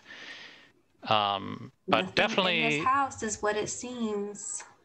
uh, okay. Um, I'm I pretty can't sure do anything those- about that, though. I'm pretty sure those children are ghosts because this was the room I felt the entities in. Yeah. I love Midnight, that you're- nobody's noticed that Krim and Mira are just over there holding hands. Like, what's yeah, going exactly. Well, I did mention that uh, you were acting funny. So midnight, you're standing in front of a door here. Make me a perception check. Oh, that's a good I'm right here. Okay, so yeah, you're getting, you're feeling drawn to all of these outside walls, except for this way. The, these ones seem to be ignoring you on this side, but all the outside walls of this chamber seem to be calling to you. Come, Okay.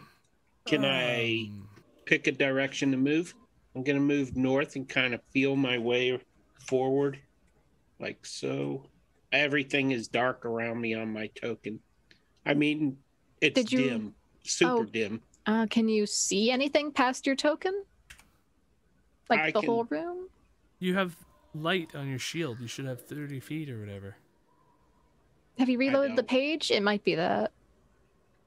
He also Yeah, has reload- dark vision, so he should see the whole room. Reload your page. Yeah. Do you act, does Triton have dark vision? Yeah, too? Tritons have dark vision according to the latest errata for their page. Yeah, so you should be able to see like everything in that room almost now. But yeah, sometimes you just have to reload Reloading. the page. Because anything that changes the lighting, you have to reload or it won't show up, it seems. Right, right, right. Gotcha. At least that's my experience. Well, try not to put yourself in a wall then, because that might make it again, break it again. I thought I'm we'd be still ready. reloading. Oh, You want to go back to them for a minute? And You think it's going to be a minute?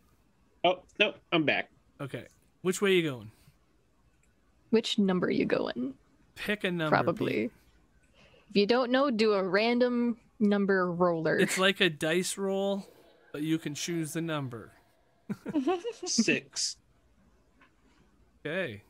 So as you approach that amber coffin with a, sh- a black snaky figure moving inside of it, you hear, Ah, pretty traveler from the far lands.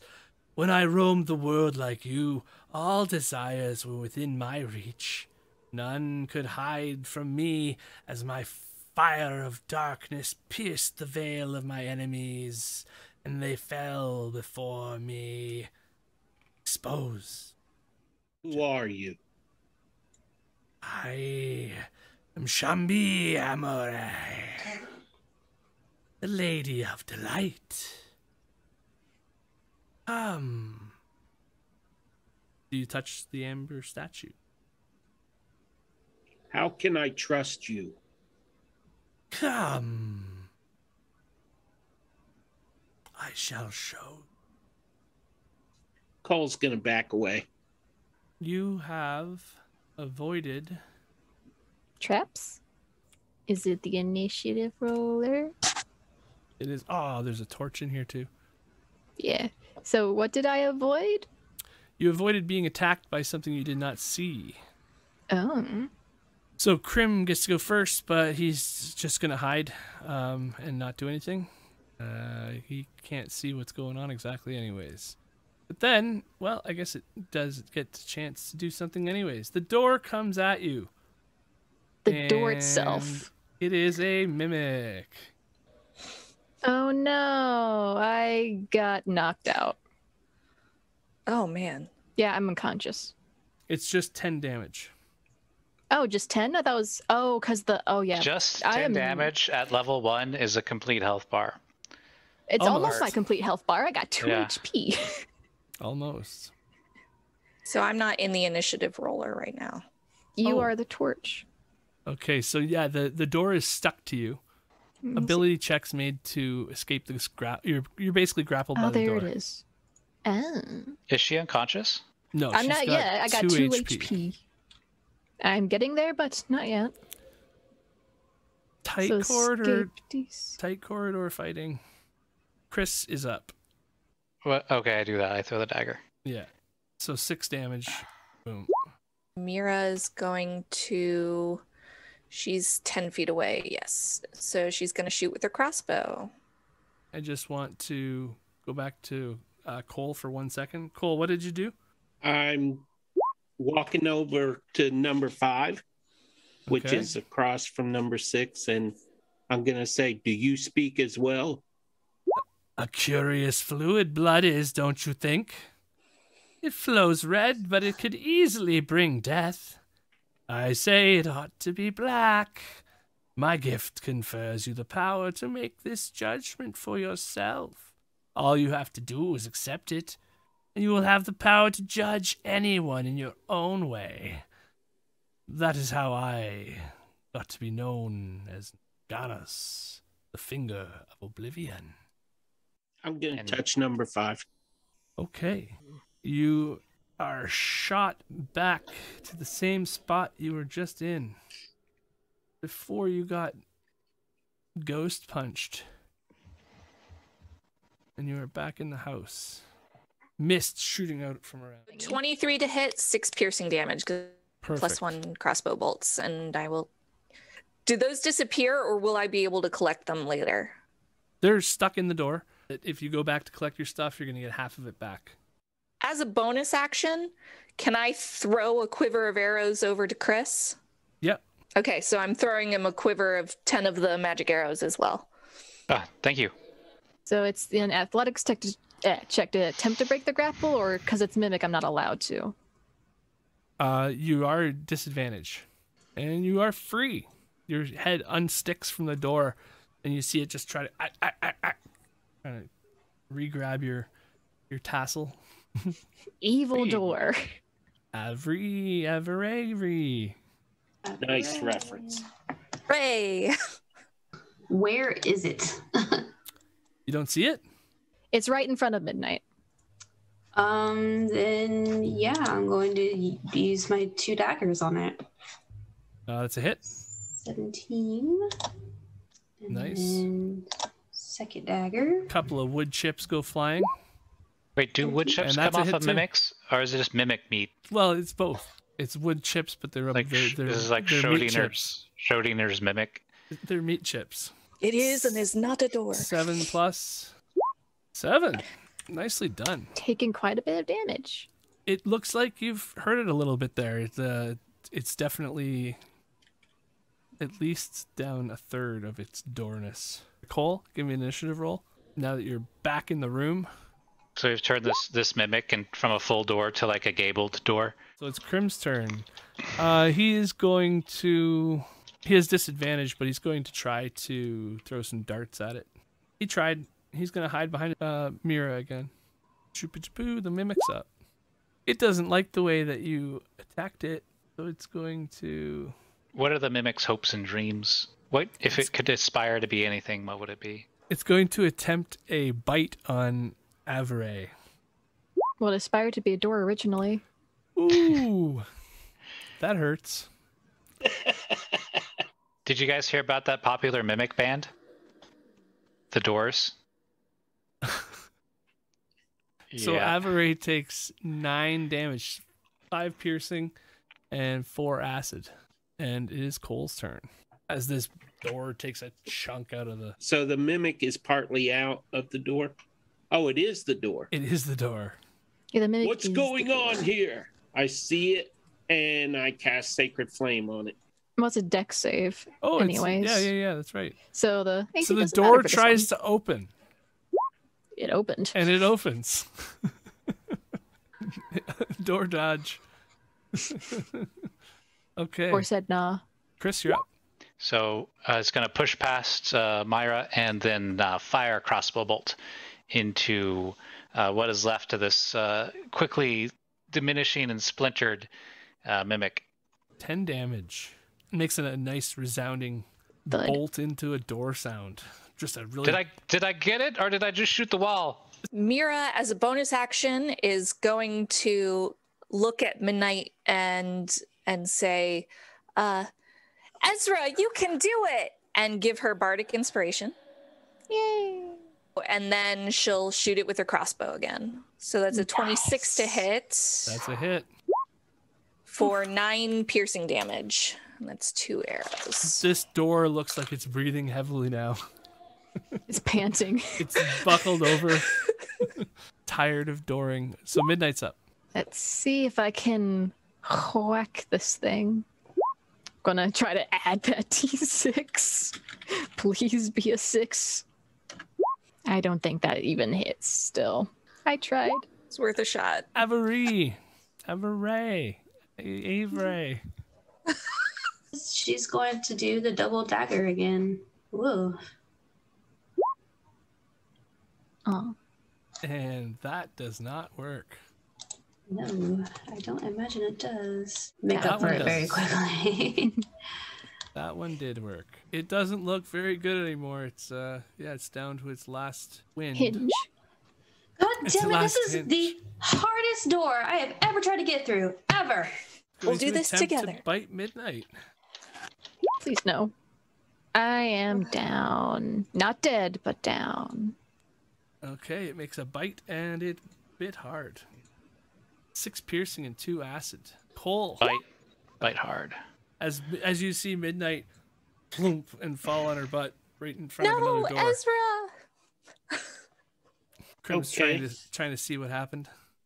What? What? Hmm. I heal her for nine points. Oh, that's really good. Thank you. Is almost full. Yeah. I'm gonna throw my trident of Persana. Does have the yeet ability. So it's gonna be uh Everybody duck. Okay. Uh, once again, he levels a crossbow and holds his breath, uh, squeezes the trigger, loosing a bolt. Oh yeah. You see this thing almost if it had arms it would be trying to grab itself where the bolt hit. It's just uh Is it trying to grab itself where I just shot it? That's so. Myra, are you seeing this? Mira's going to load her. I can't believe I called my own character Myra. Um, Mira's going to load a regular bolt into her crossbow and shoot it. and uh, no. No. Now it's Midnight's turn. It smiles at you. Turn. Close quarters combat rage. Scree. Okay, I believe switching your weapon was a free action or no? Uh if you want to drop a weapon and take another one out, yes. Okay, I'll do that. Midnight just kind of pissed off the door, dropped her. Is gonna take out the big hammer. the warhammer comes out. It's like time to break, please. Please break. The door flies across the room, smashing into furniture, flipping over and landing over in the corner. is not moving. Yay!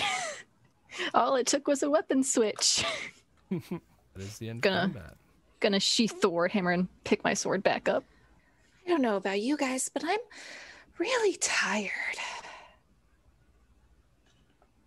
Yeah, do you want to just we could just we could just stay and play in the room. I shoot the door again. Just to be safe. Is it? Is it? Is it dead? Did we get it? Thank. I think it died when I slapped it halfway across the room. How do how do we know it's dead and not just it, it pretends right? It was a door a little while ago, but then it, it turned into teethy bitey stuff. I retrieved my trident as well. Hey. Come on. Where are you? Follow me. She'll hold her hand out again to Krim. Okay. I'm gonna poke the mimic. Is dead. Is dead? Question mark. Bite your Is finger. it dead? No, it's dead. it doesn't move. It's actually a really nice looking wood though. So who's carrying the bag of bones? Crim. You with your barrel experience would would be like, "Ooh, this is like exotic wood." Mm, Yeah, Crim's carrying the bag of bones currently. Midnight. Do you see the grain in this this mimic? It's extraordinary. Uh, can you help me ply some of this uh, wood from its flesh? Maybe we can make a barrel out of it or something. She just smashes it with the warhammer again. Okay. well, at least we know it's dead for real. Well, better safe than sorry. Uh, so the secret passage that you found in the dollhouse, uh, where is it? It should be past this door right here. Where this S is, Oh, I thought it was through the door. Okay, then this. the door. secret. It's gonna be like And- retcon. It's here. Well, Crim's waiting there and he's pointing at the door while you guys are walking around the room. Coral, where did you come from? We saw you fall into the floor and disappear in a pile of mist. I'm so sorry. I didn't mean to drop you. I hope you're okay. I am fine. Where did you go though? And then how did you just show back up? I went to a dark place and I was given a choice. And I guess I chose correctly. Huh, sounds like me in my early 20s. I feel like you in your early 20s made all the wrong choices. Hey now, I'm still here, and and uh, I mean, yeah, certainly I've I've made some mistakes, but uh, nothing the little prejud- prestidigitation can't uh, can't uh, remove, right? Yeah. Gonna, you know, try the uh, way to the secret passage. Okay, as you move that uh, stone door, you hear it like creaking with the stone on stone sounds, and then Mm-hmm. uh, a whole wave of like stench and stuff fills the room. It's old air that hasn't been released in a long time, and uh, you all sort of, you know, choking to to just breathe in here for a minute to get used to this. Midnight is unfazed by Un- this breathing you talk of. Unfazed, yes, exactly. But everybody else in the Cole- room is Cole staggers a little bit. He clearly looks tired. Uh, well, uh, keep your head up, Cole. Uh, find a place to rest. This is a house, after all. I mean, they have. Maybe lots of there's beds. somewhere to rest down through this stairway. Walk. Do we have to go now? Oh, Well, I think I think if we don't try now, we won't get another chance for a very long time. okay. I could carry those bones for you, Krim. No. You don't touch the bones. She'll, and Midnight will kind of shout back, "Oh yeah, Cole, don't salt the bones ever again. That makes the spirits hurt. It's torture." the staircase that you're walking into is Mhm. just covered in cobwebs and dust and you know you can see that it goes from what you can tell goes quite a ways down like st- almost straight down in a very steep spiral Just kind of swat the cobwebs away with the sword. Make clear a better way for everyone so they don't have to walk into cobwebs. okay so as everybody's walking down these stairs uh, we'll say that everybody's kind of in the stairwell now as you enter the last person enters the stairs the door behind starts to creep and close shut and then you start to uh, see a torrent of mist flying up from the from the lowest depths of this house. And as you you're like just bathed in this mist that's absolutely completely obscuring your vision. You can't even see your hands. You can't you're holding them up right in front of your face. You can't even see them. You start to see flashes of images like cole casting his spell to boost Crim's AC, and it really wasn't uh, a light effect that happened. It was shadows. He caught he covered Crim in shadows that um, danced around his body, coalesced, and then Midnight was uh, bending down to like do her lay on hands and cure the poison from from Mira, and when she did, it was like snakes moving through and darkness and slithering forms like a black ichor almost moving through her into Mira that made her wake up. And then like Mira's dissonant whispers was like she heard like sounds of tortured wailing actually happening when she did it. And you're you're you're realizing that all this was happening and that this is like some sort of a magical effect this house has on you. It's all illusion the children outside must have been an illusion as well. You're, you're feeling all this sort of knowledge, all this understanding come to you in this moment of of heightened perception. You're starting to feel embolt, uh, like uh, uh, bolder and stronger. Uh, all of a sudden, you feel like something knows you're here, and everybody Creature levels in the up. basement. Yay!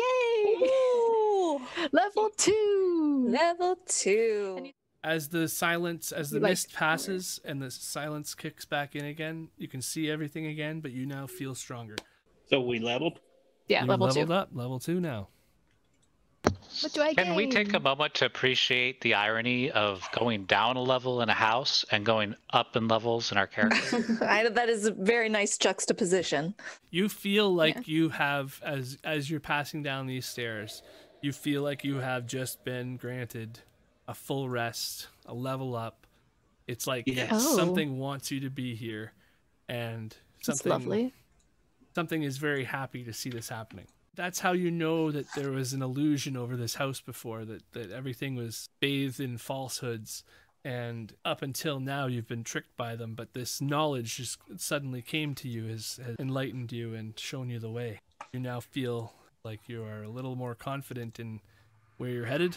and we're level two level now. two. Oh, and we are level two. Everybody do the level two dance. We're No, hundred just percent me. stronger. I have more HP. Yay! as you come down the stairs, you all felt that surge of adrenaline, and Midnight has to move a little farther forward to let everybody. Might be more this way, maybe? It's hard to see, even with a torch. Okay, so Cole, you can give me a perception check. from where Myra, you you are. are you're stepping on my heel, Myra. Sorry. That's all right. Just gotta be quiet, I guess. Yes, we definitely need to be quiet. Midnight. Midnight. Midnight. What do you Sorry. see? I just noticed something. What is it? I see hallways. I see a wolf. Where? Okay, so yeah, wh- wh- wh- when you say that, um, Krim grabs your hand and goes, "Whoa!" Where's the wolf? I don't see a wolf behind us. The wolf is looking over her shoulder. Do I see the wolf? Um, there is a wolf standing in the stairwell. Ah. Hey, who's a good boy? Who's a good boy? And I'm gonna use uh um I'm going to message you about what is happening. Ooh, secrets. Chris and his secret Level powers. two. I will figure them out. Whenever I use mine, I can probably just explain it through the power of Lady Ezra. Hello, uh, little little guy. Uh what are you doing down here? It Let's hear you bark. It Uh, sounds like he's. y- mm, you can speak, but he does. He's the only one who can understand you right now. Here, here, get get behind me. Mira's gonna pull Krim kind of behind her and switch places with him. Uh Krim, I think this dog has her best interests in heart. Or, okay. Whoa! Oh no! Paul smacks a flea on his leg. Does the does the wolf reply at all or what is going on? Uh, can the wolf reply, Greg? Yeah, No. you're, you can speak Yeah. in wolf. Okay. But And he only can understand Chris will s- Yeah, only Chris can understand you. Yeah. Okay. Um. Then you'll hear Avery's. Um. Then yeah, you're gonna hear Avery's voice, and she's gonna be freaking out because she's much shorter, and it feels it feels very weird in here. I don't know why. I feel like I'm standing on all fours, and I'm strangely at your crotch level. This is not okay. okay. So you guys all hear Chris uh, speak to the wolf. He says, "Avray, is that you? Shake your head. Shake your head up and down if it's you." Oh, you're you're such a fine breed. Uh, look at you. Uh, your coat is marvelous. What coat? What do you? And she's gonna like look down, and, she, and then she's gonna start like, like the the nervous dog panting, whining, gonna start Oh, trying she to like needs she needs to go outside. going in circles. She need to go walkies. What are you guys talking about over there? I can't see what's happening. Oh, Avray turned into a dog. A She's dog. mean, actually like- a wolf. Do you guys mean like earlier? No, she's right here. She's a dog. Can't you understand her? No, I don't speak dog. Speaking All I hear perfectly is clear an animal whining. All I hear is dogs barking. Oh, tell you what, after being on my feet for so long, my dogs are barking. uh, Am I a dog? I'm a dog.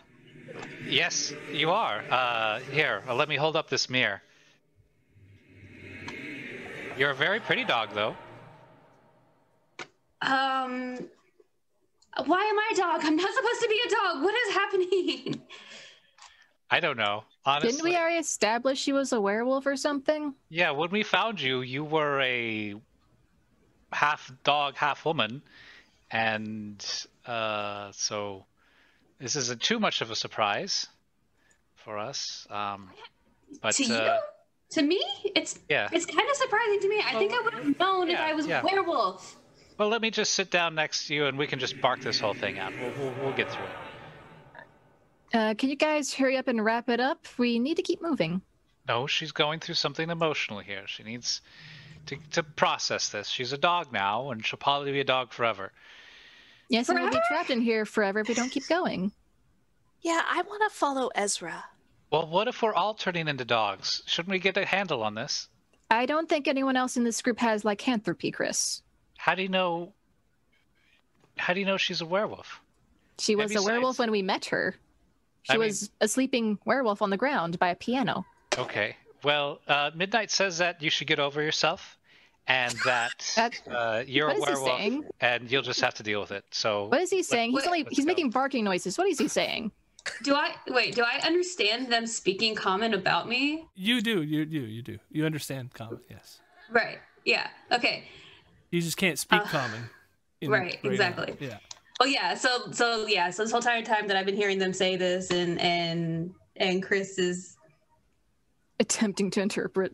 yeah, and I'm but I'm but I'm like talking back to you in I guess in dog bark bark bark bark. so sorry, it's just funny in my head. um, she's gonna keep whining. I guess you'll just hear her start muttering about uh. Um, well, I guess that means I did get bit.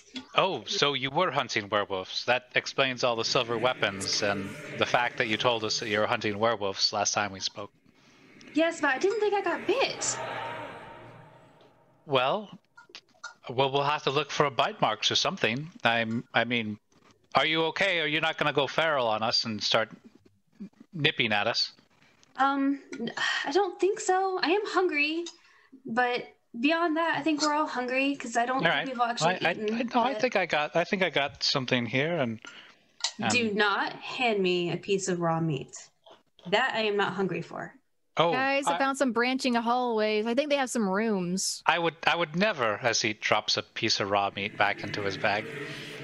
Yes, never do that. All right. Uh, anyways, I think we should move on. I think Midnight found something. Uh, can you smell really good now? Midnight, right now you found uh because you walked into that little room there, you see a blank crypt door. Like these doors have been placed in place, but they're not sealed up. They're just Mhm. sort of leaning against where they will go to seal. You could move it and seal up the crypt kind of thing from where it is. And one of them is is blank and no name on it. And the other one says Walter. Walter Durst. It looks ahead, like sorry. it's carved quickly. Like it was a rush job. Yeah, the actual slab is very nice, and the name on it is very rough. Guys, one of these little coffins says Walter. No, Walter. Walter. Was that the name of the little boy from? That was the name of the baby from the journal. That's my Oh. brother. You hear Krim say that. Krim, you don't have any brothers you told us of. He's my brother too. Graham, Wait, how old are you? Whose brother is here? Walter. Midnight just kind of kind of looks Myra straight in the eye and say, "What's your name?" Uh, Would she say Myra? Would she say something else? she's DM stubbornly not answering you. Like, uh oh, if I if I tell the truth, I'm gonna get in trouble. Please hand me the bag of bones. It looks like she's worried about. What are you getting worried about getting in trouble for? She called Walter her brother. Krim Does gives that you a mean- real evil look, Cole, when you say, "Hand me the bag of bones." He he pulls it away from you and gives you a mean look. And uh, I use my newfound perception skills to see if I can hear her heartbeat racing. See, uh, see if she's getting nervous or something. Yeah, Yeah. advantage on that. You hear an accelerated heart rate. Chris, can you still understand? Well, I'm going to assume that he can, and I'm going to tell him that. Uh, What what what is it, girl? What is it? shh. Do you, do you hear something? Oh, So yeah, she uh she definitely heard an accelerated heart rate, and she was telling you about it. Okay. What's the Okay. dog barking about, Chris? Um.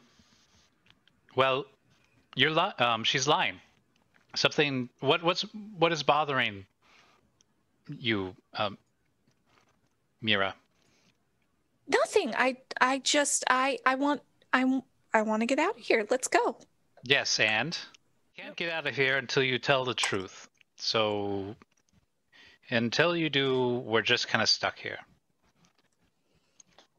Uh, So mm, it's all right. Nobody's gonna get in trouble. mm, are you trying to persuade me? Oh, here we- Yes. she's back. Should you guys do some contesteds? Guess whose baby unplugged their computer? So, do you want me to do a deception roll and him to do a persuasion roll? Because he's trying to persuade the lady. Greg? Um, sure, yeah, that'll work. Uh, deception versus insight.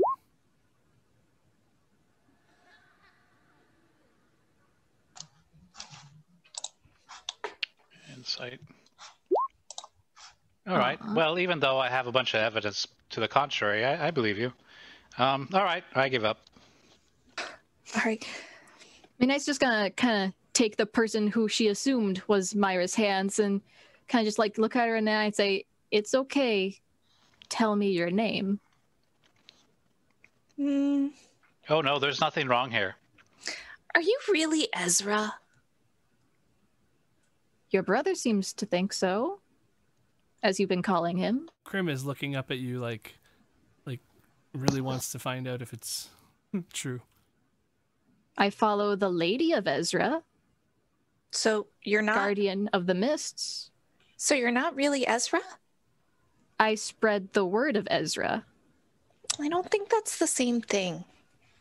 I'm like No. a disciple of hers. I don't feel so good anymore, sister. Yeah, yeah, me neither. Maybe we should just go back.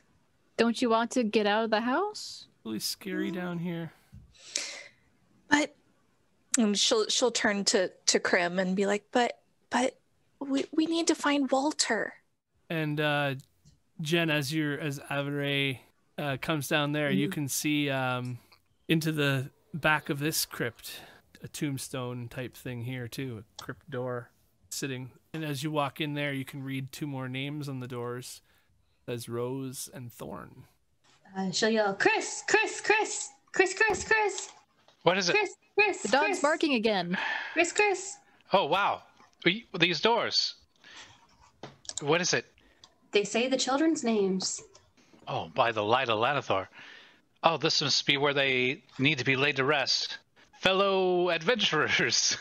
I, I don't even know what to address you as. Uh, hey, the the we found uh, a sepulcher f- for these these children, these these lost souls. I think if we intern the bodies here, it may give them the peace they look for. Do you want to find Walter? Yeah. Where's Walter? He should be in this little coffin labeled Walter. It's been a very long time. Ha- has it been? Midnight will just like nod her head and say, "We don't know, but we know the journal we found mentioning Walter and the Dursts art is very, very old." It's been forever. Midnight, you see in there now as you move that out of the way a little bit to get a better better view, and you see that uh, there's some coffins there that uh, have no that their stones are on them, but they're um, just like off to the side just a little bit, so it's you can you know it's not sealed up at all.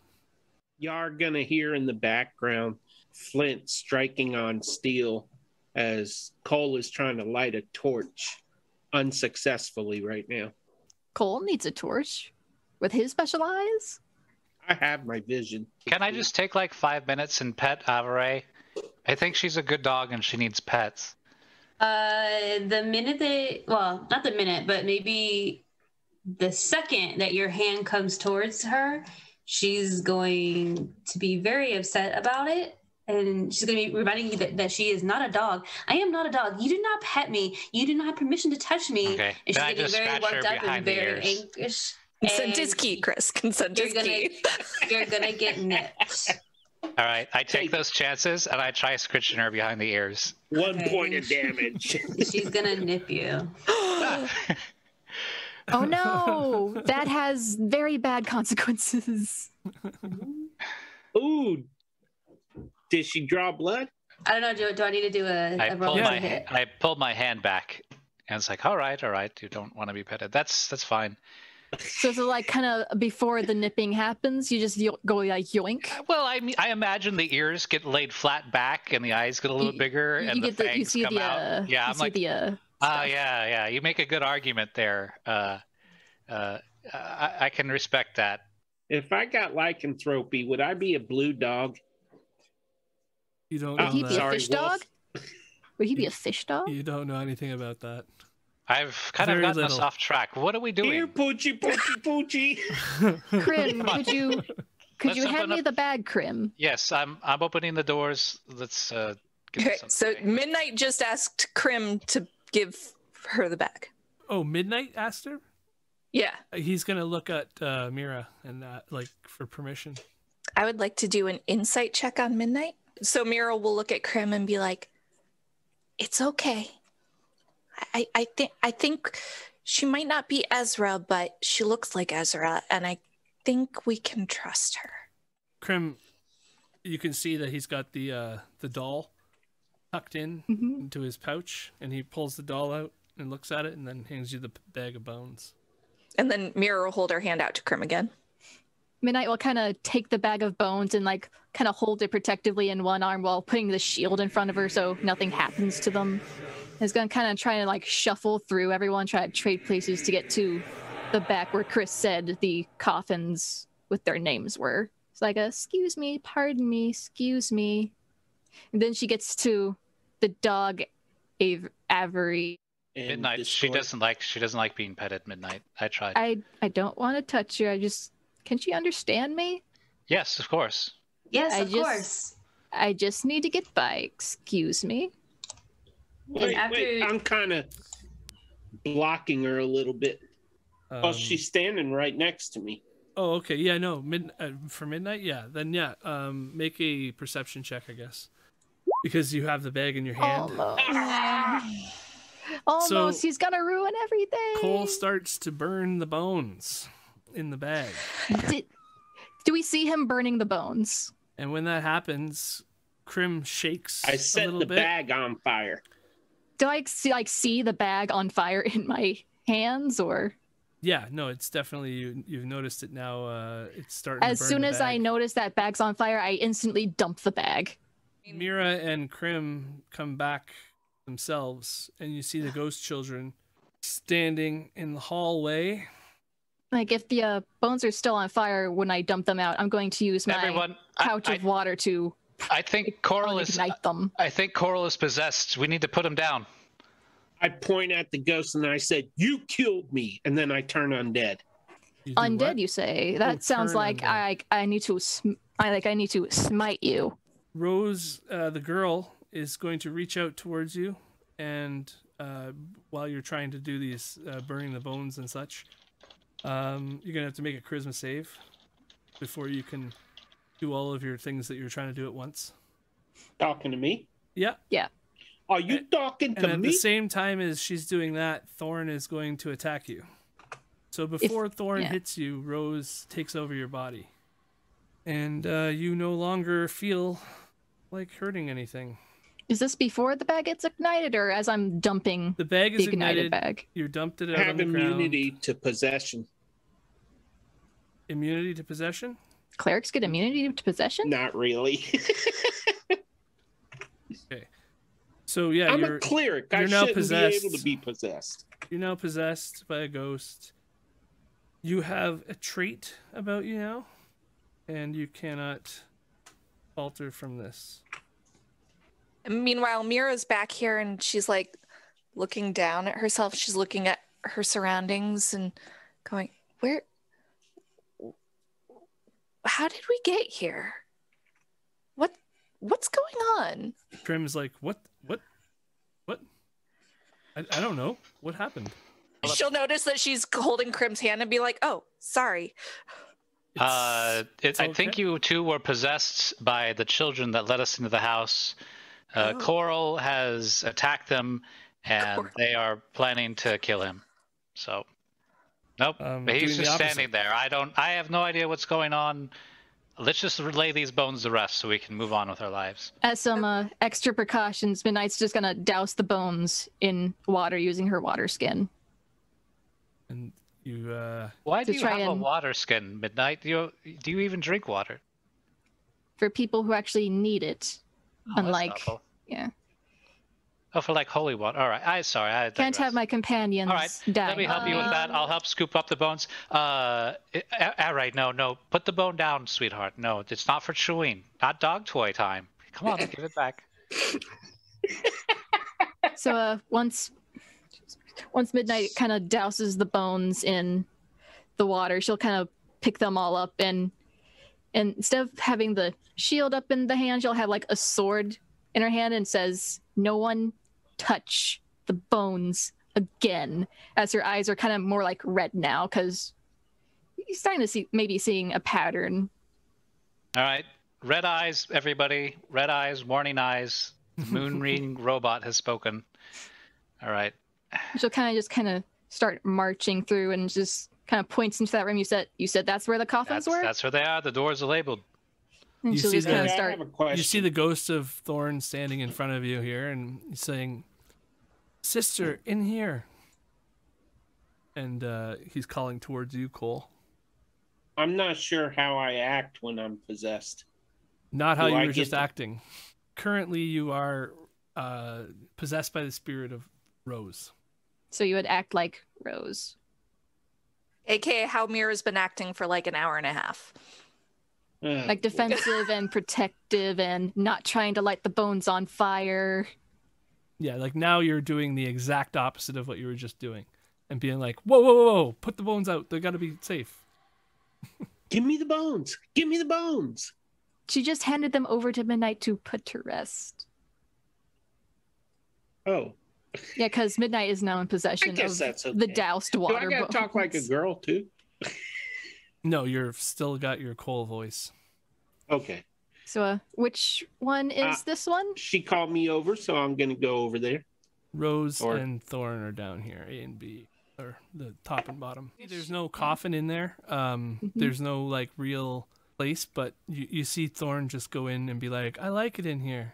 He just sits in the corner, starts playing with his doll. So Midnight will kind of arrange Rose's bones in like a nice little order to attempt to lay them to rest here. She'll like take out a little censer and a little holy symbol. She'll pray over the bones and start trying to, you know, Oh, here, exit the room. there's an extra This foot is- in there. Let me just get that. I'll put it with the other one. Is this is the little boy's bones? This is the little girl's one The little girl's that I'm bones, yeah. currently in. The one that's possessing you. I'll take the others to the uh, other sepulcher and inter them there, and uh, kneel down, spreading them out in a ritualistic uh, respect, and begin to pray to uh, Lathander for their peace. Cole walks out of the room and then stops being possessed again. You see No, the no. bones uh, of both children. Chris, you see Thorn's bones. Uh, the spirit sort of moves into the bones again, and then the spirit form disappears. Where's my torch? Midnight's gonna quickly close the room to the sepulcher and stand in front of it with a shield and sword in hand, barring any entry. And just like assertively say, You will not burn these bones.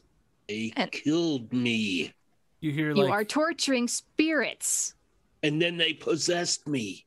Because you burned their bodies. It's not an argument, Cole. It's a, it's a, it's a, it's a line in the sand. You And dry breathers do not understand. This cannot go without being avenged. And Mira says, they're children. If I were in the Siren Sea, they would be disposed of properly. You're not in the Siren Sea. This is disposing of them properly. They deserve a proper burial. This is how we bury people on land. We do not burn bones. We do not destroy the bodies. Doing that tortures the spirits worse than you can imagine.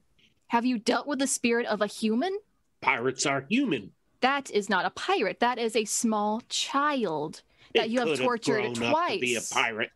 You have tortured the soul twice. You should not be a cleric. Yes. Midnight. Uh, you feel a presence of like a voice in the back of your head says like, "Thank you, Ezra." The spirits are at rest now. Let's keep going, see what's else in here. She kind of just tries to leave the corridor. Mira's not going to leave until Cole does.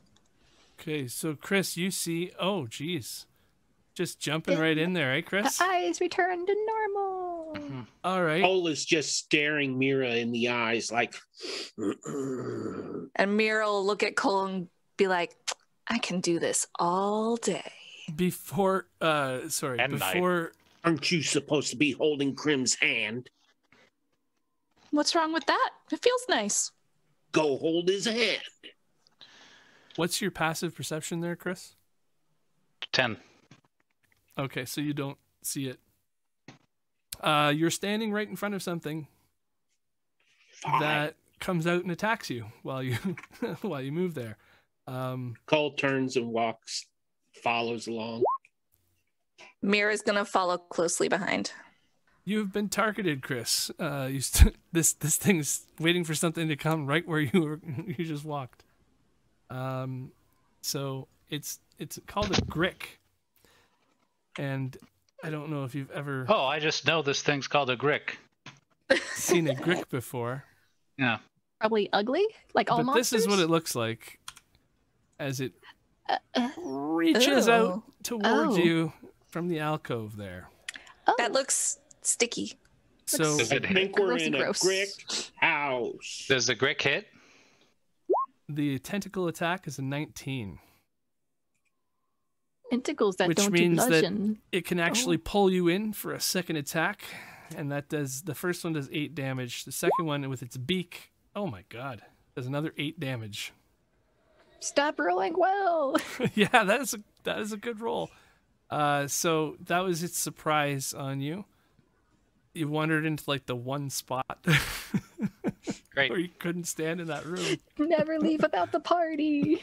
As it bites, the mist that had kind of been following Chris around react violently, exploding into sh- uh, bla- uh, icy uh, blast, and it takes eight points of, co- of cold damage. Nice. Nice. You just hear him shout, "There's a grick in here! I know exactly what it is." Throw it out the window. Yeah, go so ahead, hear Midnight. Chris yelling. I'll move here to try and see where he is. You guys have been hearing as you have been uh, moving down farther, especially where you are, Chris. Oh, that's not creepy at all. So it, it was coming before as well, but it's getting louder now. That sounds like a big chant is going on somewhere. Let's try and smack a thing, because I don't know what that is, and it's creepy and gross and needs to die. Oh yeah. So Mira sees Midnight dash off, figures there's trouble. She'll pull out her rapier along with her crossbow. And 5, 10, 15, 20, 25, 30. And she can't reach with the rapier, so she'll shoot the Grick. 25 to hit. 7 piercing. It's not looking so good anymore. Grim. Oh wait. Uh, so Grim's gonna run in, and he is going to get there and do his quarterstaff attack. He gone bonk. Boom. Yeah, so it's two-handed, but it ends up getting a chunk out of it. But he has another bonus attack, so he'll do that with his talons. Unarmed strike. Oh, That is not a bonk. I'm going to use my crossbow on that thing. And I missed. I assume. 12. 12 is a miss. Yeah. Grick, you're up. Grick, That's you. you! Snip, snip. Oh, wait. It's like, oh wait, that's me. Hey guys, I'm Grick. Wait, was this an NPC?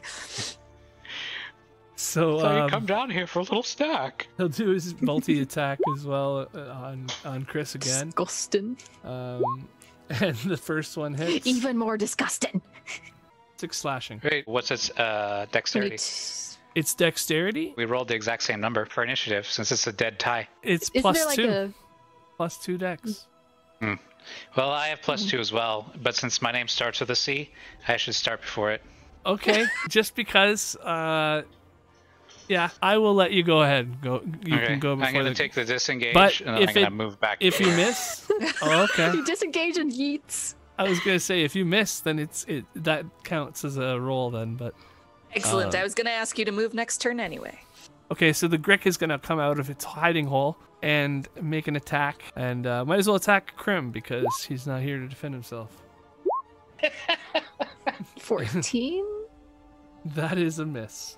Grim's It's like he's a monk. That's a miss. Grim just flaps up a little bit. He just like flaps big- his wings all over the place. Kya! Averay. Avery. Everay. Avery. Um, she's just she's still freaking out, being in not her normal form. So she's gonna come up here as far as she can come, and she's probably just gonna hold her action in case anything comes her way. She's kind of freaked out, so and it seems like you guys got everything under control for the most part. Okay. Top of Midnight. the round. Top of the round with flanking. Yay. Midnight's up. It's slopping around on tentacles that aren't able to hold itself up, and as it does, you chop the tentacles up from underneath it. It falls on the ground. Its beak is still moving, but it's slowing down, and eventually the gurgle stops. The Grick is no more. That was gross. That's What funny. kind of food source would a, would a grick be considered? Is it plant or meat? It's calamari. You see, uh, Cole, I, I've had extensive experience with gricks, and that's why I knew exactly what it was. Uh, they are indeed related to sea creatures, uh, squids, I believe, and uh, it's unusual for one to be in a basement like this. But I mean, we've seen nothing but surprises so far, so I think it uh, could make good eating. I was Yeah, so- asking because I do eat seafood. This looks like something that you um, might have wanted to eat if it wasn't in a basement full of dust and cobwebs for what could be hundreds of years. All right. Do we still hear that chanting? Yep, it still comes around every once in a while. Can You're I tell where it's coming from? Yeah, can yeah, can I use my keen hearing? Yeah, from down this way. All right, guys. I think we're headed in the right direction, but also towards danger. One thing you guys did notice that at this point that you wouldn't have seen immediately. You're standing in the room that is on your picture right now, actually. Mhm. on that table where the ste- skeleton is is dumped against, uh, you you see a book, and it looks like a log book of some kind. And as you as you thumb through it, I guess Mira you're there and Cole you're there, so you guys can see it has a whole bunch of um, descriptions on like people's names, where they're from. So it says like Morgan Jovenale decapitation, Felicia Wright stretched with the rack, Baythorn Stonefist, 1,000 cuts, Irvine Wimplefoot, spike through the heart, and just keeps going on and on and on. This is brutal. She's right here. Mm-hmm.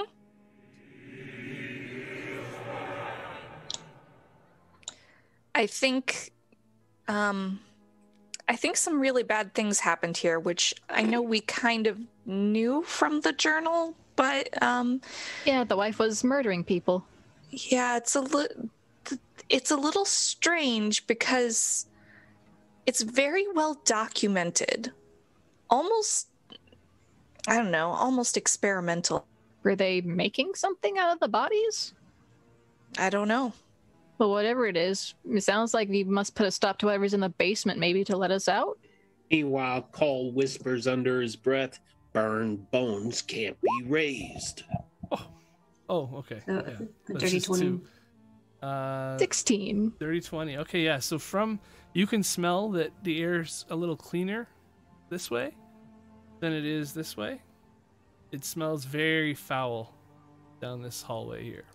So you guys are gonna hear her whining and trying to start heading this way. And she's gonna tell Chris, "It smells much better up here.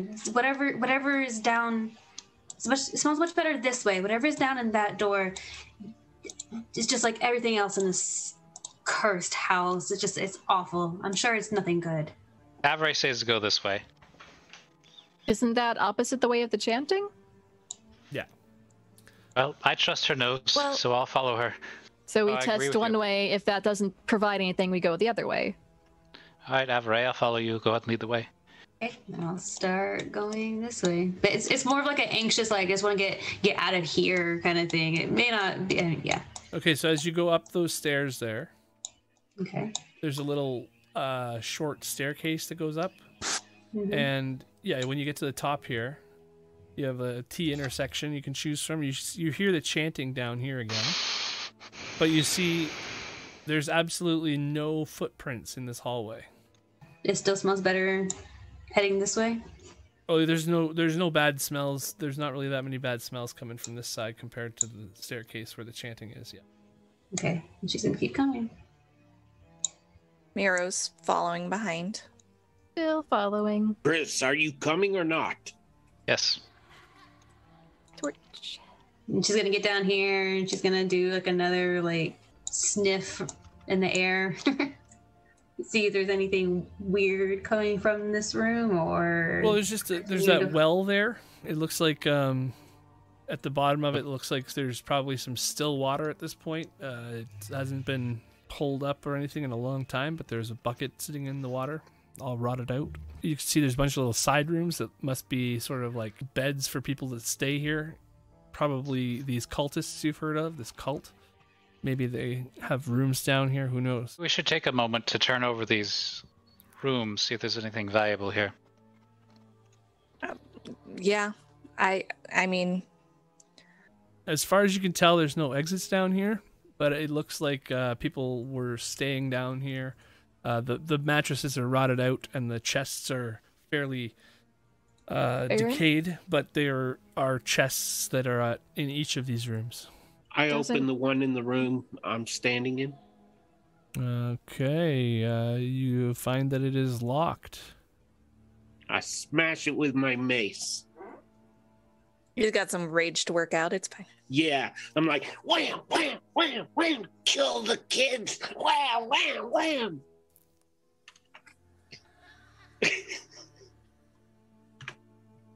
Yeah, uh, roll. Oh, I got to roll. Okay, Yeah, why not? You're attacking something. it's my whalebone mace. It's a six. Yeah, so uh, Cole's having a fun time. He'll eventually get in there. Yeah, Mira will go ahead and open this one, I guess. It's locked if you have thieves' tools or an attack, and you can get in. Depending on These how Alright. rolls hard. are a thud.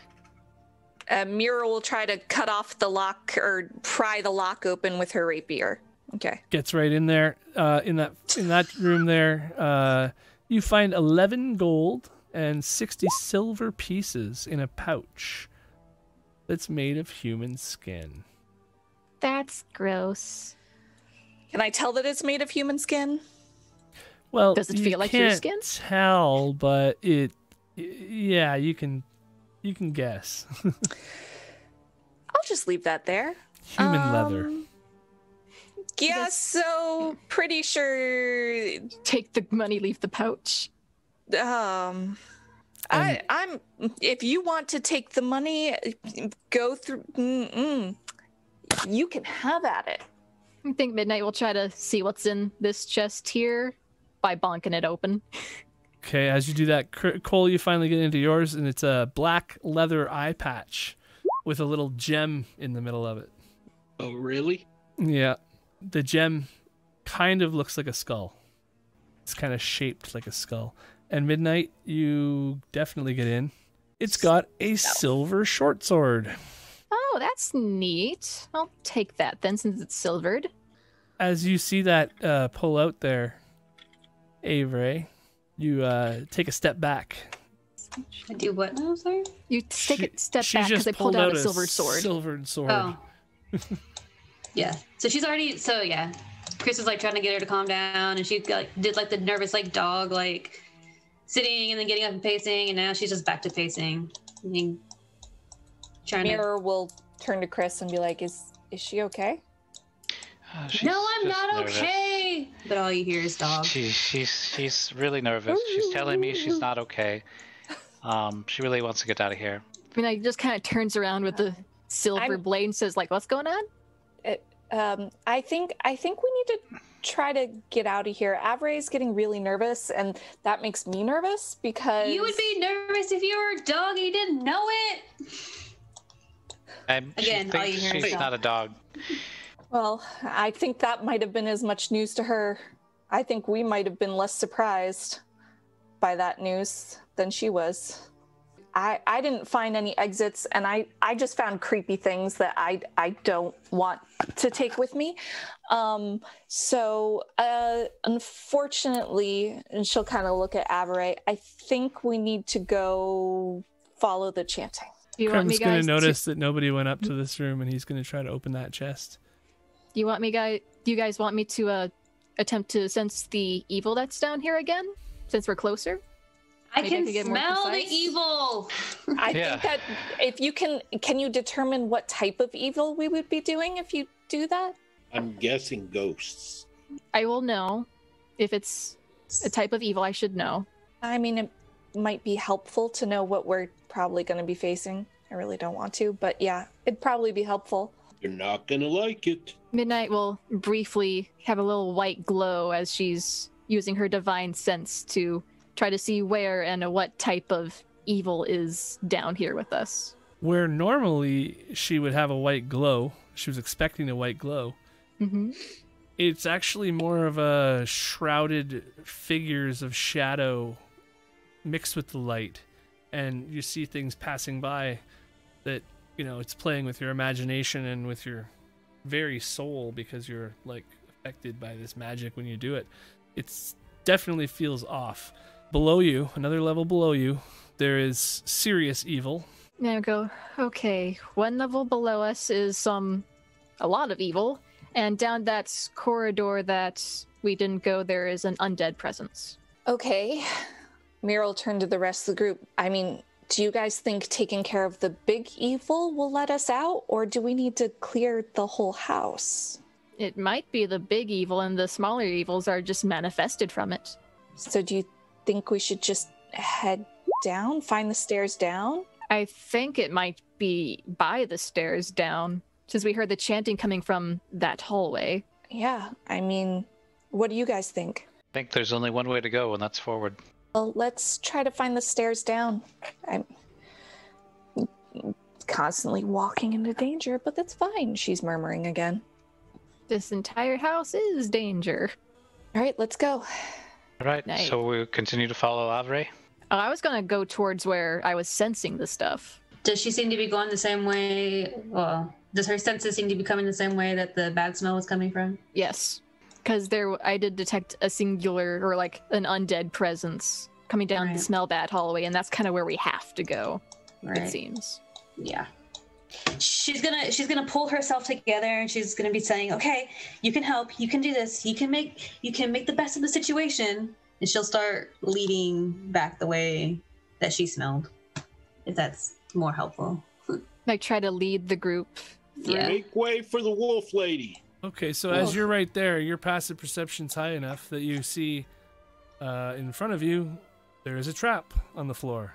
Right here, there's a trap on the floor, and so you can get around it by you know nimbly walking around. And like do like a cool wolf jump over it. If you hadn't done that, Midnight was gonna fall into a, a spike pit. cool. Well, then she's gonna do. So you could do like the wolf jump off the edge, like a Yeah, like the exactly. Matrix. Yeah, Yep. Matrix wolf. Yeah. Like do a little kind of like little do a little bounce off the wall onto the other side of it. Wolf parkour. Right. And I will just kind of just see that the wolf Avery kind of avoided a spot in the floor and we'll do the same. While they were searching the room, could I have taken a short rest? Yeah. You would have, had, yeah, because that's about ten There's minutes. beds in So there. yeah, Midnight will kind of say, "Watch this area. It's the wolf didn't like it. So Try this one right hit it. here. Yeah, try not to hit that. The wolf didn't like it. All right, well, I can't go anywhere until you guys move. Keep going, Avery. We So when you room. passed by that corner there, you do need to make a stealth check. A stealth check. Okay. Yeah. Uh oh. 13? That is uh, good enough. That's nerve wracking. All right. All right. So she'll jump over there. All right. Uh, she'll turn back to Chris and I don't know if you heard, but don't step there. Wait until I move forward and then step where I am. All right, thank you. As everybody goes down, I think the only person who's going to notice is going to be Prim. Because his passive perception is so high. So everybody gets down a little bit more, I guess. But when Grim gets to here, he notices down the hall that there is. Uh, he says, "Oh, shh," and he points down the hall behind you guys, and he sees uh, an undead creature lurking the hallway down on the end. My senses are accurate. He says it it, it looks uh, very very dead. Let's let's you. let's try to be quiet and just not draw its attention. Okay, so as you come down to this room here, uh, you snuck past something very creepy upstairs, and you're happy to not have to have fought it. And uh, so in this, the ghostly chanting that you guys have been hearing is a lot louder now. You're starting to be able to even make it out. He is ancient. He is the land. And so this ghostly chant seems to emanate from through this uh, open gate here. Basically, there's a um, 20 foot room here with little alcoves, and you see in each of these alcoves, it seems to be that there's like a, a relic or a treasure or something placed, like spiritually placed. Cole, actually, you would notice that it seems to be a religious placement of I'm- artifacts. I'm not in there yet. Well, when you are in there, Which that's what one looks the most valuable? Do any of them were any of them consecrated or desecrated? Because the divine sense would have been able to pick that up on the items if they were. No, there's a large mummified bird claw with like sharp talons, and it looks like an Aarakocra hand. Um, or Grim It's it's on a loop of rope. Uh, there's a knife carved from human bone. There's a dagger with a green piece of glass cut into it to look like a gem set into the pommel. There's an 8 inch diameter varnished orb made of a Nothic's eye. There's a cloak made from stitched human skin. There's a desiccated frog lashed to a stick. Looks important. A clear glass jar full of dried bat guano. A taxidermy figure of a raven with its wings ripped off. A six inch tall wooden suit of armor that looks exactly like Midnight. An iron pendant adorned with a devil's face. A shrunken, shriveled head. Actually, dozens of shrunken, shriveled heads that are bat heads uh, hanging together on a small rope. And a small wooden coffer containing what looks to be a dire wolf's tongue. Me. And there is a jug that looks very interesting. Avery knows. And Midnight has a pretty good idea. That's a jug of alchemy. Oh. Pretty Wow. jug. Down this area here, there's a grate that uh, you can see is sort of stopping this water from um, like debris and stuff from going through. It's like basically it's a if there's any water, it runs down into here, and there's like a portcullis on the end of it. And uh, there's also a, another way down into this labyrinth over here. Midnight will uh, point out the armor and just exclaim, Why does every suit of armor in this place look like me? and then she'll also point out the jug and she'll point out then say, That's a jug of alchemy. I think it definitely worth coming back for that, but I hesitate to remove it right now. Midnight's highly considering because, you know, a good chunk of us know what it does. Grim's already picked up the uh, Aarakocra hand, and he's like trying to, you know, Does anything happen as he removes it from the pedestal? no. He's playing with it, trying to put it around his neck, maybe. Well, it seems safe to remove the objects. Nothing has happened. All right. Grim, that, that seems a little macabre for you there, Grim. Does it? yes, because that would be like me wearing a human hand around my neck. He takes Midnight the thing off for a second, and he, he hands it off to you. Then Midnight will kind of go to the jug of alchemy and, you know, pick it up. Let me check it to make sure there's nothing that could go off. Midnight kind of just retreats the, her hand from the handle. It's like, okay. for I would like to to check the pedestal with the alchemy jug for traps. absolutely no traps.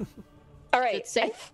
I I think so. you see that this is sort of like a place where these items might be stored. Like Uh, a storage room. This doesn't room. look like a. It looks like a like a holy storage room. It doesn't look like th- this is a room that they would do anything in, do anything with these in. But they're being stored here for now. Midnight's Okay. gonna take the jug and put it in her bag. We could use this later. It could help us help well help you guys stay uh I guess refreshed. This should be the term. It can produce many types of liquids. All right, it seems like something worth holding on to. And she'll just Probably. put it in her pack. Not like the ghosts need it. They're probably all useful in some sort of way. Cole is taking off his backpack and saying, "I say we grab everything and just I'll, I can carry it, and maybe we'll need this stuff to get out." Grim's already shoving stuff in there. Midnight kind of just wants to look at the armor and just try to see any comparisons with her. Um, yeah, no, it kind of it looks very similar to you, and actually, it's like a suit of armor that's standing on a little pedestal, Mhm. and you see on the bottom it says, um, "Is no fun, is no Blinsky, Noblinsky? is no fun, comma, is no Blinsky, B L I N S K Y." B L I N S K Y. Prim, do any of these have inscriptions that you're grabbing? I didn't read them. No, I don't think so. Can I see one and take a look at it? Yeah, there's nothing else that's really um, Okay. written on or anything like that. Whatever Prim didn't grab or someone else didn't grab, I'll be shoving in my backpack just in case we need it later. Yeah, that's Okay. a good idea. Just in case you need a cape of Copy human and pasting skin. what the jug can do. we we are greedy people who see things that are shiny and we take. Cape of human skin. Who can resist? That's too close to necromancy. A lot of this stuff is. Is a lot of this stuff is very necromancy. Except the alchemy Mirror doesn't jug. go near it. Mm-mm. The alchemy jug's probably like the safest item in this room. Well, they've been So they doing that. thought. Every's Every's been down here, like just keeping an ear out, an eye out, a nose Right. out. Down here was covered by like a tall grate that we can't pass. It's like a slide down that you would do if you wanted to go down that way. It would be like a slide. It's more like just a, a gradual slope. Actually, it's not 15 feet, but um, you could probably get back up. But it's like slick with moss, and there's a portcullis at the bottom, like a iron bar door. How high's the water look down there? It's hard to tell. It's all black and murky, but It could be deep, it could be not. at least a foot. And I will kind of continue on where the others are gathering. Chris, um, Yes? you're a little pale skin there. I think this cloak would probably match your skin tone. It'd look good on you. Oh, thank you. Oh, there's a few faces in this. Um, I I don't think this would really do much to keep the wind at bay. Oh, oh, that's just to keep people from uh, um, sneaking up on you. Oh well, that's, that's thoughtful of you. I appreciate the effort it took you to, to think of this. Anything else? Uh, yeah, I would like to ask you a question. I was wondering if you could maybe explain to me why you humans or dry breathers, whatever you people are, why do you not burn the bones of the dead so that they cannot be raised again? Some do, some don't. Uh, what we had here was just a situation where uh, the spirits did not want that to happen, and since they had such a strong footing on this plane, uh, I think they made a good argument. Midnight will kind of just turn around and say, because it's literal torture of the soul. Only until they're totally gone. I'm glad this is a good discussion. If it doesn't hurt, it's not helping. Midnight's kind of just going to ignore him at this point, just keep walking. Yeah, exactly.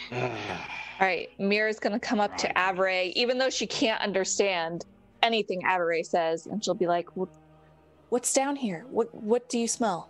Uh, 18 perception check. This is really dusty, uh, cobwebs everywhere. You're hearing Grim walk along what sounds like crunching, and then Grim starts to realize what he's walking on too. It's not just like old dirt or anything. These are he's he's walking on piles of bones.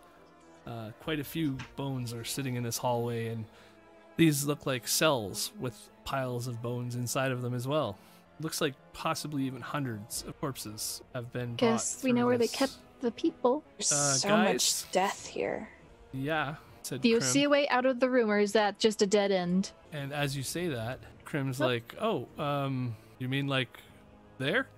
He he points out to what looks like a piece of stone wall that can move. Oh, that's Stonewall. And as the wall moves over, as you push through that doorway, you come out into another room here. And this is that room that you couldn't you could see through midnight. There's a sort of a pool here around um what looks to be maybe an altar of sorts. How deep does the pool look? So the chanting stops as you move into this room. All of a sudden, it's quiet again for the first time in a long time. The smooth masonry walls provide excellent acoustics in this room. You can hear yourself breathing if you're a perceptive enough wolf. Featureless stone pillars are supporting the ceiling, and a, a breach in the west wall leads to a dark cave heaped with refuse and moss and stuff.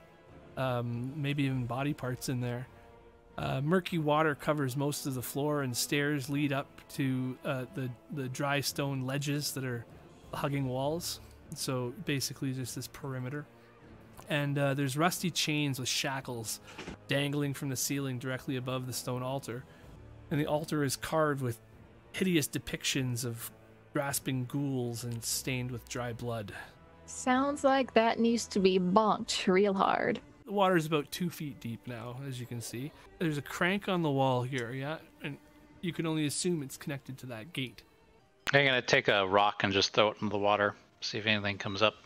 No, seems to be plunk. still water. It it's like the first time that anything has moved this water in a long time. It's sort of sludgy water, in a way. It's all brackish and not something that looks appetizing to Cole to swim in.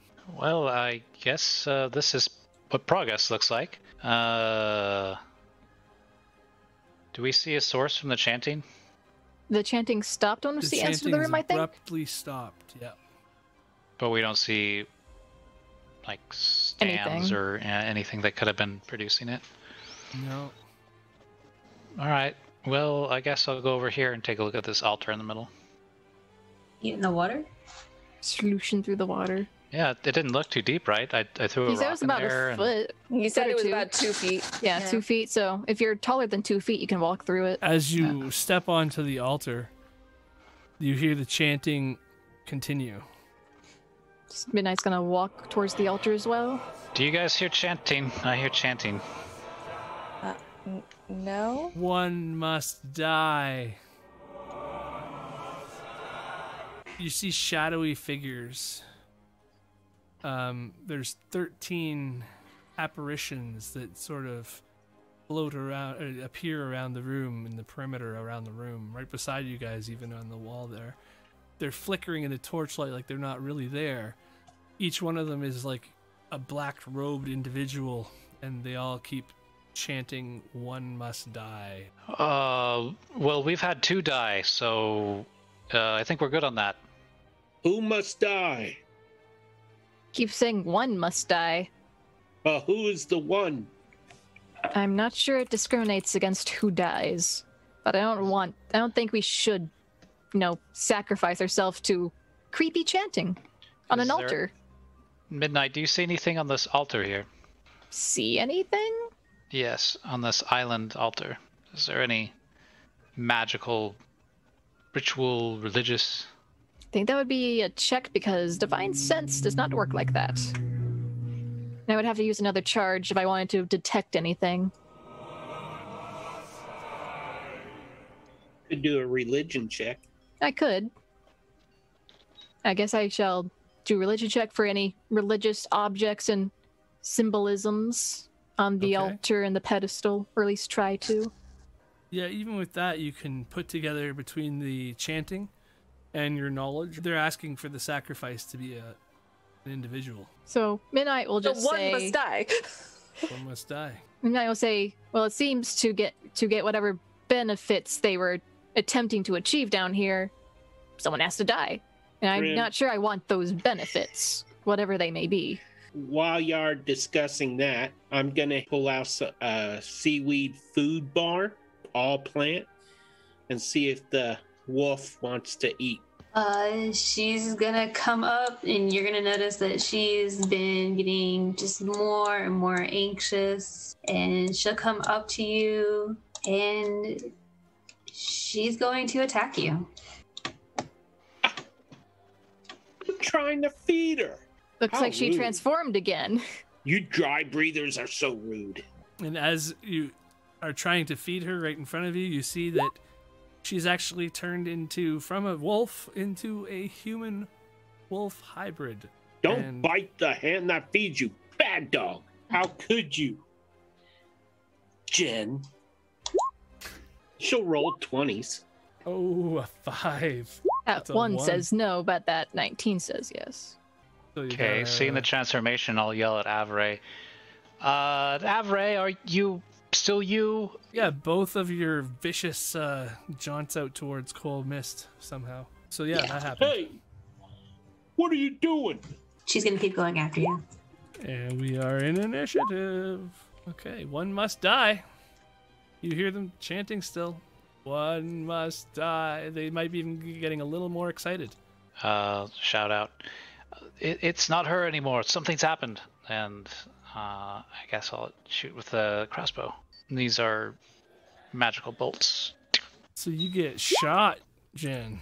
Mira will turn to Chris and say, You don't know that. Um, it's possible that she's just scared. And she'll be like, She'll turn to Avery and be like, Avery, stop. You don't need to attack us. We're not going to hurt you.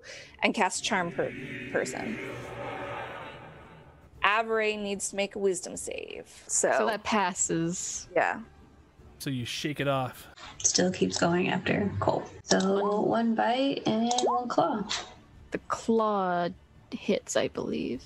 Yeah, so Cole, you are slashed with wolf claws for four damage. As long as he doesn't get bit. Oh, scratching won't do it. Looks like it has to be a bite according to that. That's That's the turn. Yeah, midnight's up. Midnight will shout, Don't kill her. That's what the spirits want us to do. Restrain her instead. And Midnight's gonna use her movement to get behind Avery, since that's just enough. Going to attempt to grapple Avery. So contested strength checks, I believe. I hate NPC sheets. I can try. Almost. So she wiggles out. Cole, you're up. Okay, I cast command sleep. But question, because she's an elf, Yeah, so you're immune to that. Immune to immune to magical sleep. sleep. Immune to magical sleep. It- it- well, it's a magic, but it's not magical sleep necessarily. I think you'd still uh, have to make a saving throw, but you won't be able to sleep right away because it's not magical sleep. So you're just gonna like try to close your Gonna eyes lay for a down second. and try to sleep. Uh, but wisdom save. Um, so she's gonna sit down and try to like you know find a. Okay, I guess I'll try to sleep. And she sits down against the wall, closes her eyes for a second. How long does this last? It says duration one round. So it wears off after a round, I believe. Yeah. So she's not sleeping, but she's trying to sleep and confused. Actually, I can move away from her. I'm gonna move over to here. Uh, so Grim's gonna. What are What are we doing? And he's gonna come in slowly and be like, "I'm gonna attack her." Wait for anybody to stop him. He wouldn't. Did he not hear a midnight shout? Don't attack her. That's what the spirits want us to do. Because she shouted that on her turn before she moved, Okay, so he'll hold off. and she re- recommended restraining instead of attacking, since that's why she tried to grapple. Uh, he will try to do a grapple. Yeah, so Grim has put a grapple Lady. on the wolf lady, or he's grabbing her, and Chris is up. Okay, I hold my action uh, to fire the crossbow if uh, she wakes up uh, or if she attacks somebody. All right, so Mira is going to take a bolt and she'll actually. That's going to be like a couple actions. Uh, she's going to take one of her magical bolts and she's going to stick it on the end of her torch, hoping that to heat the metal. And then she's going to fire it at this pile, hoping that there's like some kind of like rat or something inside that might count as a death. Oh no! No one ever listens to the walking armor. So 14 to hit. Your arrow goes into a dark pile of debris, Right. and it hits the ti- the pile of debris. She can't because I should have done melee first. It's fine. She'll step over there, close to the altar. You're on the ground and being held by Grim. This is the turn where you sit down and try to sleep. So then I don't really have a turn. This is where you miss your turn. Yeah. Okay. Yeah, it skips it. Midnight's Got up. it. Now there's two things I could do, and both of them are very drastically different. But I think I'll use my movement to get up here to where the altar is, take out her sledgehammer, well, not sledge, but the warhammer, and kind of look at Myra and look at the altar, trying to like signal what she wants to do. Oh boy, this could either do something really good or really bad.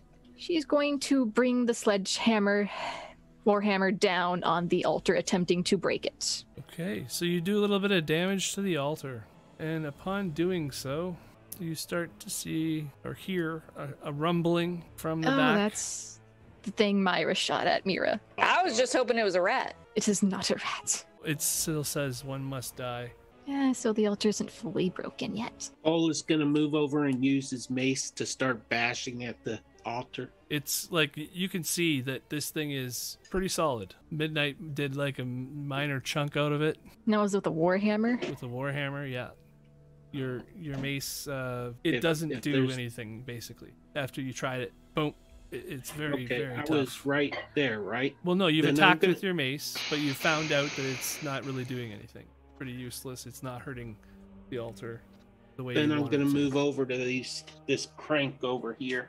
That's what I That do. would take an action to play with the crank. Uh, so I wait till next turn. Yeah, before you can play with your crank. Grim is up. he is going to. So what do we do with this?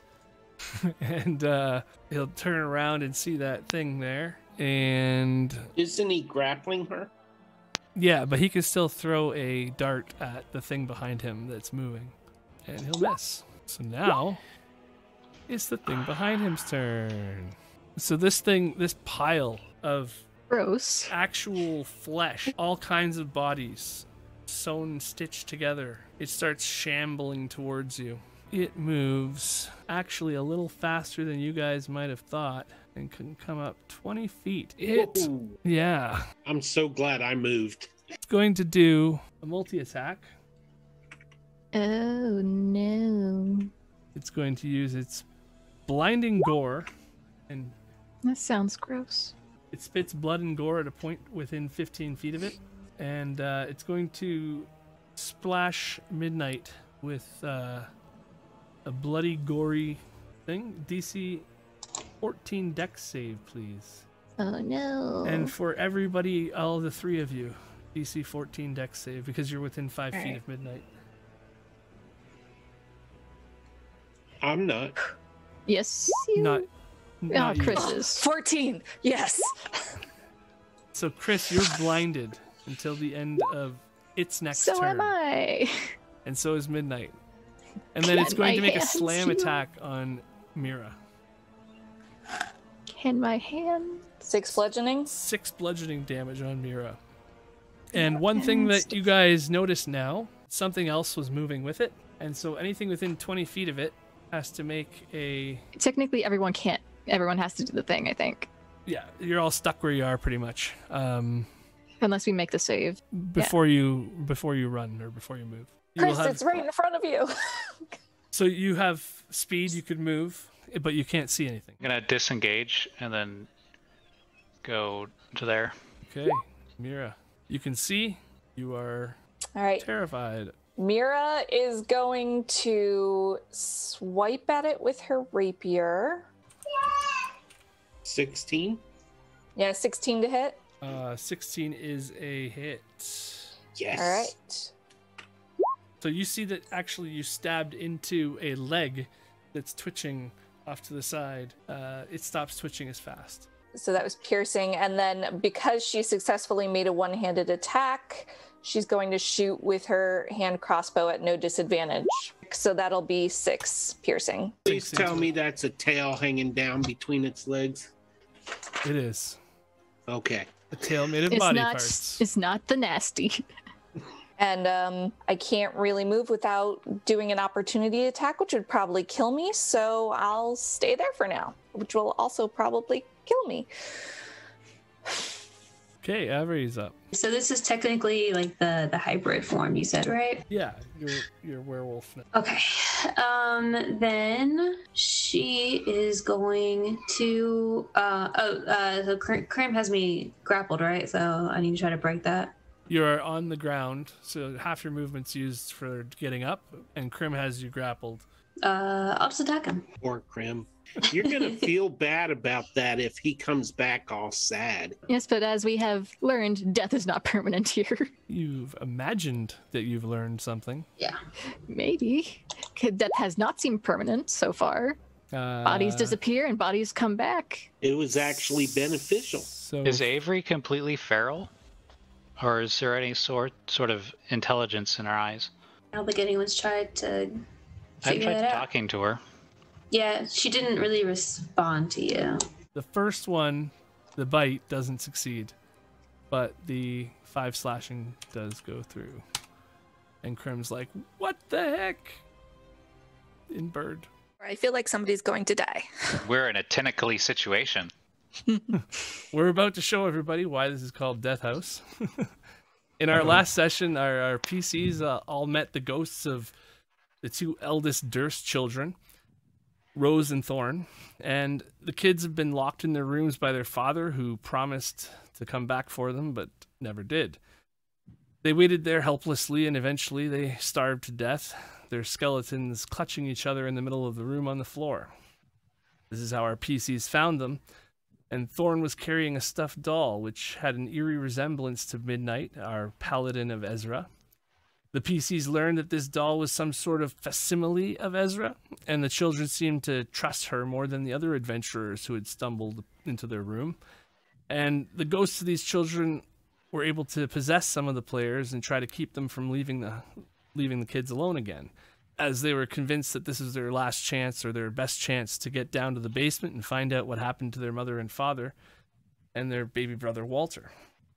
Uh, Cole, our Triton cleric of Persana, tried to pour salt and oil on their bones and burn them, believing this to be the best way to lay their souls to rest. the ghosts of the children did not appreciate this action, and the younger brother Thorn reached in an icy hand out to Cole and stopped his heart dead. Cole dropped dead, and his body was transported to a dark, mysterious temple of some sort, surrounded by giant amber blocks that contained black, snake like spirits writhing and calling out to him with whispers and promises.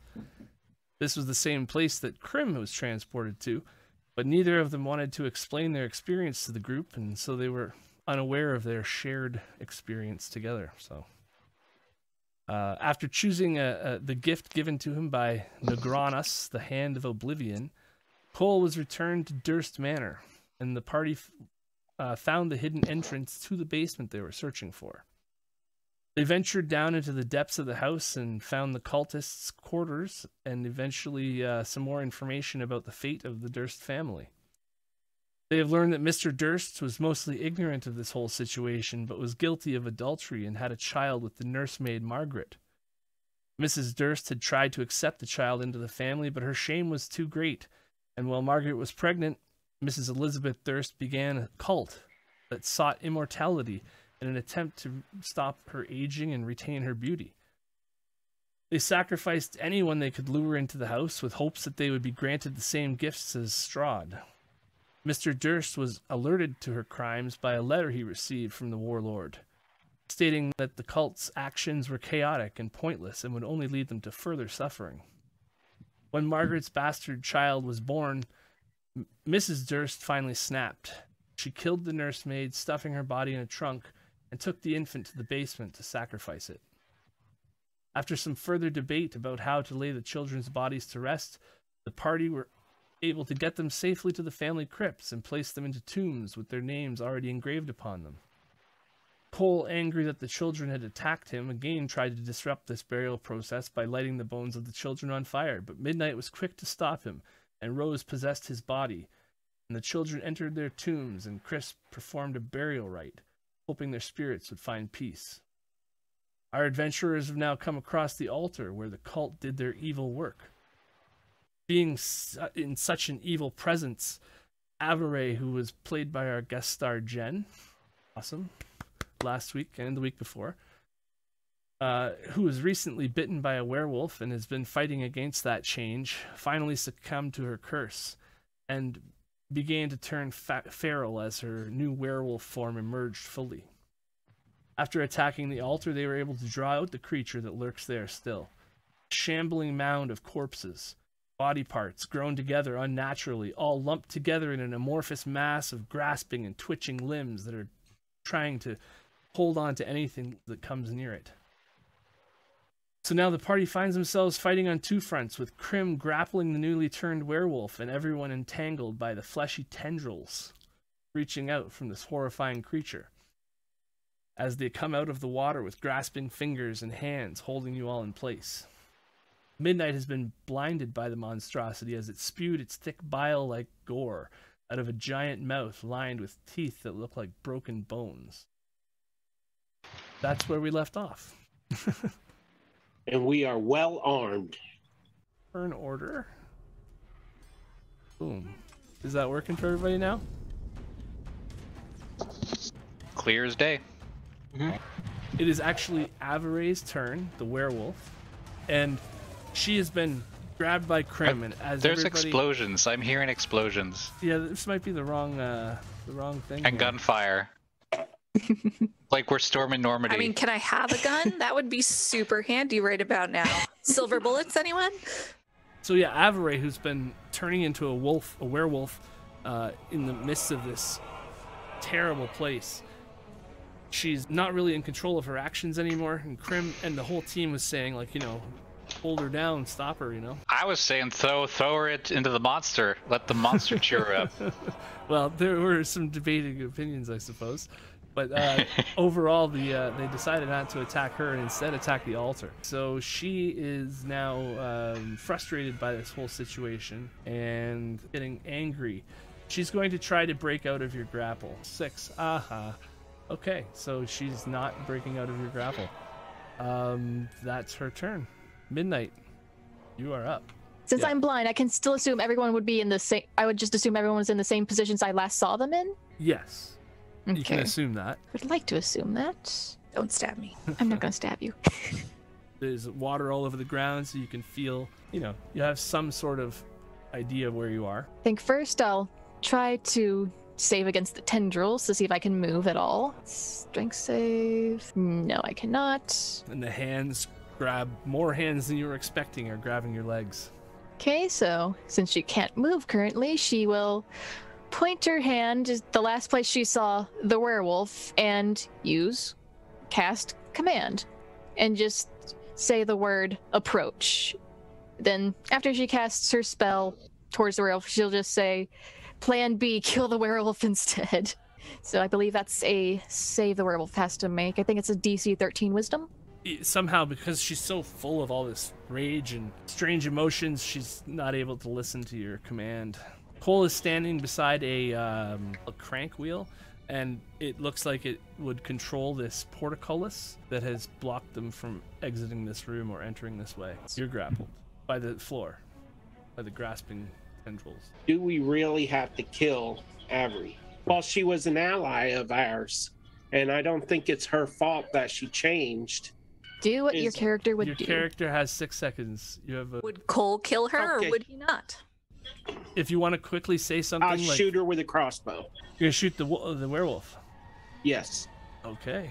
I like how you had that internal struggle, but on my turn, I'm just gonna throw her into the monster. That's a, a hit, so give me some damage.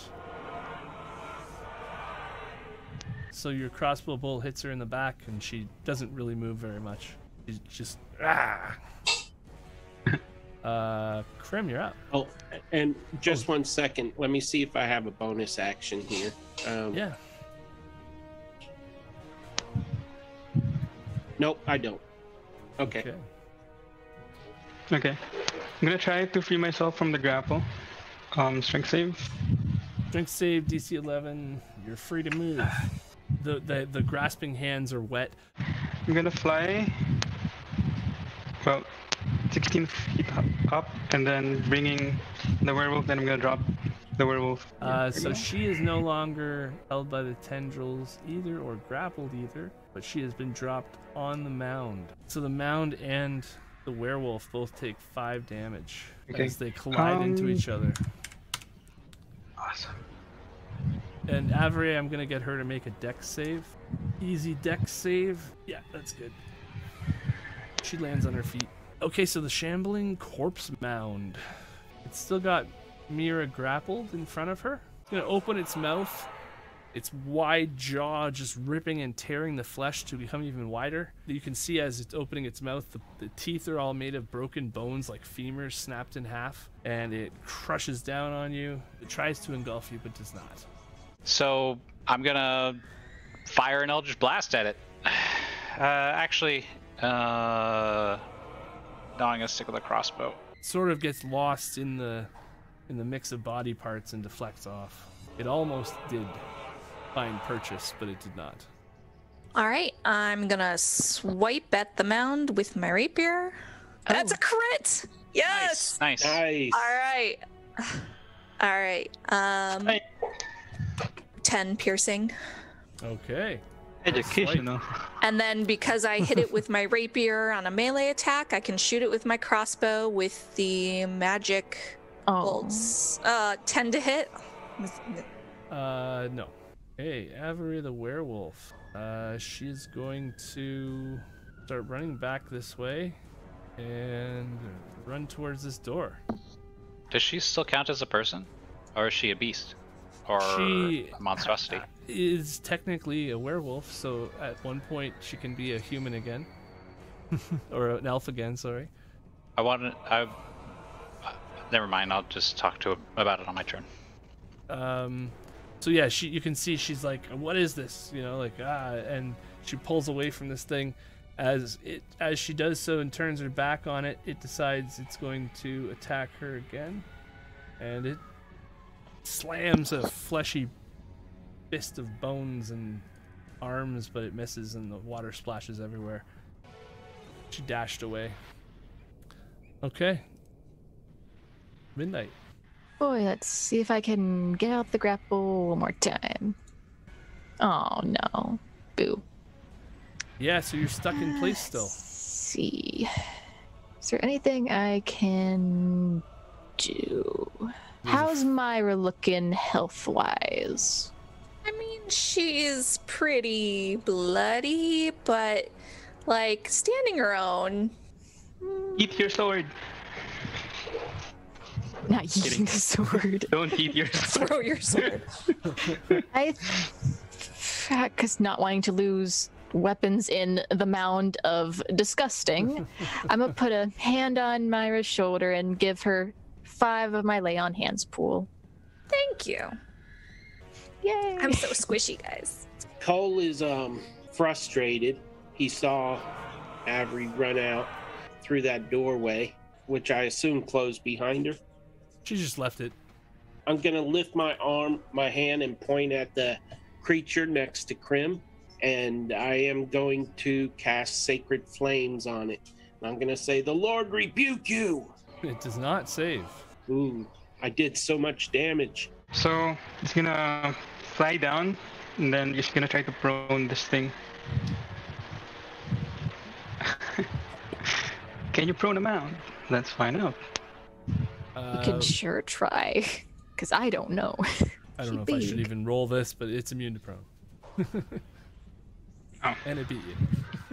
it, it it's almost looks like it's um, some kind of gelatinous cube almost, but it's made of body parts.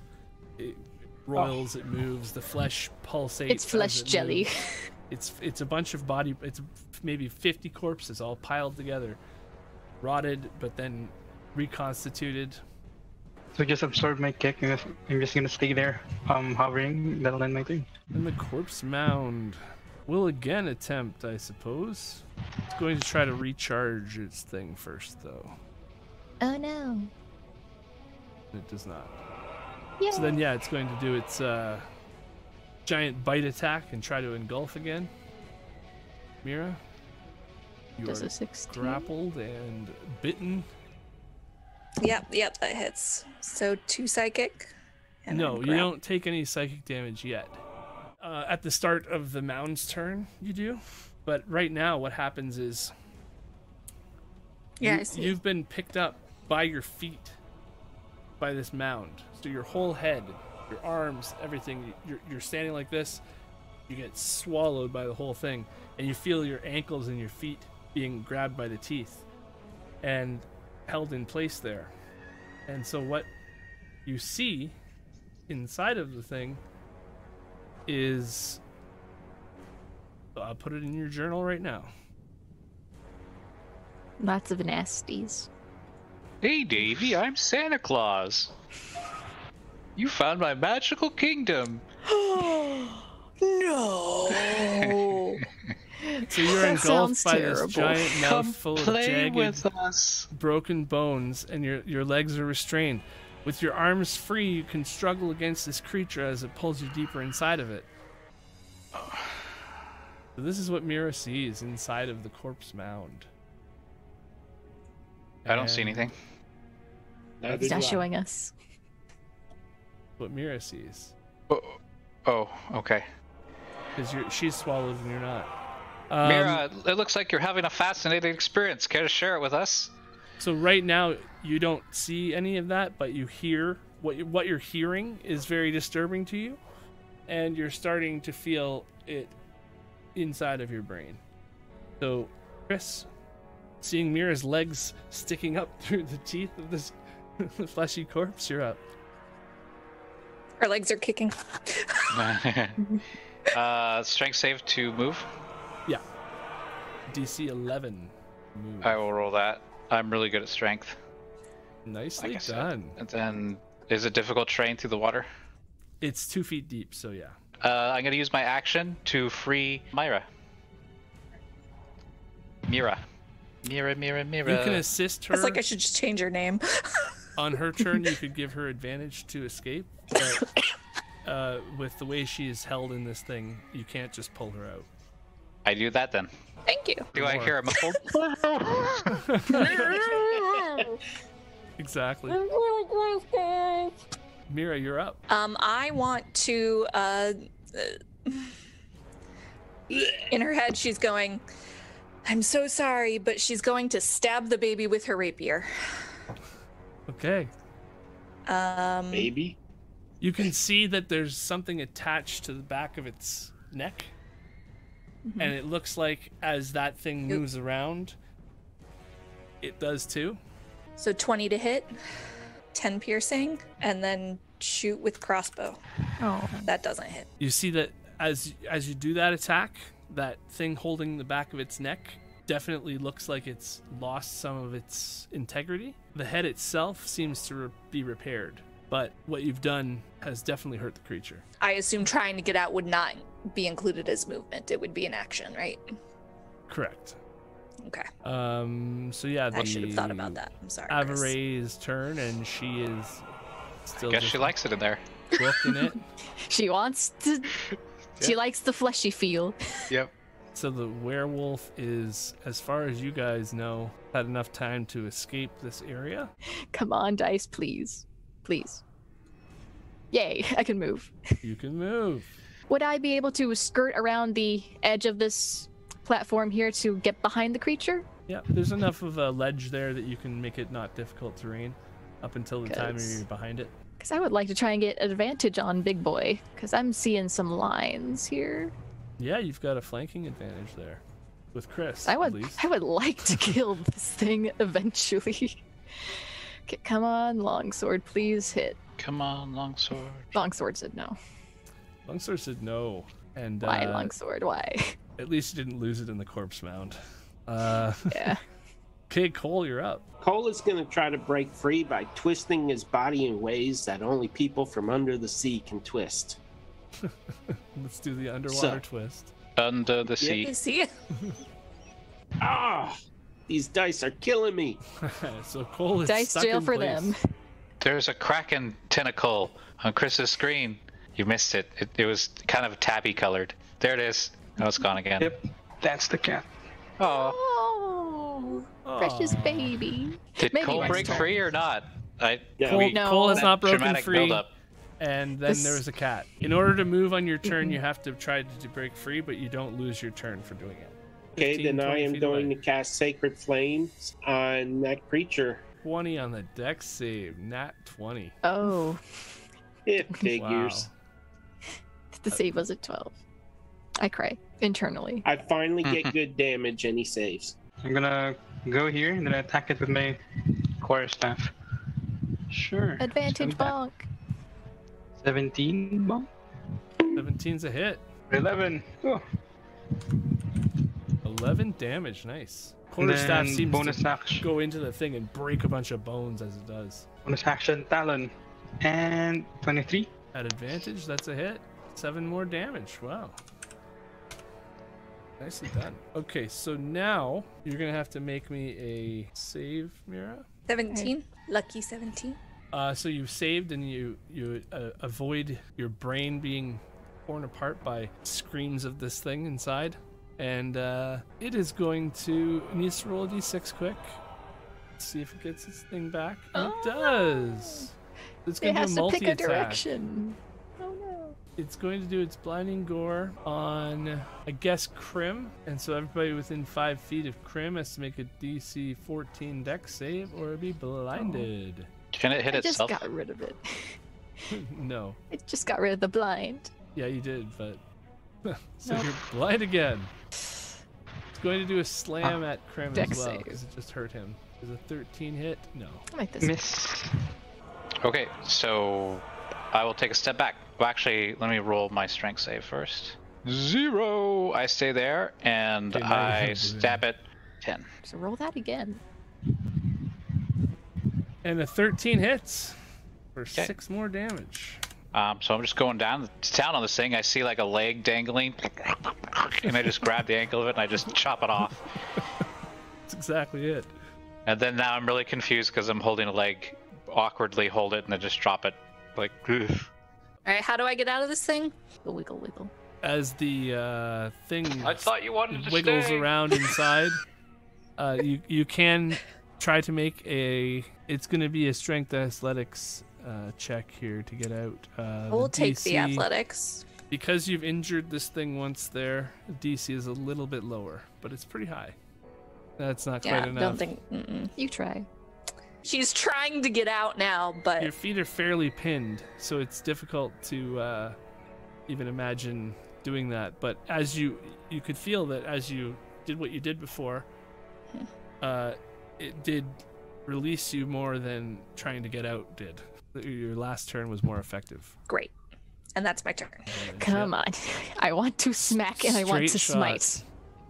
I must smite, please. Crit, crit, crit. No, I don't.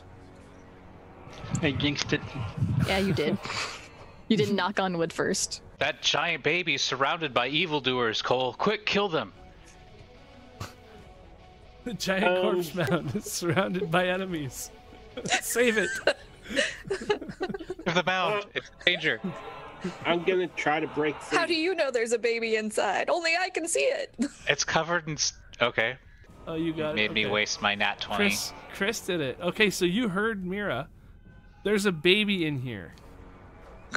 Well, of course, there's a baby in there. There's like 30 people all stuck to the outside of it. I, ass- I mean, there's a lot of people here. Cole, you heard her too. I heard too. You heard there's a baby in here. Wait, is And- it and- okay? Does it? Do you want me to pull you out? Are you coming out with it? It's creepy as hell. I'm going to move up over to here, and I am going to use my whalebone mace on it. He would have advantage, I think, maybe, or no? I won't need it. Oh, Oh, look at that. He didn't need it. He was right.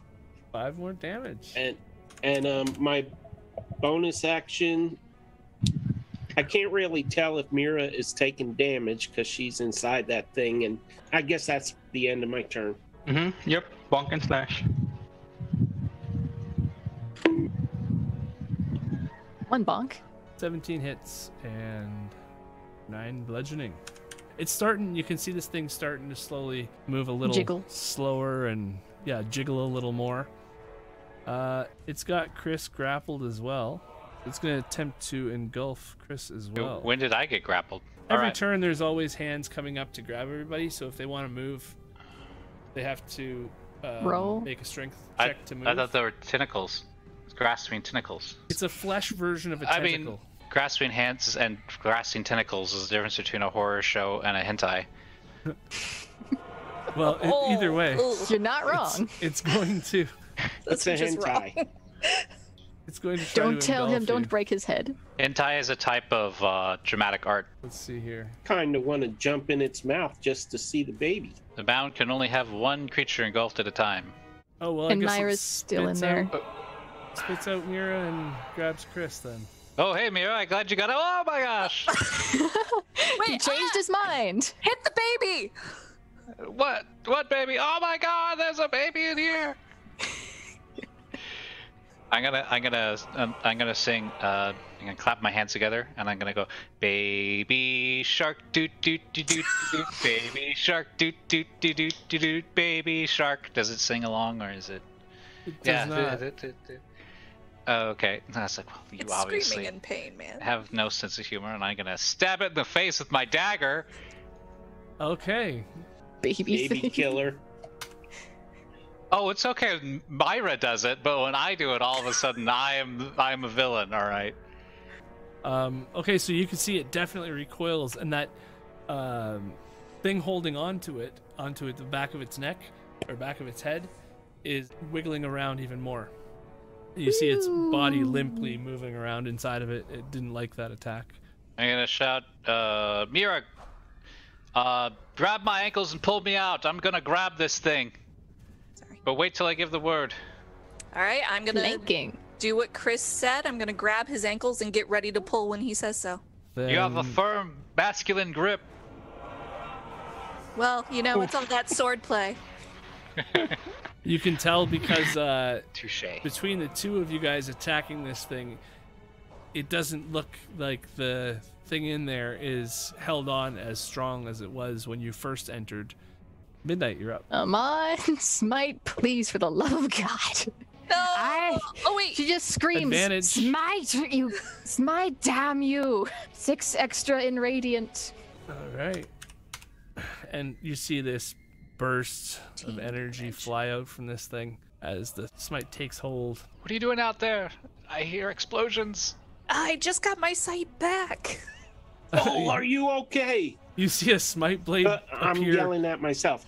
Chris, are you okay? I've been better. Chris just sees this smite blade though appear right near him as it carves through the creature. It's like, whoa, that was close. I grab Chris by the ankles and pull. Nope. I kick him off. Oh, Do you- that means you kick both of us off. Now just him. I have very sensitive ankles. I know who's who. He only And wants and Maya I- touching his ankles. And I and I shout, I need to grab the baby first, then you can pull me out. Okay, I'm gonna ready Is that a, myself to pull him out. Okay. You can grab my ankles. I consent. Is that a warlock class trait? Um, I can an- ankle sense. Chris learning ankle sight? consent. Ankles are my patron. ankles. blind ankle My sight. patron is ankles. Oh, okay. Mhm. It's a Victorian era god. While Got I'm us, waiting, though, I'm gonna take off his boots and tickle his feet. Cole, uh, wait. Uh, my, Mira, your your hands are so soft now. What happened? Hee Okay. Uh, you're holding your action. Grim's up. Much oof. Okay, same thing. Bonk and slash. Bonk and slash. Bonk and slash. 16 and 17. Two hits for 11 damage.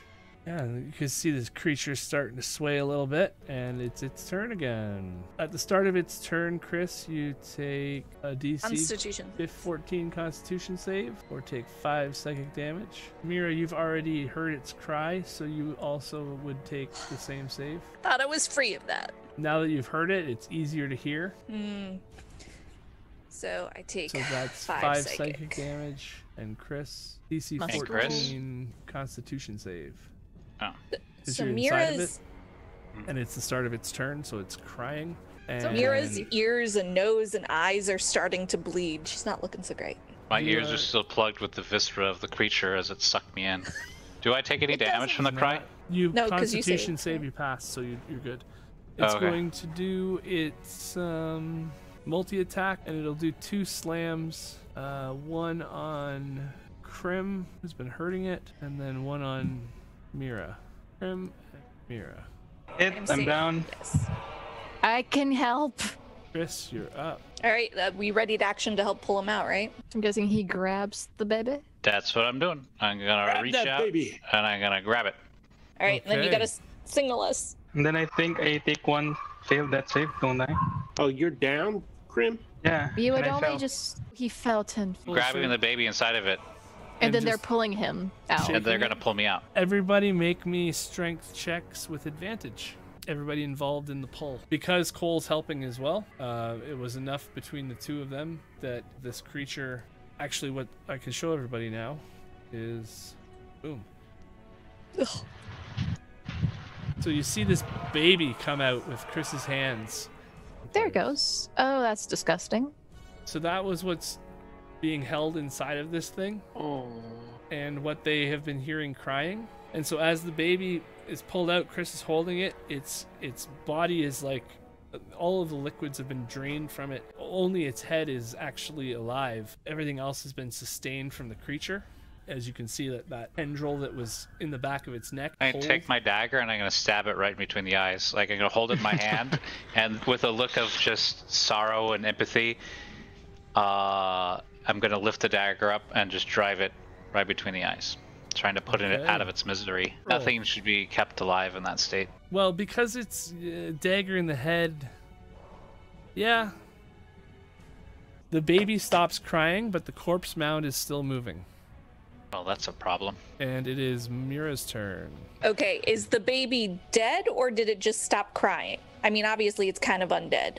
Is it still moving at all? The baby has stopped moving. It hasn't dissolved or nothing's happened to it that shows anything else, but it's stopped crying. Is the thing still attached to its head? The, that's what Chris and you were able to rip out. The tendril is like the mucousy tendril came. It's not like an umbilical cord or anything. Yeah, it's a little bit like an umbilical cord. No, is there an umbilical cord? Well, that's what you ripped out of the back of its head, and it was attached to the creature. That's kind Oh. of in the wrong place. Cast Alright. fetus deletus. I I was gonna um I'm gonna go to Chris and and say hand the baby to me I give her the baby. and I'm gonna take the baby over to the altar and put it Okay. on the altar. Take my hands and. Okay, so kind so of it's like I'm literally like Chris is here, I'm grabbing it from Chris, and then I'm turning and I'm putting the baby on the altar. And I'm gonna shout to the voices that we hear chanting, Are you happy now? This poor child. they are not. Um, nothing has changed in the room, as far as you Still can tell. chanting. Yeah. So since I saw just Grim just like drop to the ground, gonna use three points of lay on hands to get him back up, Right. so he doesn't have to make death saves anymore. Uh, uh, uh, thank you. and I hear lay on hands brings him back. Yeah. Wow, props to the dungeon room. the map room. Uh, Cole, you're up. Okay. Mira, are you okay? Do you need help? I mean, define okay. The answer is no across all borders. All the things. Mentally, physically, emotionally. Okay. Is the baby still alive? Mm-mm. The baby has I don't stopped think so. Crying. Oh, That's not an answer. Stop moving. That doesn't tell us if stop it's dead or not. I look at the baby to see if it's still moving at all. It is not moving. It is not crying. It has a knife in its head, or a knife hole in its head that has not repaired itself. Okay. I'm going to say, poor little baby. And I'm going to reach out my hand to it. And I'm going to suddenly swing it to my right and cast Sacred Flame on the creature. On the Fake shambling out. mound, Yes, that is a hit for two damage. two. of course, because I only rolled a two. Wait, I'm sorry. I have a bonus action. yeah, Mhm. go ahead. I would like to cast Healing Word on Grim. Nice. Eight, Eight. points of healing. It's nice. I stand up and then I go bonk and slash. Bunk bunk. Bonk and slash. Nine and four. Both of them hit, and this thing starts staggering around a little bit. Two slam attacks again as thing. Uh, this time because Chris uh, pulled the baby out of it and it hit him with both of them. Put the baby at it. Not miss. oh, So seven bludgeoning. It looks like it. It Oh. furiously Okay. is trying to The attack you shadow armor of what you've explodes and it takes five points of cold damage. Nice. Yay, effects. Uh, okay, my turn. It's your turn. Uh, I'm gonna once again uh, take the knife and hold it uh, hilt up, uh, so it's like a cross, and then I will cast Armor Agathys again, as the shadows are mist once again swirls around him, and uh, temporarily hardens into transparent plates and then fades. Excellent. And that's my turn. Uh, then I will take a step back. Uh, strength check. Oh yeah, step. thank you. Step, step, step, stepping off the plant thing. I He got a three, not Step. which is a natural one. Probably No, I got a good though, four. because it would have had an opportunity attack. That's all right. He just wants to get away. Um, Mira. Oh, Rapier, um, six piercing, crossbow. Yay! Okay. And as you do this combo attack with the crossbow following the rapier, um, this shambling mound, as it tries to do another uh, slam attack on you in your direction, uh, it stumbles and falls and topples to the altar and lands in a pile of body parts. As they start to come apart and the flesh stops holding it together as much and What did you do? away this I whole killed thing it. goes back into like a pile of bodies I kick one of the skulls across the room. Are we still hearing chanting? uh, there is no more chanting um, the baby is still and silent the corpse mound is still and an eerie silence comes over the room no more grappling all of the hands that were holding you guys let you go I high five one. As it just disappears. yeah, like, good job, high five. Does it high five me back? It tries to, but it's dying. So it's It's like, eh, I too grab it by the wrist and say, "Come on, come on, you can do it." It's like, oh, too slow. down low, too slow. Uh, oh, oh, bye, bye. Do we hear the werewolf anywhere? Not in your immediate area. Is baby Walter still corporeal, or is his form He is still the same as when you pulled him out. Ugh, all right, I'm gonna Assuming we to can't that. revert Right, yeah, that. Mira's gonna wrap him up That poor thing. um, it seems like we the should mound. put him back in his coffin. let's bury him. Uh, yes, uh, post haste. Uh, May I make a this cost- suggestion? what? What is Yes. that? No salt. I knew someone would think. Only that. pepper. Could we perhaps jam the secret door shut that the wolf went through and then get some rest? Uh, I think Walter kind of takes precedence right here. I, I am all for taking a, a rest. And I would Mm. rather take a rest when we are out of this fucking house. If we must rest, it'll be either in, I would suggest, servant quarters or once we leave. the, also, Like don't forget there's a wolf. Yeah, I, I, I- well, let's just There's take care of Walter, here. and then we'll we'll deal with we'll The do the wolf. work on the rest thing. Just keep our guard up in case Avery comes back. Um, Boop, boop. I'm. y- y- Mira looks pretty bad. Like she is definitely like bleeding, like from her mouth, her nose, her eyes, her ears. Like that psychic damage really did a number on her. But she's just like carrying dead baby and walking on. Cole, could you perhaps heal Mira? I'm almost tapped As out. as she's uh, well, I asked walking- her earlier if she. as Mira walks by Chris, uh, he kind of uh, puts his hand on her shoulder, uh, helping her uh, through the, the water. And when he does, a uh, some uh, mist kind of wraps around it and uh, down your shoulder, and you're healed for two points. And you'll notice she'll notice that her nose has kind of stopped bleeding and look at him and go, "Was that you?" Oh, what was what? What? What do you mean? I I don't know. I guess for some reason I Well, feel I was- a little I- better.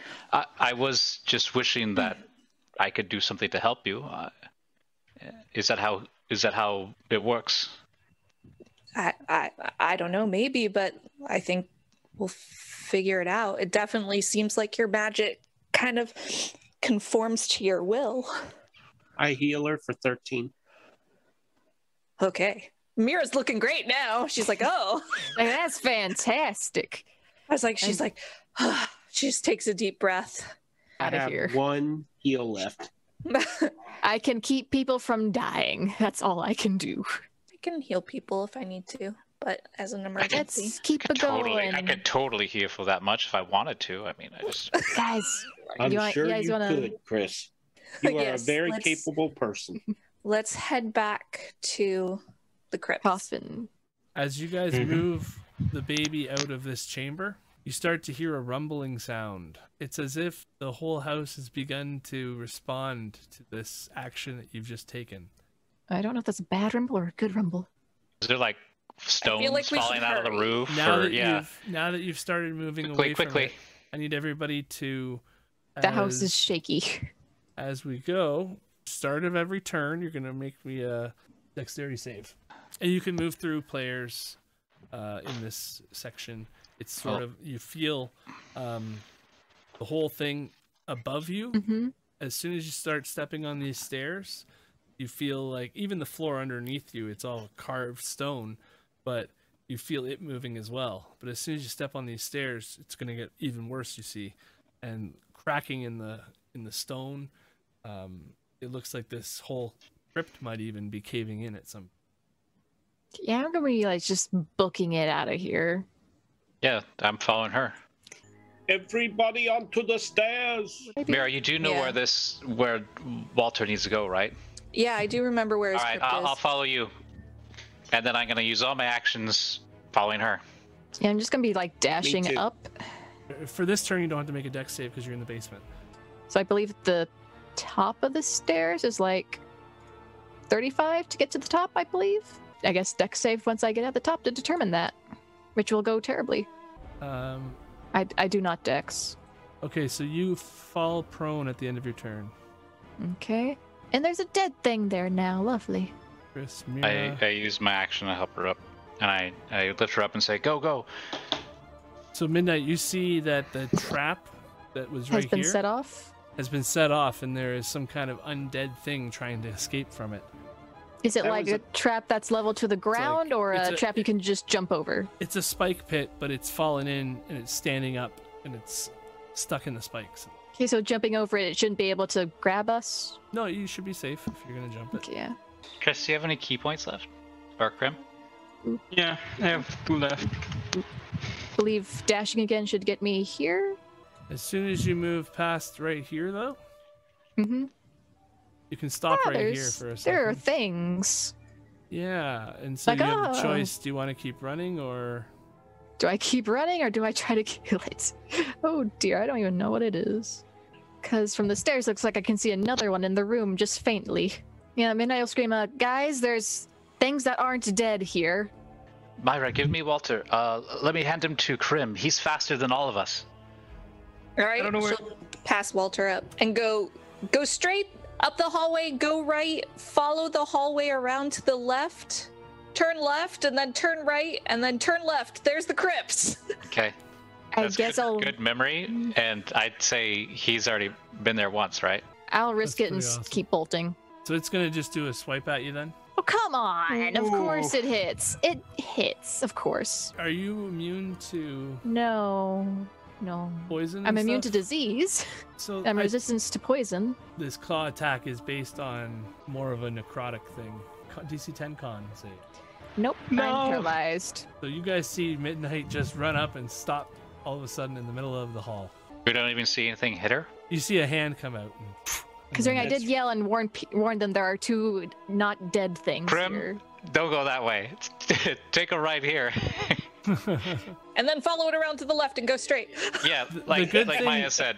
the good thing is you, you see this creature looks like it's already been injured a little bit, Midnight.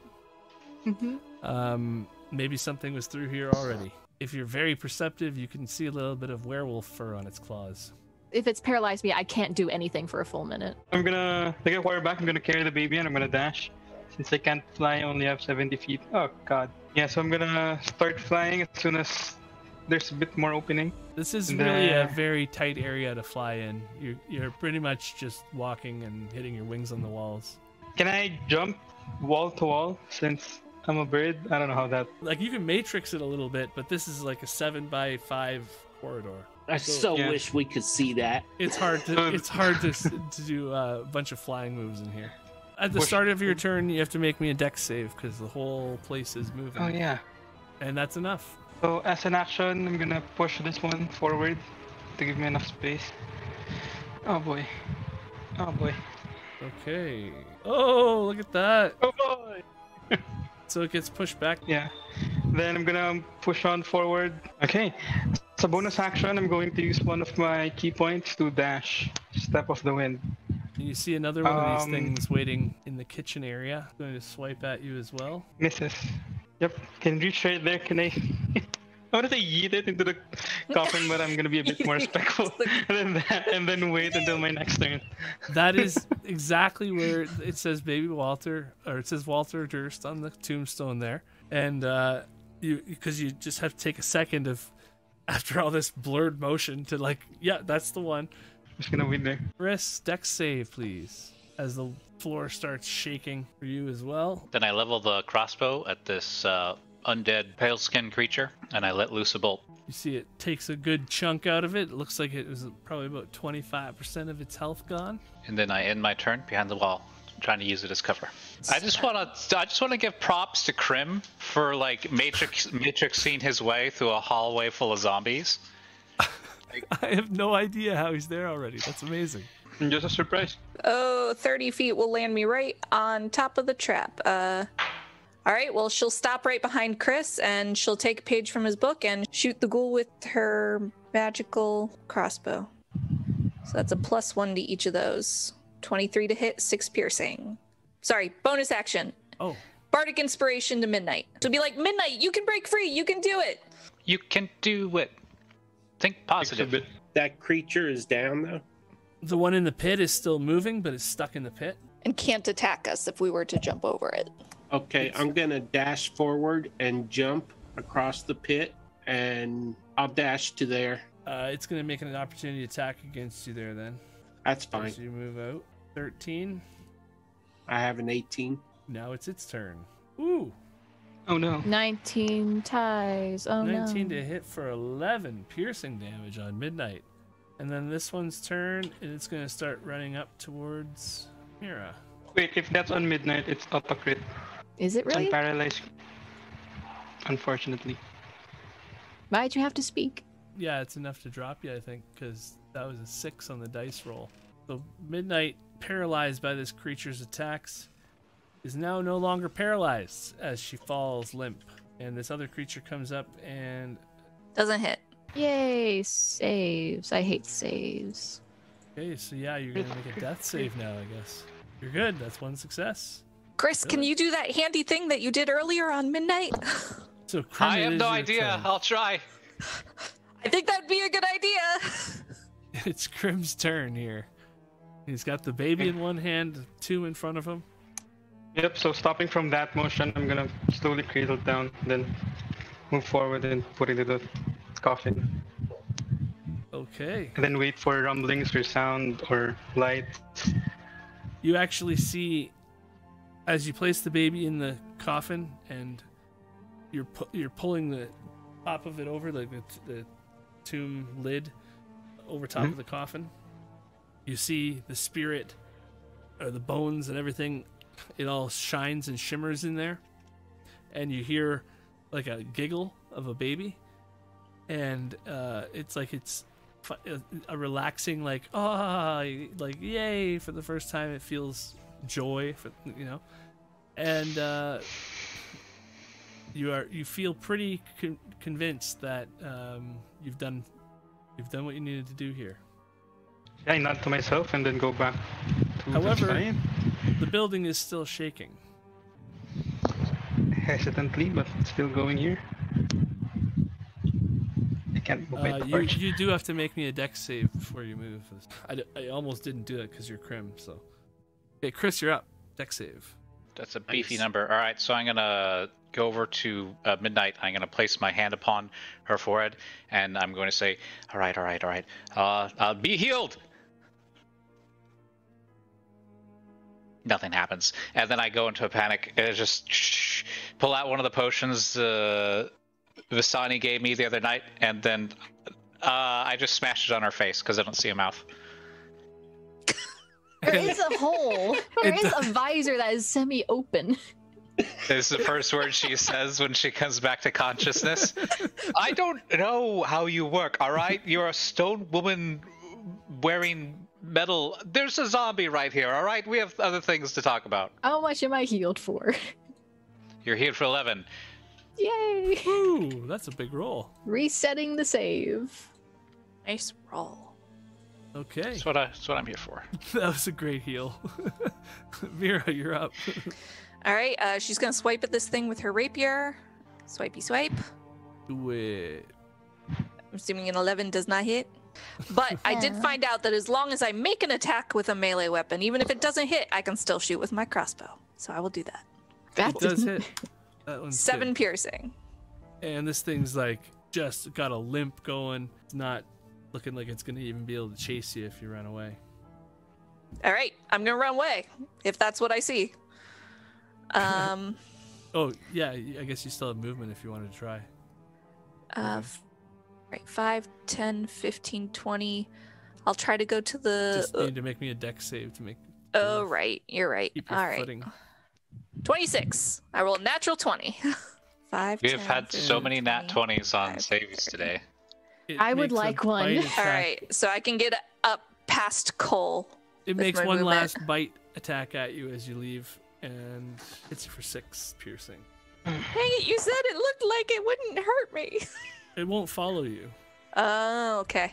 There's a difference. There is a difference. It lunged with its face, but that's all you get. Am I too close to use my crossbow on it? you Can't can see. hit this one with your crossbow, no problem. Mira's gonna go, just run! We gotta get out of here! Just running got me paralyzed. I cast Sacred Flames on the one right there. And it dodges deftly. And then I'm going to run past Mira and say, Excuse me, pardon me, pardon me, excuse me, to there. And that's my turn. Excuse me, pardon me, pardon me, excuse me. Ghoul's turn. It's going to make another bite attempt. Mm, if that's on me, that's no. I whack this think man. some Bonk. Uh, that's a hit. And 13. You Move. carve this thing right into. Um, stops making evil ghouling sounds and starts making gurgling sounds as it falls to the floor. It's like, okay, let's go. And I believe that's all as far as I can go since I attacked. Since the ghoul down here went away, I'm gonna Like, go. proceed upstairs. It's still coming back around again. It just doesn't know. It's not that smart. Oh. So It's not smart or fast. it's going the, the This long way. MRT.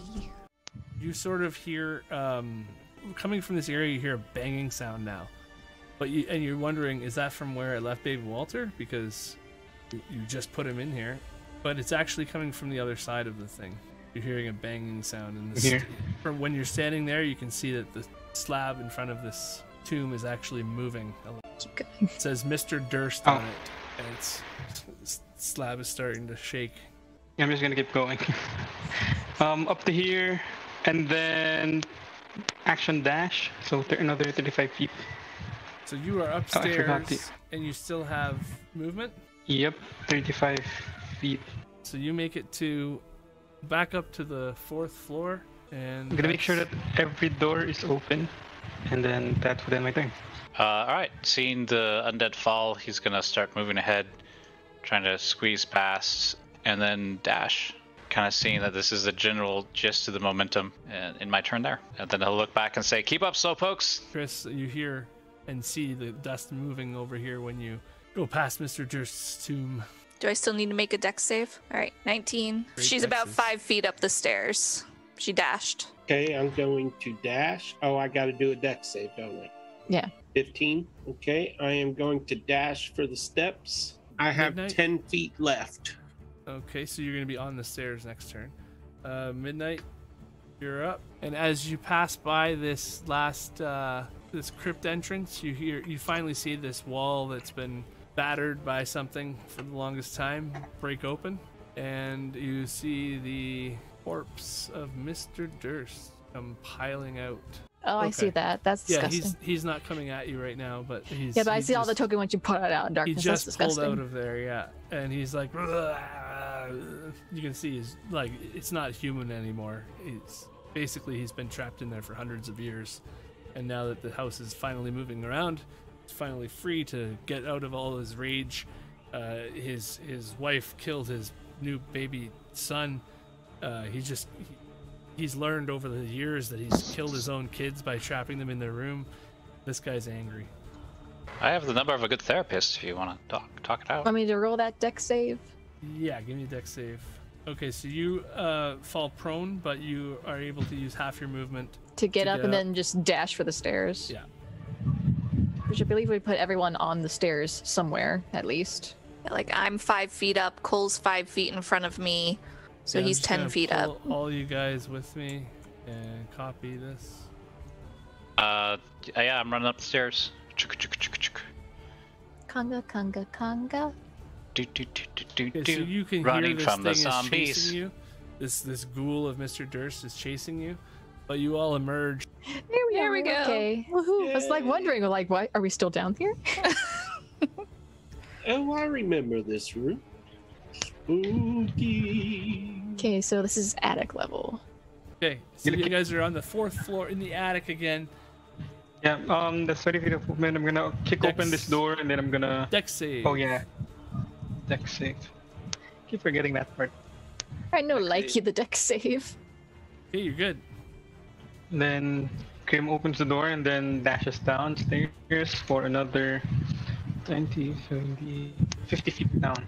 So I I still have 30 feet down the stairs. And I'm blocked. Oh. I'm blocked again. You can move that far. Jeez. Crim's gonna escape the house where we're just all gonna just die in here. here. The house will just cra- collapse on us. Crim's the only one who escapes. Dex save, I go. Yay! Here, here, and to here would be five feet left for a full dash. Run, Chris, run! Use my movement and my action to dash. So if you could move me to the as closest to the door as I could get. Right up in front of the secret door. Follow after him. Oh, I will. We don't want to stay here. All right, my turn. Yeah. All right. 24. Oh my 24. god. Nice roll. If your movement Can is you give me some 30, then you can get to right here.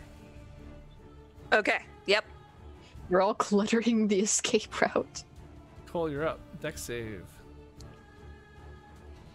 Come on, somebody fail this.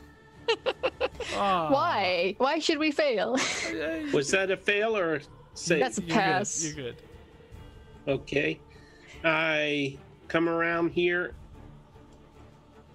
I bump into Mira and I say, Oh, sorry. okay, Krim, you're up. Okay. Crim's probably already on the first floor. Dex save. Prim's making lunch in the kitchen. He's good. Don't eat the kid. Don't eat in the You, kitchen. you've noticed that you can open your wings finally up here, and you know you could fly down there if you wanted to. Yeah, I'm gonna dive down. I don't know how high that is, how deep that is, but I'm gonna fly down, so just less movement. That is, I'll tell you exactly, 20 to 30 feet from that floor to the bottom. Okay, so I'm gonna fly down and then dash. So I still have 40 feet of movement. So you're outside. I'm just gonna go um wait at the front door. I'm gonna keep it open with my arms. Okay, you moved so fast that you didn't even notice that uh, the the bricks that are boarding up the windows have uh, have started to fall out as well. Um, everything is coming apart in this place. Midnight, you're up. Dex save. Am scared. We could have dove out that window upstairs. Would you want to take Oh, the the- fall damage? Uh, up- okay. So Midnight topples, and as she does, she falls to the floor. Oh, you already said the result. What's that? I think she still had Bardic. No, she are. Actually, you do. No. Yes, I do. Yeah, Yeah. he gave it back to you. But the DM already gave the Technically, result. you could you could still do it, I guess, if you want to. You need you 'Cause he's need being you're gonna need a four here. Oh, I okay. did. So as you're falling through the floor, and you can see you would have fallen through the floor, you hear one of Midnight's or one one of Mira's uh, jingles in your head. I nope. You're inspired enough to uh, to hold on to yourself. Okay, so you're able to keep running. Unlike Bird Boy, I can't just go through the hole. so I get to 40 at the top of the stairs, and I guess I'll use the rest of the dash to get as far down as to the stairs as I can. Jump down, superhero landing, and then I'm gonna bring you back down to the crypt. I don't want to take fall damage. I don't have much health. Okay, I think you're there. And now it's Chris's turn. Okay, I'm gonna uh, follow same path, go down 20 feet, and then ju- uh, and then jump off the edge and free fall the last 20 feet. Dex save though, right? Dex save first. Actually, I'm Dex just gonna. Uh, all right. as this whole thing is starting to shake, the whole house is toppling. You guys are able to somehow surf your way through this thing of broken boards and buckling things, snapping under the weight of the. You know what? I'm just twisting. gonna jump off the top of the stair, the stair banister. I'm just gonna fall the 40 feet. Are you sure about that? Yep, I am. roll Okay. three d six. Not worth it. Semi You'll worth it. take nine damage five. and have a He still has the armor. And then minus nine. Brings me down to 13. Okay, so then I, I do that, and then I use my action to dash. So wherever that gets me, I don't know. And you have whatever Ear's feeling movement you very had alone. left. Uh, you got to make a dex save to land on the ground. Uh, that high of a fall uh, to land on your feet if you want to continue Okay. moving. Boop. And look at that. Nice. He does like a whole superhero move. Boom. So you're able, you're able to continue moving to where finish your movement, and it's Mira's turn. All right, uh, Dex save. 14. Um, dash Wow. dash. Okay. Move me 60 feet. Uh, I'm gonna estimate that that's somewhere right A little bit around ahead of me. Yeah, right about there. Yeah, so you have a, a 10 foot drop basically uh, to get you onto the main floor, where Chris just disappeared by you. A drop is worth it. Yeah, but I don't have any more movement because I dashed. Yeah. Okay, Cole. The last one upstairs now. Oh, but I'm gonna use my inspiration. Okay. Right? You roll. Roll again. Uh, meet or beat, right? Oh, Wow. Okay. You're good. You held on. Okay, I'm dashing. That was close. Would that be like right around behind me? Wow, everybody really ran there, eh? To be right Just behind, behind me. midnight there. Oh, I'm down there. Okay, Krim, you're up. it's, he's already waiting by the exit. yeah. So I'm just gonna wait until everyone's passed, and then I'm gonna go out. I'm just gonna keep holding the door. Midnight. Dex save, please. The worst possible save. Oh my Yay. God. You said it's only 10 foot drop from here? Yeah, I'm taking the. I'm jumping. No promises. because you're Just gonna- jumping on purpose. I can take damage. It doesn't matter. So you land. It's just a prone D6, I think. Take D6 damage. That uses half your movement plus. So you have about 10 feet or 15 feet left. I'll use the 15 to keep on trucking. You are now there. You just hear the crunching of even more boards as I just drop. Uh, Krim, because you've had enough time to sit there for a second, you can see where um, there were werewolf claw marks on that door that you're holding now, and they look fresh. And then they stop. Like obviously, it's probably as soon as you guys entombed the baby, Avery was able to get out of here. So you guys hadn't seen any sign of her until now. Oh, okay, I still keep going with my mad dash to the door, so another dex roll. I fall down, I guess? I fall down. So I use my action to get up and I keep going. You do notice though that as you are face down to the ground, as you are so close and you've made a thud out of the dumb waiter area here. There shouldn't be anything in the dumbwaiter. Nothing can fit I was about to say thing. we couldn't fit unless it's a halfling corpse zombie. Come You on. see Or a baby. a swarm of baby Swarm. rats. Well, they're not baby, baby rats. rat, doot doot doot doot. They're large adult rats, but they're they're small to you compared to you. Okay, now I'm really motivated. I was like, oh shit, oh shit, oh shit. I get up and start sprinting for the door. Don't leave me here with the rats. So you can probably get out from where you are if you want to avoid the rats. Um, I do. I want to do both those things. okay, so Chris breaks through the plane of the of the house and finally gets some fresh air as the dust is going up behind him like an Indiana Jones action scene. By You're the up, gods. Did you see those rats? Mira's gonna leap over the banister and drop down 10 feet. What have I started? And as you land, you see there's a swarm of rats sitting right here. And Nope. uh, they are piling out of the dumbwaiter still and trying to find a victim to attack. Mira's gonna call up, "Watch out for the rats!" and run for the front door. I, she would be through these doors about 10 feet. Okay, I'm dashing down the stairs. She doesn't wanna not drop. jumping. But jumping's fun.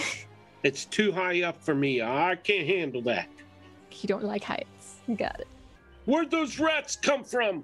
I hate rats. It looks like they might have a chance to attack you before your turn's over. Before you get out. Uh, Krim, you're standing by the door there still. Uh, you can see you're holding the door for people and you can see the rats piling out still. Yeah, um, I'm afraid to let go of the door, so I'm just gonna stay there, and then Until he has to.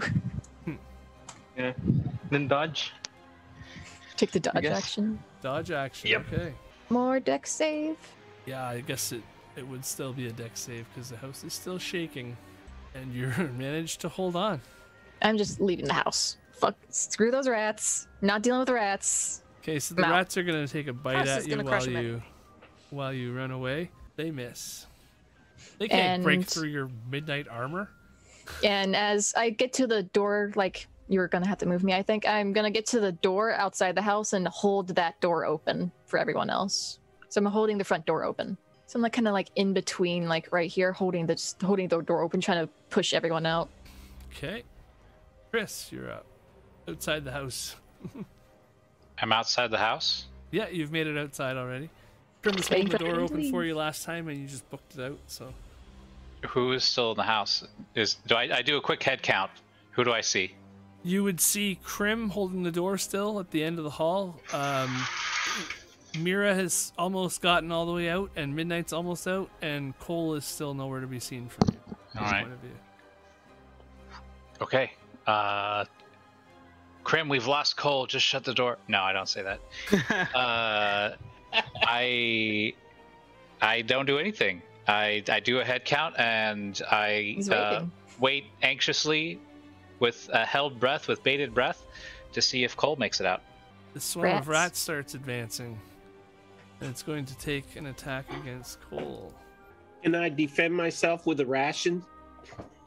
It missed. the It rat missed swarm anyway. is not able to bite through your Triton uh, oral armor, and they're hurting their teeth and turning away. Mira, you're up. Awesome.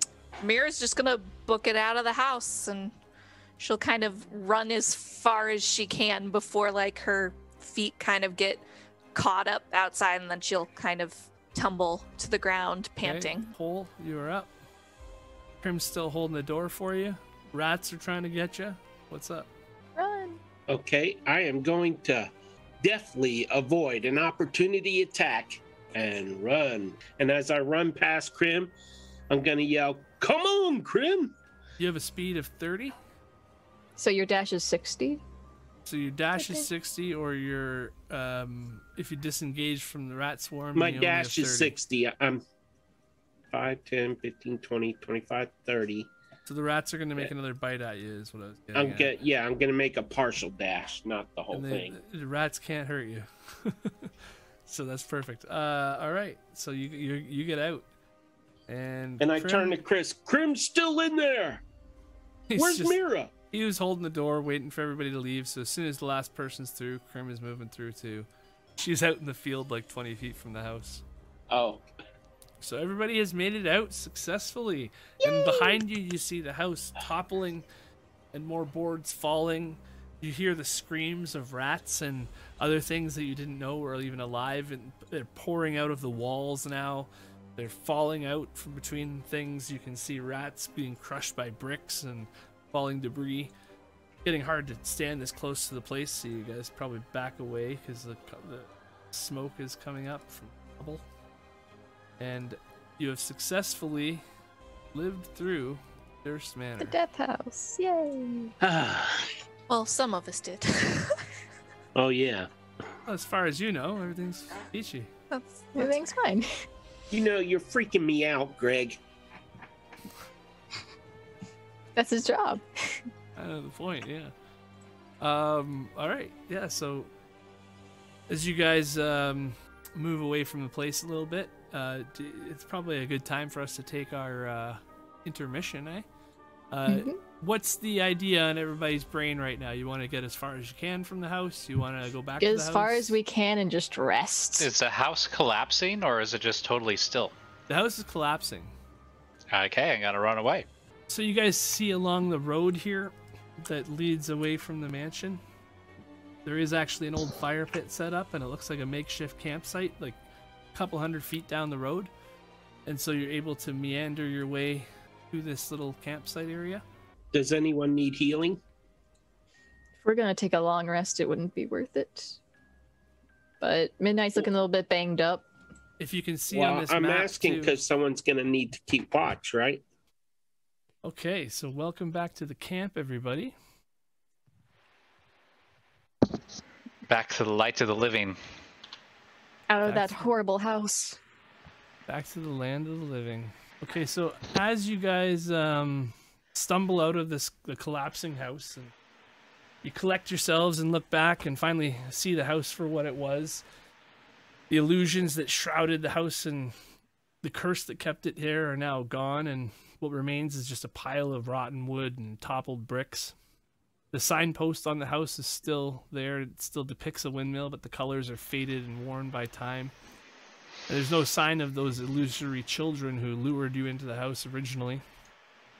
You all feel the silence and peace wash over as as the dust is settling. And you're getting your bearings and, and you find this campsite. You, you look around, the road heading west is cleared of some of its fog. And there are fields that run along this road that are lined with rows of dead vines. And uh, you see they're barren of life right now. You see an area on the road just up ahead that looks like this old campsite, and you guys all make your way there. And uh, it's a makeshift fire pit, and there's a fence that sits just off, just off to your uh, west, and it, it's sort of one of many of these types of fences that are near the road. That look like um, old farmhouses that um, at one time they grew grapes. The walls of the farmhouses are partially collapsed and the roofs are, are, are gone. Um, th this whole area looks like it's been abandoned many years ago. You can see that um, like a tree has fallen over into the house that you're near, and uh, it looks like it's been exposed to the elements for at least a hundred years, from what the looks of it are. And uh, further south, you see a handful of small farmhouses and lush green, fertile farmland. And it disappears into fog that it floats just above a river, about a mile in the distance, just to your south. And then, as the wind is picking up some somewhat, you feel it's chill, and you feel like it would be a good idea to get that fire going. And you get a, a good view of actually to the west of what it looks like in the distance, and you see the outlines of what could be a town or a village out there. Uh, whenever the the fogs move enough to give you a glimpse for a brief moment, and that's the direction you guys were heading before you were diverted into the Durst Manor. And uh, so it's just just over a mile away or so that uh, it seems like there's a village sitting there, disappearing into the fog. So, yeah, what do you guys want to do?